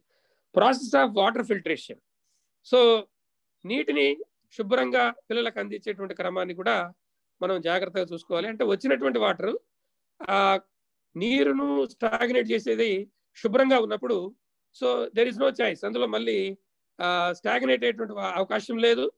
దాంట్లో క్రిములు పెరిగేటువంటి అవకాశం లేదన్నట్టు. ముఖ్యంగా పైన ఉండేటువంటి లిడ్ని ప్రాపర్గా ప్రాపర్గా చూసుకోవాలి. తర్వాత installed reverse osmosis RO plant అయితే కొన్ని పాఠశాలలో ఈ ఆర్ఓ ప్లాంట్స్ ఈ మధ్య దాతల ద్వారా చాలా వరకు ప్రొవైడ్ చేయబడ్డాయి. అవి ప్రాపర్గా పనిచేస్తున్నాయా లేదా? అందులో ఉండేటువంటి ఆ ఫిల్టర్ బెడ్ ఆ కాయిల్స్ అనేటువంటివి మంచిగా ఉన్నాయా లేవా అనేటువంటి చూసుకోవాల్సినటువంటి బాధ్యత కూడా ఉంది. తర్వాత drinking water source sir storage. ఇది చాలా అవసరం. ఆ, ముఖ్యంగా మనకు పాఠశాలకు అప్పుడప్పుడు కొంచెం ఒక ఫైవ్ సిక్స్ డేస్ హాలిడేస్ వచ్చినప్పుడు ఏమవుతుందంటే అందులో మనకు తెలియకుండా ఈ పైన ఉన్నటువంటి లిడ్ ఆ సరౌండింగ్లో ఉన్నటువంటి పిల్లలు లేకపోతే గాలి ద్వారానో పక్కకు పోయినప్పుడు అందులోకి ఈ ఆకులు కొన్ని రకాలైనటువంటి క్రిములు పడేటువంటి అవకాశం ఉంది. కాబట్టి ఈ వాటర్ స్టోరేజ్ ట్యాంక్స్ అనేటువంటి మనం చాలా శుభ్రంగా ఉంచుకోవాలి. ముఖ్యంగా వాటర్ బికాజ్ పిల్లలకు వచ్చేటువంటి డిసీజెస్లో రీసెంట్ సర్వేలో more than fifty percent of diseases they are through water drinking water అన్నట్టు సో దాన్ని మనం చూసుకు నెక్స్ట్ స్లైడ్స్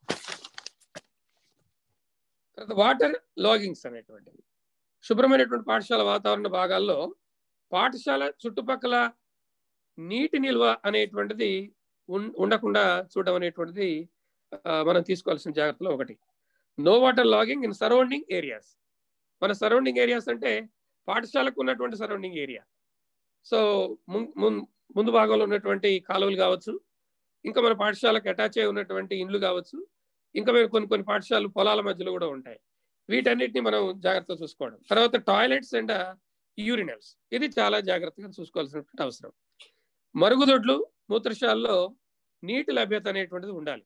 ఎందుకంటే మనం పిల్లల్ని బాగా ఎంకరేజ్ చేస్తాం. బాగా మోటివేట్ చేస్తాం. అరే మీరు ఆఫ్టర్ వాష్రూమ్ వాష్రూమ్ రూమ్కి వెళ్ళాక మీరు నీటిని బాగా ఎక్కువగా వాడుకోండి అని. మరి అక్కడ మనం వాటర్ అనేది ఎక్కువగా ప్రొవైడ్ చేసినప్పుడు మనం పిల్లలు చెప్పినటువంటి ఆ అంశం అనేటువంటిది హండ్రెడ్ పర్సెంట్ సక్సెస్ అవుతుంది. సో అక్కడ ఈ టాయిలెట్స్ యూరినల్స్ లోపల వాటర్ అనేది తక్కువగా ఉంటే మనం చెప్పినా కానీ లాభం ఉండదు. సో స్కూల్ ఓపెన్ అవుతుంది. స్టార్టింగ్ లోపటే మనం ఆ వాటర్ సోర్స్ అనేటువంటివి అధికంగా ఉన్నాయా లేవా? దాంట్లో సరిపడా ఉన్నాయా లేవా? అనేటువంటి చూసుకోవాలి. మళ్ళీ ఆఫ్టర్ స్కూల్ స్కూల్ అయిపోయాక పిల్లలు అయిపోయాక వీటిని మరొకసారి వెరిఫై చేసుకొని పిల్లలు రాకముందే వాటిని మనం ఫిలప్ చేసుకున్నట్లయితే ఇందులో మనం హండ్రెడ్ పర్సెంట్ సక్సెస్ అవుతాం. So then second one no water logging inside the toilets అంటే ఒకవేళ ప్లాట్ఫామ్ అనేది ప్రాపర్గా లేనట్లయితే లోపల భాగంలో వాటర్ అనేది స్టోర్ అయ్యేటువంటి అవకాశం ఉంటుంది. దెన్ సెకండ్ వన్ ఈ వాటర్ వెళ్ళేటువంటి వే ఎక్కడైతే ఉంటుందో కాలువ లాంటిది ఏదైతే ఉందో అది ఒకవేళ స్టాగ్నేట్ అయ్యి ఈ వాటర్ మొత్తం కూడా అక్కడ ఉండేటువంటి అవకాశం ఉంటుంది. కాబట్టి ఈ వాష్రూమ్ని క్లీన్ చేసేటువంటి వాళ్ళు ఎవరైతే ఉన్నారో ఎవ్రీడే ఆఫ్టర్ స్కూల్ స్కూల్ వదిలిపెట్టాక ఈ ఏరియాలో నీట్నెస్ మెయింటైన్ చేస్తే నీరు అనేది నిలవ ఉండకుండా ఉండేటువంటి అవకాశం ఉంటుంది. Regular cleaning of the squatting pan and the floors to maintain hygiene and పరిశుభ్రత పాటించడం అనేటువంటిది.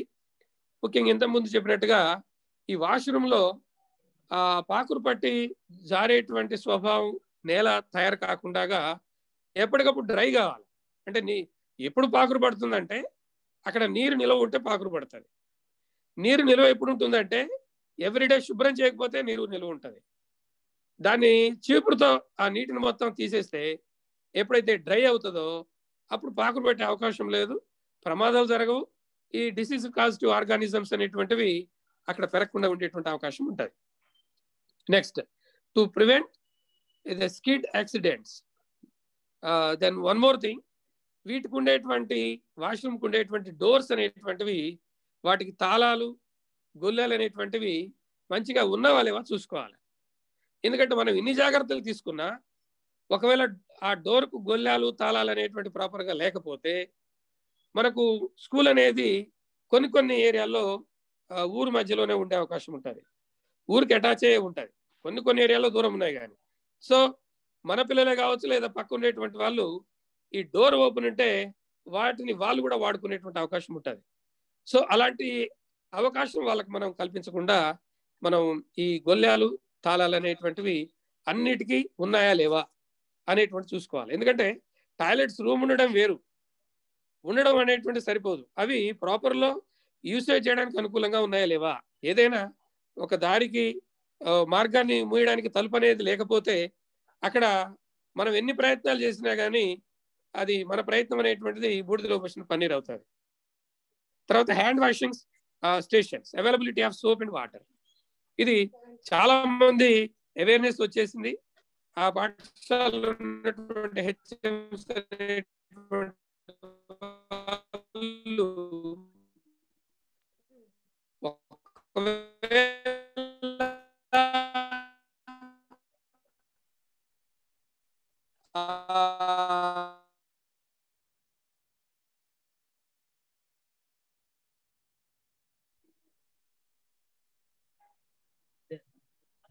సార్ సిగ్నల్ వీక్ ఉంటుంది something problem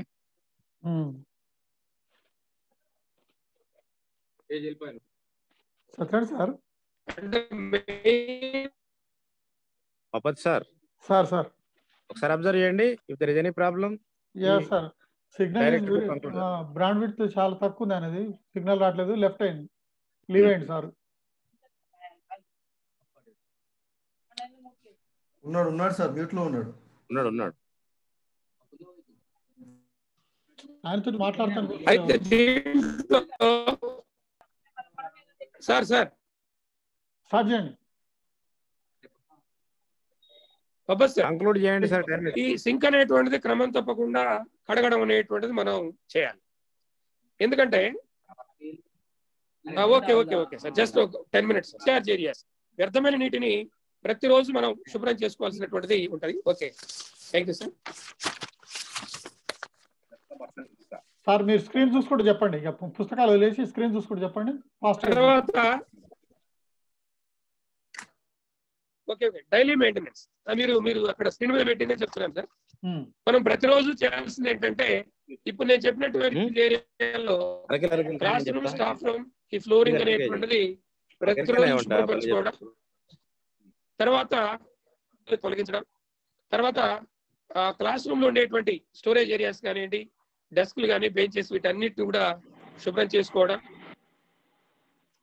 తర్వాత పిల్లలకు ఈ సబ్బు నీరు ఎల్లప్పుడూ అందుబాటులో ఉండేటట్టుగా చేయడం తర్వాత పనికి అనుకూలంగా చూసుకోవడం అన్ని శుభ్రంగా ఉన్నాయా లేదా అనేటువంటి నిర్ధారించుకోవడం తర్వాత అన్ని సక్రమంగా పనిచేస్తున్నాయి అనేటువంటిది నిర్ధారించుకోవడం చేయాలి. Next slide sir monthly maintenance okay sir thank you sir తర్వాత ఇక్కడ మనం అంతా మనకు ఇవన్నీ తెలుసు. అంటే డైలీ ఏం చేయాలి మంత్లీ ఏం చేయాలి క్వార్టర్లీ ఏం చేయాలి యాన్యువల్ ఏం చేయాలి అనేటువంటిది ఈ మంత్లీ మెయింటెనెన్స్లో ముఖ్యంగా అన్నిటి పై భాగంలో దుమ్ము అనేటువంటిది లేకుండా ఆ, తీసేయడం అనేటువంటిది ఒక క్రమపద్ధతులు మనం చేయాలి. తర్వాత గ్రౌండ్ లోపల రాళ్ళు ఆకులు శిథిలాలు అనేటువంటి ఎప్పటికప్పుడు తొలగించడం. తర్వాత బహిరంగ ప్రదేశాల్లో నీరు అనేది నిల్వ లేకుండా మనం ఎప్పటికప్పుడు తీసేయడం కాలువల్ని తనిఖీ చేయడం. ఇంతకుముందు చెప్పాను నేను. కాలువలు తనిఖీ చేయకపోతే అక్కడ మొత్తము కూడా డ్రైనేజ్ వాటర్ అనేది స్టోర్ అయ్యే అవకాశం ఉంది కాబట్టి వాటిని తనిఖీ చేయడం. తర్వాత గోడలపై మరకలు గీతలు అనేటువంటి లేకుండా తొలగించడం. పైకప్పు అంటే ఒకవేళ స్లాబ్ అయితే తడి ఏమైనా వస్తుందా? అంటే ముఖ్యంగా ఇది మనం గమనించాలి సీజనల్గా వర్షాకాలంలో. ఇట్లా తడి ఉంటే అదంటే స్లాబ్ మొత్తం నాణ్యాన్ని కూలిపోయే అవకాశం కూడా ఉంటాయి. అది ఒకటి గమనించడం. తర్వాత ఈ కట్టె తలుపుతో తలుపులు అనేటువంటి కట్టెతో చేయబడినట్లయితే చెదలు పెట్టినటువంటి భాగాలు ఐడెంటిఫై చేయడం వాటిని ఎప్పటికప్పుడు తొలగించడం. తర్వాత అల్మారా కిటికీ ఇవేమైనా దెబ్బతిన్నాయా? ప్రాపర్గా ఉన్నాయా అనేటువంటి చూడటం. Next plate sir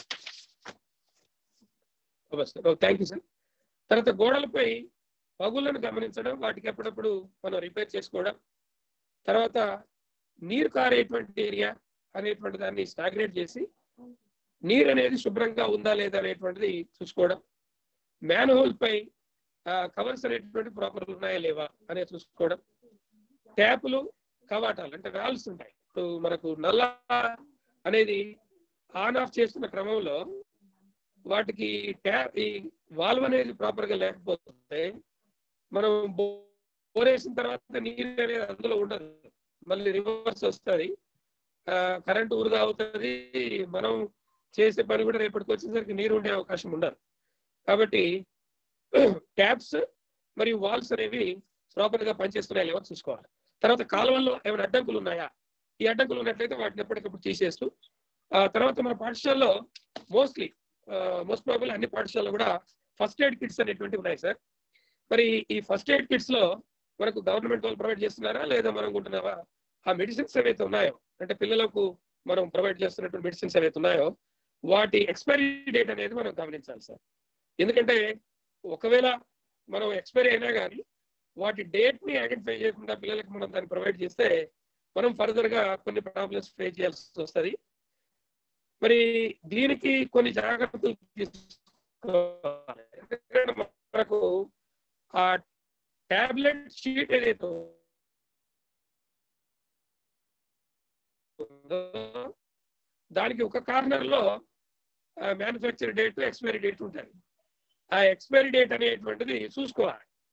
ఆ ఎక్స్పైరీ డేట్ అనేది వైపు పిల్లలకి వేయకుండా అటువైపు బాగా ఉంచుకోవాలి. తర్వాత ప్రతిదీ దుమ్ము లేకుండా మన సీజనల్లీ క్వార్టర్లీ మెయింటెనెన్స్ ఇక్కడ కూడాను మనకు హాలిడేస్ రావడం ఒక టెన్ ఫిఫ్టీన్ డేస్ మళ్ళీ స్కూల్ ఓపెన్ కావడం సమ్మర్ హాలిడేస్ రావడం మళ్ళీ స్కూల్ ఓపెన్ కావడం ఇలాంటి క్రమంలో మనం ఇమీడియట్గా ఐడెంటిఫై చేయాల్సినవి వాటర్ ట్యాంక్ పరిశీలన తర్వాత ఎక్కడైనా వాటర్ కిందికి వస్తున్నప్పుడు రాకుండా ముందుగానే దాని మొత్తం డ్రై కండిషన్లో ఉంచి వాటర్ ప్రూఫ్ అనేటువంటిది వాటర్.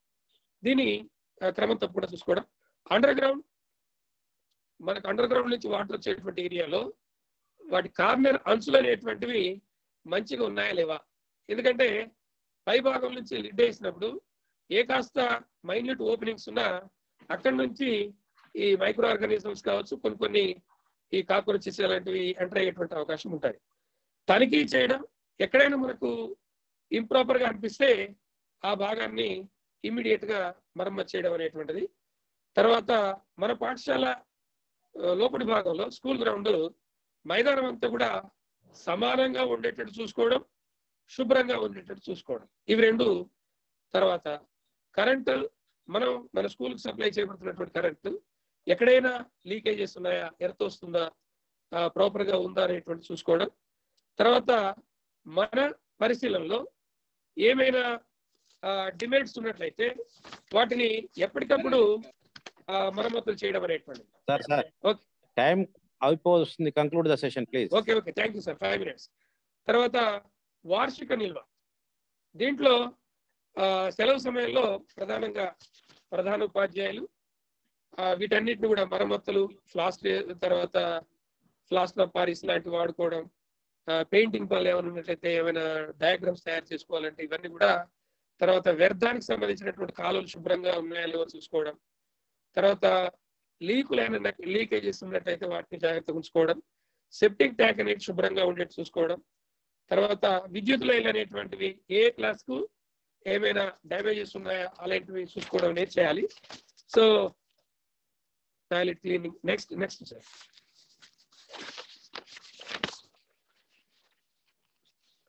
okay okay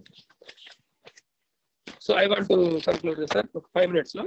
తర్వాత మనం చివరిగా చెప్పుకోవాల్సింది వేస్టేజ్ సార్ దీంట్లో సాలిడ్స్ అండ్ లిక్విడ్స్ అనేటువంటివి మనకు కనిపిస్తున్నాయి.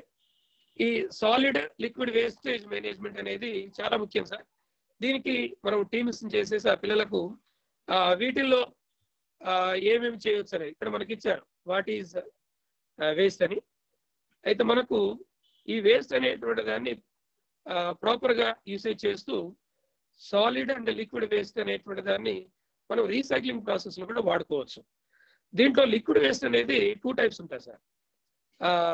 Black water and grey water అని ఉంటుంది సో బ్లాక్ వాటర్ అనేటువంటిది so which is from drainage so తర్వాత దీంట్లో మనకు ఆ, ముఖ్యంగా మనం వెళ్తున్నటువంటి మల విసర్జన చేసేటువంటి ఏరియాస్ నుంచి వచ్చేటువంటి వాటర్ని బ్లాక్ వాటర్ అంటారు. తర్వాత రెండవది గ్రే వాటర్ గ్రే వాటర్ అనేటువంటిది ముఖ్యంగా వంటగదులు ఆ ఈ క్లాస్ రూమ్లు శుభ్రం చేసినప్పుడు వచ్చేటువంటి వాటర్ వీటి నుంచి వచ్చేటువంటిది వీటిని మనం రీసైక్లింగ్ రీసైక్లింగ్ ప్రాసెస్లో వాడుకోవడానికి ఆ, అవకాశాలు గ్రే వాటర్కి ఎక్కువగా ఉంటాయి. తర్వాత సాలిడ్ కండిషన్లో ఉండేటువంటి సాలిడ్ స్టేట్లో ఉండేటువంటి వేస్టేజీ ముఖ్యంగా పేపర్స్ తర్వాత గ్లాస్ తర్వాత మనం పిల్లలు యూజ్ చేసి పారేసినటువంటి సీసాలు పెన్నులు ఇలాంటివి ఉంటాయి. వీటిని మనం రీసైక్లింగ్ అనేటువంటి చేసుకునేటువంటి అవకాశం ఉంది. రీసైక్లింగ్ చేసుకునే ప్రాసెస్లో ఫస్ట్ వాటిని మనం ప్రిజర్వ్ చేయాలి. ప్రిజర్వ్ చేసేసి వాటిని వాటిని చూసుకోవడానికి కూడా ఒక సెషన్ అనేది మనం కొంతమంది విద్యార్థుల్ని ఆ, మనం అక్కడ ఉంచుకోవచ్చు. ఇక్కడ చూపిస్తున్నారు డస్ట్బిన్. అక్కడ పిల్లల్ని ఎట్లాగా మెయింటెనెన్స్ అనేటువంటిది డ్రై కండిషన్లో ఉన్నటువంటి తర్వాత పదార్థాలు అనేటువంటి ఎట్లా ప్రిజర్వ్ చేస్తున్నారు అనేటువంటిది. సో ఇవి మనం ఆ, పిల్లలకు ఎంకరేజ్ పిల్లల్ని బాగా మోటివేట్ చేస్తూ మనం మన పాఠశాలని శుభ్రంగా ఉంచుకుంటూ వంటగదుల్ని శుభ్రంగా ఉంచుకుంటూ తర్వాత ఈ క్లాస్ రూమ్లో ఉండే సార్ పాఠశాలలో ఉండేటువంటి వాష్రూమ్స్ మనం వాష్రూమ్కి వెళ్ళేటువంటి ఏరియాలో ఉన్నటువంటి వాటి అన్నిటిని కూడా మనం క్లీన్గా ఉంచేసుకుంటే సర్వేజన సుఖనిభవంతు పిల్లలు ఆరోగ్యంగా ఉంటారు మనం ఆరోగ్యంగా ఉంటాం. తర్వాత మనం ఆరోగ్యంగా ఎప్పుడైతే ఉంటామో ఆ ముఖ్యంగా మనం ఈ కరోనా లాంటి ప్రమాదకరమైనటువంటి వ్యాధుల నుంచి మనం ఆ, జాగ్రత్త పడవచ్చు. తర్వాత పిల్లలకు ఈ సాలిడ్ స్టేట్లో ఉండేటువంటి వేస్టేజ్ని కంపోస్ట్ మ్యాన్ సారీ మాన్యూర్గా మాడిఫై చేసేటువంటి అవకాశం ఉంటుంది సార్. అంటే ఈ కంపోస్ట్లో వర్మీ కంపోస్ట్ అనేటువంటిది ఒకటి. దీంట్లో ఎర్త్ వామ్స్ ద్వారా ఎర్త్ వామ్స్ యూజ్ చేసి మనం దాన్ని ఆ, ఎరువుగా తయారు చేసి మన పాఠశాలలో ఉన్నటువంటి మొక్కలకే మళ్ళీ తిరిగి వాటిని వాడుకొని పాఠశాలలో ఉండేటువంటి గార్డెన్ని మంచి నీట్గా తయారు చేసుకోవచ్చు. అంటే వేస్ట్ మెటీరియల్ అనేది ఏది కూడా వేస్ట్ కాదు. మనం వాడుకునేటువంటి క్రమంలో వాటి అన్నిటి కూడా మాడిఫై చేసుకునేటువంటి అవకాశం ఉంటుంది. సో థ్యాంక్ యూ సార్ ఈ సమయాన్ని నాకు ఇచ్చినందుకు అందరికీ కూడా నిర్వాహకులందరికీ మరొకసారి కృతజ్ఞతలు తెలియజేస్తూ నేను చెప్పినటువంటి అంశాలన్నింటినీ ఈ పాఠశాలలో ఉండేటువంటి ప్రధాన ఉపాధ్యాయులు ఉపాధ్యాయులు విద్యార్థులందరూ కూడా పాటించి మన పాఠశాలని మంచి నీట్గా శుభ్రంగా ఉంచుకునేటువంటి క్రమంలో తమ వంతు బాధ్యత నిర్వహిస్తారని తెలియజేస్తూ అందరికీ నమస్కారం. Thank you sir thank you very much thank you Satyanarayana గారు. సార్ శ్రీని సార్ నమస్తే థ్యాంక్ యూ ఒక మంచి సెషన్ ఇచ్చారు సత్యనారాయణ గారు సీనియర్ ఉపాధ్యాయులు. సూర్యాపేట బయోసైన్స్ అంటే సత్యనారాయణ గారే మాకు యూ అంతటి గొప్ప వ్యక్తులు మాకు ఈరోజు క్లాస్ చాలా ఆనందం. Thank you yeah then next జరిగేటువంటి సెషన్లో మనకి వీరస్వామి గారు ఉన్నారు పద్మావతి. ఇప్పుడు కట్ అయినటువంటి వెంకటేశ్వర్లు కూడా లాస్ట్ కో టెన్ మినిట్స్ తీసుకునే అవకాశం ఉంది కాబట్టి ఈ ముగ్గురిని కోరిలేట్ చేయాల్సిన బాధ్యత పబ్బతి వెంకటేశ్వర్లు గారికి హ్యాండ్ ఓవర్ చేస్తున్నా. ఫస్ట్ పబ్బతి వెంకటేశ్వర్లు గారు వీరస్వామి గారిని ఇన్వైట్ చేయాలి. ఆ తర్వాత శివకుమారి మేడం ద్వారా పద్మావతి మేడం గారిని ఇన్వైట్ చేస్తారు. లాస్ట్ వెంకటేశ్వర్లు గారిని మళ్ళా పబ్బతి గారు ఇన్వైట్ చేసి ఒక ten to fif ten minutes అయినా ఇవ్వ ఇవ్వగలిగి క్లోజ్ చేస్తారని చెప్పి ఆశిస్తా ఉన్నాను. Please. Okay. Okay sir. Pabbathi గారు welcome. Sir thank you. Yeah. Sir మనకి ఇంకా వన్ అవర్ మాత్రమే ఉన్నది టైము. ఆర్పీలు దీన్ని దృష్టిలో పెట్టుకోండి. మీకు ఎవరికి ఇరవై నిమిషాలకు మించి వచ్చే సమయం కరెక్ట్గా ఇస్తే ఇరవై నిమిషాలు. ఇంకా తక్కువలోనే కంప్లీట్ చేసుకోవాలని. కొన్ని శానిటేషన్కి సంబంధించినటువంటిది వంద పీపీటీలు ఉంటాయి సార్. వంద ఉన్నాయి స్లైడ్స్. కొంచెం తక్కువ చేసుకొని చెప్పాలి. ఇప్పుడు దాని మీద శానిటేషన్ మీద దారా వీరస్వామి గారు హెచ్జిటి తిరుమలగిరి మండలంలో పనిచేస్తున్నారు వారిని ఇప్పుడు సెషన్ తీసుకోవాల్సిందిగా కోరుతున్నాను. దయచేసి సమయాన్ని పాటిస్తారని ఆశిస్తున్నాను. Okay sir. నాకు share option PC Veeraswamy PC అనే దానికి ఇవ్వండి సార్. ఓకే. ఇచ్చారా సార్.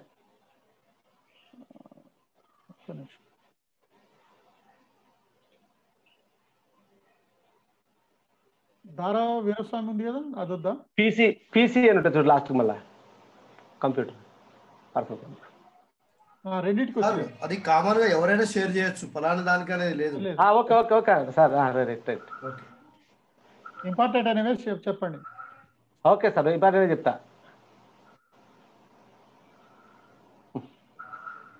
ఓకే వచ్చింది. ఓకే వచ్చింది వచ్చింది వచ్చి వచ్చింది.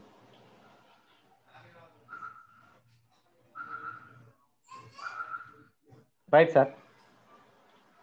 అందరికీ నమస్కారం సార్.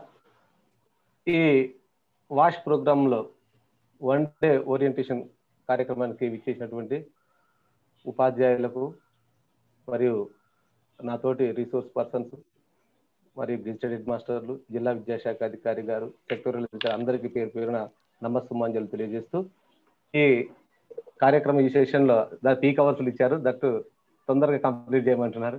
బట్ ఇవి స్లైడ్స్ చాలా చాలా ఎక్కువ ఉన్నాయి. అయినా I would I'm try to finish within the time okay sir. Sanitation essential elements of wash in sanitation. Now session of objectives and key learning.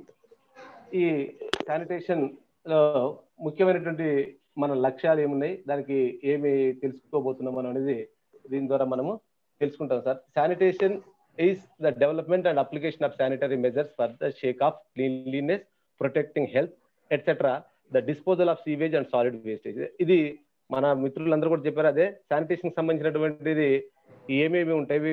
మనం క్లీన్ చేసుకోవడము దాని హెల్త్ని ప్రొటెక్ట్ చేసుకోవడం రక్షించుకోవడం అలాగే డిస్పోజల్ చేసుకోవడం అంటే వేస్టేజ్ ఏదైనా ఉంటే సాలిడ్ కానీ లిక్విడ్ కానీ అటువంటి వాటి గురించి మనం ఇందులో తెలుసుకుంటాం.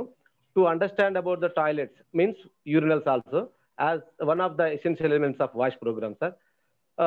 To get participants acquired with the technical norms and standards of the toilets in schools. మన పాఠశాలలో ఉన్నటువంటి టాయిలెట్స్ ఏ రకంగా ఎట్లా గవర్నమెంట్ నామ్స్ ప్రకారం ఎట్లా అలొకేషన్ జరుగుతుంది ఎంతమంది పిల్లలకి ఏ రకంగా ఉంటుంది అనే దాని గురించి కూడా మనం ఇందులో నేర్చుకుంటాం. To appreciate the child friendly and inclusive design of toilets ఇందులో మరి పిల్లలకు అందరికీ ఉపయోగపడే విధంగా ఏ రకంగా టాయిలెట్స్ ఉండాలి అనే దాని గురించి కూడా మనం దీంట్లో తెలుసుకుంటాం. To understand measures for safe management of faecal sludge and toilets with septic tanks and twin pit tanks ఇవన్నీ కూడా ఏ ఏ రకంగా డ్రైనేజ్ uh, వచ్చేటటువంటి వేస్ట్ మెటీరియల్ కానీ అవన్నీ కూడా ఈ రకంగా సెప్టిక్ ట్యాంకులలో కానీ ఎట్లా మనం చేయాలి దాన్ని సపరేట్ చేయాలనే దాని గురించి కూడా దీంట్లో మనము తెలుసుకుంటాం సార్. ఫస్ట్ ఆఫ్ ఆల్ ఇప్పుడు టాయిలెట్స్ ఇంతకుముందు సార్ పబ్బ సార్ కూడా చెప్పారు దీన్ని. అసలు టాయిలెట్ అంటే మనం అనుకుంటుంది ఏంటి? అసలు ఒరిజినల్ మీనింగ్ ఏంటి అనేది చూడండి. Toilet original meaning act of washing dressing and preparing on self అన్ని రకాలుగా దీని మీనింగ్ ఏంటంటే అన్ని రకాలుగా ఉపయోగపడేటట్టుగా మనకు టాయిలెట్ ఉండాలి. అది వాళ్ళ పోతే మా ఎంత పెద్ద పిల్లలు ఉంటారు చిన్న పిల్లలు ఉంటారు ఎవరైనా సరే అందులో పోతే వాళ్ళు ఒక పని కాదు వాళ్ళు తయారయ్యడానికి కూడా వాళ్ళు కొంచెం సెల్ఫ్గా వాళ్ళ ప్రైవసీ ఉండేటట్టుగా డ్రెస్ ప్రిపేర్ చేసుకునేటట్టుగా అంటే మన స్కూల్లో అలా సపరేట్ రూమ్స్ ఉండవు కాబట్టి అది వాళ్ళకు ఉపయోగపడేటట్టుగా ఉంటుంది దాన్నే మనం టాయిలెట్గా ఇప్పుడు చెప్తా ఉన్నాము school sanitation and objectives. School మరి ఆ శానిటేషన్లో ఏమేమి ఉంటుంది ఎట్లా ఉంటుంది? Availability of the separate functional toilets and urinals for boys and girls and teachers ఇది దాని మెయిన్ ఉద్దేశం. అసలు ఎవరికి కావాలి? బాయ్స్ కావాలి గర్ల్స్ కావాలి యాజ్ వెల్ యాజ్ టీచర్స్ కూడా కావాలి. ఈ దీంతో పాటు ఇంకెవరికి కావాలి? Functional toilets for children with special needs ఇది. అంటే ప్రత్యేక అవసరాలు గల పిల్లలకు కూడా వారికి కూడా యాక్సెసిబిలిటీ ఉండేటట్టుగా వారు కూడా ఉపయోగించుకునే విధంగా దీన్ని మనం ఏర్పాటు చేయాల్సిన అవసరం ఉన్నది. Next components of school sanitation మన స్కూల్ శానిటేషన్ లా ఏమేమి ఉంటాయి ఏవే ఏమేమి విషయాలు ఉన్నాయి మనం ఒకసారి చూద్దాం. Availability of separate functional toilets for boys and girls అంటే టాయిలెట్స్ అనేవి అబ్బాయి అమ్మాయిలకు అబ్బాయిలకు ఉండేటట్టు ఉండాలి. Availability of the separate functional urinals for boys and girls అవి టాయిలెట్స్ యూరినల్స్ యూరినల్స్ కూడా బాయ్స్ గర్ల్స్కు సపరేట్గా ఉండేటట్టు ఉండాలి. Separate toilets for children with special needs పిల్లల అది ఇది ప్రత్యేక అవసరాలు గల పిల్లలకు కూడా వారికి టాయిలెట్స్ సపరేట్గా ఉండాలి. Availability of child friendly design for toilets and urinals ఇప్పుడు చైల్డ్ ఫ్రెండ్లీ డిజైన్స్ అంటే మనం ముందు చూద్దాం అది. మీకు ఇప్పుడు చెప్తే కూడా అది ఏంటంటే పెద్ద పిల్లవానికి మనం యూరినల్ మనం కట్టామనుకోండి చిన్న పిల్లవాళ్ళు ఉపయోగించుకోలేరు. లేదు చిన్న పిల్లగానికి కట్టామనుకోండి పెద్ద పిల్లగానికి అన్కంఫర్ట్ ఉంటుంది. సో అట్లా కాకుండా ఆ ఏజ్ గ్రూప్ వాళ్ళకు ఎవరికైతే ఉన్నో వాళ్ళకి ఖచ్చితంగా ఉపయోగపడే విధంగా దాన్ని ఫ్రెండ్లీ డిజైన్స్ అంటాము. అవి అటువంటి వాటి గురించి. తర్వాత availability of the toilets with secure door door latch hooks roof light inside proper ventilation and sunlight during the day ఇవన్నీ ఉన్నాయా లేవా? ఇవన్నీ మన కాంపోనెంట్స్ సార్. ఖచ్చితంగా డోర్ ఉండాలి దానికి లోపల గొల్లెం ఉండాలి బయట పెట్టేటట్టు ఉండాలి వెంటిలేషన్ వచ్చేటట్టు ఉండాలి ఇవన్నీ కూడా దాంట్లో భాగం ఉన్నాయి ఖచ్చితంగా ఉండాలి availability of facilities exclusively for girl students so ఇది చాలా ముఖ్యం మన మిత్రులందరూ కూడా చెప్పారు మనందరికి కూడా తెలుసు.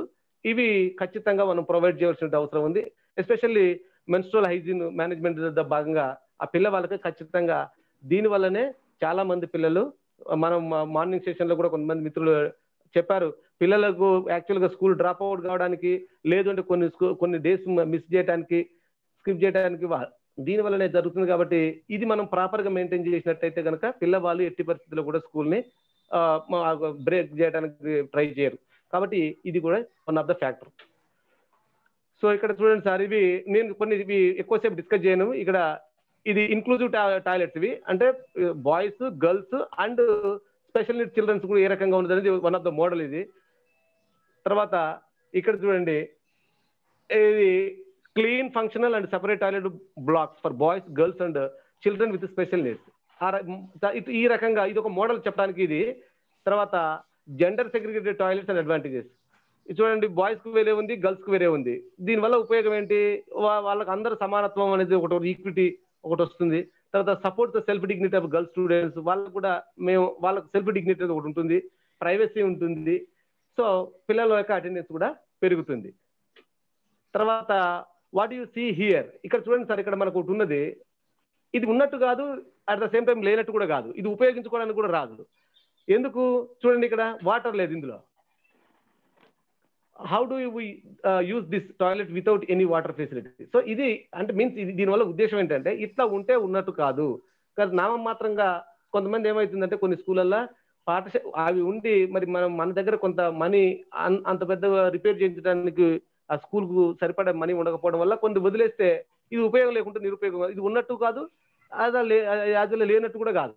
కాబట్టి ఇటువంటి వాటికి మనకి ఇప్పుడు స్టార్ గ్రేడింగ్ పర్పస్ లా ఒక పాఠశాలకు ఇప్పుడు ఫోర్త్ ఫిఫ్త్ స్టార్ రావడానికే ఈ ప్రయత్నాలంతా. ఇవన్నీ ఎందుకు చేస్తున్నాడు ఇట్లా ఉంటే ఉన్నట్టు కాదు. ఈ చిన్న చిన్న మైనర్ చిన్న చిన్న సమస్యలు ఉన్న దగ్గర కూడా మనకు రేటింగ్ పోయి పాఠశాల ఫస్ట్ సెకండ్ థర్డ్ స్టార్లలో వస్తుంది. అవి చిన్న చిన్న వాటిని రెక్టిఫై చేయడం కొరకే ఇవన్- ఈ మనం చేసేది ఈ ప్రయత్నం.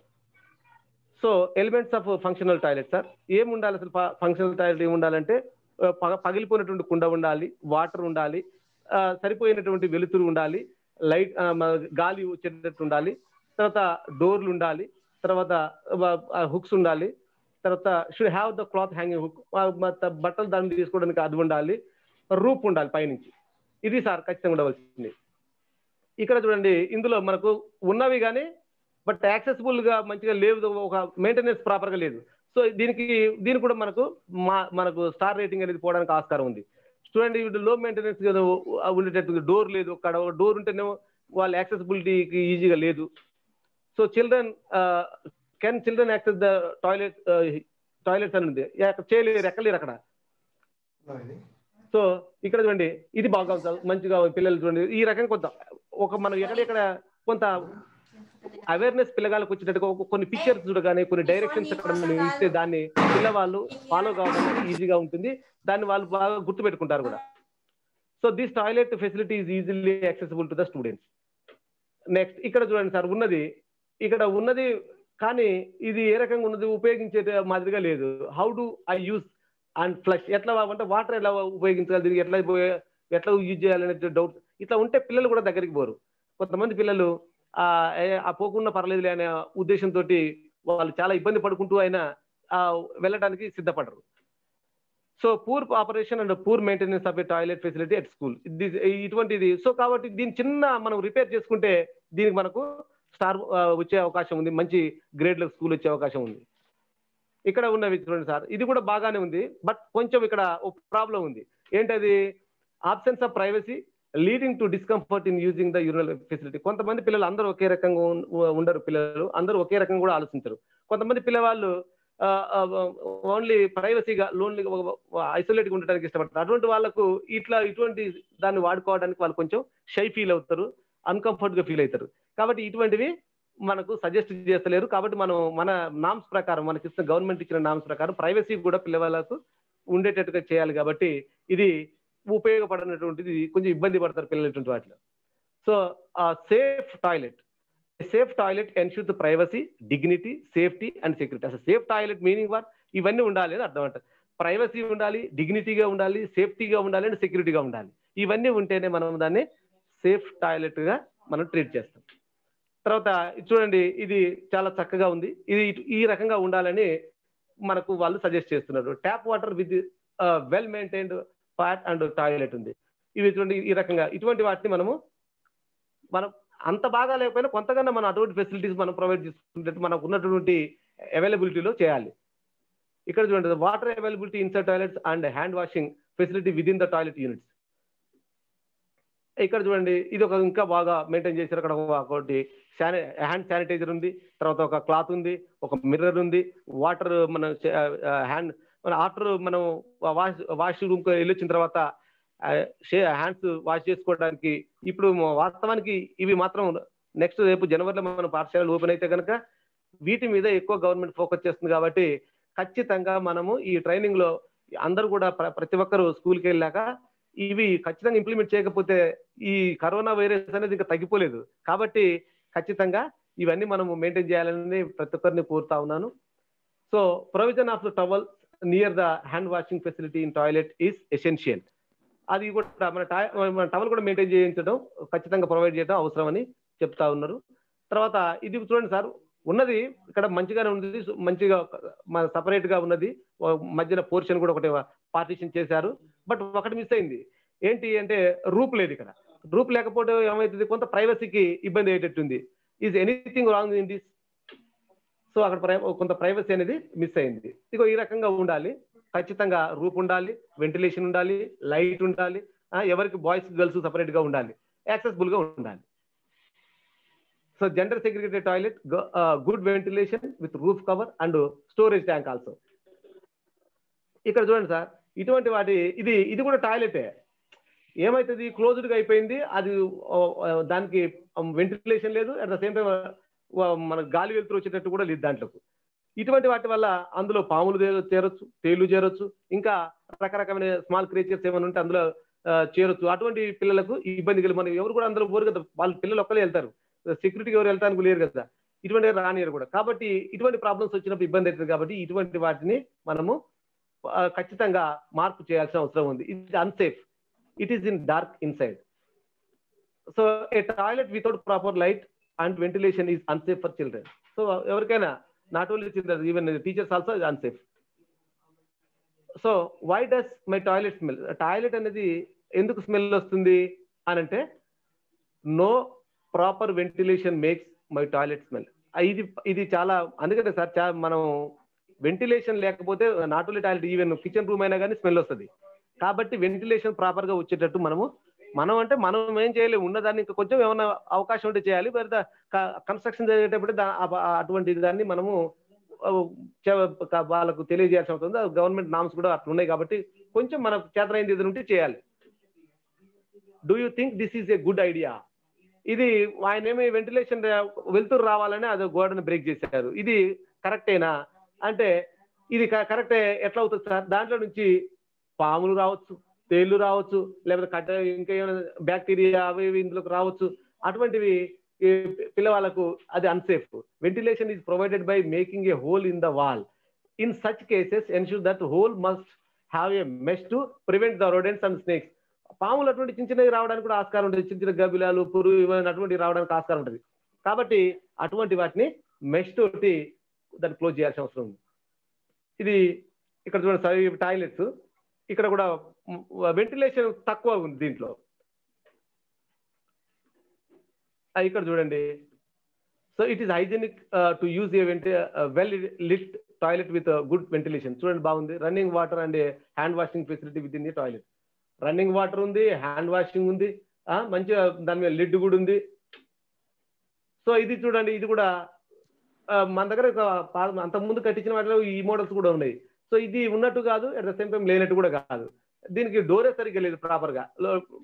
పిల్లలు అందులో పోవడానికి అసలే ఇష్టపడరు. ఈ toilets with broken doors without latch bolts are unsafe for both children and staff ఎవరికైనా ఎవరు కూడా దీన్ని ఇష్టపడరు. అందులో కావాలంటే వాళ్ళ ఇబ్బంది పడుకుంటానైనా ఉంటారు కానీ ఇటువంటి వాటిని యూజ్ చేసుకోవడానికి ఇష్టపడరు. Sir doors with proper latch and bolt ensures privacy and safety to the children ఇక్కడ కూడా చూడండి ఇది కూడా one type of gender segregated toilets with good ventilation and doors provided with latch outside to the bolts after ఆ sir ఇంతకుముందు కూడా మన మన సత్యనారాయణ సార్ ఒకటి మెన్షన్ చేశారు ఏంటి అంటే మన స్కూల్స్ విత్ ఇన్ ద గ్రామ పంచాయతీ లోకల్లో ఉంటాయి. మన స్కూల్ పక్కనే మన విలేజర్స్ ఉంటారు. అప్పుడు ఏమవుతుందంటే మనం స్కూల్ క్లోజ్ చేసి ఒకవేళ బయట నుంచి లాకేసే పరిస్థితి లేనట్లయితే మనం స్కూల్ క్లోజ్ చేసేసి రాగానే దాన్ని ఇష్టం వచ్చినట్టుగా వాడతారు. ప్రాపర్గా వాడినా ప్రాపర్గా వాడుకోరు. వాటర్ ఫ్లషింగ్ చేయరు. సో అటువంటిప్పుడు ఏమవుతుందంటే తెల్లారి మళ్ళీ మన వాళ్ళు పోవడానికి అది ఇబ్బందిగా ఉంటుంది. వెళ్ళకుండా అలాగే ఉంటుంది. ఇప్పుడు ఇంకోటి ఏంటంటే మనకి ఇప్పుడు ప్రస్తుతానికి మన స్కూళ్ళలో స్కావెంజర్లను కూడా మళ్ళీ ఇప్పుడు గవర్నమెంట్ చేసింది కాబట్టి అది క్లీన్ చేయాలంటే పిల్లలు ముందుకు రారు. టీచర్లు చేయలేరు. అటువంటి పరిస్థితి. కాబట్టి ఎవరు వాళ్ళు చేయడం ఇబ్బంది. సో వేరే వాళ్ళు ఎవరు చేస్తే చేసుకోవడానికి ఇబ్బంది పడతారు కాబట్టి ఖచ్చితంగా బయట నుంచి లాక్స్ ఉండాల్సిందే. సో ఫంక్షనల్ యూరినల్స్ ఇంతసేపు మనం టాయిలెట్స్ గురించి మాట్లాడే యూరినల్స్ గురించి. ఫంక్షనల్ యూరినల్స్ యూరినల్స్ ఉండటం కాదు అది ఫంక్షనల్గా ఉండాలి. ఇక్కడ చూడండి కాంపోనెంట్స్ ఆఫ్ ఫంక్షనల్ యూరినల్స్ ఏమేమి ఉండాలి? మధ్యన పార్టీషన్ ఉండాలి. అంటే ఒకళ్ళకు ఒకరికి మధ్యన పార్టీషన్ ఉండేటట్టు ఉండాలి. లైట్ వచ్చేటట్టు ఉండాలి. అది screen door in the one urinal up to fifteen MM height అంత హైట్కు ఒకరికొకరికి మధ్య ఒక హైట్ ఉండేటట్టు డోర్ ఎత్తుగా అవపడకుండా ఉండేటట్టు ఉండాలి. తర్వాత సెరామిక్ టైల్స్ ఉండాలి. ఈజీ మెయింటెనెన్స్ అందులో మనం వాటర్ కొట్టిన ఏదైనా యూరినల్ యూరిన్ అయినా ఇట్లా ఈజీగా ఫ్లో కావడానికి అవి సెరామిక్ టైల్స్ వే వేయాలి. లైట్ వెయిట్ రూఫ్ కవర్ ఉండాలి. అంటే బరువు ఎక్కువ లేకుండా లైట్ వెయిట్ ఉండే రూఫ్ పైనుంచి ఉండేది అటువంటివి ఉండాలి. సో గర్ల్స్ యూరినల్స్ ఇక్కడ చూడండి సార్ ఇవి. ఇవి గర్ల్స్ యూరినల్స్ ఇట్లా ఉండేవి చూడండి. ఇది ఇది ఈ ఏ రకంగా దీనికి పాయింట్స్ మనకు అందుకని ఇటువంటి వాటి దగ్గర కొంచెము స్టార్ రేటింగ్ అనేది పోతుంది. Options of squatting pan and water to clean. ఇక్కడ ఏ- అది లేదు ప్యాన్ లేదు నెట్ వాటర్ పోవడానికి కూడా అవకాశం లేదు. So is this good or bad design for the girls union అది చాలా గుడ్ ఎట్ అవుతుంది బ్యాడ్ అవుతుంది ఇక్కడ చూడండి ఇది ఒకటి చూడండి. ఇది కూడా ఉన్నది బాగానే ఉంది. బట్ వాటర్ లేదు రెండవది ప్రైవసీకి అనుకూలంగా వాళ్ళకు లేదు. ఇక్కడ చూడండి ఇది ఒక ఇది ఒక రకంగా ఇక్కడ ఇక్కడ ఏంటి?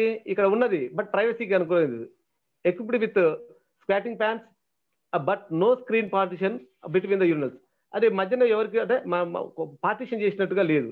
ఈ రకంగా కూడా కొంతమంది పిల్లలు కొంచెం ఇబ్బంది పడతారు కాబట్టి అది కూడా ఏర్పాటు చేయాల్సిన అవసరం ఉంది. సో లేక ప్రైవసీ ఉంది అక్కడ.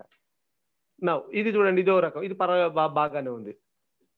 So girls urinals equipped with squatting pans running water inside urinals and partition ensures the privacy and functionality so ఇది బాగుంది. సో బాయ్స్ యూరినల్స్ ఇది చూడండి. So what is missing here అంటే ఏమో ఇక్కడ వాటర్ లేదు. ఉన్నది కానీ వాటర్ ఫెసిలిటీ లేదు. Options of water supply and pipe ఇవ ఇవన్నీ ఎందుకు చెప్తున్నాం అంటే ఇంత ఉన్నా ఇంత మంచిగా ఉన్నా అంత అందంగా ఉన్నా కానీ మనకు వాటర్ లేకపోవడం వల్ల మనకు స్టార్ రేటింగ్ అనేది పోతుంది. ఇక్కడ చూడండి ఉన్నది ఇక్కడ. వాటర్ ఉన్నది యూరినల్స్ ఉన్నాయి బట్ పార్టీ వాళ్ళకు ప్రైవసీ అనేది లేదు ఇక్కడ. Lack of privacy so options of screen or partition between the boys urinals so ఇక్కడ చూడండి ఇక్కడ అన్ని మెయింటైన్ చేశారు. చక్కగా ఉంది. So do you like this boys urinals equipped with running water and screen partitions ensure the privacy and functionality so ఇది చూడండి functional urinals ఇది ఒక రకం. Toilets for children with special needs. ఇప్పుడు ఇంతసేపు మనం బాయ్స్ చూసినాం గర్ల్స్ చూసాము టాయిలెట్స్. ఇప్పుడు స్పెషల్ ప్రత్యేక అవసరాలు గల పిల్లగాళ్ళకు కూడా వాళ్ళకు కూడా మనము గవర్నమెంట్ ఈక్వల్ దృష్టితో అందరూ కూడా సమాన అవకాశాలు ఉన్నటువంటి మన స్కూల్లో కాబట్టి వాళ్ళకు కూడా ఉండాలి కాబట్టి చూడండి ఈ అటువంటి వాళ్ళు వెళ్ళడానికి ఆస్కారంగా లేదు అది ఎలా వెళ్తారు? వాళ్ళు పట్టుకొని వెళ్ళడానికి మనకు అందుకనే వాళ్ళకు బ్యారియర్స్ లేదు. వాష్ ఫెసిలిటీ మనకు అందరూ వెళ్ళడానికి కూడా ఈజీగా లేదు. అంద అందులో మొత్తం డర్టీగా ఉన్నది. సో ఇటువంటి ఈ రకంగా ఉంటే మరి మనకు ఎలా వస్తుంది star rating is this CWSN friendly toilet చూడండి లేదు. ఎందుకంటే ఈ వే ప్రాపర్గా లేదు this CW this CWSN toilet has a ramp which is not accessible ramp ఉంది బట్ వెళ్ళేంత ఈజీ మంచిగా లేదు అది. అది చూడండి ఇక్కడ మంచిగా ఉంది ఇది. అన్నీ ఉన్నాయి దీంట్లో. చైర్ వీల్ చైర్ పోవడానికి ఆస్కారం ఉంది పక్కన పట్టుకొని నడవడానికి ఉంది. ఆ? ఇది చూడండి. ఒకే దాంట్లో ఈ రకంగా ఉన్నాయి. సో హ్యాండ్ రైల్స్ పట్టుకోవడానికి అంటే మన- మనం ఇప్పుడు స్పెషల్ నీడ్ చిల్డ్రన్స్ గురించి మాట్లాడుతున్నాం కాబట్టి వాళ్ళు నిలబడడానికి కొంతమంది నిలబడలేని ఉంటారు. వాళ్ళు పట్టుకోవడానికి హ్యాండ్ రైల్స్ ఉన్నాయి. తర్వాత బోత్ యూరినల్స్ అండ్ టాయిలెట్స్ రెండింటి దగ్గర ఉన్నాయి చూడండి. ఈ రకంగా పిల్ల వాళ్ళకు సపరేట్గా గా ఇట్లా ఉండాలి. ఇది ఒక రకంగా వాళ్ళకి చూడండి. సిడబ్ల్యూఎస్ వాళ్ళకి టాయిలెట్ ఎట్లా ఉంది. సో నామ్స్ అండ్ స్టాండర్డ్స్ చూడండి సార్. ఇప్పుడు మరి norms for toilets and urinals. So ఇక్కడ చూడండి నాన్ రెసిడెన్షియల్ స్కూల్స్. రెసిడెన్షియల్ కావు ఇవి నాన్ స్కూల్ నా ఇప్పుడు Swachh Bharat Swachh Vidyalaya two thousand fourteen ప్రకారము toilet for girls and boys ratio one is to forty. అంటే ఫార్టీ మెంబర్స్ ఒక ఒకటి ఒకళ్ళకు ఒక యూనిట్ ఇస్తారు. యూరినల్స్ కూడా one is to thirteen to fourteen urinals. Toilet for CWSN inclusive design inclusive design ఉండాలి వాళ్ళకి వేరే. సో వాటర్ కూడా చూడండి ten to twenty litres per person per day for conventional flushing toilets అంటే మన వెస్టర్న్ కాకుండా మన మన మన వాటికి టెన్ టెన్ నుండి వాటర్ అనేది ఇన్ని లీటర్స్ మన దగ్గర వాటర్ ఫెసిలిటీ ప్రొవైడ్ చేస్తే టెన్ లీటర్సా ట్వంటీ లీటర్సా ఎంతైనా మనం ఎక్కువ వాటరే వాడుతుంటాం మనం. దాంట్లో ఇంత కొల కొలమానంగా ఇంతే అని చెప్పడానికి ఆస్కారం లేదు కాబట్టి ఎక్కువ వాటర్ని మనము ఇక్కడ వాళ్ళు ఇచ్చారులే ఎంత పడుతుంది ఫ్లషింగ్ వాటర్ ఆనల్ వాషింగ్ ఇవన్నీ కానీ మనం చేతనైనంత వరకు మన దగ్గర ఓవర్ ట్యాంక్స్ ఉంటే దాని నిండా నింపి పెట్టుకుంటే సరిపోతుంది. Hand washing within or near toilet block. So ఇది చాలా important sir. Hand washing conclude చేయండి. Time only forty five minutes left okay sir okay sir. Finish within the five minutes sessions ఉన్నాయి sir ten minutes okay okay sir. Okay sir sir. Okay sir. Right ఇది చూడండి sir. ఇప్పుడు ఈ ఇక్కడ చూడండి టాయిలెట్కి వెళ్ళి రాగానే కొన్ని సైన్స్ మనం ఇక్కడ అంటే మన దగ్గర కూడా మన అన్ని కొన్ని పాఠశాలలో మెన్షన్ చూపిస్తా ఉన్నారు. ఇంకా మనం కూడా లేని దగ్గర ఇటువంటి చేయడం కొరకు ఇక్కడ హ్యాండ్ వాష్ చేసుకోవాలి ఎట్లా చేసుకోవాలి ఎప్పుడు చేసుకోవాలి ఎట్లా పిక్చర్స్ కొన్ని మనకు వాళ్ళు వాల్ పెయింటింగ్ వేపిస్తే పిల్లవాళ్ళకి ఈజీగా ఉంటుంది. Hand washing facility near toilet block helps wash hands after toilet. ఇది చాలా ముఖ్యమైనటువంటిది. పిల్లవాళ్ళకు మనం చెప్పేందుకు హై స్కూల్లో కొంత అవేర్నెస్ ఉన్న ప్రైమరీ స్కూల్లో వాళ్ళకు చెప్పేదానికి కొంత ఎందుకు అంటే ఈ maximum students from rural background కాబట్టి ఇంటి దగ్గర పెద్దగా వాళ్ళకు వాళ్ళ ఫాదర్ కానీ వాళ్ళ ఇంటి దగ్గర చెప్తే కానీ వాళ్ళకి వస్తుంది. లేదంటే మనం చెప్తే కానీ ఇక్కడికి వస్తుంది. కానీ అక్కడ ఇక్కడ చెప్పకపోతే వాళ్ళకి తెలియదు కదా. తెలవాలంటే ఎవరో ఒకరు చెప్పాలి. మనం ఆఫ్టర్ టాయిలెట్ యూజ్ చేసిన తర్వాత ఖచ్చితంగా సోప్ తోటి హ్యాండ్ వాష్ చేయాలి. దట్ సెవెన్ మనం మనం సెవెన్ మోడల్స్ ఉన్నాయి మనం చెప్పేది ఏడు రకాలుగా మనం వాష్ చేయాలి అనేది. ఆ రకంగా చేస్తేనే అన్ని జమ్స్ కిల్ అయితే లేకపోతే మళ్ళీ వాటితోటి డయేరియా ఇవన్నీ రకరకాల జబ్బులు ఉన్నాయి అవన్నీ వస్తాయని చెప్ చెప్పాల్సిన అవసరం మనం ఉన్నది సార్ కదా. రెండవది what is the first thing in you notice అంటే ఇందులో చూడండి వాటర్ ఉండేవి కానీ లాక్ చేసి లేవు. కొన్నిటికి డోర్లు లేవు కొన్నిటికి ఒక డోర్ ఉంది కానీ లాక్ లేదు. చూడండి సార్ ఇక్కడ. అంటే hand washing facility within the toilet unit is the best design to wash hands after the toilet use కరెక్టే చైల్డ్ ఫ్రెండ్లీ డిజైన్ అంటే చైల్డ్ ఫ్రెండ్లీ డిజైన్ ఇంత ముందు చెప్పాను కదా సార్. అంటే పిల్లవాళ్ళకు ఎవరికైనా ఇప్పుడు ఎత్తు ఉన్న వాళ్ళు ఉంటారు పొట్టిగా ఉన్న వాళ్ళు ఉంటారు చిన్న వాళ్ళు ఉంటారు పెద్ద వాళ్ళు ఉంటారు సో వాళ్ళందరికీ అది యాక్సెసిబుల్గా ఉండాలి. అదే చైల్డ్ ఫ్రెండ్లీ చైల్డ్ టాయిలెట్ అంటాం. చైల్డ్ ఫ్రెండ్లీ టాయిలెట్ అంటాం. అదర్వైజ్ మనం ఒకరికి ఉద్దేశం ఉద్దేశించి మనం డిజైన్ చేస్తే అది ఎట్టి పరిస్థితుల్లో మిగతా వాళ్ళు యూజ్ చేసుకోవడానికి అవ- అవకాశం ఉండదు. ఈ this a child friendly design no so ఇక్కడ చూడండి ఇది ఇలా ఉండాలి. ఇప్పుడు అందరికీ యాక్సెసిబుల్గా ఉండేటట్టు ఉండాలి సార్. నా సో హైట్ అన్ని అన్ని కూడా అందరికి పెద్ద పిల్లలకు చిన్న పిల్లలకు అందరికి ఉపయోగించేటట్టుగా ఉంది.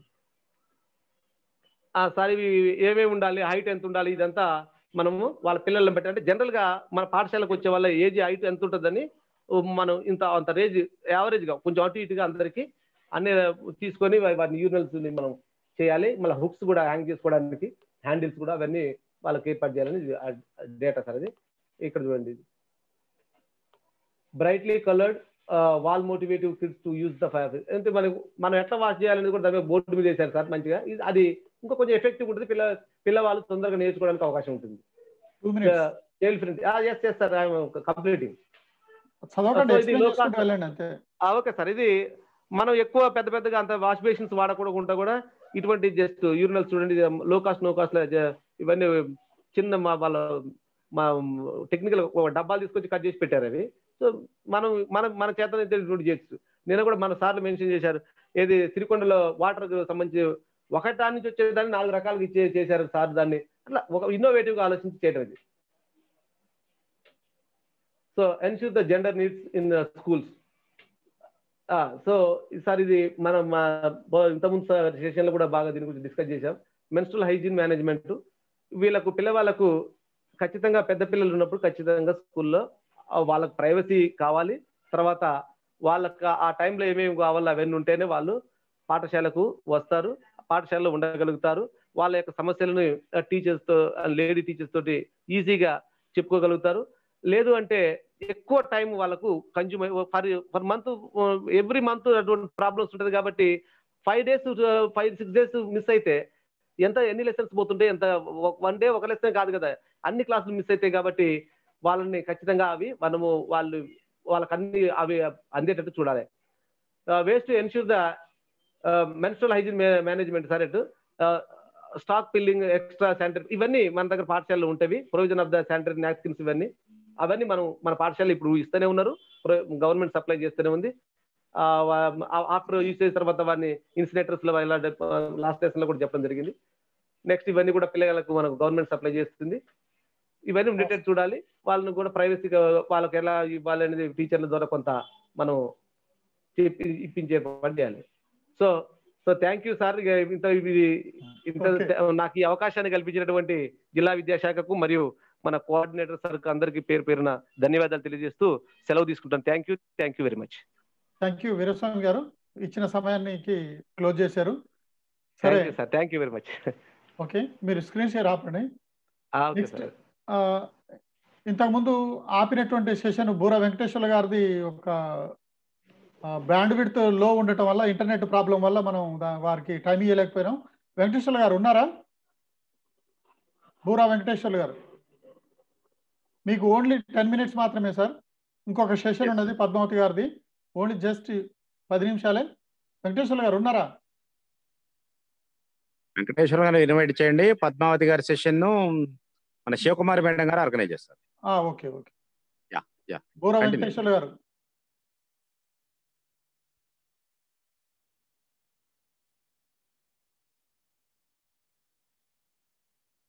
సార్ సార్ని అన్మ్యూట్ చేయండి.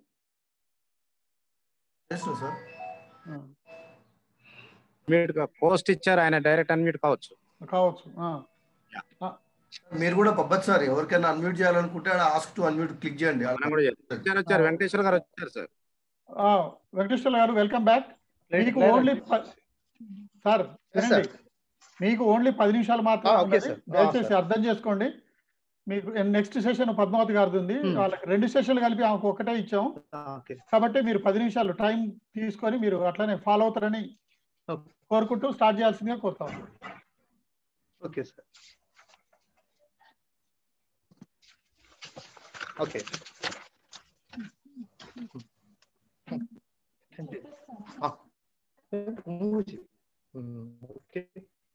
అక్కడ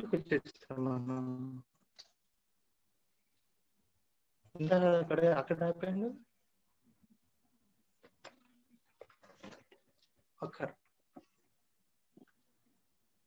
మూవ్ అయిపో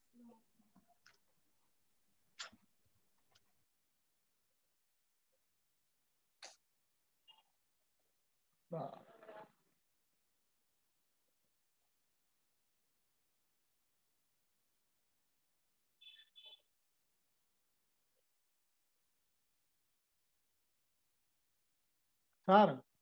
లీవ్ అయ్యారా? లీవ్ అయినట్టుంది కదా. వచ్చాడు. ఆడియో ఆన్ చేసుకోండి.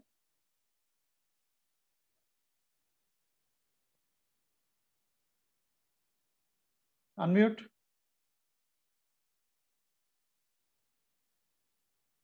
వెంకటేశ్వర్ గారు.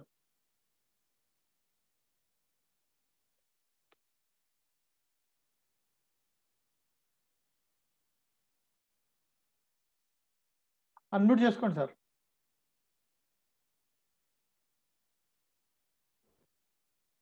టైం లేదండి.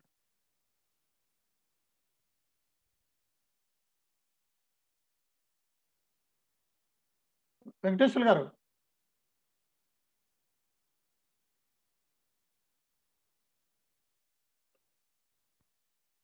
మీరు అన్మ్యూట్ చేసుకొని మాట్లాడండి.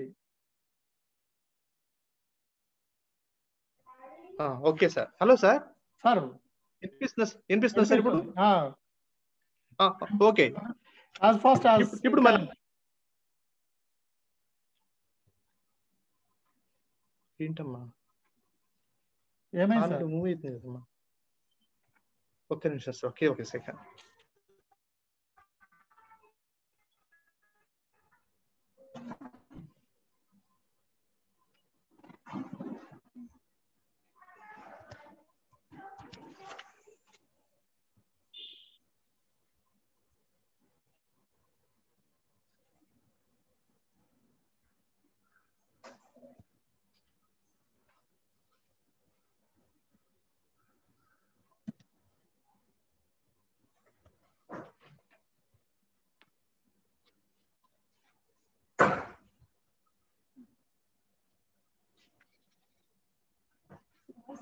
voice వినిపిస్తుందా సార్ వినిపిస్తున్నది మీరు వెంకటేష్ సార్ ఓకే ఓకే అయితే సార్ ఇప్పుడు మరి నేను చెప్పేస్తుంటాను. చెప్పేసేయండి సార్. కనెక్ట్ అవుతుంది.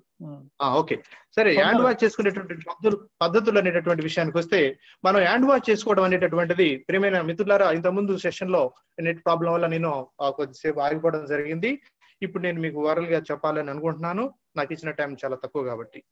మరి హ్యాండ్ వాష్ చేసుకోవడం అనేటటువంటిది మనకు గత పది సంవత్సరాల నుంచి కూడా హెల్త్ డిపార్ట్మెంట్ వాటి చెప్తానే ఉన్నారు. అవి సెవెన్ స్టెప్స్లో మరి హ్యాండ్ వాష్ చేసుకోవాల్సినటువంటి అవసరం ఉంది. మరి ముఖ్యంగా చేతులు కడుక్కోవడం అనేది చాలా ముఖ్యమైనటువంటి విషయం కాబట్టి ఇందులో ముఖ్యంగా సోప్ అనేది వాడడం మరి క్రిములు అనేది మనం తొలగించుకోవడం కోసం మరి తర్వాత రోగాలు అనేటటువంటి సమాజంలో వ్యాప్తి జరగకుండా ఉండడం కోసం అనేటటువంటిది చాలా అవసరం.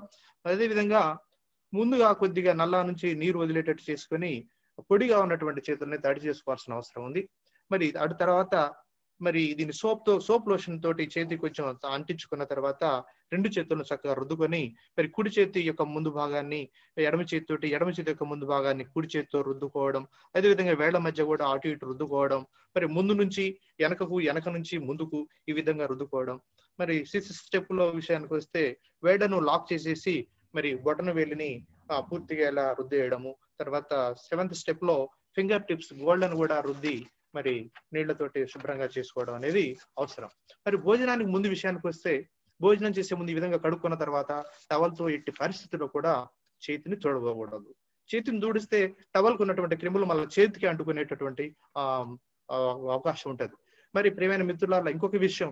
కోళ్ళని మరి ప్రతి వారానికి ఒకసారి కంపల్సరిగా నేల్స్ని కట్ చేసుకోవాలి. నీళ్ళ సందుల్లో రకరకాల జెమ్స్ ఉంటాయి. మరి చాలా మందిని ఒక మనకు ఉన్నటువంటి మిత్రులు ముఖ్యంగా టీచర్స్ పిల్లలకి ఆదర్శంగా ఉండవలసిన అవసరం ఉంది. టీచర్స్ కంపల్సరిగా వీళ్ళని కత్తిరించుకొని వాళ్ళు కంపల్సరిగా పిల్లలకి ఆదర్శంగా ఉండాలని కోరుకుంటున్నాను.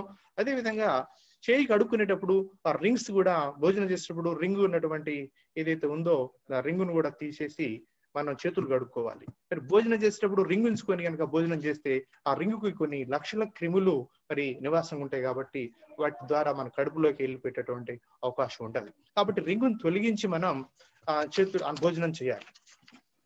అదే విధంగా మిత్రులారా మరి ఇక్కడ మనం సబ్బుతో మరి ఈ విధంగా మనం చేయడం మూలాన ఆ పూర్తిగా క్రిములు అనేటటువంటివి చేతి నుంచి తొలగిపోయి మనం ఆరోగ్యంగా ఉండడానికి అవకాశం ఉంటుంది. మరి ఇక్కడ ఆ విషయానికి వస్తే మనం ఇన్ని రోజుల నుంచి మనం చెప్పుకుంటున్నటువంటి ఈ క్లాస్ విషయానికి వస్తే మరి పిల్లలకి నేర్పడం ద్వారా మన పాఠశాలలో ఉన్నటువంటి విద్యార్థులకి నేర్పడం ద్వారా విద్యార్థులు ఒక ఏజెంట్స్గా సంధానకర్తలుగా వాళ్ళ కుటుంబంలో కూడా సమూలమైనటువంటి ఆ ఆరోగ్యపరమైనటువంటి ఒక రిజల్ట్స్ని మనం చూడబోతాం. విద్యార్థులు కూడా పూర్తిగా చేతులు కడుక్కునే విధానం నేర్చుకున్నట్టయితే పరిశుభ్రతకు సంబంధించిన విషయాలు నేర్చుకున్నట్టయితే ఇంటి దగ్గర తల్లిదండ్రులు కూడా ఆ విషయాన్ని పిల్లల ద్వారా నేర్చుకొని వాళ్ళ యొక్క ఆరోగ్యాన్ని కూడా మంచిగా ఉంచుకోవడానికి అవకాశం ఉంటుంది. మరి వీళ్ళు కూడా తల్లిదండ్రులకు చెప్తారు సబ్బుతో కడుక్కోవడంలో ఆరోగ్యంగా ఉంటామని. మరి అదే విధంగా ఆరోగ్యంగా ఉండటం వల్ల ప్రతిరోజు స్కూల్కి వస్తారు. మరి స్కూల్కి వచ్చినటువంటి పిల్లలు పాఠశాలలో ఉన్నటువంటి పాఠ్యాంశాలను చక్కగా నేర్చుకొని వాళ్ళకు విద్యలో మంచి ప్రగతిలో ముందుకు సాగుతారు. అదే విధంగా మరి చేతులు కడుక్కోకుండా అనారోగ్యం గురైనటువంటి పిల్లలు వాళ్ళ యొక్క కడుపులో జెమ్స్ పడడం వల్ల రకరకాల జ్వరాలు డయేరియా ఇలాంటివి వచ్చేసినటువంటి పిల్లలు తరచుగా బడికి గైరాజరైపోతే మరి పాఠశాలలో జరిగేటటువంటి పాఠశాలలు వాళ్ళు వినక వాళ్ళు అనేక అంశాలని కోల్పోయి వెనకబడేటటువంటి అవకాశం ఉంటుంది కాబట్టి ముఖ్యంగా విద్యార్థుల్ని మన వ్యక్తిగతంగా ఆ చేతులు శుభ్రం చేసుకునేటటువంటి పరిశుభ్రతలో భాగస్వామ్యం చేయాల్సినటువంటి అవసరం ఉంది. అదేవిధంగా మన పాఠశాలలో సబ్బు నీరు సదుపాయం అనేది ఎట్లా కల్పించాలి? మరి ఇక్కడ సబ్బు నీరు సదుపాయం అనేటటువంటిది టాయిలెట్ దగ్గర కూడా మనం సబ్బు నీటి సదుపాయాన్ని కలిగించాలి. మరి టాయిలెట్కి వెళ్ళొచ్చాక తర్వాత భోజనానికి తినే ముందర తిన్న తర్వాత ఈ విధంగా మనం ఈ సబ్బును ఉపయోగించాలని చెప్పడం వాడికి అందుబాటులో ఉంచాలి విద్యార్థులకు ముఖ్యంగా. అదేవిధంగా పిల్లలు కూడా గ్రూప్ వైజ్గా చేతులు చేతులు కడుక్కునేటందుకు వాళ్ళని ప్రోత్సహించాలి. గ్రూప్ వైజ్గా చేతులు కడుక్కోవడం వల్ల కొందరు పిల్లలు తెలిసినటువంటి పిల్లలు గ్రూప్లో తెలిసినటువంటి పిల్లలు ఉంటే వాళ్ళు కడుపు పక్కన ఉన్న పిల్లలు వాళ్ళని ఇమిటేట్ చేస్తారు. దానివల్ల కూడా అందరూ కూడా పరిశుభ్రంగా ఉండడానికి పోటీ పడతారు. పరిశుభ్రంగా చేతులు కడుకోవడానికి పోటీ పడతారు. మరి ఇక్కడ చేతులు కడుకోవడానికి బకెట్ నీరు తర్వాత మగ్గు పిల్లలకి అందుబాటులో ఉంచాలి. ఈ సదుపాయి అందుబాటులో లేనప్పుడు పిల్లలు చేతులు కడుక్కోవడానికి ప్రాబ్లం అయిపోతుంది. మరి అన్ని చెప్పేసి నీళ్ళు లేని పరిస్థితులు ఉంటే అది సమస్య. మరి ఉపాధ్యాయులు అయినటువంటి ప్రధాన ఉపాధ్యాయులు కానివ్వండి పాఠశాలలో అదేవిధంగా టీచర్స్ కానివ్వండి ప్రభుత్వం నుంచి వచ్చినటువంటి గ్రాంట్ని కంపల్సరీగా వినియోగించి సబ్బును కొనాలి సబ్బు నీళ్ళని లిక్విడ్ సంథింగ్ లిక్విడ్ సోప్ లిక్విడ్స్ని కానీ ఏర్పాటు చేయాల్సిన అవసరం ఉంది. కొన్ని పాఠశాలలో ప్రధాన ఉపాధ్యాయులు టీచర్స్ కే చేతి సబ్బు లేకుండా వాళ్ళ వాళ్ళ సహాయం కూడా ఏమీ ఉండలేదు. అది మేము గమనిస్తున్నటువంటి అంశం. విద్యా ఉపాధ్యాయులే తలా పది రూపాయలు వేసుకొని ఒక్కొక్కరు ఒక్కొక్క నెల తీసుకొస్తున్నారు. మరి విద్యార్థులకు ఎవరు తీసుకురావాలా? మరి ఇలాంటి మరి కక్కుర్తికి పోకుండా మరి ప్రభుత్వం ఇస్తున్నటువంటి గ్రాంట్ని హండ్రెడ్ పర్సెంట్ పాఠశాల విద్యార్థులకి మనం కేటాయించాల్సిన అవసరం ఉంది. మనతో మరి కార్పొరేట్ స్కూల్స్ అవి ముందుకు పోతున్నాయని చెప్తా ఉన్నాం. మరి వాళ్ళు వాళ్ళ పిల్లలకి అనేక సౌకర్యాలు వాళ్ళు కల్పిస్తారు తీసుకున్నటువంటి ఫీజు నుంచి. మరి కనీసం గవర్నమెంట్ ఇస్తున్నటువంటి ఫీజును కూడా మనం తీసుకున్నటువంటి నిధుల్ని మనం పిల్లలకు వినియోగించాల్సినట్టు అవసరం ఉంది. అదే గ్రూప్ హ్యాండ్స్ హ్యాండ్ వాష్ అంటే ఏంటి? గ్రూప్ వైజ్గా వాళ్ళు చేతులు కడుక్కునేటట్టు చేయాలి. చిన్న పిల్లలంతా ఒక గ్రూప్గా పెద్ద పిల్లలంతా ఒక గ్రూప్గా ఉండేటట్టు చేయాలి. మరి గ్రూప్ వైజ్గా ఒక లైన్లో రోలో పిల్లల్ని నిల్చోబెట్టేసి పది మందిని కడుక్కున్న తర్వాత ఇంకో పది వెనకాల పది మంది నిల్చున్న ఉన్నట్టయితే నిల్చోబెట్టినట్టయితే పది మంది కడుక్కునేటటువంటి చేతులను వాళ్ళు అబ్జర్వ్ చేసి వీళ్ళు కూడా వాళ్ళలాగా అనుకరించి చేతులు కడుక్కుంటారు. మరి భోజనానికి ముందు ఇట్లా చేతులు కడుక్కునేటటువంటి ఆ విషయాన్ని మనం ఏర్పాటు చేయాలి. అదే విధంగా అలా మరి ఒకే బకెట్లో అందరి చేతులు కడుక్కున్నట్టయితే అందులో వీళ్ళ చేతుల యొక్క మురికి అందులో పడి ఆ క్రిములు మరి అందరికీ మరి స్ప్రెడ్ అయ్యేటటువంటి అవకాశం ఉంటది. కాబట్టి అలా కాకుండా నల్ల నీటి వస్తుని కల్పించడం అనేది అవసరం. అలా సజీవ అది అలా అంతకంటే కూడాను ఒక బకెట్ లాంటి దాన్ని పైకి హ్యాంగ్ చేసేసి దానికి ఒక నల్లా పెట్టేసి ఆ బకెట్లో నీళ్ళు పోస్తే ఆ నల్లా తిప్పుకుంటే ఆ చెట్టుకు కానీ గోడకు కానీ కట్టేసి కూడా మనం చక్కగా చేతులు కడుక్కునే విధానాన్ని మన పిల్లలకి ఇది చేయొచ్చు పైన ట్యాంకు లేదని ఇంకొకటి నల్లా లేవని చెప్పకుండా ఒక బకెట్కి ఇచ్చిన నల్లా ఫిట్ చేయించి కూడా మనం పిల్లలు చేతులు కడుక్కునే విధంగా మనం ప్రోత్సహించవచ్చు. అదే విధంగా గ్రూప్ వాషింగ్. మరి పది పదిహేను మంది విద్యార్థులను ఒక గ్రూప్గా చేసేసి మరి ఈ విధంగా వాళ్ళ చేతులు కడుక్కోవడం వల్ల ముందు వరుసలో కడుక్కున్నటువంటి పిల్లలు చూసి చేస్తున్నటువంటి ఎలా కడుక్కుంటున్నారు అనేటటువంటి విషయాన్ని వెనక వారు గమనించి వాళ్ళు కూడా పరిశుభ్రంగా చేతులు కట్టుకుంటారు ఈ విధంగా అందరూ ఎడ్యుకేట్ అయిపోవడం అనేది జరుగుతుంది. మరి విద్యార్థులకు అడిగేటప్పుడు ముఖ్యంగా సార్స్ గమనించాలి. ఒక్కొక్కరు ఒక రోజు డ్యూటీ చేసుకుని పిల్లలు చేతులు కడుక్కునేటప్పుడు గమనించి వాళ్ళకి గైడ్ చేయడం వల్ల కూడా పిల్లలు చక్కగా చేతులు కడుక్కుంటారు. అదే టీచర్ అక్కడ లేకుండా ఎవరు వాళ్ళ పర్యవేక్షణ లేకపోతే ఇచ్చిపిచ్చిగా ఒకడు గడుక్కుంటారు ఒకడు గడుకోరు ఆ విధంగా ఆ వాళ్ళు దాన్ని అపహాస్యం పాలు చేస్తుంటే కొద్ది చేతులు కడుక్కునే విధానాన్ని. అదేవిధంగా మరి నీళ్ళు ఎక్కడి నుంచి వస్తాయి? చేతులు కడుక్కోవడానికి మరి ఎక్కడి నుంచి మనం వాటిని సమకూరుస్తాం అనే విషయానికి వస్తే ఫస్ట్ ఫస్ట్. నల్లాల ద్వారా ఓకే సార్ నల్లాల నల్లాల ద్వారా మనం హ్యాండ్ వాష్ సౌకర్యాన్ని కల్పించవచ్చు మరి ఈ మధ్య మిషన్ భగీరథ వాటర్ మన ఫెసిలిటీ వస్తుంది. అది మరి మున్సిపాలిటీ వాళ్ళకి కానీ గ్రామ పంచాయతీ వారికి కానీ ఏర్పాటు చేసి మనం వాళ్ళకి విన్నవిస్తే మరి కంపల్సరీగా మనకు ఆ సౌకర్యాన్ని కల్పిస్తారు. మరి మనం మనం ఉపాధ్యాయ మిత్రులైనటువంటి హెడ్ మాస్టర్ కానివ్వండి ఆ టీచర్స్ చురుకైన టీచర్స్ కానివ్వండి దాని తాలూకు సర్పంచ్ గారిని కానివ్వండి మున్సిపల్ చైర్మన్ కలిస్తే మనకు చక్కటి అవకాశం వాళ్ళ వాళ్ళ నుంచి మన సహకారం ఉంటుంది. ఆ నీటిని మనం పిల్లలు చేతులు ఉపయోగించుకోవచ్చు. మరి ఇక్కడ అది అవకాశం లేనప్పుడు పంపుల ద్వారా మరి విద్యార్థులు చేతి పంపు ద్వారా కూడా నీళ్ళు ఉంటాయి మరి పిల్లల్ని లైన్లో పంపించేసి మరి టీచర్స్ పర్యవేక్షణలో చేతులను పరిశుభ్రంగా చేసుకునేటటువంటి ఏర్పాటును చేయాలి. మరి సబ్బు నీళ్ళను మరి తమ్ముడు సత్యానంద సార్ గారు చెప్పినట్టుగా సబ్బు నీళ్ళు లాంటివి ఏర్పాటు చేసేస్తే పిల్లలకు ఒక్కొక్కరికి కొంచెం కొంచెం కొంచెం వస్తూ ఉంటే వారు చేతులు కడుక్కోవడం చక్కగా పళ్ళలు కడుక్కొని వారు భోజనానికి వెళ్ళే అవకాశం ఉంటుంది. మరి గిన్నెలో ఒక గిన్నెలో కూడా మగ్గులో నీరు పెట్టుకో గన్నెలో నీరు పెట్టుకుని సబ్బు నీరు పిల్లలకి ఒకరికొకరు మనం పోసే అవకాశం కూడా ఉంది. అలా కూడా చేయొచ్చు. మరి బకెట్లో మనకు ఇందాక చెప్పుకున్నట్టు ఆ నీరులో కొంచెం లిక్విడ్ వేసేసి దాన్ని కొంచెం పలసగా చేసేసి అందరి విద్యార్థులకు అందించవచ్చు ఓకే సార్. నెక్స్ట్ మరి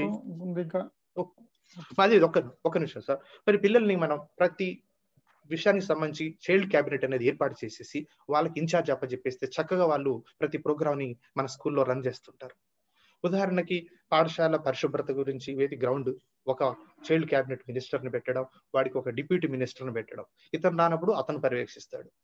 అదే విధంగా క్లీన్ అండ్ మనకు గ్రీన్ మన హరితహారం ప్రోగ్రామ్ చెట్లు వేయనట్టు అందులో ఒక క్యాబినెట్ మినిస్టర్ని ఆ ఒక పచ్చదనానికి సంబంధించినటువంటి ఫారెస్ట్ మినిస్టర్ అని సంథింగ్ ఒక పేరు పెట్టేసి ఒక డిప్యూటీ మినిస్టర్ని ఇవ్వడం. ఈ విధంగా ఉన్నటువంటిది ప్రతి క్లాస్ నుంచి తీసుకొని ప్రతి క్లాస్లో ముందున్నటువంటి బోర్డు దగ్గర మనకు ఎగ్జిబిట్ చేస్తే పిల్లల్లో ఒక రకమైనటువంటి కాన్ఫిడెన్స్ వస్తుంది. పనులు చేయడానికి కూడా చొరవ చూపుతారని చెప్పేసి అంటున్నాను. మరి అదే విధంగా చేతులు కడుక్కునే దగ్గర కూడా అలాంటి మినిస్టర్ని హ్యాండ్ వాష్ మినిస్టర్ అని చెప్పేసి పెట్టేస్తే చక్కగా ఆ లైన్లో అతను ఒక రోజు నిలబడతాడు అతను రానప్పుడు వేరే డిప్యూటీ మినిస్టర్ నిలబడతాడు చేతులు కడుక్కోవడానికి పర్యవేక్షణ చేస్తాడు. అదే విధంగా టీచర్స్ కూడా దాన్ని పర్యవేక్షణ చేయాల్సినటువంటి అవసరం ఉంది. అదేవిధంగా ట్యాబ్ దగ్గర సబ్బు అనేది అందుబాటులో ఉంచాలి? సబ్బు అందుబాటులో ఉంచాల్సిన అవసరం ప్రధాన ఉపాధ్యాయుల మీద ఉంది. ప్రభుత్వం అందిస్తున్నటువంటి నిధులను కంపల్సరిగా సబ్బు కొనాల్సింది. అక్కడ పెడితే అన్ని విధాలుగా మనం అనుకున్నటువంటి రిజల్ట్స్ సాధిస్తాం. ఈ కరోనా టైంలో ముఖ్యంగా కొంత త్యాగ స్వభావంతో ఉపాధ్యాయ మిత్రుడు మెలగాల్సినటువంటి అవసరం ఉంది. అన్నిటికంటే లిక్విడ్ సోప్ అనేటటువంటిది చాలా మంచిది. దీనివల్ల లిక్విడ్ మనం ఇలా తీసుకుంటాం కాబట్టి ఒకరి నుంచి ఒకటి జెమ్స్ అనేవి స్ప్రెడ్ అవ్వవు. అదే సబ్ అన్నప్పుడు సబ్బు తీసుకొని మనం అందరూ అదే సబ్బు రుద్దుకొని ఇలా రుద్దుకొని అక్కడ పెట్టి మళ్ళీ ఇంకొకరు వచ్చి రుద్దుకొని అక్కడ పెడితే ఆ విధంగా జెమ్స్ అనేవి క్రిములు అన్ని డస్ట్ ఒకరి నుంచి ఒకరికి స్ప్రెడ్ అయ్యి రోగాలు వచ్చేటువంటి అవకాశం ఉంటుంది. అదేవిధంగా చేతులు శుభ్రం చేసుకోవడం స్థితిలో నల్లాలు అమెరికా కూడా ఉండాలి. మరి నల్లాలు అమెరికా ఉంటే కూడా ఎక్కువ మంది పిల్లలు ఒక రోలో వచ్చేసి కడుక్కోవడానికి అవకాశం ఉంటుంది. Sir sir. అదేవిధంగా మనం లాస్ట్ క్లోజ్ క్లోజ్ చేస్తాం సార్. అది చూడకుండా మామూలుగా మాట్లాడుతున్నాయి ఓకే సబ్బులు మరి ఒక బ్యాగ్లో చిన్న గైడెన్స్ కోసం. ఆ సబ్బు అనేటటువంటి దాన్ని కనుక మనం చేసాల్సి వస్తే అదే మనం ఏర్పాటు చేద్దాం అనుకుంటే ఒక హ్యాండ్ బ్యాగ్లో ఒక నెట్ బ్యాగ్లో వేలాడి తీసేసినట్టయితే నల్ల దగ్గర చక్కగా పిల్లలు వచ్చేసి దాన్ని నీళ్ళు చల్లేసి కడుక్కుంటారు. చక్కగా ఆ విధంగా కూడా ఏర్పాటు చేయొచ్చు. అందరు పిల్లలకు కూడా అదొక అవకాశం. అదేవిధంగా మరి ఇక్కడ మనం వాడినటువంటి నీళ్ళని కిచెన్ గార్డెన్లోకి పంపు కిచెన్ గార్డెన్లోకి పంపుకోవచ్చు. మనం వేసినట్టు హరితహారంలో వేసినటువంటి మొక్కలు కూడా వెళ్ళేటట్టుగా చిన్న చిన్న కాలువలు తీస్తే ఆ నీరు అటు వెళ్ళిపోతా ఉంది. అదేవిధంగా ఇంకా ఎక్కువ నీటి వాటర్ వస్తే అది ఇంకుడు గుంతల్లో పెట్టి మనం వెళ్ళేటట్టుగా ఈ హ్యాండ్ వాష్ వాటర్ని మనం వేస్ట్ కాకుండా ఈ విధంగా వాడుకునే అవకాశం ఉంది. అదే విధంగా మన ప్రభుత్వం అందిస్తున్నటువంటి ఫండ్స్ పద్మావతి. టైం లేదు సార్ దయచేసి అర్థం చేసుకోండి. ఫైనల్గా ఓకే. ఫైనల్గా నీకు మరి దాదాపు అయిపోవచ్చింది. ఇక్కడ మరి ఫైనల్గా చెప్పేటటువంటి విషయం ఏంటంటే ట్యాబ్ సౌకర్యం అన్ని పాఠశాలలు కల్పించుకోవాలనేది మిగిలిపోయింది సార్. ఆ ఒక్కటి కల్పించుకొని విద్యార్థులకి చేతులు పడుకునేందుకు ఎంకరేజ్ చేస్తారని ఉపాధ్యాయ మిత్రులు కోరుతూ ఇక్కడ ఒక చిన్న మనం పూర్వ కౌలు రాసినటువంటి చిన్న మాటతో నేను ముగిస్తున్నాను సార్. కరాగ్ర వస్తే లక్ష్మి కరమధ్యే సరస్వతి కరమాలేత్ గోవింద ప్రభాతే కరదర్శనం. చూడండి పూర్వం ఉన్నటువంటి మహర్షు ముని ముని పొంగవులు మనకు చెప్పగానే చెప్పారు చేతుల నుంచే లక్ష్మి మనకు సంక్రమించాలన్నా సరస్వతి సంక్రమించాలన్నా ఏది సంక్రమించాలన్నా చేతుల ద్వారానే సంక్రమిస్తుందని చెప్పేసి ఆ రోజు చెప్పారు. మరి పూర్వం మరి దాన్ని ఇప్పటికి కూడా మనం ఈ రోజు రోజులు తడబడి మనం ట్రైనింగ్ మరి ఇవ్వాల్సిన పరిస్థితి వస్తుంది కాబట్టి ఏ రోజు మనకు ఋషి పొంగవాళ్ళు చెప్పారు ఆ విషయాన్ని గుర్తుపెట్టుకొని మన పాఠశాలలో ఉన్నటువంటి విద్యార్థులను ముఖ్యంగా నేటి బాలలే రేపటి పౌరులు కాబట్టి మన యొక్క తరాన్ని ముందుకు మనం తీసుకోవాల్సిన బాధ్యత మన భుజస్కాలం భుజస్కంధాల మీద ఉంది కాబట్టి. అందరూ తమ వంతు బాధ్యతగా మనస్ఫూర్తిగా ఈ యొక్క కార్యక్రమాన్ని మరి పాఠశాల స్థాయిలో ముందుకు తీసుకెళ్తారని మరి ఈ వాష్ ప్రోగ్రామ్ని దిగ్విజయంగా శిరస్థాయిగా ముందుకు తీసుకుపోతారని కోరుకుంటూ ఈ అవకాశం కల్పించినటువంటి జిల్లా డిఓ గారికి కృతజ్ఞతలు. అదేవిధంగా టెక్నికల్ టీం అందరికి కూడా ధన్యవాదాలు థ్యాంక్ యూ వెంకటేశ్వర గారు. రోజు మీరు ఆన్లైన్ క్లాసులు చెప్తూ అందరికి సహాయపడుతున్నారు. Thank you. ఇప్పుడు నెక్స్ట్ సెషన్ స్టార్ట్. చేయవలసిందిగా శివకుమారి మేడం గారిని కోరుతా ఉన్నాను శివకుమారి మేడం గారు. శివకుమారి మేడం పద్మావతి మేడాన్ని మీరు ఇంట్రడ్యూస్ చేయండి. మీరు అన్మ్యూట్ చేసుకొని మాట్లాడండి. పద్మావతి గారు. సారీ శివకుమారి మేడం ఉన్నారా? Okay sir. Unmute okay. ఆ. మేడంకి తక్కువ టైం ఉన్నది అందుకోసం. ఓకే అవును సార్ అందరికీ నమస్కారం అండి. మరి మార్నింగ్ నుంచి చెప్పినటువంటి విషయాలన్నీ ఒక ఎత్తు అయితే చాలా ముఖ్యమైనటువంటిది. పాఠశాలలో ఈ వాష్ ఎలా ఇంప్లిమెంట్ చేయాలి? మానిటరింగ్ ఈ విషయాల గురి- గురించి చెప్పేందుకు గాను పాప మేడం కి తక్కువ టైం ఇచ్చారు లాస్ట్ సెషన్కి వచ్చింది. స్కూల్ లెవెల్ వాష్ సంబంధించిన యాక్షన్ ప్లాన్ గురించి అదే విధంగా performance improvement and monitoring of వాష్లో monitoring tools గురించి చెప్పడానికి మన ముందుకు వచ్చారు. సిహెచ్ పద్మావతి గారు వీరు జడ్పిహెచ్ఎస్ నూతన్కల్ పాఠశాలలో స్కూల్ అసిస్టెంట్ బయోసైన్స్గా పనిచేస్తున్నారు. వీరిని సెషన్ కొనసాగించవలసిందిగా కోరుతున్నాను. థ్యాంక్ యూ అండి. థ్యాంక్ యూ అందరికి. అందరికీ ఒక విన్నపం. పోస్ట్ టెస్ట్ కూడా ఉంటుందండి. లింక్ పోస్ట్ చేస్తాడు సారు. అది పోస్ట్ టెస్ట్ కూడా రాయాల్సి ఉంటుంది. మేడం గారు ప్లీజ్. థ్యాంక్ యూ అండి. Thank you Kumar madam.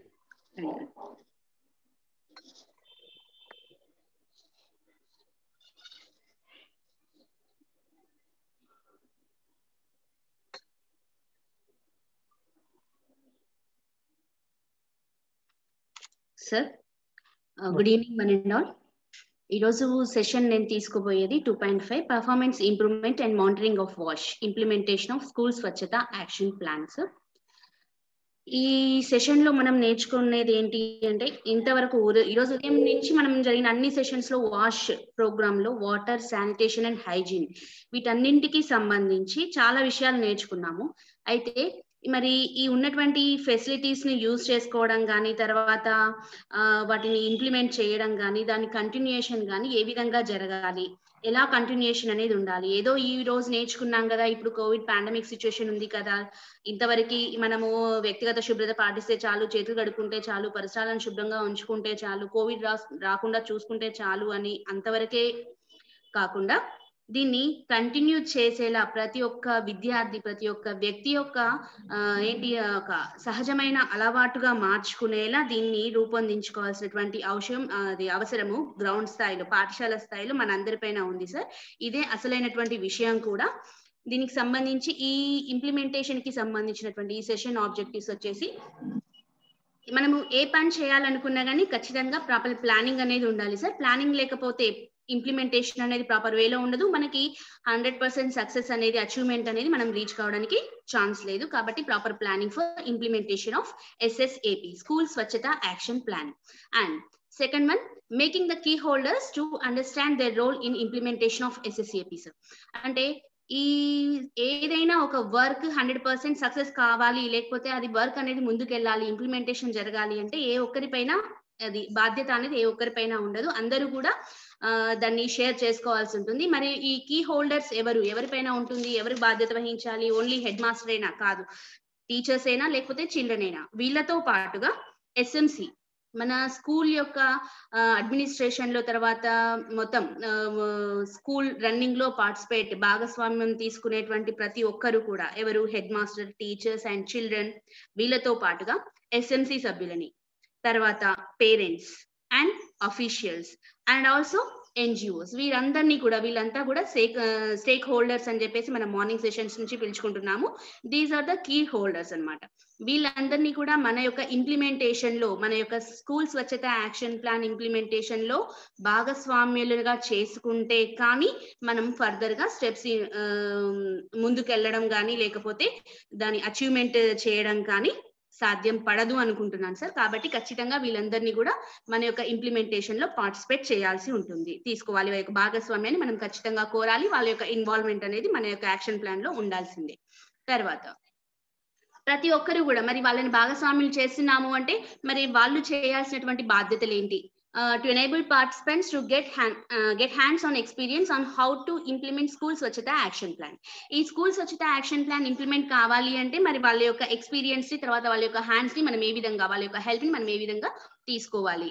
దానికి సంబంధించి ఎస్ఎంసి చైర్మన్స్ తర్వాత మెంబర్స్ ఉన్నారు. వాళ్ళ నుంచి ఏ విధంగా మనం తీసుకోవాలి. తర్వాత పేరెంట్స్ ఉన్నారు. వాళ్ళ యొక్క హెల్ప్ని మన యొక్క స్కూల్ స్వచ్ఛత ఇంప్లిమెంటేషన్లో ఏ విధంగా తీసుకోవాలి. తర్వాత అఫీషియల్స్ నుంచి మన కన్సర్న్ గ్రామ పంచాయతీ కానివ్వండి లేకుంటే కన్సర్న్ డిపార్ట్మెంట్స్ ఉన్నాయి మన స్కూల్కి సంబంధించి. మరి అలాంటి వాళ్ళ దగ్గర నుంచి ఏ రకమైనటువంటి హెల్ప్ని మనం తీసుకోవాలి? ఎవరి దగ్గర నుంచి ఎలాంటి హెల్ప్ని తీసుకోవాలి అనేది. తర్వాత ఎన్జిఓస్ ఎన్జిఓస్ ఎప్పుడు కూడా వాళ్ళు రెడీగా ఉన్నారు సార్. మన చుట్టూ ఉన్నటువంటి సొసైటీలో ప్రతి ఒక్క పీపుల్ ప్రతి ఒక్క వ్యక్తి కూడా ఏ విధంగా బాధపడుతున్నారు? వాళ్ళకి కావాల్సినటువంటి అవసరాలు ఏంటి? అవన్నీ కూడా స్వచ్ఛందంగా తీర్చడానికి రెడీగా ఉన్నారు.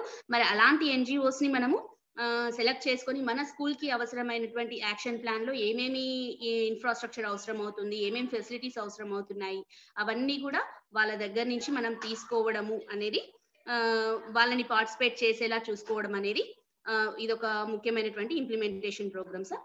తర్వాత providing wash facilities wash water hygiene and sanitation in our schools మరి వాటర్ కానీ హైజీన్కి సంబంధించి సోప్స్ తర్వాత ఈ ఫెసిలిటేషన్కి సంబంధించినటువంటి ఏవైతే ఫెసిలిటీస్ ఉన్నాయో వీటన్నింటినీ కూడా మనం ఏ ప్రోగ్రామ్ అయినా ఇంప్లిమెంట్ కావాలి అంటే దానికి సంబంధించినటువంటి వనరులను సమకూర్చుకోవాలి కదా. మరి ఈ వనరులు అనేవి ఎక్కడి నుంచి సమకూర్చుకోవాలి? ఏ విధంగా సమకూర్చుకోవాలి?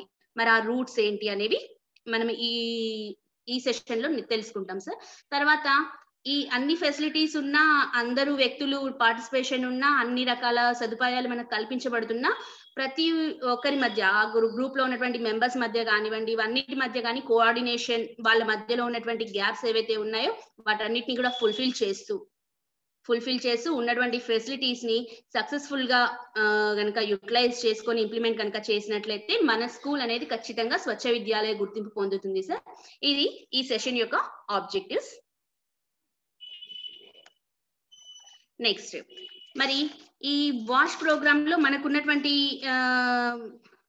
ఇవి ఏవైతే ఉన్నాయో వనరులు ఏవైతే ఉన్నాయో అంటే వాటర్ కానివ్వండి డ్రింకింగ్ వాటర్. వాటర్ అంటే మనకి ఇంత ముందు డ్రింకింగ్ వాటర్ ఒకటే ఉండేది స్కూల్లో ఫెసిలిటీ అనేది అదే పెద్ద మేజర్ ప్రాబ్లమ్గా ఉండేది. కానీ ఇప్పుడు ఈ వాష్ ప్రోగ్రామ్ ద్వారా ఈ పాండమిక్ సిచ్యువేషన్లో మనకు వచ్చినటువంటి ఈక్వల్ ప్రయారిటీగా తీసుకునేది ఏంటి అంటే యాజ్ వెల్ యాజ్ డ్రింకింగ్ వాటర్తో పాటుగా యూజింగ్ వాటర్ కూడా టాయిలెట్స్ యూటిల్స్ హ్యాండ్ వాషింగ్కి అవసరమైనటువంటి వాటర్ కూడా ఈక్వల్ ప్రియారిటీలో డ్రింకింగ్ వాటర్తో సహా ఈక్వల్ ప్రియారిటీలో మనకి అందించబడుతుంది. కాబట్టి దాన్ని కూడా డ్రింకింగ్ వాటర్తో పాటు హ్యాండ్ వాషింగ్ వాటర్ని కూడా మనము ప్రొవైడ్ చేయాల్సినటువంటి బాధ్యత మన పైన ఉంది. తర్వాత మెనిస్ట్రల్ హైజీన్ ఈ సంబంధించిన సదుపాయాలన్నిటినీ కూడా మన పాఠశాల స్థాయిలో మన యొక్క విద్యార్థుల సంఖ్యా నిష్పత్తికి తగ్గట్టుగా మనం నిర్వహించుకోవాల్సి ఉంటుంది సార్. మరి సంఖ్యా నిష్పత్తి అంటే మనం ఇంత ముందు చెప్పుకున్నాం ముందు సెషన్స్లో చెప్పుకున్నాము ఏంటి ఒక చిల్డ్రన్కి ఎంత లీటర్ ఎన్ని ఎన్ని లీటర్స్ ఆఫ్ వాటర్ అవసరం అవుతుంది? తర్వాత యూరినల్స్ కానివ్వండి టాయిలెట్స్ కానివ్వండి వాటన్నిటిగా రేషియో ప్రకారం మనము చెప్పుకున్నాము. మరి అవన్నీ కూడా ఏ రేషియోలో ఉన్నాయి? ఆ రేషియో ప్రకారం మన యొక్క చిల్డ్రన్ నెంబర్ ప్రకారం వాటిని అందించాల్సినటువంటి అవసరం మన మీద ఉంది. మరి ఈ డ్రింకింగ్ వాటర్కి సంబంధించి ఫస్ట్ సోర్స్ డ్రింకింగ్ వాటర్ ఈ డ్రింకింగ్ వాటర్ సంబంధించి రిక్వైర్మెంట్ ఏంటి అంటే కన్సర్న్ ఒక చైల్డ్ మన అన్ని కూడా నాన్ రెసిడెన్షియల్ స్కూల్స్ కాబట్టి ఒక child one point five litres or seven glasses per day మనం ప్రొవైడ్ చేయాల్సినటువంటి అవసరం ఉంది సార్ మరి ఈ డ్రింకింగ్ వాటర్ని ప్రొవైడ్ చేయాలి అంటే కన్సర్న్ డిపార్ట్మెంట్స్ మన మా సొంతంగా బోర్వెల్స్ మన స్కూల్లో ఉన్నటువంటి ఫెసిలిటీస్ ప్రకారం కొన్ని బోర్ కొన్ని స్కూల్స్లో బోర్వెల్స్ ఉన్నాయి కొన్నిట్లలో నల్లా కనెక్షన్లు ఉన్నాయి కొన్ని సరిపోతాయి కొద్ది కొద్దిగా సరిపోయినటువంటి పరిస్థితుల్లోనే ఉన్నాయి. కాకపోతే ఇంకా ఇంప్రూవ్ చేయాల్సినటువంటి అవసరం ఉంది కాబట్టి మనం కన్సర్న్ డిపార్ట్మెంట్స్ని గనక వాళ్ళతో గనక కమ్యూనికేట్ అయ్యి మన యొక్క అవసరాన్ని గనక చెప్పినట్లయితే వాళ్ళు మనకి హెల్ప్ చేసేటువంటి అవసరం ఉంది సార్. ఇక్కడ మనకి ఉన్నటువంటిది ఏంటి అంటే మిషన్ భగీరథ నుంచి మనము కనెక్షన్ తీసుకోవచ్చు.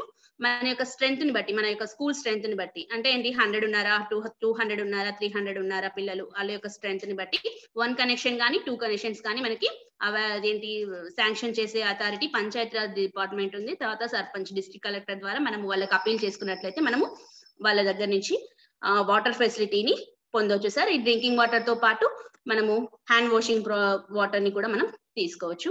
తర్వాత వాటర్ క్వాలిటీ టెస్టింగ్ మనము పిల్లలకి ఇచ్చేటువంటి వాటర్ ఎంత పరిశుభ్రమైనది అనేది కూడా అవసరమైనటువంటిదే సార్. మన స్కూల్లో మన యొక్క టీచర్స్గా హెడ్ మాస్టర్గా అదొక మన బాధ్యత. ఎందుకంటే ఈ వాటర్ బాండ్ డిసీజెస్ గురించి మనం ముందు సెషన్లో చాలా నేర్చుకున్నాము. ఈ వాటర్ బాండ్ డిసీజ్ వల్ల ఏంటి అంటే స్కూల్ చిల్డ్రన్ యొక్క ఆబ్సెంటీస్ అనేది చాలా పెరుగుతోంది. దీనివల్ల పిల్లలు కొంతమంది పిల్లలు పూర్తిగా ఒక వన్ వీక్ ట్వంటీ డేస్ వరకు స్కూల్కి రానటువంటి పరిస్థితి. సరే వాళ్ళకి ఈ సిక్నెస్ కొన్ని రోజులు అయితే కంటిన్యూషన్లో ఇంకొన్ని రోజులు. అలా స్కూల్కి రానటువంటి పరిస్థితి ఆబ్సెంటెస్ పర్సంటేజ్ అనేది పెరుగుతుంది. దీన్ని తగ్గించడం కోసం మన స్థాయిలో మనం కూడా ఈ వాటర్ క్వాలిటీ టెస్టింగ్ అనేది చేయాలి. దీనికి సంబంధించి ప్రతి ఇయర్ కూడా ఒక రిపోర్ట్ని మెయింటైన్ చేయాల్సి ఉంటుంది sir year wise report minimum six months లేకపోతే maximum one year one year ఒకసారి ఈ వాటర్ కన్సర్న్ సంబంధించినటువంటి క్వాలిటీ టెస్టింగ్ అనేది చేయాల్సి ఉంటుంది. మరి ఈ కన్సర్న్ డిపార్ట్మెంట్ మరి ఎవరు చేశారు ఈ వాటర్ క్వాలిటీ టెస్టింగ్ అనేది అంటే ఇక్కడ గ్రౌండ్ వాటర్ డిపార్ట్మెంట్ ఉంది సార్ దాంతో పాటు ఎండిఓ మండల్ ప్రజా పరిషత్ డెవలప్మెంట్ ఆఫీసర్ ఉన్నారు. వీళ్ళు కూడా ఏం చేస్తారు అంటే వాటర్ క్వాలిటీ టెస్టింగ్ అనేది వాళ్ళ దగ్గర ఉంటుంది. మనం కనుక వెళ్ళి అప్పీల్ చేసినట్లయితే వాళ్ళు మనకి మన స్కూల్కి వచ్చి మనం ఇచ్చినటువంటి పిల్లలకు ప్రొవైడ్ చేసేటువంటి మిషన్ భగీరథ కానివ్వండి ఇంకేమైనా బోర్వెల్ వాటర్ ఏదైతే ఉందో దాన్ని టెస్ట్ చేసి మనకి సంబంధించినటువంటి రిపోర్ట్ని ఇస్తారు. ఆ రిపోర్ట్ని మనం ఫర్దర్గా మెయింటైన్ చేయాల్సి ఉంటుంది sir. Year to year maintain చేయాల్సి ఉంటుంది. తర్వాత toilets and urinals. Toilets and urinals is the major burning problem in our school sir. Toilets urinals లేవని కాదు కాకపోతే ప్రాపర్ మెయింటెనెన్స్లో లేవు. కొన్ని కొన్ని స్కూల్స్లో చెప్పేది ఏంటి అంటే కొన్ని స్కూల్స్లో ప్రాపర్ మెయింటెనెన్స్ లేకపోవడం వల్ల ఫండింగ్ లోపం వల్ల కానీ ఫెసిలిటీస్ లోపం వల్ల కానీ ఇప్పుడు చాలా one star two star three star rating రావడానికి మేజర్ కాంపోనెంట్ ఈ టాయిలెట్స్ అండ్ యూరినల్స్ కాబట్టి వీటి యొక్క మెయింటెనెన్స్ అంతా కూడా ఇంతకుముందు స్కావెంజర్స్ స్కూల్లో హై స్కూల్స్లో స్కావెంజర్స్ అని ఉండేవాళ్ళు వాళ్ళు చూసేవాళ్ళు. ఇప్పుడు ఆ స్కావెంజర్స్ ప్లేస్లో మనకి ఇప్పుడు గ్రామ పంచాయతీ నుంచి కూడా మనం ఈ స్కావెంజర్స్ని పొందవచ్చు. ఈ టాయిలెట్స్ అండ్ యూరినల్స్ని మనము మెయింటైన్ చేయించుకోదలుచుకోవచ్చు అండి మనకి ఏదైనా అవసరం ఉన్న టాయిలెట్స్ సంబంధించి కానీ యూరినల్ సంబంధించి కానీ ఏదైనా స్కావెంజర్స్ ఎవరైనా నీడ్ ఉన్నట్లయితే ఖచ్చితంగా మనం గ్రామ పంచాయతీకి కనుక అప్పీల్ చేసినట్లయితే వాళ్ళు గ్రామ పంచాయతీ నుంచి స్కావెంజర్ని మన స్కూల్కి పంపిస్తారు.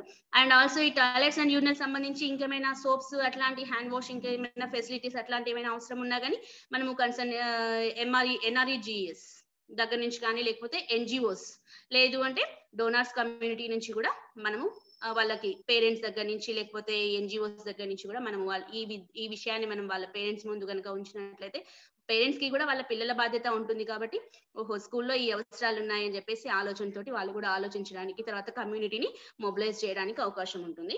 కాబట్టి టాలెంట్స్ అండ్ యూనియన్ సంబంధించి గ్రామ పంచాయతీ వాళ్ళు బాధ్యత తీసుకుంటారు sir. Next hand washing facility after toilet use. ఈ దీనివల్ల మేజర్గా కమ్యూనికబుల్ డిసీజెస్ అనేవి కంటామినేటెడ్ డిసీజెస్ అనేవి చాలా వస్తున్నాయి. ఈ హైజీన్ లేకపోవడం వల్ల టాయిలెట్ యూస్ తర్వాత హ్యాండ్ వాషింగ్ ప్రాపర్ వేలో లేకపోవడం వల్ల కంటాజియస్ డిసీజెస్ చాలా వస్తున్నాయి. కాబట్టి ఈ టాయిలెట్ యూస్ తర్వాత హ్యాండ్ వాషింగ్కి కావాల్సినటువంటి వాటర్ ఫెసిలిటీ ఒకటి అండ్ ఆల్సో హ్యాండ్ వాషింగ్ అవసరమైనటువంటి లిక్విడ్ సోప్స్ కానివ్వండి ఇంకేమైనా ఉంటే కూడా అవన్నీ కూడా ఇంతకుముందు మనకు ఒకసారి ఈ సాబ్లాన్ బాటిల్స్ అవన్నీ పంపించారు. ఏంటి? బిఫోర్ మిడ్ డే మీల్స్ కానివ్వండి తర్వాత కానివ్వండి హ్యాండ్ వాషింగ్ కోసం పంపించారు. అట్లాగే గవర్నమెంట్ నుంచి కానివ్వండి గ్రామ పంచాయతీ నుంచి కానివ్వండి స్కూల్ అథారిటీస్ నుంచి కానీ మనకి హ్యాండ్ వాష్ కిట్స్ అనేవి వస్తూ ఉన్నాయి. వాటిని మెయింటైన్ చేయడము ఇంప్లిమెంట్ చేయడము కంటిన్యూ చేయడం అనేది మనకి ముఖ్యమైనటువంటి విషయం సార్ తర్వాత hand washing sanitation before after mid day meals ఇది కూడా కన్సర్న్ డిపార్ట్మెంట్స్ మనము నుంచి తీసుకోవచ్చు. తర్వాత ఎన్జిఓస్ ఇప్పుడు కోవిడ్ పాండమిక్ ఇంత ముందుగా చెప్పుకున్నాము. కోవిడ్ పాండమిక్ సిచ్యువేషన్లో చాలా మంది ఎన్జిఓస్ చాలా రకాలుగా సొసైటీలో హెల్ప్ చేస్తూ ఉన్నారు. ఎస్పెషల్లీ ఇప్పుడు స్కూల్స్ ఓపెన్ అవుతున్నాయి. పిల్లలు సఫర్ అయ్యేటువంటి వాళ్ళు చిన్న పిల్లలు అనే ఆలోచన కనుక ఉంటే ఖచ్చితంగా వాళ్ళు హెల్పింగ్ హ్యాండ్స్ ముందుకు వస్తారు సార్. కాబట్టి మనము ఈ ఎన్జిఓస్ని తీసుకోవడం వాళ్ళ యొక్క హెల్ప్ చేసుకున్నది రిక్వైర్ చేయడం అనేది major implementation programme sir next menstrual hygiene management menstrual hygiene management దీనికి సంబంధించినటువంటి అన్ని కూడా ఈ హైజీన్ అది డస్ట్బిన్స్ కానివ్వండి లేకుంటే మెనిస్ట్రల్ ప్యాడ్స్ కానివ్వండి డిస్పోజబుల్ మెకానిజం ఇవన్నీ కూడా ఏంటి అంటే district collector women women development and child welfare child welfare department వాళ్ళు ఉన్నారు సార్. వాళ్ళు గర్ల్ చైల్డ్కి సంబంధించినటువంటి అన్ని రకాల ఫెసిలిటీస్ని వాళ్ళు ఇస్తున్నారు. తర్వాత గర్ల్ చైల్డ్కి సంబంధించినటువంటి గర్ల్ చైల్డ్ యొక్క హెల్త్కి సంబంధించినటువంటి ఆస్పెక్ట్స్ అన్ని కూడా హెల్త్ డిపార్ట్మెంట్ వాళ్ళు చూస్తూ ఉన్నారు. వాళ్ళు వన్స్ ఇన్ ఏ మంత్ కానివ్వండి అలా వాళ్ళకి కుదిరినప్పుడు తర్వాత స్పెషల్ ప్రోగ్రామ్స్ కింద కండక్ట్ చేసుకొని పిల్లలకు సంబంధించినటువంటి మెనిస్ట్రల్ సైకిల్కి సంబంధించినటువంటి అవేర్నెస్ ఇవ్వడం వాళ్ళ యొక్క ప్రాబ్లమ్స్ని ఐడెంటిఫై చేయడం రెక్టిఫై చేయడం ఇవన్నీ కూడా మీటింగ్స్ పెట్టి చేసుకుంటూ ఉన్నారు. కాబట్టి వాళ్ళకు కూడా మన అవసరాన్ని బట్టి కూడా వాళ్ళని మన స్కూల్కి పిలిపించుకోవడము తర్వాత ఇట్లాంటి కొన్ని క్యాంపెయినింగ్స్ చేయించడం వల్ల కూడా పిల్లల యొక్క అమ్మాయిల యొక్క అటెండెన్స్ పర్సంటేజ్ మన స్కూల్లో తగ్గకుండా మేజర్గా చదివేది మన స్కూల్లో ఉండేది గవర్నమెంట్ స్కూళ్ళల్లో అంటే అమ్మాయిలే ఎక్కువగా ఉంటున్నారండి. కాబట్టి అమ్మాయిల యొక్క అటెండెన్స్ తగ్గించడం అనేది ఈ మెన్స్ట్రల్ హైజీన్ మేనేజ్మెంట్ వల్ల ఖచ్చితంగా సాధ్యమవుతుంది. తర్వాత operations and maintenance operations and maintenance దీంట్లో శానిటేషన్ వర్కర్ వేస్ట్ సెగ్రిగేషన్. మనకి మెయిన్గా మన గవర్నమెంట్ స్కూల్స్ బాగా ఎదుర్కొనేటువంటి సమస్య ఏంటి అంటే వేస్ట్ సెగ్రిగేషన్ అండి. ఎక్కడ పడితే అక్కడ అంటే రెస్పాన్సిబుల్గా తర్వాత నీట్నెస్ అనేది మెయింటైన్ చేయడం అనేది మనకు చాలా ఇంపార్టెంట్ ఆస్పెక్ట్. ఎందుకంటే solid and liquid waste waste అనేది డే బై డే చాలా జనరేట్ అవుతూ ఉంటుంది గవర్నమెంట్ అది స్కూల్స్లో చిన్నపిల్లలు కాబట్టి.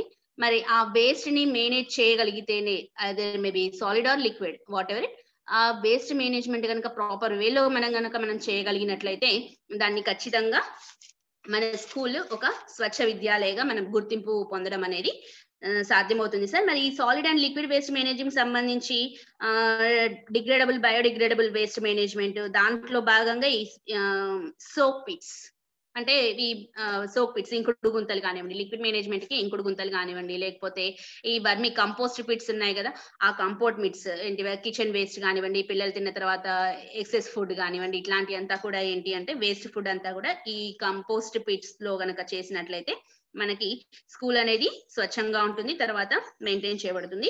దీనికి ఈ కంపోస్ట్ పిట్ కానివ్వండి లేకుంటే సోక్ పిట్స్ కానివ్వండి తీసుకునేటువంటి బాధ్యత ఎవరు అంటే పంచాయతీరాజ్ డిపార్ట్మెంట్. పంచాయతీ సెక్రటరీ ఉన్నారండి మన విలేజ్లో ఆ పంచాయతీ సెక్రటరీ గాని కనుక కలిసినట్లయితే వాళ్ళు ఖచ్చితంగా మనకి ఆ, ఈ వేస్ట్ మేనేజ్మెంట్ సంబంధించినటువంటి ఈ పిట్స్ కానివ్వండి ఇవన్నీ సేఫ్ డిస్పోజల్ కానివ్వండి ఇవన్నీ మనకి అవైలబుల్ చేయడం జరుగుతుంది.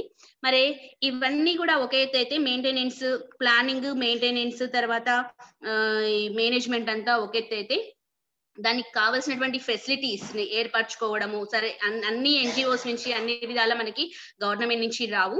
మరి మన స్థాయిలో మనం కూడా ఎంతో కొంత ఇనిషియేట్ తీసుకొని మన ఊర్లో కూడా మన పాఠశాలని హైలైట్ చేయడం కోసం నీట్గా ఉంచుతున్నాము చేయడం కోసం ఏం చేయాలి అంటే ఎటువంటి గ్రామస్తుల యొక్క సహాయం కూడా తీసుకోవాల్సి ఉంటుంది. దీనికి ఫండింగ్ అనేది చాలా ఇంపార్టెంట్ ఈ ఫండింగ్ అనేది గ్రామ ప్రజల యొక్క ఇన్వాల్వ్మెంట్ కనుక మనం తీసుకున్నట్లయితే ఆ, కావలసినటువంటి ఫండ్ వస్తుంది. ఈ ఫండ్ తోటి మనం యొక్క మనము స్కూల్ యొక్క ఇన్ఫ్రాస్ట్రక్చర్ని డెవలప్ చేసుకోవచ్చు. స్వచ్ఛత యాక్షన్ ప్లాన్ని హండ్రెడ్ పర్సెంట్ అక్యురేట్గా ఫుల్ఫిల్ చేయొచ్చు అనేది నా అభిప్రాయం అండి. ఇక్కడ మహబూబ్ నగర్ పాఠశాలలో ఇంటికి వంద బడికి చెందా అని చెప్పేసి విలారాలు ఆ స్కూల్లో ఉన్నటువంటి పిల్లల పేరెంట్స్ దగ్గర నుంచి తర్వాత ఆ విలేజెస్ దగ్గర నుంచి ఇంటింటికి వంద రూపాయలు. ఎందుకు అంటే మనం ఏం చేయబోతున్నాం? మీరు ఇచ్చేటువంటి ఈ వంద రూపాయలతోటి మేము ఏం చేయబోతున్నాం? మన పాఠశాలను ఏ విధంగా చేయబోతున్నాము అని చెప్పి తీసుకొని తర్వాత దాన్ని చేసి ఆ మన పాఠశాలకి హెల్ప్ చేసినటువంటి వాళ్ళు ఎవరైతే ఉన్నారో వాళ్ళని పబ్లిక్గా మనము ఆ, ఏంటి ఇవ్వడం వల్ల పబ్లిక్ కావాలని వాళ్ళని నోటిఫై చేయడం వల్ల కూడా ఏంటి అంటే ఇంకా ఎక్కువ మొత్తంలో మనకి ఈ చందాలు కానివ్వండి లేకపోతే వాళ్ళ యొక్క హెల్పింగ్ అనేది మనకి రావడానికి అవకాశం ఉంటుందండి. మరి ఇలా ఏర్పాటు చేసినటువంటి ఈ ఇలా తీసుకున్నటువంటి చందాలు బడికి సంబంధించినటువంటి మానిటరీ ఫండ్ ఏదైతే ఉందో దాన్ని స్వచ్ఛ పాఠశాల నిధి స్వచ్ఛ పాఠశాల నిధిగా ఏర్పాటు చేసుకొని దాంట్లో నుంచి మన యొక్క పాఠశాలకి తర్వాత మన పిల్లల యొక్క అభివృద్ధికి తర్వాత హైజీన్కి సంబంధించినటువంటి మెయింటెనెన్స్ అనేది చేసుకోవాల్సిన అవసరం ఉంటుందండి. ఇలా ఒకరు కాదు అందరూ కలిస్తేనే మన హెడ్ మాస్టర్ టీచర్స్ తర్వాత మిగిలిన స్టేక్ హోల్డర్స్ ఎవరైతే ఉన్నారో వాళ్ళందరినీ కూడా కలుపుకొని మూకుమ్మడిగా కలిసికట్టుగా కనుక మనం గనక ఆ, ఈ స్వచ్ఛత యాక్షన్ ప్లాన్ ఇంప్లిమెంటేషన్ ప్లానింగ్ తర్వాత ఇంప్రూవ్మెంట్ కనుక చేసినట్లయితే మన పాఠశాల కూడా ఖచ్చితంగా స్వచ్ఛ విద్యాలయ స్వచ్ఛ భారత్ స్వచ్ఛ విద్యాలయ పురస్కార్ని గెలుచుకోవడానికి అవకాశం ఉందండి. This is my session two point five I'm going to continue for next session also.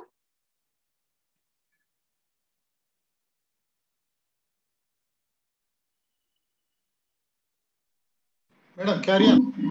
Sir, I'm sharing one more, sir.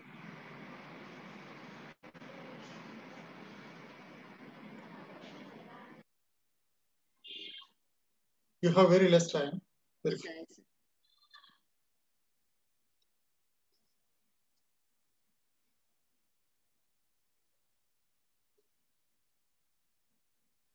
post test పెట్టడం జరిగిందండి. మీరు పోస్ట్ టెస్ట్ రాస్తూ ఉండండి. Sir is this visible sir my screen is okay sir next session వచ్చేసరికి three point అది two point six performance in improvement and monitoring of wash and monitoring tools మరి దీంట్లో ఏంటి అంటే మనం ఇంతసేపు చెప్పుకున్నాయి మనం ఈ పనులు చేయాలి ఈ విధంగా వాళ్ళని ఇంప్లిమెంట్ ఏంటి పార్టిసిపేట్ చేయాలి. పార్టిసిపేట్ చేపియాలి. తర్వాత వీళ్ళందరినీ కూడా ఆ మన స్కూల్ స్వచ్ఛత నిరూపించుకోవాలి అని చెప్పేసి మనం చెప్పుకున్నాం కదా.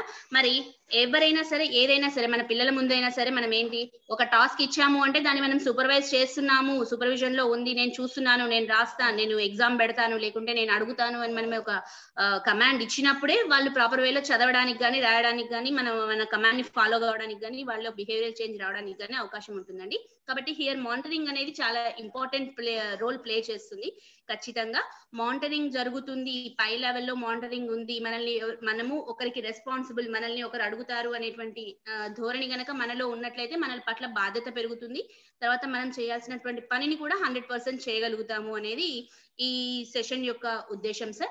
దీంట్లో ఉన్నటువంటి ఆబ్జెక్టివ్స్ వచ్చేసి మనము ఎలాంటి మానిటరింగ్ మెథడ్స్ని యూజ్ చేసుకుంటాము అంటే యూడైస్. మనము రెగ్యులర్గా ఇయర్ వైస్ నింపుతూనే ఉంటాము యూడైస్. అందులో ఉన్నటువంటి పర్టికులర్స్ అన్నిటిని కూడా ఏదో అంకెల గారడిగా చేయడం కాకుండా మన స్కూల్ లెవెల్లో ఏమేమి జరుగుతున్నాయి ఎంతవరకు ఉంది ఏ- ఏం నీడ్స్ ఉన్నాయి తర్వాత వాటిని ఏ విధంగా మనం యూటిలైజ్ చేసుకున్నాము ఏ విధంగా ఓవర్కమ్ చేసుకుంటున్నాము అనేది మనం అధికారులకు పంపించాల్సి ఉంటుంది. And also children monitoring module కూడా ఉంటుంది. అంటే మనం ఇంతకుముందు స్వచ్ఛతా క్లబ్స్ అని చెప్పి చెప్పుకున్నాము. మరి ఈ స్వచ్ఛతా క్లబ్స్ అనేవి ఏ విధంగా మెయింటైన్ చేస్తున్నారు? పిల్లలు ఏ విధంగా పార్టిసిపేట్ చేస్తున్నారు? వాళ్ళు ఏ విధంగా తోటి పిల్లలతోటి ఈ స్వచ్ఛత ప్లాన్ని రూపొందించుకుంటున్నారు అనేది ఆ, చేయాల్సి ఉంటుంది సార్. వాళ్ళని కూడా మన యొక్క కంట్రోల్లో ఉంచుకుంటూ మాడిఫై చేసుకుంటూ మనకి మానిటరింగ్ కనుక చేసినట్లయితే ఈ యాక్షన్ ప్లాన్ అనేది కరెక్ట్గా సాకారం అవుతుంది. అండ్ ఆల్సో స్టేక్ హోల్డర్స్ పైన కూడా మనము మానిటరింగ్ కనుక చేసినట్లయితే మనము స్వచ్ఛ విద్యాలయగా వెళ్ళిపోవచ్చు sir next components of monitoring and evaluation programme monitoring and evaluation దీంట్లో మనకి ఉన్నటువంటి ఫస్ట్ టాస్క్ ఏంటి అంటే మన ప్రోగ్రామ్ ఏంటి అంటే national hygiene promotion curriculum in schools దాని యొక్క అవుట్కమ్ ఎలా ఉండాలి అంటే children wash hands with at hands with soap at school more స్కూల్లో పిల్లలు హ్యాండ్ వాష్ సోప్తో ఉపయోగించి హ్యాండ్ వాష్ చేసుకోవడము పర్సనల్ హైజీన్ అనేది ఎక్కువగా వాళ్ళు చేయడం అనేది ఒక ఆస్పెక్ట్ సార్ దాని ఇంపాక్ట్ ఎలా ఉండాలి అంటే వాళ్ళలో లెస్ సిక్నెస్ ఉండాలి తర్వాత అటెండెన్స్ అనేది ఇంప్రూవ్ కావాలి. అవి ఫైనల్ అవుట్కమ్స్ సార్ మనకి సంబంధించి ఈ ప్రోగ్రామ్కి సంబంధించి. మరి ఏదైనా మనం ఏదైనా ఒక ఎక్స్పెరిమెంట్ మనం ఇప్పుడు సైన్స్లో చెప్పుకుంటూ ఉంటాం. ఏదైనా ఎక్స్పెరిమెంట్ చేస్తున్నాము అంటే ఏదైనా ఒక ప్రయోగం ఏదో ఒక పని చేస్తున్నాము అంటే so many variables are they they are affecting our result కదా మనం ఏదైనా పని చేస్తున్నాము అంటే different aspects are affecting our మన వర్క్ని uh, చేస్తూ ఉంటాయి. తర్వాత మనకు కావాల్సినటువంటి రిజల్ట్ని కూడా అవి ఇంపాక్ట్ చూపిస్తూ ఉంటాయి. మరి అలాంటి వేరియబుల్స్ ఇక్కడ చాలా ఉన్నాయండి. National enforcement initiative incentive mechanisms తర్వాత motivation of leadership to adapt hygiene changes ఇక్కడ మోటివేషన్ ఆఫ్ లీడర్షిప్ కూడా చాలా ఇంపార్టెంట్ అండి. ఏదైనా కానీ మనం చేయడం కాదు ఎదుటి వాళ్ళు చేయగలిగేలా మనం వాళ్ళని మోటివేట్ చేయడము చెప్పగలగడం కూడా ఒక ఫ్యాక్టరే. వేరియస్ వేరియంట్ అని చెప్పుకోవచ్చు. తర్వాత policy framework support WinS washing స్కూల్స్లో పాలసీ ఫ్రేమ్ వర్క్ అనేది ఇంతకుముందు చెప్పుకున్నాం కదా ప్లానింగ్ ఎలా చేయాలి ఏం చేయాలి అని. తర్వాత resource to buy soap and containers.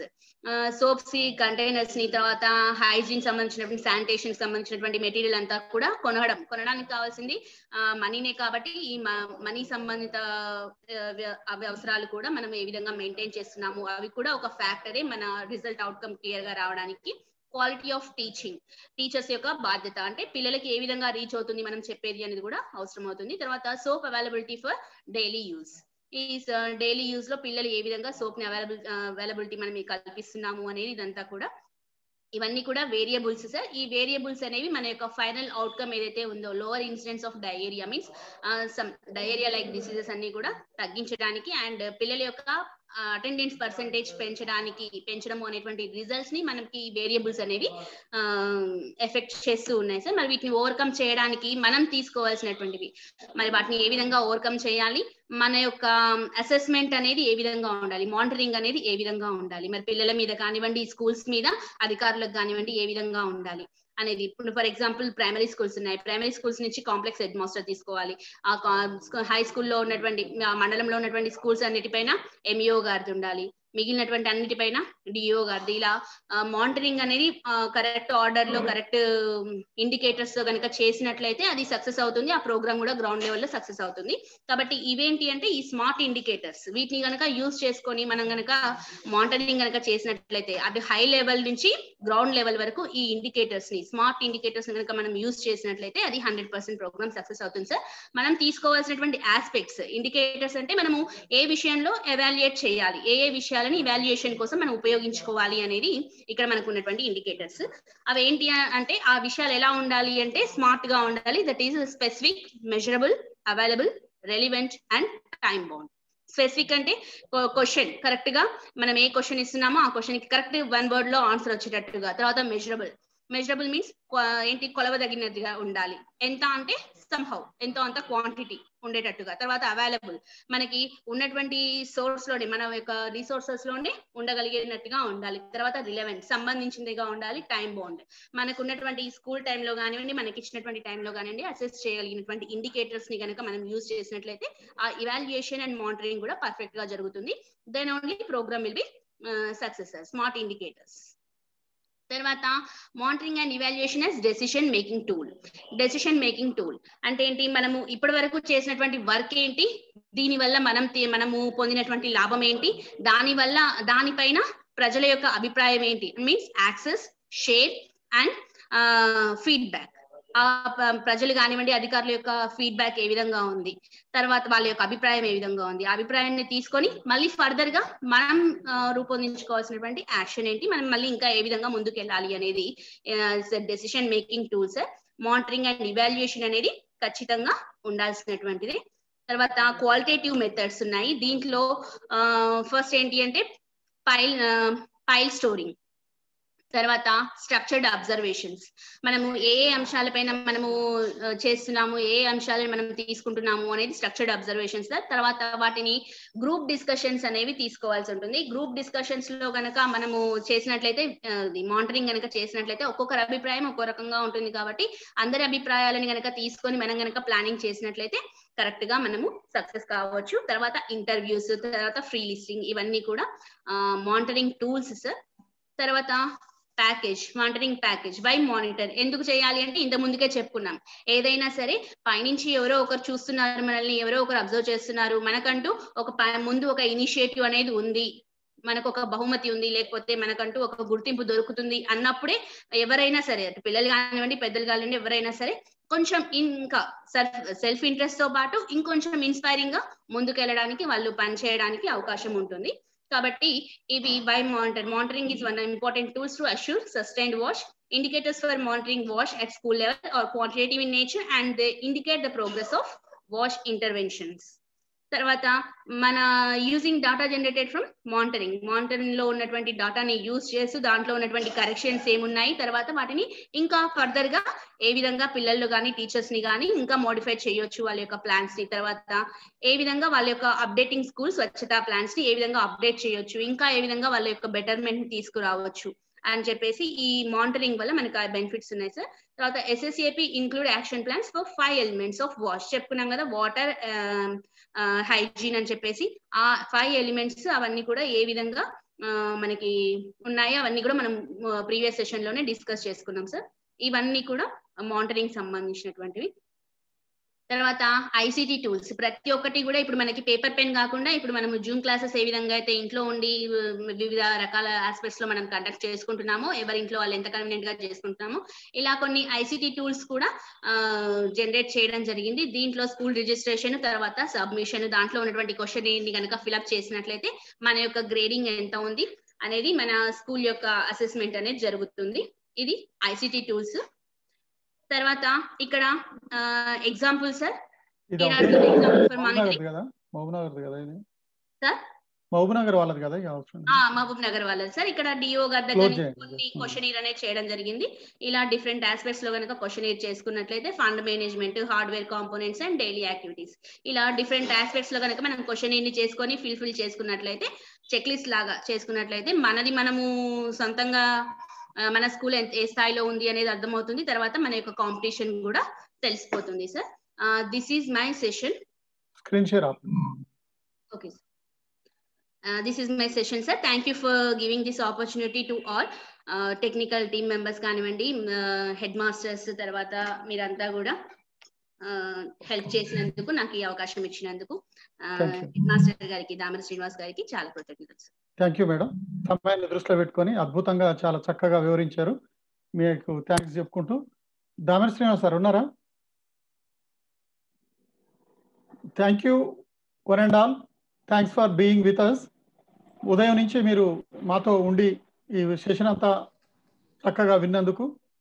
We hope that you are implement all these programmes in your school thanks to one and all thanks to Srinivas sir thanks to Aithagoni Srinivas sir చాలా చక్కగా ఈ కార్యక్రమానికి సహకరించినందుకు అట్లాగే దామెర శ్రీనివాస్ గారికి coordinator వనమాల శ్రీనివాస్ గారికి అలాగే Sivakumari madam గారికి సత్యనారాయణ రెడ్డి గారికి అందరికీ కృతజ్ఞతలు తెలియజేసుకుంటూ దామెర శ్రీనివాస్ సార్ ఉన్నారా? లాస్ట్కి ఏమైనా ఒక్క రెండు మనిషి సార్ లేనట్టు మేము అందరికీ కృతజ్ఞతలు అండి అందరికీ థ్యాంక్స్ ఇంతటితోటి ఈ కార్యక్రమాన్ని ముగిస్తున్నాం. బిఫోర్ మీరు పోస్ట్ టెస్ట్ రాయటం మర్చిపోద్దండి పోస్ట్ టెస్ట్ ఒకసారి పోస్ట్ చేయండి. ఇక్కడ చూస్తున్నాం చాలా తక్కువ మంది రెస్పాన్స్ అవుతున్నారు. Thank you one and all ఇంతటితో ఈ కార్యక్రమాన్ని ముగిస్తున్నాం. Thank you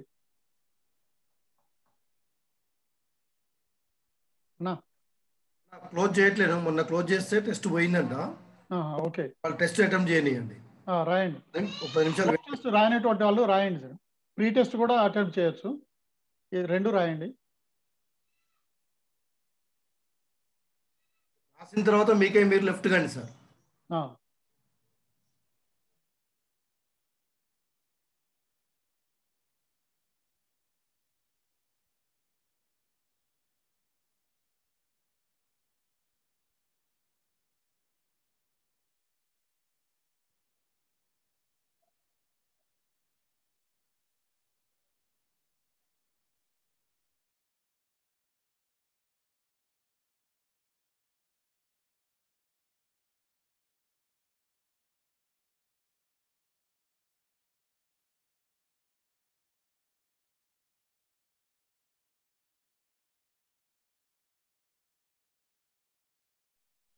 recording ఆగిపోయినా